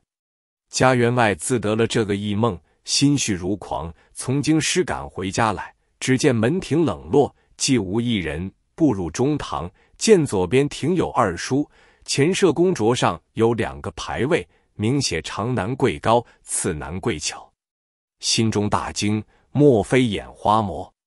双手饰眼，定睛观看，叫声苦也苦也，早惊动了宅里，奔出三四个丫鬟养娘出来，见了家主，便道：“来得好，大娘病重，正望助理。”急得贵谦魂不附体，一步一跌进房，直到浑家床前。两个媳妇和女儿都守在床边，啼啼哭哭，现了员外不暇施礼，叫公的叫爹的乱作一堆，都道：“快来看事。”贵谦才叫的一声：“大娘！”只见浑家在枕上，忽然倒插双眼，直视其夫道：“父亲如何今日方回？”贵谦之瞻语，急叫。大娘苏醒，我在此，女儿媳妇都来叫唤。那病者睁目垂泪说：“父亲，我是你大儿子贵高，被莫奇总管家打死，好苦呵。”贵谦惊问其故，又呜呜咽咽的哭道：“往事休提了。明王以我家父失事之恩，父亲曾有犬马之事，我兄弟两个同母亲于明日往施家投于犬胎，一产三犬，二雄者我兄弟二人。”其雌犬备有肉瘤者，即母亲也。父亲因阳寿未终，当在明年八月中亦托生施家做大，以见前世。唯妹子与世还缘分合未夫妇，独免此难耳。贵见言语梦合，毛骨惊然，方欲再问，气已绝了。举家哀痛，一面差人置办后事。贵员外系寇女儿，二儿致死。及母病缘由，女儿答道：“自爹赴京后，二哥出外嫖赌，日费不获，私下江田庄路续写与万四总管府中，只收半价。一月前病借擦身死。大哥不知麦田之情，往东庄取租，遇万四府中家人与他争竞，被他毒打一毒，登时呕血，抬回数日亦死。”母亲向文爹在京中为人诓骗，终日忧郁。又见两位哥哥相继而亡，痛伤难禁，望爹不归，欲成寒热之症。三日前居发于背，遂昏迷不省人事，便请医人看治，据说难救。天性跌回，送了母亲之中。贵谦闻言，痛如刀割，延请僧众做九州夜功德，拔罪救苦。家人连日疲倦，遗失火烛，听房楼房烧作一片白地，三口棺材尽为灰烬，不曾剩一块板头。贵谦与二媳一女仅以身免，叫天浩地，唤祖呼宗，哭得眼红喉哑，昏厥数次。正是从前做过想，莫兴意气来。常言道：瘦骆驼强四象。归员外今日虽然颠沛，还有些余房成产。便卖得金银若钱，念二媳少年难守，送回母家。听其改嫁，同缠或送或卖，只待一房男女自随，两个养娘服侍女儿。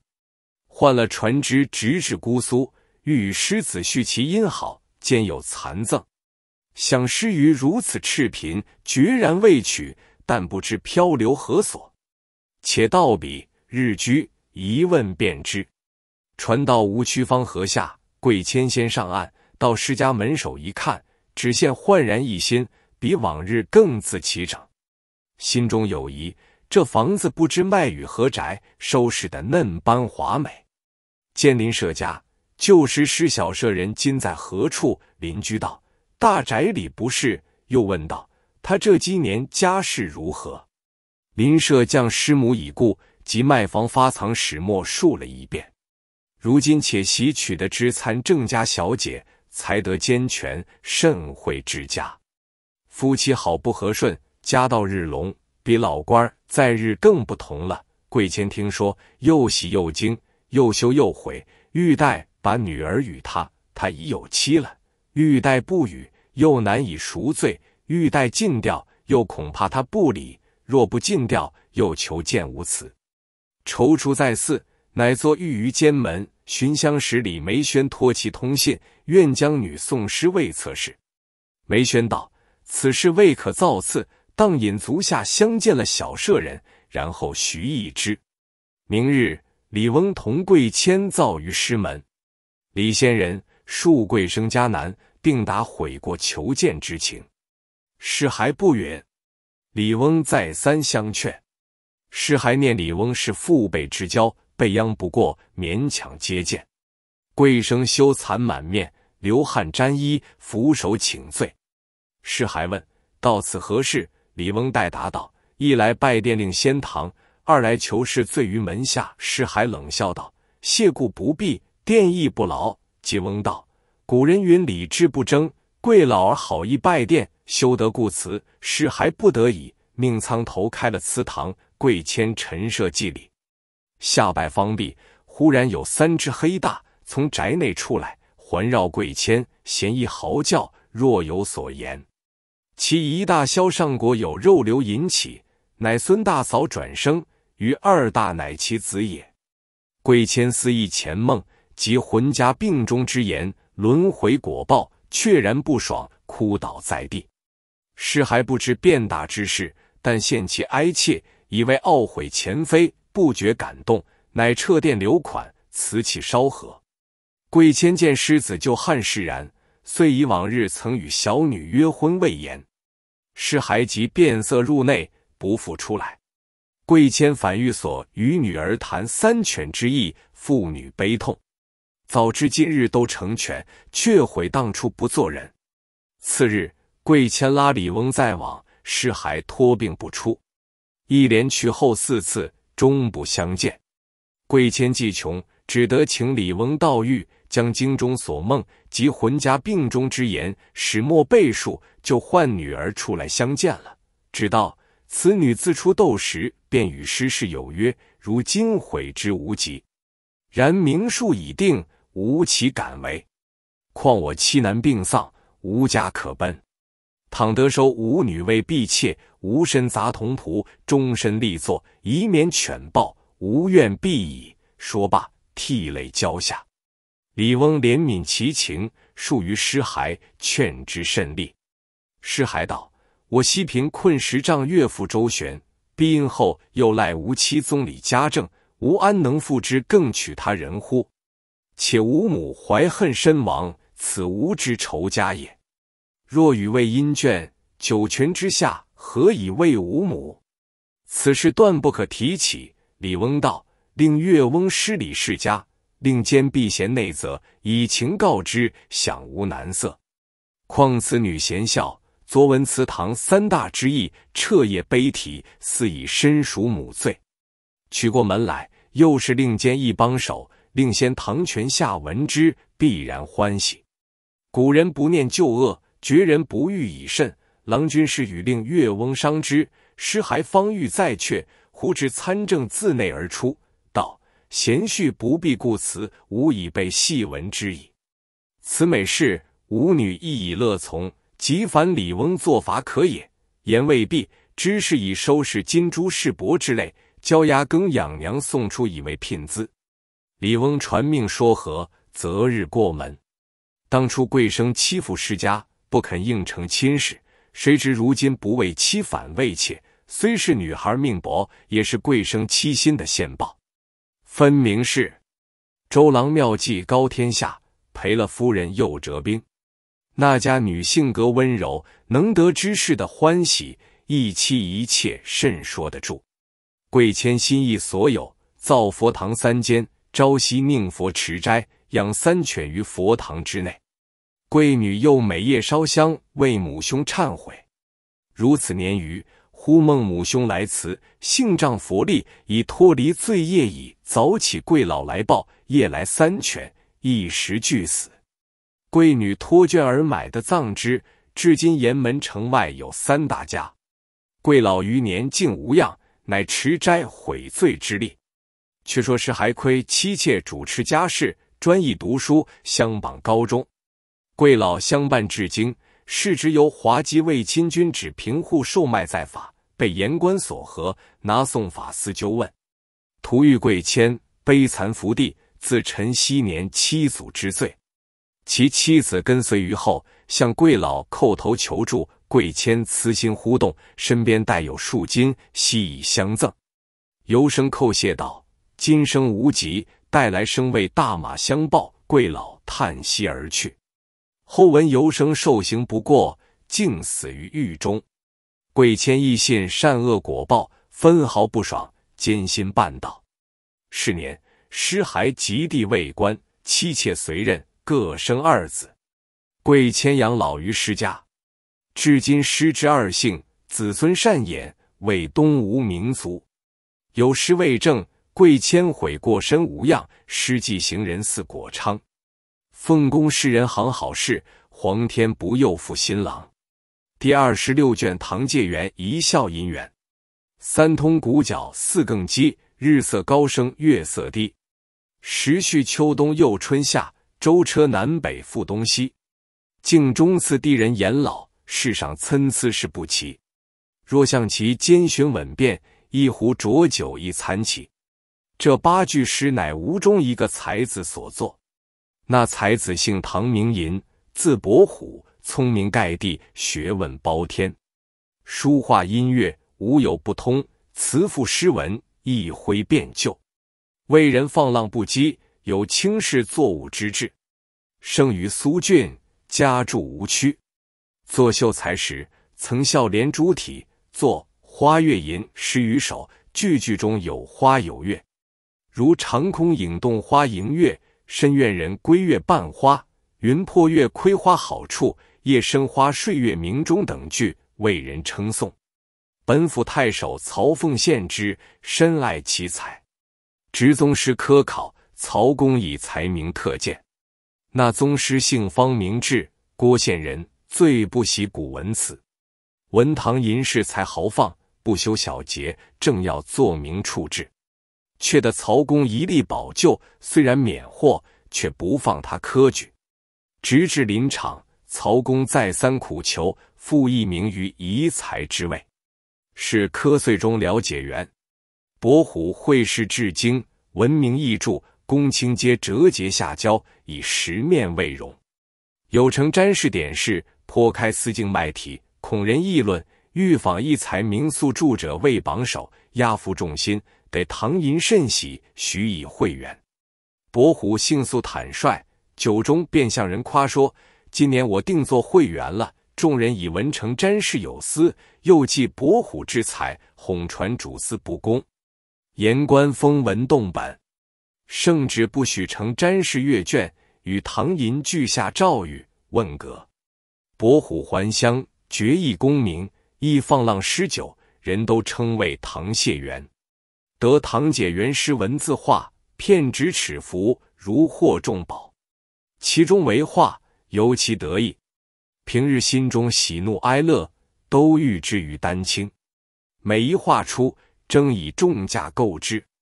有言之诗，一绝未正，不炼金丹不坐禅，不为商贾不耕田。闲来写幅丹青脉，不辨人间作业钱。却说苏州六门：药、盘、窑、盐、楼、起。那六门中，只有监门最盛，乃舟车服员之所。真个是翠袖三千楼上下，黄金百万水东西。五更是饭和曹爵，四远方言总不齐。唐介元一日坐在岩门游船之上。就有许多斯文中人慕名来拜，出善求其字画。谢元画了几笔水墨，写了几首绝句。那闻风而至者，其来愈多。介元不耐烦，命童子且把大杯斟酒来，谢元倚窗独酌。忽见有画房从旁摇过，房中珠翠夺目。那有一青衣小垂，眉目秀艳，体态绰约，梳头船外。注视解元，掩口而笑。须臾传过，解元神荡魂摇，问周瑜：“可认得去的那只船模，周人答言：“此船乃无锡华学士府卷也。”介元欲尾其后，急呼小艇不至，心中如有所失，正要叫童鱼去觅船，只见城中一只船儿摇将出来，他也目管那船有载莫载，把手相招，乱呼乱喊。那船渐渐至近，舱中一人走出船头，叫声：“伯虎，你要到何处去？”这般要紧。介元打一看时，不是别人。却是好友王雅仪，便道：“即要打败一个远来朋友，故此要紧。兄的船往那里去？”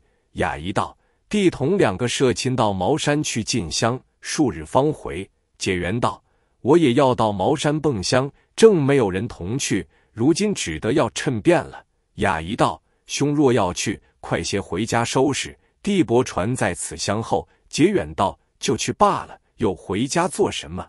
雅仪道：“香烛之类也要备的。”解元道：“到那里去买罢。”遂打发童子回去，也不别这些求诗画的朋友，竟跳过船来，与舱中朋友叙了礼，连呼：“快些开船！”周子之是唐介元，不敢怠慢，急忙撑篙摇橹。行不多时，望见这只画舫就在前面，介元吩咐船上随住大船而行。众人不知其故，只得依他。次日到了无锡，只见画舫摇进城里。谢元道：“到了这里，若不取惠山泉，也就俗了。叫船家移舟去惠山取了水，原到此处停泊，明日早行。我们到城里略走一走，就来下船。”周子答应自去。介元同雅仪三四人登岸，进了城，到那热闹的所在。瞥了众人，独自一个去寻那画舫，却有不认的路径，东行西走，并不现些踪影。走了一回，穿出一条大街上来，忽听得呼喝之声。谢元立住脚看时，只见十来个仆人前引一乘宣轿，自东而来，女从如云。自古道有缘千里能相会，那女从之中。昌门所见青衣小兽正在其内，介元心中欢喜，远远相随，直到一座大门楼下，女使出迎，一拥而入。寻知旁人说是华学士府适才教中乃夫人也。介元得了实信，问路出城，恰好船上取了水，才到。少顷，王雅仪等也来了，问介元那里去了。教我们寻的不耐烦，解元道不知怎的，一挤就挤散了。又不认得路径，问了半日，方能到此，并不提起此事。至夜半，忽于梦中狂呼，如侠惊之状。众人皆惊，唤醒问之。谢元道：“是梦中见一金甲神人，持金凝击我，则我进香不前。我叩头哀泣。”愿斋戒一月，只身至山谢罪。天明，汝等开船自去，吾且暂回，不得相陪矣。雅仪等信以为真。至天明，恰好有一只小船来到，说是苏州去的。介元别了众人，跳上小船，行不多时，推说遗忘了东西，还要转去。袖中摸机文钱，赏了舟子，愤然登岸。到一饭店，半下旧衣破帽，将衣中换气，如穷汉之状，走至华府点铺内，以点钱为由，与主管相见。卑辞下气，问主管道：“小子姓康，名轩，无县人士，颇善书，处一个小馆卫生。近因捉妻亡故，又失了馆，孤身无活，欲投一大家充书办之意，未知府上用得否？”倘收用时，不敢忘恩，因于袖中取出细楷数行，与主管观看。主管看那字写的甚是端楷可爱，答道：“待我晚间进府禀过老爷，明日你来讨回话，是晚。”主管果然将字样禀知学士，学士看了，夸道：“写得好，不似俗人之笔，明日可换来见我。”次早。解元便到典中，主管引进解元拜见了学士。学士见其仪表不俗，问过了姓名住居，又问曾读书么？谢元道：曾考过几遍童生，不得进学，经书还都记得。学士问是何经？解元虽喜尚书，其实五经俱通的，晓得学士喜《周易》，就答应道：易经。学士大喜道：我书房中写帖的不缺，可送公子处作伴读。问他要多少身价？解元道：“身价不敢领，只要求些衣服穿。待后老爷中意时，赏一房好媳妇足矣。”学士更喜，就叫主管于典中寻机件随身衣服与他换了，改名华安，送至书馆献了公子。公子教华安抄写文字，文字中有字句不妥的，华安私家改窜。公子见他改得好，大惊道。你原来通文理，积时放下书本的。华安道：“从来不增旷学，但为贫所迫耳。”公子大喜，将自己日课教他改削。华安笔不停挥，真有点铁成金手段。有时题意疑难，华安就与公子讲解。若公子做不出时，华安就通篇代笔。先生见公子学问骤进，向主人夸奖。学士讨进座看了，摇头道：“此非孺子所及。若非抄写，必是请人。”呼公子诘问其由。公子不敢隐瞒，说道：“曾经华安改审。”学士大惊，唤华安到来出题面试。华安不假思索，原笔立就，手捧所作呈上。学士见其手腕如玉，但左手有知指，阅其文。词意兼美，自负精工，愈加欢喜。道：“你实亦如此，想古作亦可观也。”乃留内书房长书记，一应往来书札，授之以意，折令代笔，繁简取当。学士从未曾增减一字，宠信日深，赏赐比众人加厚。华安石买酒食，与书房诸童子共享，无不欢喜。因而前访前所献青衣小绝，其名秋香，乃夫人贴身服饰，请客不离者。既无所出，乃顾春木、复黄烟儿以自叹。风雨送春归，杜鹃愁，花乱飞。青苔满院朱门闭，孤灯半垂，孤囊半支二。潇潇孤影，汪汪泪。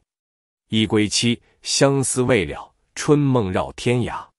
学士一日偶到华安房中。献必问之词，知安所题，甚加称奖。但以为壮年官处，不无感伤，出不意其有所属意也。试点中主管病故，学士令华安暂舍其事。月余出纳谨慎，毫乎无私。学士欲遂用为主管，嫌其孤身无事，难以重托，乃与夫人商议。呼媒婆欲为娶妇，华安将银三两。送与媒婆，央他禀知夫人说：“华安蒙老爷夫人提拔复位之事，恩同天地，但恐外面小家之女不习里面规矩。倘得于事而终，则一人献配，此华安之愿也。”媒婆一言惊之夫人。夫人对学士说了，学士道：“如此成为两便。但华安出来时不领身价，原指望一房好媳妇。”今日又做了府中得力之人，倘然所配魏中其意，难保其无他志也。不若唤他到中堂，将许多押寿听其自意。夫人点头道是。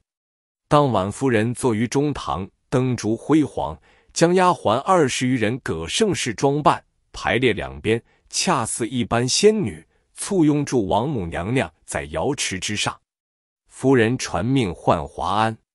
华安进了中堂，拜见了夫人。夫人道：“老爷说你小心得用，欲赏你一房七孝。这几个粗婢中，任你自责，叫老母母携烛下去照他一照。”华安就烛光之下看了一回，虽然尽有标志的，那青衣小曼不在其内。华安立于旁边，默然无语。夫人叫老母母，你去问华安。那一个中你的意，就配于你。华安只不开眼，夫人心中不乐，叫华安：“你好大眼孔！难道我这些丫头就没个中你意的？”华安道：“傅夫人，华安蒙夫人赐配，又许华安自责，这是旷古隆恩，粉身难报。只是夫人随身侍婢还来不及，既蒙恩典，愿得进官。”夫人笑道：“你敢是以我有吝啬之意？也罢。”房中那四个一发唤出来与他看看，满他的心愿。原来那四个是有执事的，叫做春妹、夏青、秋香、冬瑞。春妹掌首饰脂粉，夏青掌香炉茶灶，秋香掌四十一幅，冬瑞掌酒果食品。管家老母母传夫人之命，将四个唤出来。那四个不及更衣，随身装束。秋香依旧青衣。老母母引出中堂，站立夫人背后。室中蜡炬光明如昼。华安早已看见了昔日风姿，宛然在目，还不曾开口。那老母母知趣，先来问道：“可看中了谁？”华安心中明晓的是秋香，不敢说破，只将手指道。若得穿清这一位小娘子足岁生平，夫人回顾秋香，微微而笑，叫华安且出去。华安回点铺中，一喜一惧，喜者机会甚好，惧者未曾上手，唯恐不成。偶见月明如昼，独不徘徊，吟诗一首。昔以无聊夜卧池，绿杨风静鸟栖之。南江心事何人说？说雨清天明月至。次日，夫人向学士说了，令收拾一所洁净房室，其床帐家伙无物不备。又何家童仆奉承他是新主管，丹东送西，摆的一室之中锦片相似。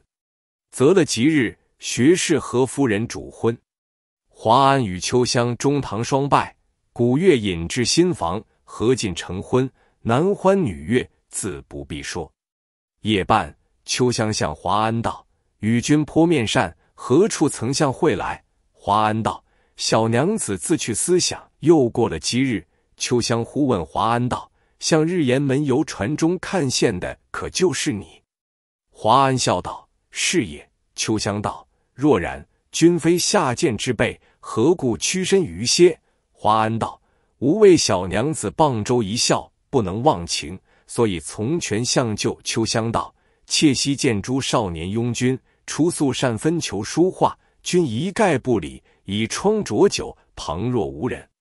妾知君非凡品，故一笑耳。”华安道：“女子家能前流俗，忠实名士，乘鸿福，绿裤衣之流也。”秋香道：“此后于南门街上，似又会一次。”华安笑道。好厉害眼睛，果然果然。秋香道：“你既非下流，实是甚模样人？可将真姓名告我。”华安道：“我乃苏州唐介元也，与你三生有缘，得写所愿。今夜既然说破，不可久留，欲与你图写老之策，你肯随我去否？”秋香道：“解元为贱妾之故，不介入千金之躯，妾岂敢不为命是从？”华安次日将典中账目细细开了一本簿子，又将房中衣服首饰及床帐器皿另开一账，又将个人所赠之物一开一账，先毫不取共是三宗账目，锁在一个护书筐内，其钥匙即挂在锁上。又于壁间题诗一首：“你向华阳洞里游，行踪端未可人留。愿随鸿福同高岛，敢向朱家二溪下流。”好事已成水所笑，屈身今去上含羞。主人若问真名姓，只在连轩两字头。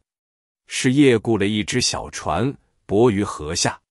黄昏人静，将房门封锁，同秋香下船，连夜往苏州去了。天晓，家人现华安房门封锁，奔告学士。学士叫打开看时，床帐食物广毫不动。户书内账目开载明白，学士沉想莫测其故，抬头一看，忽见壁上有诗八句，读了一遍，想此人原名不是康轩，又不知甚魔异故，来府中住许多时。若是不良之人，财上又分毫不苟。又不知那秋香如何就肯随他逃走，如今两口又不知逃在那里。我弃此一弊，亦有何难？只要明白了这桩事迹，便叫家童唤捕人来，出信赏钱，各处激火康轩、秋香，踏无影响。过了年余，学士也放过一边了。忽一日，学士到苏州拜客，从雁门经过。家童看见书房中有一秀才坐而观书，其貌酷似华安，左手亦有知指，报与学士知道。学士不信，吩咐此童再去看个详细，并访其人名姓。家童附身到书房中，那秀才又合住一个同辈说话，刚下街头，家童乖巧，悄悄随之。那两个转弯向童子门下传去了。仆从相随，共有四五人。背后查其行香，分明与华安无二，只是不敢唐突。家童回转书房，问店主是来在此看书的是什么人？店主道：“是唐伯虎借元相公，今日是文衡山相公周中请酒去了。”家童道：“方山同去的那一位，可就是文相公么？”店主道。那是祝枝山，也都是一般名士。家童一一记了，回复了华学士。学士大惊，想到久闻唐伯虎放达不羁，难道华安就是他？明日专往拜谒，便知是否。次日写了名帖，特到吴曲坊拜堂借缘。借缘慌忙出迎，分宾而坐。学士再三审视，果销华安，即捧茶。又见手白如王，左有知之，意欲问之，难于开口。茶罢，谢元请学士书房中小坐。学士有疑未决，亦不肯轻别，遂同至书房，见其摆设齐整，喷喷叹谢。少停酒至，宾主对酌多时。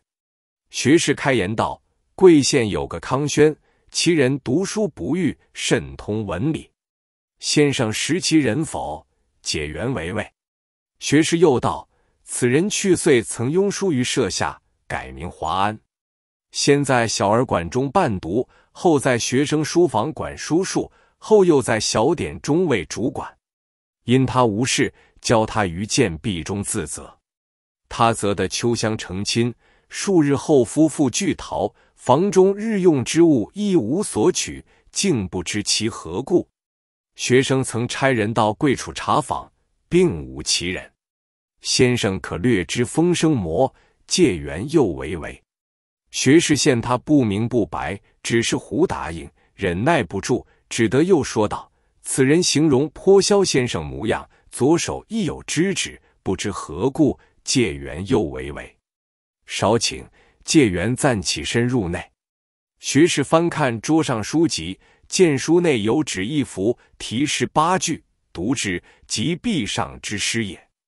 借缘出来，学士直视问道：“这八句诗乃华安所作，此字亦华安之笔，如何有在尊处？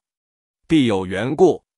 愿先生一言，以决学生之疑。”解缘道：“容少廷奉告。”学士心中郁闷道：“先生现教过了，学生还坐，余然即告辞矣。”谢元道：“禀赋不难，求老先生再用几杯薄酒。”学士又吃了数杯，借元拒批奉劝。学士已半酣，道：“酒已过分，不能灵矣。”学生倦倦请教，只欲剖胸中之疑，并无他念。借元道：“请用一箸粗饭，饭后献茶，看看天晚，同与点烛到来。”学士欲疑，只得起身告辞。借缘道，请老先生暂挪贵步，当觉所宜，命童子秉烛前饮。借缘陪学士随后供人后堂，堂中灯烛辉煌，里面传呼新娘来。只见两个压制服侍一位小娘子，轻移莲步而出，朱歌重遮，不露娇面。学士黄金退避，介元一把扯住衣袖道：“此小妾也。通家长者，何当拜见？不必避嫌。”丫鬟铺毡，小娘子向上便拜。学士还礼不迭。谢元将学士抱住，不要他还礼。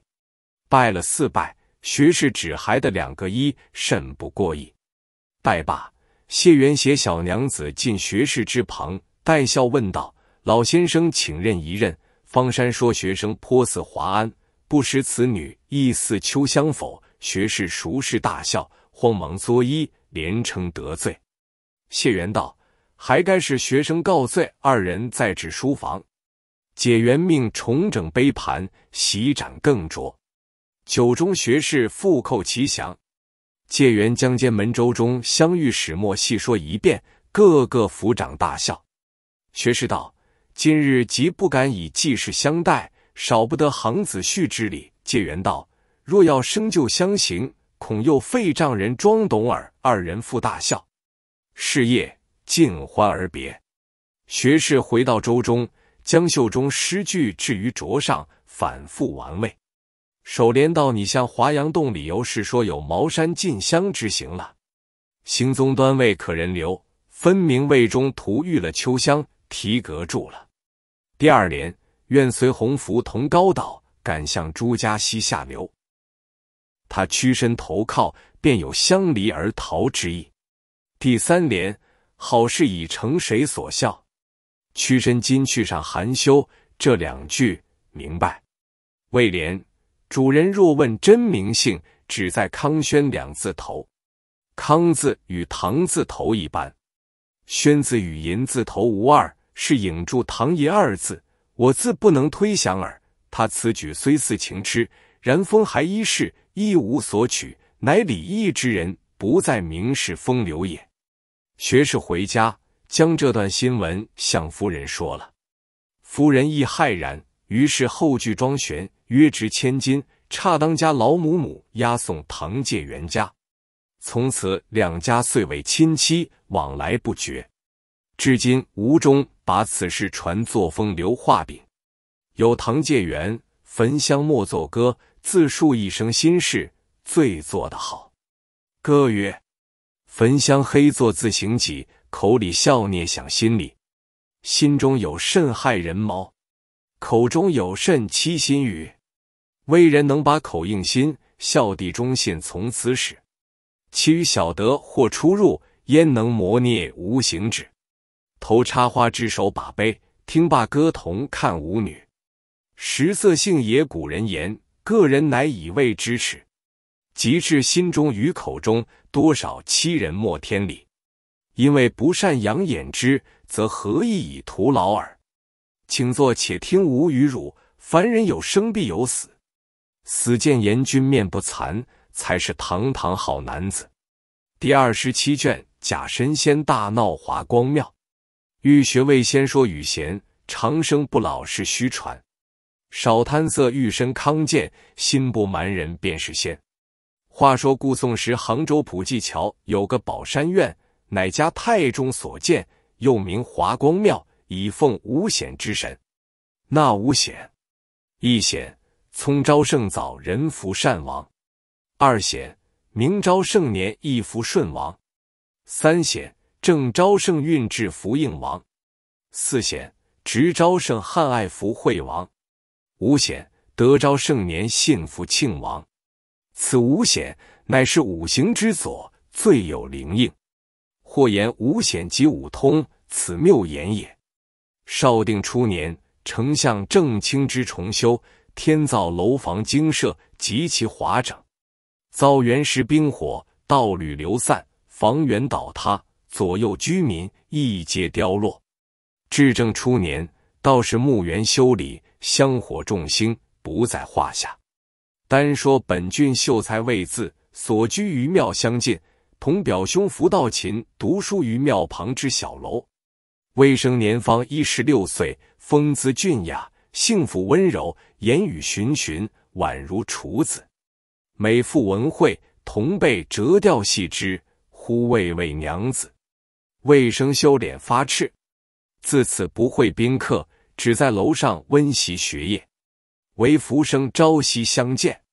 一日，福生因母病回家侍疾，魏生独居楼中读书。约至二鼓，忽闻有人叩门，生以表兄之来也。开而视之，现一先生，黄袍蓝袖，丝服纶中，风仪美然，香风习习，有出世凌云之表。背后跟着个小道童，也生得清秀，捧住个朱红盒子。先生自说：“吾乃纯阳吕洞宾，遨游四海，偶尔经过此地。空中文子书生清亮，殷勤嗜学，必取科甲，且有神仙之分。吾与汝素世有缘，何当度汝？知汝独居，特特勤访。魏生听说，又惊又喜，连忙下拜。”请纯阳南面坐定，自己侧坐相陪。洞宾呼道：“同拿过盒子，摆在桌上，都是鲜异果品和那山珍海味，馨香扑鼻。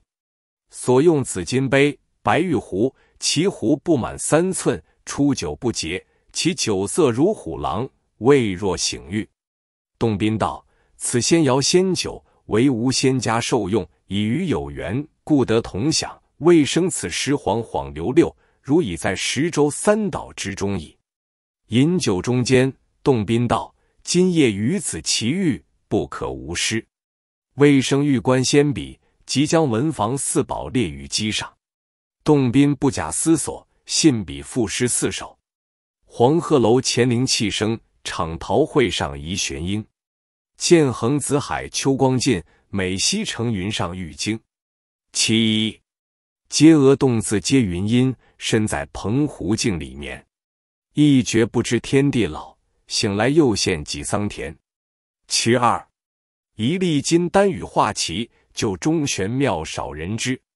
夜来忽听君天乐，知是仙人跨鹤时。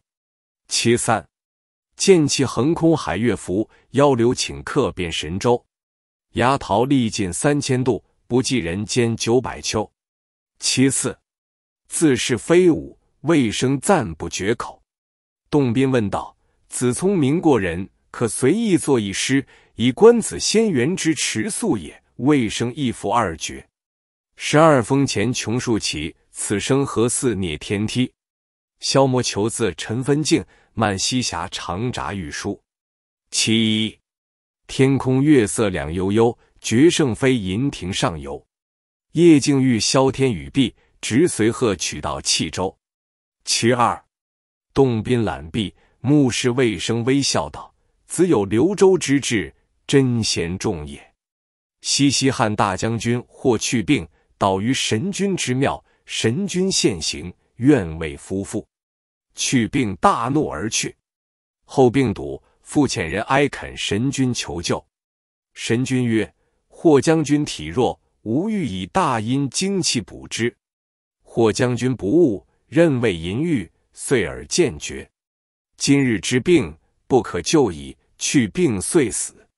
仙家渡人之法，不拘一定，岂是凡人所知？唯有缘者信之不疑耳。吴更赠子一诗，诗云：“相逢此夕在琼楼，愁苏灯前且自留。玉叶真来经影动，朱肌复就霞云收。漫江素是人间了。”且借仙缘天上修，从此岳阳一消息尽，白云天际自悠悠。魏生读诗会意，一答一绝钩。仙境清虚绝玉尘，凡心那杂到心真。后庭无数栽琼舞，空羡随场低上人。二人唱和之后，亦已酬应。洞宾命童子且去，今夜无当青子。又向魏生道。子能与吾相聚十昼夜，当令子神完气足，日积万言，未生信以未然。酒酣，洞宾先请，魏生合衣睡于洞宾之侧。洞宾道：“凡人肌肉相凑，则神气自能往来。若合衣各睡，吾不能有益于子也。”乃抱魏生于怀，为之解衣，并枕而卧。洞宾软款抚摩。见之虾浪，魏生欲窃其仙气，隐忍不辞。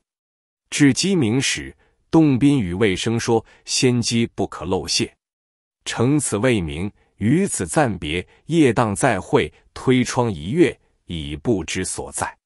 魏生大惊，绝未真仙。取夜来金玉之器看之，皆真物也，制度精巧可爱。枕席之间，余香不散。魏生冥思不已。至夜，洞宾又来与生同寝，一连宿了十余夜，情好欲密，彼此拒不忍舍。一夕，洞宾与魏生饮酒，说道：“我们的私事。”左刀何仙姑父会回来知道了，大发恼怒，要奏上玉帝，你我都受罪责。我再三求个方山息怒。他见我说你十分标致，要来看你。夜间相会时，你赔个小心，求服他，我自也在里面调多，躺得欢喜起来，从了也不见得。若得打坐一家。这是永不露出来，得他大阴真气亦能少住。魏生听说，心中大喜。到日问，急忙置办些美酒精馔果品，等候到晚。且喜这今日福道勤不来，只魏生一个在楼上。魏生见更深人静了，焚起一炉好香，摆下酒果，又穿些华丽衣服，装扮整齐，等待二仙。只见董斌领住何仙姑进来楼上，看这仙姑颜色柔媚，光艳摄人，神采夺目。魏生一见，神魂飘荡，心意飞扬。那时身不由己，双膝跪下在仙姑面前。何仙姑看见魏生果然标致，心里真是欢喜，倒假意做个恼怒的模样，说道：“你两个做的好事，扰乱清规。”不守先犯，那里是出家读书人的道理。虽然如此，袖中有喜，魏生叩头讨饶，洞宾也陪住小心，求福仙姑。仙姑说道：“你二人既然知罪，且饶这一次。”说了，便要起身。魏生再三苦留，说道：“陈俗粗摇，聊表寸意。”洞宾又恳恳调多，说：“略饮数杯，建议不必顾辞。若去了。”便伤了仙家和气，仙姑被留不过，只得免一坐了。轮番把盏，洞宾又与仙姑说：“魏生高才能诗，今夕之乐不可无勇。”仙姑说：“既然如此，朱师兄起句，洞宾也不推辞。每日澎湖炼玉户，赞同仙伴乐须思。”洞宾一宵清星阴之己，几朵金鹏应碧池。仙姑屋外幸逢环佩暖。人间一许凤凰仪，魏生殷勤莫为桃源物，此夕虚调琴瑟思。洞宾仙姑览诗，大怒道：“你二人如何戏弄我？”魏生慌忙磕头谢罪。洞宾劝道：“天上人间，其情则一。若非解孤神女行云，此皆无仙家故事也。世上佳人才子，犹未难遇。”况未生原有仙缘，神仙聚会，彼此一家，何必分体别行，笑陈俗雅马之态乎？说罢，仙姑低头不语，弄起裙带。洞宾道：“何意已成，未自可拜谢仙姑抚救之恩也。”魏生连忙下拜。仙姑笑服而起，入席再酌，尽欢而罢。是夜，三人共寝，魏生先进仙姑。伺候洞宾举事，杨辩因言欢愉一夜。仙姑道：“我三人此会真是奇缘，可于枕上连诗一律。”仙姑首唱：“满目辉光满目烟，无情却被有情牵。”仙姑春来杨柳风前舞，雨后枕花浪里颠。魏生虚信仙缘应不爽，漫江好事了当年。仙姑香消梦绕三千界，黄鹤七尺一夜眠。洞宾鸡鸣时，二仙起身欲别，魏生不舍，再三留恋，恳求今夜重会。仙姑含住羞说道：“你若谨慎，不像人言，我当源源而至。自此以后，无夕不来。或时二仙同来，或时一仙自来。虽表兄浮生同玉书楼，一壁之隔，窗中来去，全不入迹。如此半载有余。”魏生渐渐黄瘦，肌肤消瘦，饮食日减。夜间偏觉健忘，无奈日里倦怠，只想就诊。浮生见其如此模样，扣其染病之故，卫生间不肯吐。福生只得对他父亲说之。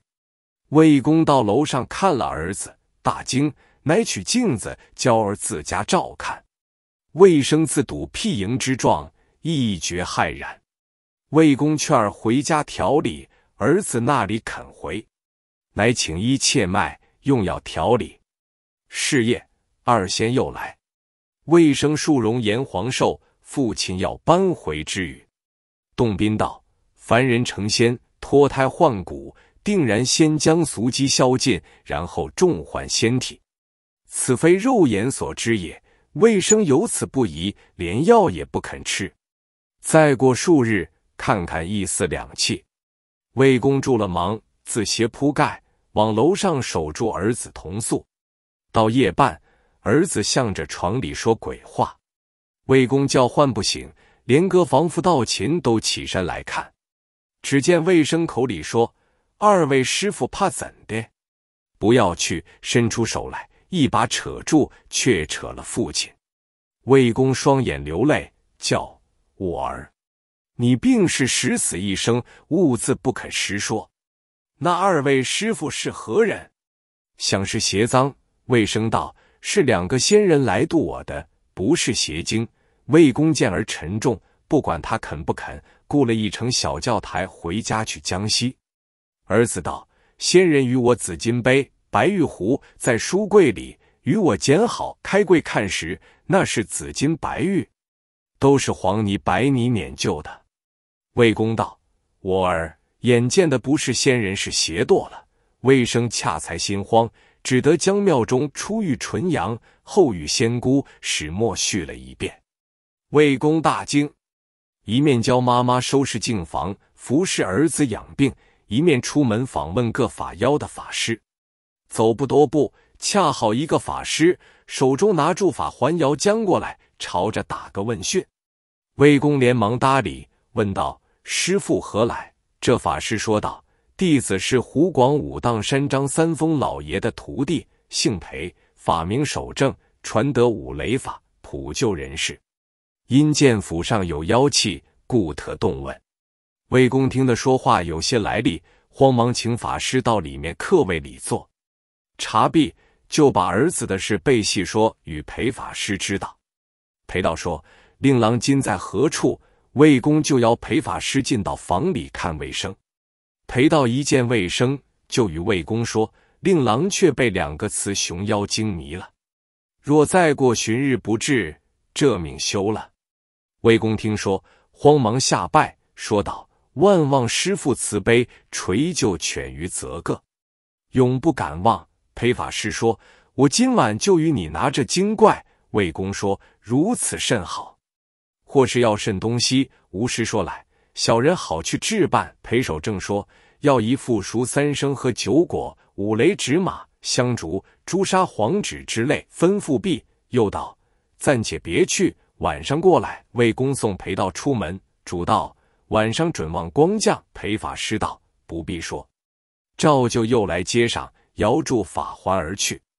魏公慌忙买办何用物件，都齐备了，只等裴法师来捉鬼。到晚。裴法师来了，魏公接着法师说：“东西俱已完备，不知要摆在那里。”裴道说：“就摆在令郎房里，抬两张桌子进去，摆下三生服务，烧起香来。”裴道带上法官，穿领法衣，仗住剑，不起刚来，念动咒诀，把朱砂梳起符来，正要烧这符去，只见这符都是水湿的，烧不着。裴法师骂道：“畜生，不得无礼！把剑往空中沿将去。”这口剑却被妖精接着拿去悬空钉在屋中间，动也动不得。裴道心里慌张，把平生的法术都使出来，一些也不灵。魏公看住裴道说：“师傅头上戴的道冠那里去了？”裴道说：“我不曾除下，如何变没了？又是作怪。”连忙使人去寻，只见门外有个尿桶，这道官儿伏在尿桶面上。捞得起来时烂臭，如何戴得在头上？裴道说：“这精怪妖气太盛，我的法术敌他不过，你自别做计较。”魏公见说，心里虽是烦恼，免不得把服务收了，请裴道来堂前散服，吃了酒饭。夜又深了，就留裴道在家安歇，彼此俱不欢喜。裴道也闷闷的，自去侧房里脱了衣服睡。才要合眼，只见三四个黄衣力士扛四五十斤一块石板压在裴道身上，口里说谢贼道的好法。裴道压得动身不得，气也透不转，慌了，只得叫道：“有鬼！救人！救人！”原来魏公家里人正收拾未了，还不曾睡，听得裴道叫响，魏公与家人拿住灯火，走进房来看裴道时，现裴道被快青石板压在身上，动不得。两三个人慌忙扛去这块石板，救起裴道来，将姜汤灌了一回，东方已明。裴道也醒了，裴道梳洗已毕，又吃些早粥，辞了魏公自去，不在话下。魏公见这模样，夫妻两个泪不曾前，也没奈何。次日，表兄福到秦来看魏生，魏公与福生被说夜来裴道捉鬼之事，怎生是好？福生说道：“本庙华光菩萨最灵感，原在庙里背经了，我们备些服务。”做到书文烧了，神道正必圣邪，或可救得。福生与同会李林等说了，这些会友个个爱惜卫生，争出分子备办服务，香烛纸马酒果摆列在神道面前，与魏公拜献，就把书文宣读。为神正气摄乎山川，善恶不爽，威灵不与果字，祸福无私。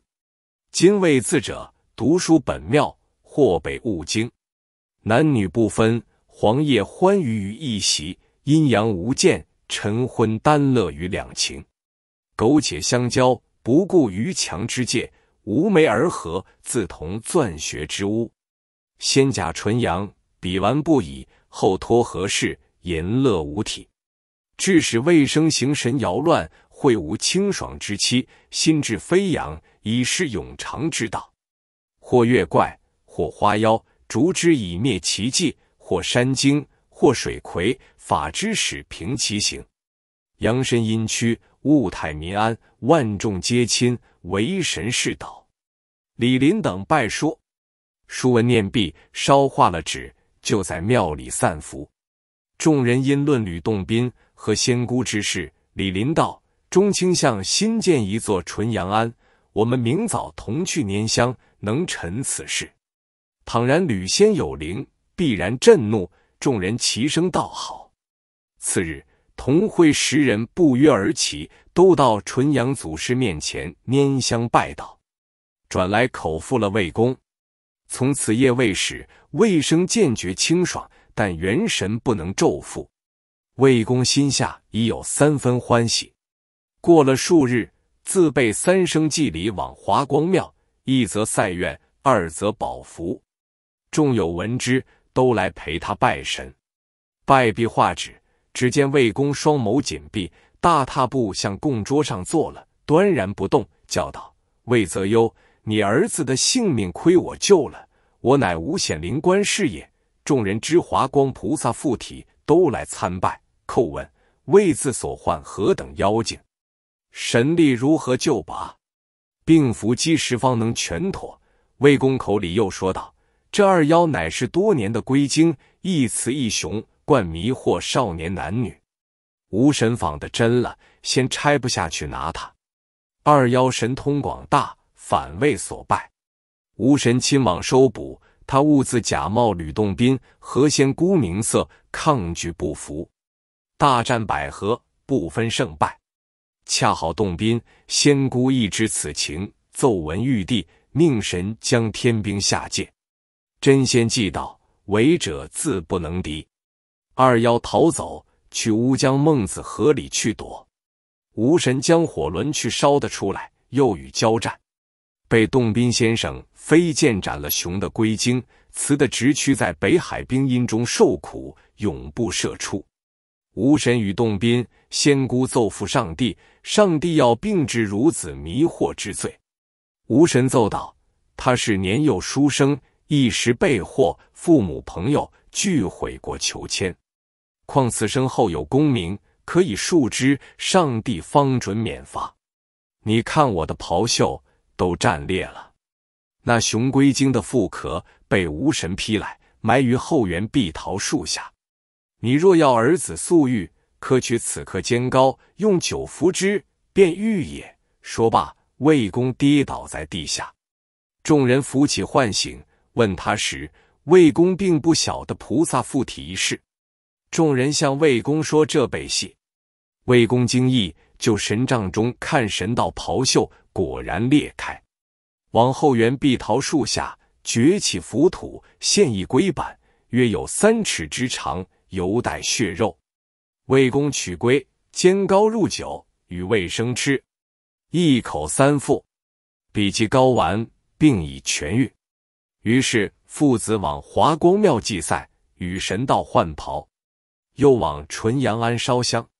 后魏子果中科甲，有诗未正。真妄由来本自心，神仙岂肯倒邪淫？